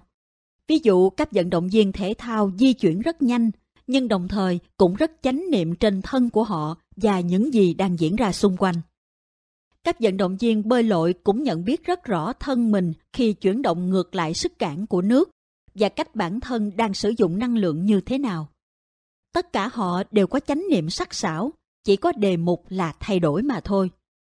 Tôi chạy bộ mỗi sáng trước khi xuất gia. Khi chạy, tôi đã rất chánh niệm từ lúc bắt đầu đến lúc kết thúc, liên tục không ngưng nghỉ cho đến khi dừng lại. Tâm tôi ổn định và trở nên tĩnh lặng. Lúc đó, hơi thở là một đề mục rất nổi bật, nên tôi thường chánh niệm trên đó. Điều này là hoàn toàn khả thi. Bạn có thể giữ chánh niệm với nhịp độ chuyển động bình thường trong khi làm bất kỳ điều gì. Nhưng đừng dội vã, và bạn sẽ giữ gìn được năng lượng của mình nếu làm theo cách như vậy. Thỉnh thoảng bạn cần phải làm việc với tốc độ nhanh và do đó rất khó để nhận biết nhiều chi tiết với chánh niệm. Không sao cả. Một đề mục là đủ, miễn sao chánh niệm của bạn liên tục, giống như quan sát hơi thở khi chạy bộ. Nếu bạn có thể duy trì chánh niệm thì tâm sẽ tĩnh lặng và bình yên. Vì vậy, bạn có thể suy nghĩ đúng đắn cách làm sao để hoàn thành tốt công việc. Bạn phải thật thành thạo cách chánh niệm trên các suy nghĩ của mình. Thỉnh thoảng trong đời sống hàng ngày, chúng ta có nhiều việc cần làm nên phải làm nhiều thứ cùng lúc. Chánh niệm cần phải rất ổn định để làm đồng thời nhiều việc. Ban đầu chỉ cần thực hiện một công việc mỗi lần là đủ, và rồi ngày qua ngày, chánh niệm dần dần trở thành một thói quen. Giống như một người biểu diễn võ thuật, mỗi lần chỉ tung một cú đấm cho tới khi anh ấy hay cô ấy trở nên lão luyện và tung nhiều cú đấm cùng lúc. Tâm nhanh hơn thân 17 lần. Do đó, dù cho thân di chuyển nhanh cỡ nào, tâm cũng vẫn theo được dễ dàng. Hãy chăm chỉ thực hành để nó trở thành một thói quen. Hiện tại, có thể bạn chỉ quan sát được một đề mục ở mỗi thời điểm. Vậy, bạn quan sát nhiều đề mục bằng cách nào? Đó là nhờ tốc độ tâm xử lý các đề mục nhanh hơn. Tâm trở nên nhanh nhẹn hơn bởi vì nó đã được đào luyện. Do đó, chánh niệm liên tục trở thành một phần trong sự tồn tại của chúng ta và dần dần tâm có khả năng hay biết nhiều thứ. Bất kỳ chúng ta đang làm gì thì đều làm với chánh niệm. Điều này đem đến không gian, sự tự do cho trí tuệ sinh khởi và trở thành một phần trong các hoạt động của chúng ta. Nếu chúng ta liên tục chánh niệm và đồng thời trí tuệ cũng hiện diện, thì hiển nhiên chúng ta có thể hay biết nhiều hơn những phiền não có thể sinh khởi trong tâm. Chính những phiền não đã làm hao mòn năng lượng của bạn. Hôm nay bạn có mệt không? Vậy trạng thái tâm của bạn ngày hôm qua như thế nào? Nếu bạn băn khoăn hoặc lo lắng và tâm suy nghĩ đã rất bận rộn vào hôm qua, thì năng lượng của bạn sẽ thấp vào ngày hôm nay. Bạn có đi ngủ với chánh kiến không? Hãy vào giấc ngủ với chánh kiến, rồi bạn sẽ thức dậy với chánh kiến. Tâm suy nghĩ giống như một bộ vi xử lý máy tính. Càng sử dụng nhiều thì càng tốn nhiều dữ liệu. Nó phụ thuộc vào bộ nhớ để vận hành và việc đào sâu dữ liệu trong bộ nhớ có thể tiêu tốn rất nhiều năng lượng. Có một nhà vô địch đấm bốc, người đã tham dự một trận tranh đai vô địch. Đối thủ của anh ấy đã lên tiếng lăng mạ anh ta trước và trong suốt trận đấu. Điều này đã khiến cho nhà vô địch rất giận dữ. Anh ấy nói, tôi có thể cảm nhận được sự giận dữ đang rút mất dần năng lượng của mình trong suốt trận đấu. Tôi thấy rất mệt mỏi chỉ sau 4 hiệp, trong khi thông thường tôi có thể thi đấu đến hiệp thứ 10 một cách dễ dàng. Tâm suy nghĩ của anh ấy đã hoạt động rất mạnh, dẫn đến việc mất chánh niệm. Vậy là đối thủ của anh ấy đã rất thông minh. Anh ta biết rằng lời nói và hành động của mình sẽ làm hao mòn năng lượng của nhà vô địch. Cuối cùng khiến anh ấy thua cuộc và đánh mất danh hiệu. Chánh niệm của bạn phải mạnh mẽ và sẵn sàng trong mọi lúc để khi cảm xúc, sự giận dữ xuất hiện, bạn có thể đương đầu với nó và nó sẽ trôi qua rất nhanh. Đừng để tâm bạn trôi nổi tự do. Hãy chánh niệm và sử dụng tâm suy nghĩ một cách có ý thức. Tôi cố gắng dùng tâm theo cách này trong đời sống hàng ngày. Nếu như tâm lắng dịu và tự do, tôi có thể giao việc cho nó và làm việc trong chánh niệm, rồi tiếp tục công việc khác và sẵn sàng chờ kinh nghiệm tiếp theo xuất hiện. Khi tôi mới khởi sự hành thiền, lúc còn làm việc ở trong chợ, mỗi khi cảm xúc dâng trào trong tâm, tôi lại phải chạy vội vào toilet để cố gắng bình tĩnh trở lại. Điều này đã cản trở công việc của tôi. Nếu bạn có thể duy trì chánh niệm, thì chất lượng công việc của bạn sẽ ngày càng tốt hơn. Nếu vội vã, bạn sẽ làm hỏng việc. Nhưng khi chánh niệm, đúng là bạn có thể hoàn thành công việc trong thời gian lâu hơn, nhưng lại hiệu quả hơn. Ngày qua ngày, bạn học cách làm sao chánh niệm trên những gì đang diễn ra, và dần dần bạn có thể duy trì việc thực hành trong cuộc sống. Chỉ cần nhớ rằng đề mục chỉ là đề mục thôi. Không có chuyện nó tốt hay xấu. Nó chỉ là đề mục để giúp bạn giữ chánh niệm, hoặc nó sẽ rút cạn năng lượng của bạn nếu bạn không chú ý. Nếu có thể quan sát tâm suy nghĩ, thì chúng ta có thể hiểu được tự nhiên. Chúng ta có thể hiểu được khổ, vô thường và vô ngã. Tất cả những điều này đều có thể hiểu được bằng cách quan sát chính cái tâm suy nghĩ. Vậy tại sao chúng ta muốn dừng suy nghĩ? Nếu không suy nghĩ, chúng ta chẳng thể làm được gì. Bạn sẽ thậm chí còn không biết cách ăn như thế nào. Chúng ta học cách sử dụng tâm suy nghĩ theo cách để nó không rút cạn năng lượng của chúng ta, không làm chúng ta lo lắng hay băn khoăn. Chúng ta dùng nó với chánh niệm và trí tuệ. Chúng ta có thể để rò rỉ năng lượng mà thậm chí không biết gì về điều này. Những đề mục vi tế có thể gây ra chuyện đó. Tâm dường như khá tĩnh lặng, nhưng vẫn còn đó một mức độ bất an nhỏ, âm ỉ rất khó nhận ra. Lúc này, chánh niệm cần phải sắc bén hơn nữa để có thể quan sát thấy các đề mục vi tế ấy.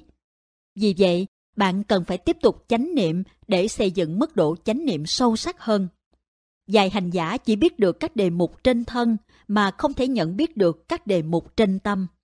Ví dụ như khi các đề mục trên thân lắng xuống, tâm trở nên tĩnh lặng. Họ không nhận ra rằng một cái tâm tĩnh lặng cũng là một đề mục. Đó là một trạng thái và cũng là đối tượng của tâm. Sự yên lặng cũng là một trạng thái của tâm, nhưng các hành giả cũng không biết cách quan sát nó. Họ chỉ đi tìm các đối tượng trên thân để quan sát sự tĩnh lặng, hãy quan sát tâm chánh niệm trên nó. Khi nhìn vào sự tĩnh lặng, ta thấy nó dường như không thay đổi. Nhưng chính là khi ta hay biết tâm chánh niệm trên sự tĩnh lặng, ta mới thấy được trạng thái chánh niệm đó không thường hằng. Bạn có một khoảnh khắc chánh niệm, rồi bạn sẽ thấy mình phải làm mới nó liên tục. Khi bạn nhận biết sự chánh niệm và thấy nó đang sinh mới, bạn thấy được thật rõ ràng là đối tượng cũng đang sinh mới liên tục và liên tục. Vì vậy, hãy kiểm tra trạng thái của tâm. Nó đang cảm thấy thế nào và chánh niệm có đang hiện diện không? Bằng cách này, chúng ta sẽ không bao giờ mất năng lượng một cách không cần thiết cho những đề mục vi tế trong tâm. Chúng ta không hành thiền để đạt được một trạng thái tâm đặc biệt nào đó hoặc buộc nó dừng không thực hiện chức năng bình thường. Nếu thực hành như vậy, chúng ta sẽ nhanh chóng kiệt sức. Chúng ta quan sát và nhận biết các nền tảng chánh niệm để có thể thấy được bản chất thật của thân và tâm. Đây là một quá trình quan sát đơn giản, làm tiêu tốn ít năng lượng. Để thực hành Vipassana thực thụ, chúng ta phải quan sát thân và tâm theo ba đặc tính, vô thường, khổ và vô ngã. Nếu chỉ chánh niệm trên thân và tâm thì vẫn chưa phải là Vipassana. Thông thường, khi thực hành, các thiền sinh không thực sự thích thú tìm hiểu thân và tâm. Họ thực chất chỉ cố kiểm soát chúng.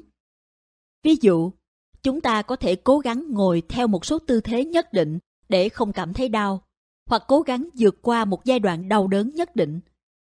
Chúng ta có thể xác định được một tư thế ngồi lý tưởng để kinh nghiệm sự tĩnh lặng trong thời gian lâu hơn, để được tĩnh mịch và dễ chịu, có thể là trong nhiều ngày liên tục.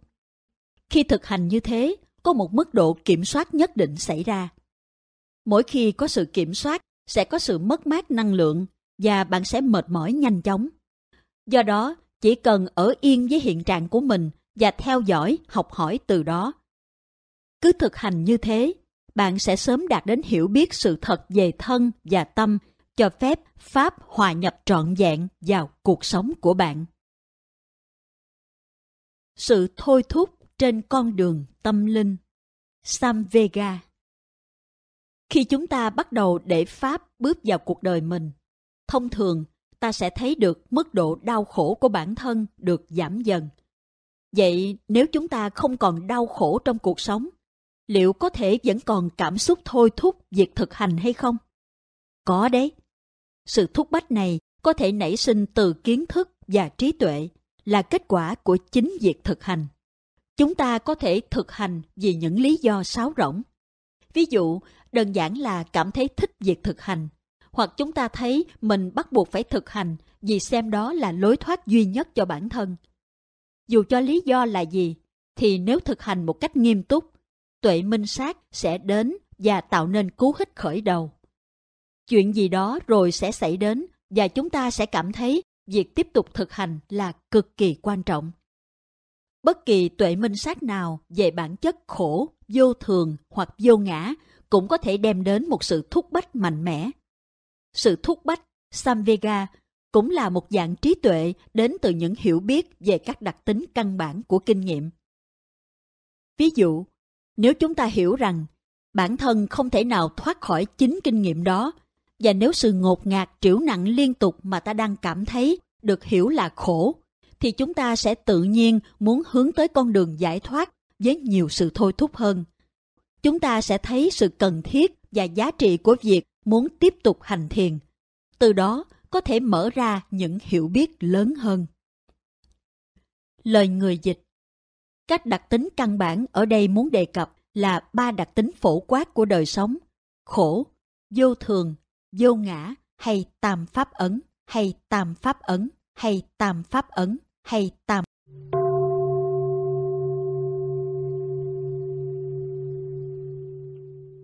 Lời kết. Cho đến bây giờ, nếu bạn đọc cuốn sách này với một mức độ chánh niệm hợp lý, bạn hẳn đã có được những hiểu biết về con đường thực hành đúng đắn. Nếu đã duy trì chánh tinh tấn, bạn sẽ có được một chút đà và sức mạnh cho tâm để tiếp tục bước đi trên con đường thực hành. Điều rất quan trọng hiện tại mà luôn luôn như vậy là hãy đối đãi với mọi người theo cách không đem lại bất kỳ tác hại nào. Chúng ta đã đề cập đến chánh ngữ và những cách thức khác nhau để phát triển phẩm chất này. Với những hiểu biết đã có, quan trọng nhất là chỉ nên nói về những gì chúng ta biết. Nếu làm như thế, Pháp sẽ tuôn chảy tự nhiên, bởi vì nó đến từ góc độ của sự thật mà chúng ta đã nhận diện được. Thầy của tôi luôn rất nghiêm khắc về chuyện này. Ngài thường nói với tôi rằng, chỉ nói về những gì con biết, nếu không chắc, hãy im lặng. Vài người trong số các bạn sẽ trở thành những vị thầy. Vì vậy, bạn sẽ trực tiếp thấy được rằng nói về Pháp từ những gì bạn hiểu biết sẽ dễ dàng như thế nào. Nó tuôn chảy tự nhiên, không cần phải nỗ lực gì cả. Bạn rất dễ miêu tả sai Pháp khi không hiểu biết trọn vẹn. Sự thực hành này được trao truyền lại từ truyền thống cổ xưa và thuần khiết được bảo tồn nguyên dạng do những hành giả và các vị thầy của họ luôn tuân thủ các nguyên tắc này trong suốt nhiều năm kể từ thời Đức Phật. Nói lời không nên hoặc nói nhiều hơn mức cần thiết có thể đem lại nhiều sự bối rối trong tâm, nhưng mặt khác không nói gì hết cũng có thể gây ra sự khó hiểu. Nếu không chắc chắn thì tốt hơn là chỉ nên lánh đi chỗ khác và tập trung vào việc thực hành của bạn hơn là thuyết pháp về những thứ bạn có ít hiểu biết. Khi sự hiểu biết đến, việc chia sẻ và trao đổi kinh nghiệm với các hành giả khác có thể giúp ích cho pháp hành của bạn. Do đó, nếu được hỏi, hãy chia sẻ kinh nghiệm và sự hiểu biết của mình bằng mọi cách. Nhưng nếu không được hỏi, hãy để những người khác tự tìm ra con đường của mình. Sự hiểu biết tốt nhất luôn đến từ trải nghiệm thực tế. Chỉ có bạn mới biết được tâm mình. Chia sẻ kinh nghiệm và kiến thức theo cách này là một hành động bố thí, dana. Và với bất kỳ hành động bố thí nào, tâm tham sẽ tự động bị đẩy lùi. cho phép trí tuệ thế chỗ trong cuộc sống của bạn. Giờ đây, việc thực hành của bạn đã bắt đầu phát triển và có đà quán tính. Tôi muốn nói vài lời giúp bạn tăng thêm phần tự tin trong việc thực hành của mình. Sự tự tin có thể giúp bạn hiểu rằng pháp hành này, khi áp dụng đúng cách, có thể thực sự theo bạn khắp nơi. Nó sẽ đem lại kết quả. Nhiều hành giả không tin rằng có thể tích hợp việc thực hành vào trong đời sống hàng ngày. Nhưng tôi đang nói với bạn rằng điều đó là hoàn toàn khả thi. Nếu thực hành đúng, bạn có thể khai mở trí tuệ và tìm thấy động lực cần thiết để giải thoát bản thân khỏi dòng luân hồi đau khổ này. Việc tìm thấy sự giác ngộ thông qua thực hành song song với các hoạt động thường nhật là hoàn toàn nằm trong khả năng thực hiện được. Mọi thứ bạn cần cho sự hiểu biết sinh khởi đã hiện hữu vào lúc này. Tất cả đã sẵn sàng ngay trước mặt. Gia đình, bạn bè, đồng nghiệp và bất kỳ mối quan hệ nào xung quanh đều là những chất xúc tác mạnh mẽ để khai mở trí tuệ.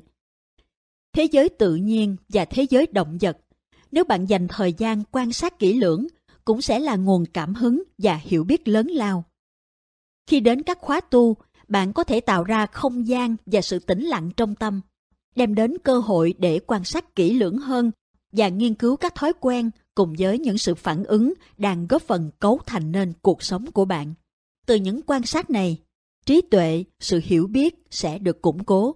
Bạn sẽ có những công cụ hữu ích để có thể sử dụng khi đối mặt với sự xuất hiện liên tục của các phiền não là tham, sân và si. Hiểu rõ được bản chất của những phiền não này thật sự là tất cả những gì bạn cần trên con đường theo đuổi trí tuệ. Mong muốn của tôi là vài điều trong cuốn sách này sẽ đem đến hiểu biết cho bạn và từ đó bạn có thể thực hành một cách đúng đắn. Nếu bạn có thể đạt được sự đúng đắn và ổn định trong pháp hành bằng việc phát triển chánh niệm và vận dụng chánh kiến, thì tâm sẽ cân bằng và đích đến cuối cùng chắc chắn sẽ hiển lộ. Vào lúc này, chúng ta vẫn chưa chứng ngộ, nhưng chúng ta đang giác ngộ. Chúng ta đang đi trên con đường của mình và các tuệ giác đang đến. Tuy nhiên, chúng ta không được quên rằng tâm đang sinh và diệt trong mỗi khoảnh khắc và chúng ta không thể duy trì các phẩm chất hoặc tuệ giác trừ khi chúng ta liên tục phát triển chúng theo thời gian. Tuệ minh sát sẽ để lại những di sản của nó, nhưng bạn phải thu nhặt chúng lên và mang theo khi tiến về phía trước, lặp đi lặp lại hết lần này đến lần khác, nếu không chúng sẽ bị suy giảm. Đó là lý do tôi nói rằng chúng ta đang giác ngộ bởi vì đây là một quá trình đang diễn ra và luôn thay đổi trong từng khoảnh khắc. Tuệ minh sát là sức mạnh sẽ đem đến cảm hứng và sự thúc bách, khiến bạn nỗ lực trong pháp hành. Trí tuệ luôn luôn chỉ ra con đường cho chúng ta đi. Nó chỉ biết một con đường duy nhất và đó chính là con đường hướng đến sự thật tối hậu, Niết Bàn, Nibbana. Vì vậy, xin hãy tiếp tục thực hành một cách không ngừng nghỉ đừng dừng lại. Khoảnh khắc này là hiện thực của bạn. Công việc của bạn là hãy chánh niệm nhẹ nhàng trên những gì nhận biết được ở tất cả các cửa giác quan vào lúc này. Chỉ thế thôi. Quá khứ thì đã qua và tương lai thì chưa đến. Cả hai thứ ấy đều là những khái niệm và có tiềm năng đem đến khổ đau. Chúng không có thật. Ngay bây giờ, trong khoảnh khắc này, bất cứ thứ gì xuất hiện và bất cứ thứ gì mất đi ngay cả cái chết cũng không sao cả. Namo Tassa Bhagavato Arahato Samma Sambuddhasa Con đem hết lòng thành kính làm lễ Đức Thế Tôn. Ngài là bậc A-la-hán cao thượng, đã chứng quả chánh biến tri, do Ngài tự ngộ, không thầy chỉ dạy.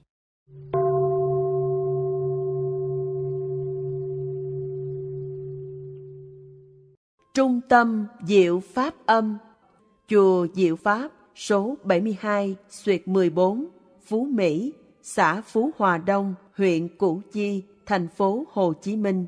Điện thoại 028 362 08438 website diệu pháp âm.net kênh youtube youtube.com xuyệt diệu pháp âm.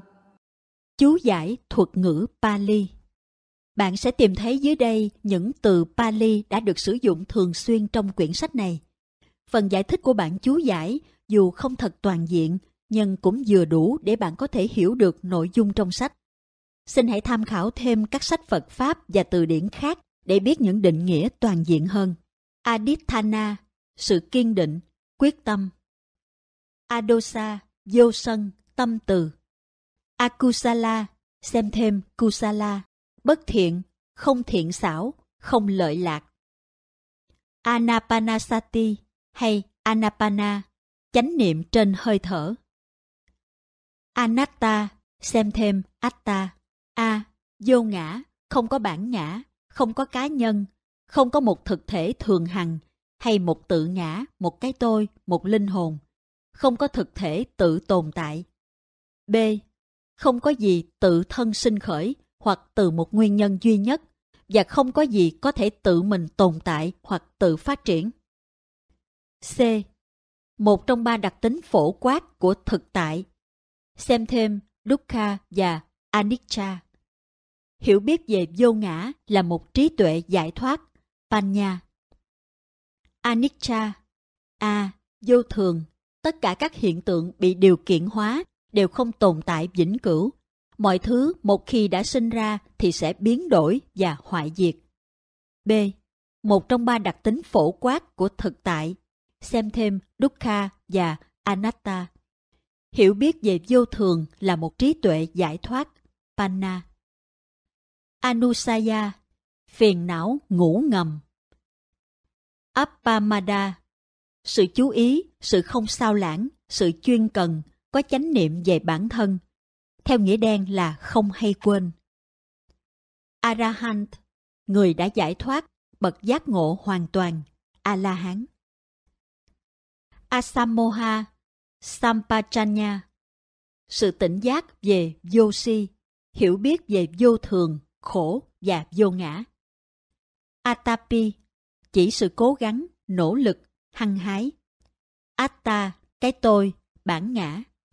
Avijja, đồng nghĩa với Moha. Ayoniso, Manasikara, A, thái độ sai, tâm trạng sai, sự chú ý sai. B. Phi như lý tác ý, ngược lại với Yoniso Manasikara. Bhavana, sự phát triển tinh thần, thiền định. Bhavanamaya Panya, trí tuệ hoặc sự hiểu biết có được bằng sự kinh nghiệm trực tiếp thông qua việc phát triển tinh thần, tu tuệ. Pavatanha, lòng khao khát được tồn tại, hữu ái. Bhikkhu, vị tu sĩ xuất gia trọn vẹn, tỳ khưu, thành viên của tăng già. Bochihanga, bảy yếu tố giúp chứng ngộ, thất giác chi, cũng được gọi là Sambuchihanga. Chetana, sự mong muốn, ý định, tác ý. Chetasika, tâm sở, ý nói đến 52 tâm sở trong vi diệu pháp, một số trung tính, một số thiện, một số bất thiện. Chanda, ý định, khát vọng, sự nhiệt tâm, sự ham muốn thiện lành, tâm sở dục. Chintamaya Panya, trí tuệ hoặc kiến thức có được do suy nghĩ và lập luận, do sự phân tích bằng trí óc, tư tuệ. Chitta, tâm. Chittanupassana, quán tâm. Dana, sự bố thí, cúng dường, rộng lượng. Dhamma, A, đối tượng bị điều kiện hóa, vật, hiện tượng, quy luật tự nhiên, thiên nhiên. B. Lời dạy của Đức Phật, Pháp hành. Dhammanupassana, quán Pháp. Dhamma Vichaya, sự khám phá các hiện tượng, sự khám phá các Pháp, trạch Pháp. Ditti, góc nhìn, niềm tin, ý kiến có tính tư biện. Micha Ditti, tà kiến. sama Ditti, chánh kiến. domanasa bất kỳ cảm giác không hài lòng nào, cảm giác tổn thương về tinh thần, thọ ưu. Dosa, ghét, giận dữ, bất kỳ dạng nào của ác cảm hoặc không thích, bao gồm cả buồn, sợ, chống đối, sân. Đúc kha, A, bất toại nguyện, khổ khổ, sự đau khổ. B. Sự đau khổ do bản chất vô thường, biến hoại, hoại khổ. C. Bản chất không toàn vẹn của sự hiện hữu, của tất cả các hiện tượng bị điều kiện hóa, do duyên mà thành. D. Một trong ba đặc tính phổ quát của thực tại. Xem thêm Anicca và Anatta. Hiểu biết về khổ là một trí tuệ giải thoát, Panya. Dukkha Dukkha, bất toại nguyện, bất như ý, sự khổ, đau khổ. Gochara Sampachanya, sự tỉnh giác hay trí tuệ, biết rằng chỉ có các quá trình vật lý và tâm, tỉnh giác hành xứ. Intriya, ngũ căn, chánh niệm, định, tinh tấn, tín và trí tuệ. Chana, thiền định. Kamachanda, sự ham muốn dục trần. Kama, nghiệp, hành vi có chủ ý, trên thân, khẩu, ý. Kama Sakata, Nhana, Samadhi. Chánh kiến về nghiệp, biết rằng mọi người sống theo nghiệp của mình. Kayanupassana, quán niệm trên thân. Khanda, năm uẩn hay nhóm, sắc, thọ, tưởng, hành và thức. Kilesa, phiền não, các phẩm chất bất thiện của tâm, biểu hiện dưới dạng tham, sân và si. Xem thêm Loba, Dosa và Moha. Kusala, xem thêm Akusala, thiện, khéo léo, có ích. Loba, tham, bất kỳ dạng nào của sự ham muốn hoặc thích thú, đồng nghĩa với Tanha. Magga Nhana, thánh đạo tuệ, dẫn đến giải thoát.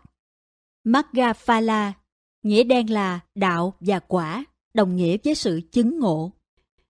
Metta, tâm từ, tình thương không dị kỷ, vô điều kiện. Metta Bhavana, thiền tâm từ. Michadithi, tà kiến. Moha, sự si mê, sự ngu dốt, không hiểu biết, không thấy được thực tại, đồng nghĩa với Avijja. Mudita, tâm hỷ, niềm vui có tính đồng cảm, dị tha với hạnh phúc của người khác. Nama, danh, từ dùng chung cho thọ, tưởng, hành và thức. Namarupa, danh sắc. Nhana, đồng nghĩa với Panya. Nekkhamma, xuất ly, tự do khỏi phiền não. Nibbana, niết bàn, thực tại tối hậu, sự chấm dứt hoàn toàn của tham, sân và si. Niroda, sự đoạn diệt. Pali, tên gọi của ngôn ngữ sử dụng để ghi lại kinh điển Phật giáo lần đầu tiên, Kinh Pali Nguyên Thủy. Panya, trí tuệ, hiểu biết, kiến thức, tuệ minh sát, đồng nghĩa với Nhana. Panyati, thực tại tương đối, khái niệm, tục đế. Paramatha, thực tại tối hậu, chân đế. Parami, ba la mật, những năng lực tiềm tàng. Bố thí, trì giới, xuất gia, trí tuệ, tinh tấn, nhẫn nại, chân thật, quyết định, tâm từ và tâm xã. Pariyuthana, phiền não tác động. Passaddhi, khinh an. Piti, sự vui sướng, nhiệt tình, trạng thái mê ly, hỷ. Puthujana, phàm nhân, phàm phu, nghĩa đen là người thuộc số đông công chúng, kẻ trần tục, người chưa chứng ngộ. Rupa, sắc, tiến trình vật lý, tính vật chất. Sakcha, sự thật, nhiều nghĩa. Saddha, tín, lòng tin, sự tự tin. Samadhi, định, sự tĩnh lặng, sự tĩnh mịch hoặc ổn định của tâm. Samatha, thiền chỉ, thiền định. Samsara, dòng luân hồi, dòng tái sinh. Sama Achiva, chánh mạng. Samadhi, chánh kiến. Sama Kamanta, chánh nghiệp. Sama Samadhi, chánh định. Sama Sankappa, chánh tư duy. Sama Sati, chánh niệm. Samavacha, chánh ngữ. Samavayama, chánh tinh tấn. Samvega, cảm giác hối hả, gấp rút trên con đường tâm linh. Samudaya Sakcha, tập đế trong tứ diệu đế, sự thật về nguyên nhân của khổ. Sankhara, cấu tạo nên tâm, hành. Sankhara Dukkha, hành khổ, bản chất không toàn vẹn của tất cả các pháp hữu vi. Sanya, tưởng, sự nhận ra, nhớ ra. Sappaya Sampachana, thích nghi tỉnh giác, tỉnh giác về sự thích hợp. Sati, chánh niệm. Satima, chỉ sự chánh niệm. Satipatthana Sutta, kinh niệm xứ. Xem thêm Kayanupassana, Vedananupassana, Chittanupassana và Dhammanupassana. Sati Sambochanga, niệm giác chi, yếu tố giác ngộ của chánh niệm. Sati Sampachanya, chánh niệm và tỉnh giác. Sati Sampayutta, tập hợp các tâm thiện đồng sinh. Sataka Sampachanya, tỉnh giác về mục đích. Sự biết rõ một ý, lời nói hay hành động là thiện hay không. Sila, giới, hệ thống đạo đức. Somanasa, thọ hỷ, bất kỳ một cảm giác vui, dễ chịu, thích thú nào về tinh thần. Sukha, thọ lạc. Sutamaya Panya, văn tuệ, trí tuệ có được thông qua việc đọc hoặc nghe. Sutta, kinh Phật. Tanha, đồng nghĩa với Lopha. Upekha, A, cảm xúc và cảm giác, Vedana, trung tính. B. Sự bình thản, trầm tĩnh, một trạng thái tinh thần thiện lành. Vedana, cảm thọ, dễ chịu, khó chịu hoặc trung tính trên thân hoặc trên tâm. Vedana Nupassana, quán thọ. Vichara, tâm sở tứ, suy nghĩ được duy trì liên tục, sự bám liên tục của tâm trên đề mục. Vichaya, sự tìm hiểu. Vinyana, thức, sự nhận thức, tâm biết. Vipaka, quả của nghiệp, hậu quả, kết quả. Viparinama, dukkha, hoại khổ, sự đau khổ do thay đổi. Vipassana, tuệ giác, thiền minh sát. Vipassana, Jnana, tuệ minh sát, nhiều cấp độ của tuệ minh sát. Viriya, tinh tấn, nỗ lực, chánh tinh tấn, cần mẫn, duy trì các phẩm chất thiện. Vitaka, tâm sở tầm, suy nghĩ có logic, định hướng. Vitikama, phiền não thô, được dùng để mô tả. Kilesat, được thực hiện bằng ngôn ngữ hoặc hành động. Yoniso Manisikara A. Thái độ đúng, tâm trạng đúng, sự chú ý đúng. B. Như lý tác ý. Lời cảm ơn Cuốn sách này là thành quả của sự nỗ lực cộng tác giữa Sayado Utechaniya, Mathet, Musumi Sasirai, Tony Ridon, bản thân tôi và nhiều hành giả khác. Tư liệu chính của cuốn sách được lấy từ nhiều nguồn, chủ yếu từ các buổi phỏng vấn với chính Sayadaw, các bản dịch, bản ghi chép lại từ những bài giảng khác nhau và các buổi trình pháp với Ngài tại nhiều khóa tu mà Ngài đã dẫn dắt mỗi năm trên toàn thế giới. Nội dung của quyển sách được thực hiện dưới dạng tự truyện để đem đến cho người đọc một cái nhìn rõ hơn về chuyến hành trình độc nhất vô nhị của Sayadaw trên con đường thực hành Vipassana. Tôi xin ghi nhận sự đóng góp lớn lao của những người có tên sau đây đối với quyển sách này.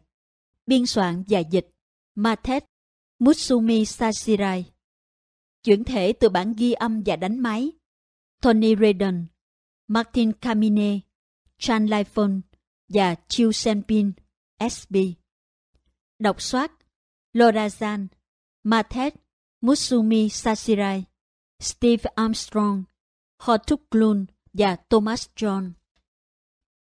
Trình Pháp phần trầm cảm Hakon Solarin, Mia Bittlestone, Jack Hesley, Tỳ khưu Obhasa, và Christopher Ladu, Uvimala. trình pháp phần tinh thần hành thiền, Hốc Túc Lun, Chan Lai Phun, Chiri Pavlik, Ilona Fisterova, Vance Prior, Hakon Solarin, Christian Maxier, Uviveka, Raul Sadanya, Udamasara, Heidiche và Evihich.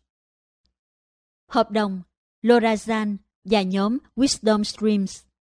Những người tham gia đóng góp, các hành giả ẩn danh bằng những kinh nghiệm của họ. Hình ảnh Josh Hesley, tỳ khưu Obhasa và những đóng góp của Christine French và Timothy Wynne Harris. Với tất cả lòng biết ơn sâu sắc, Robert French, người viết, biên soạn và chịu trách nhiệm biên tập, chịu trách nhiệm biên tập, chịu trách nhiệm biên tập.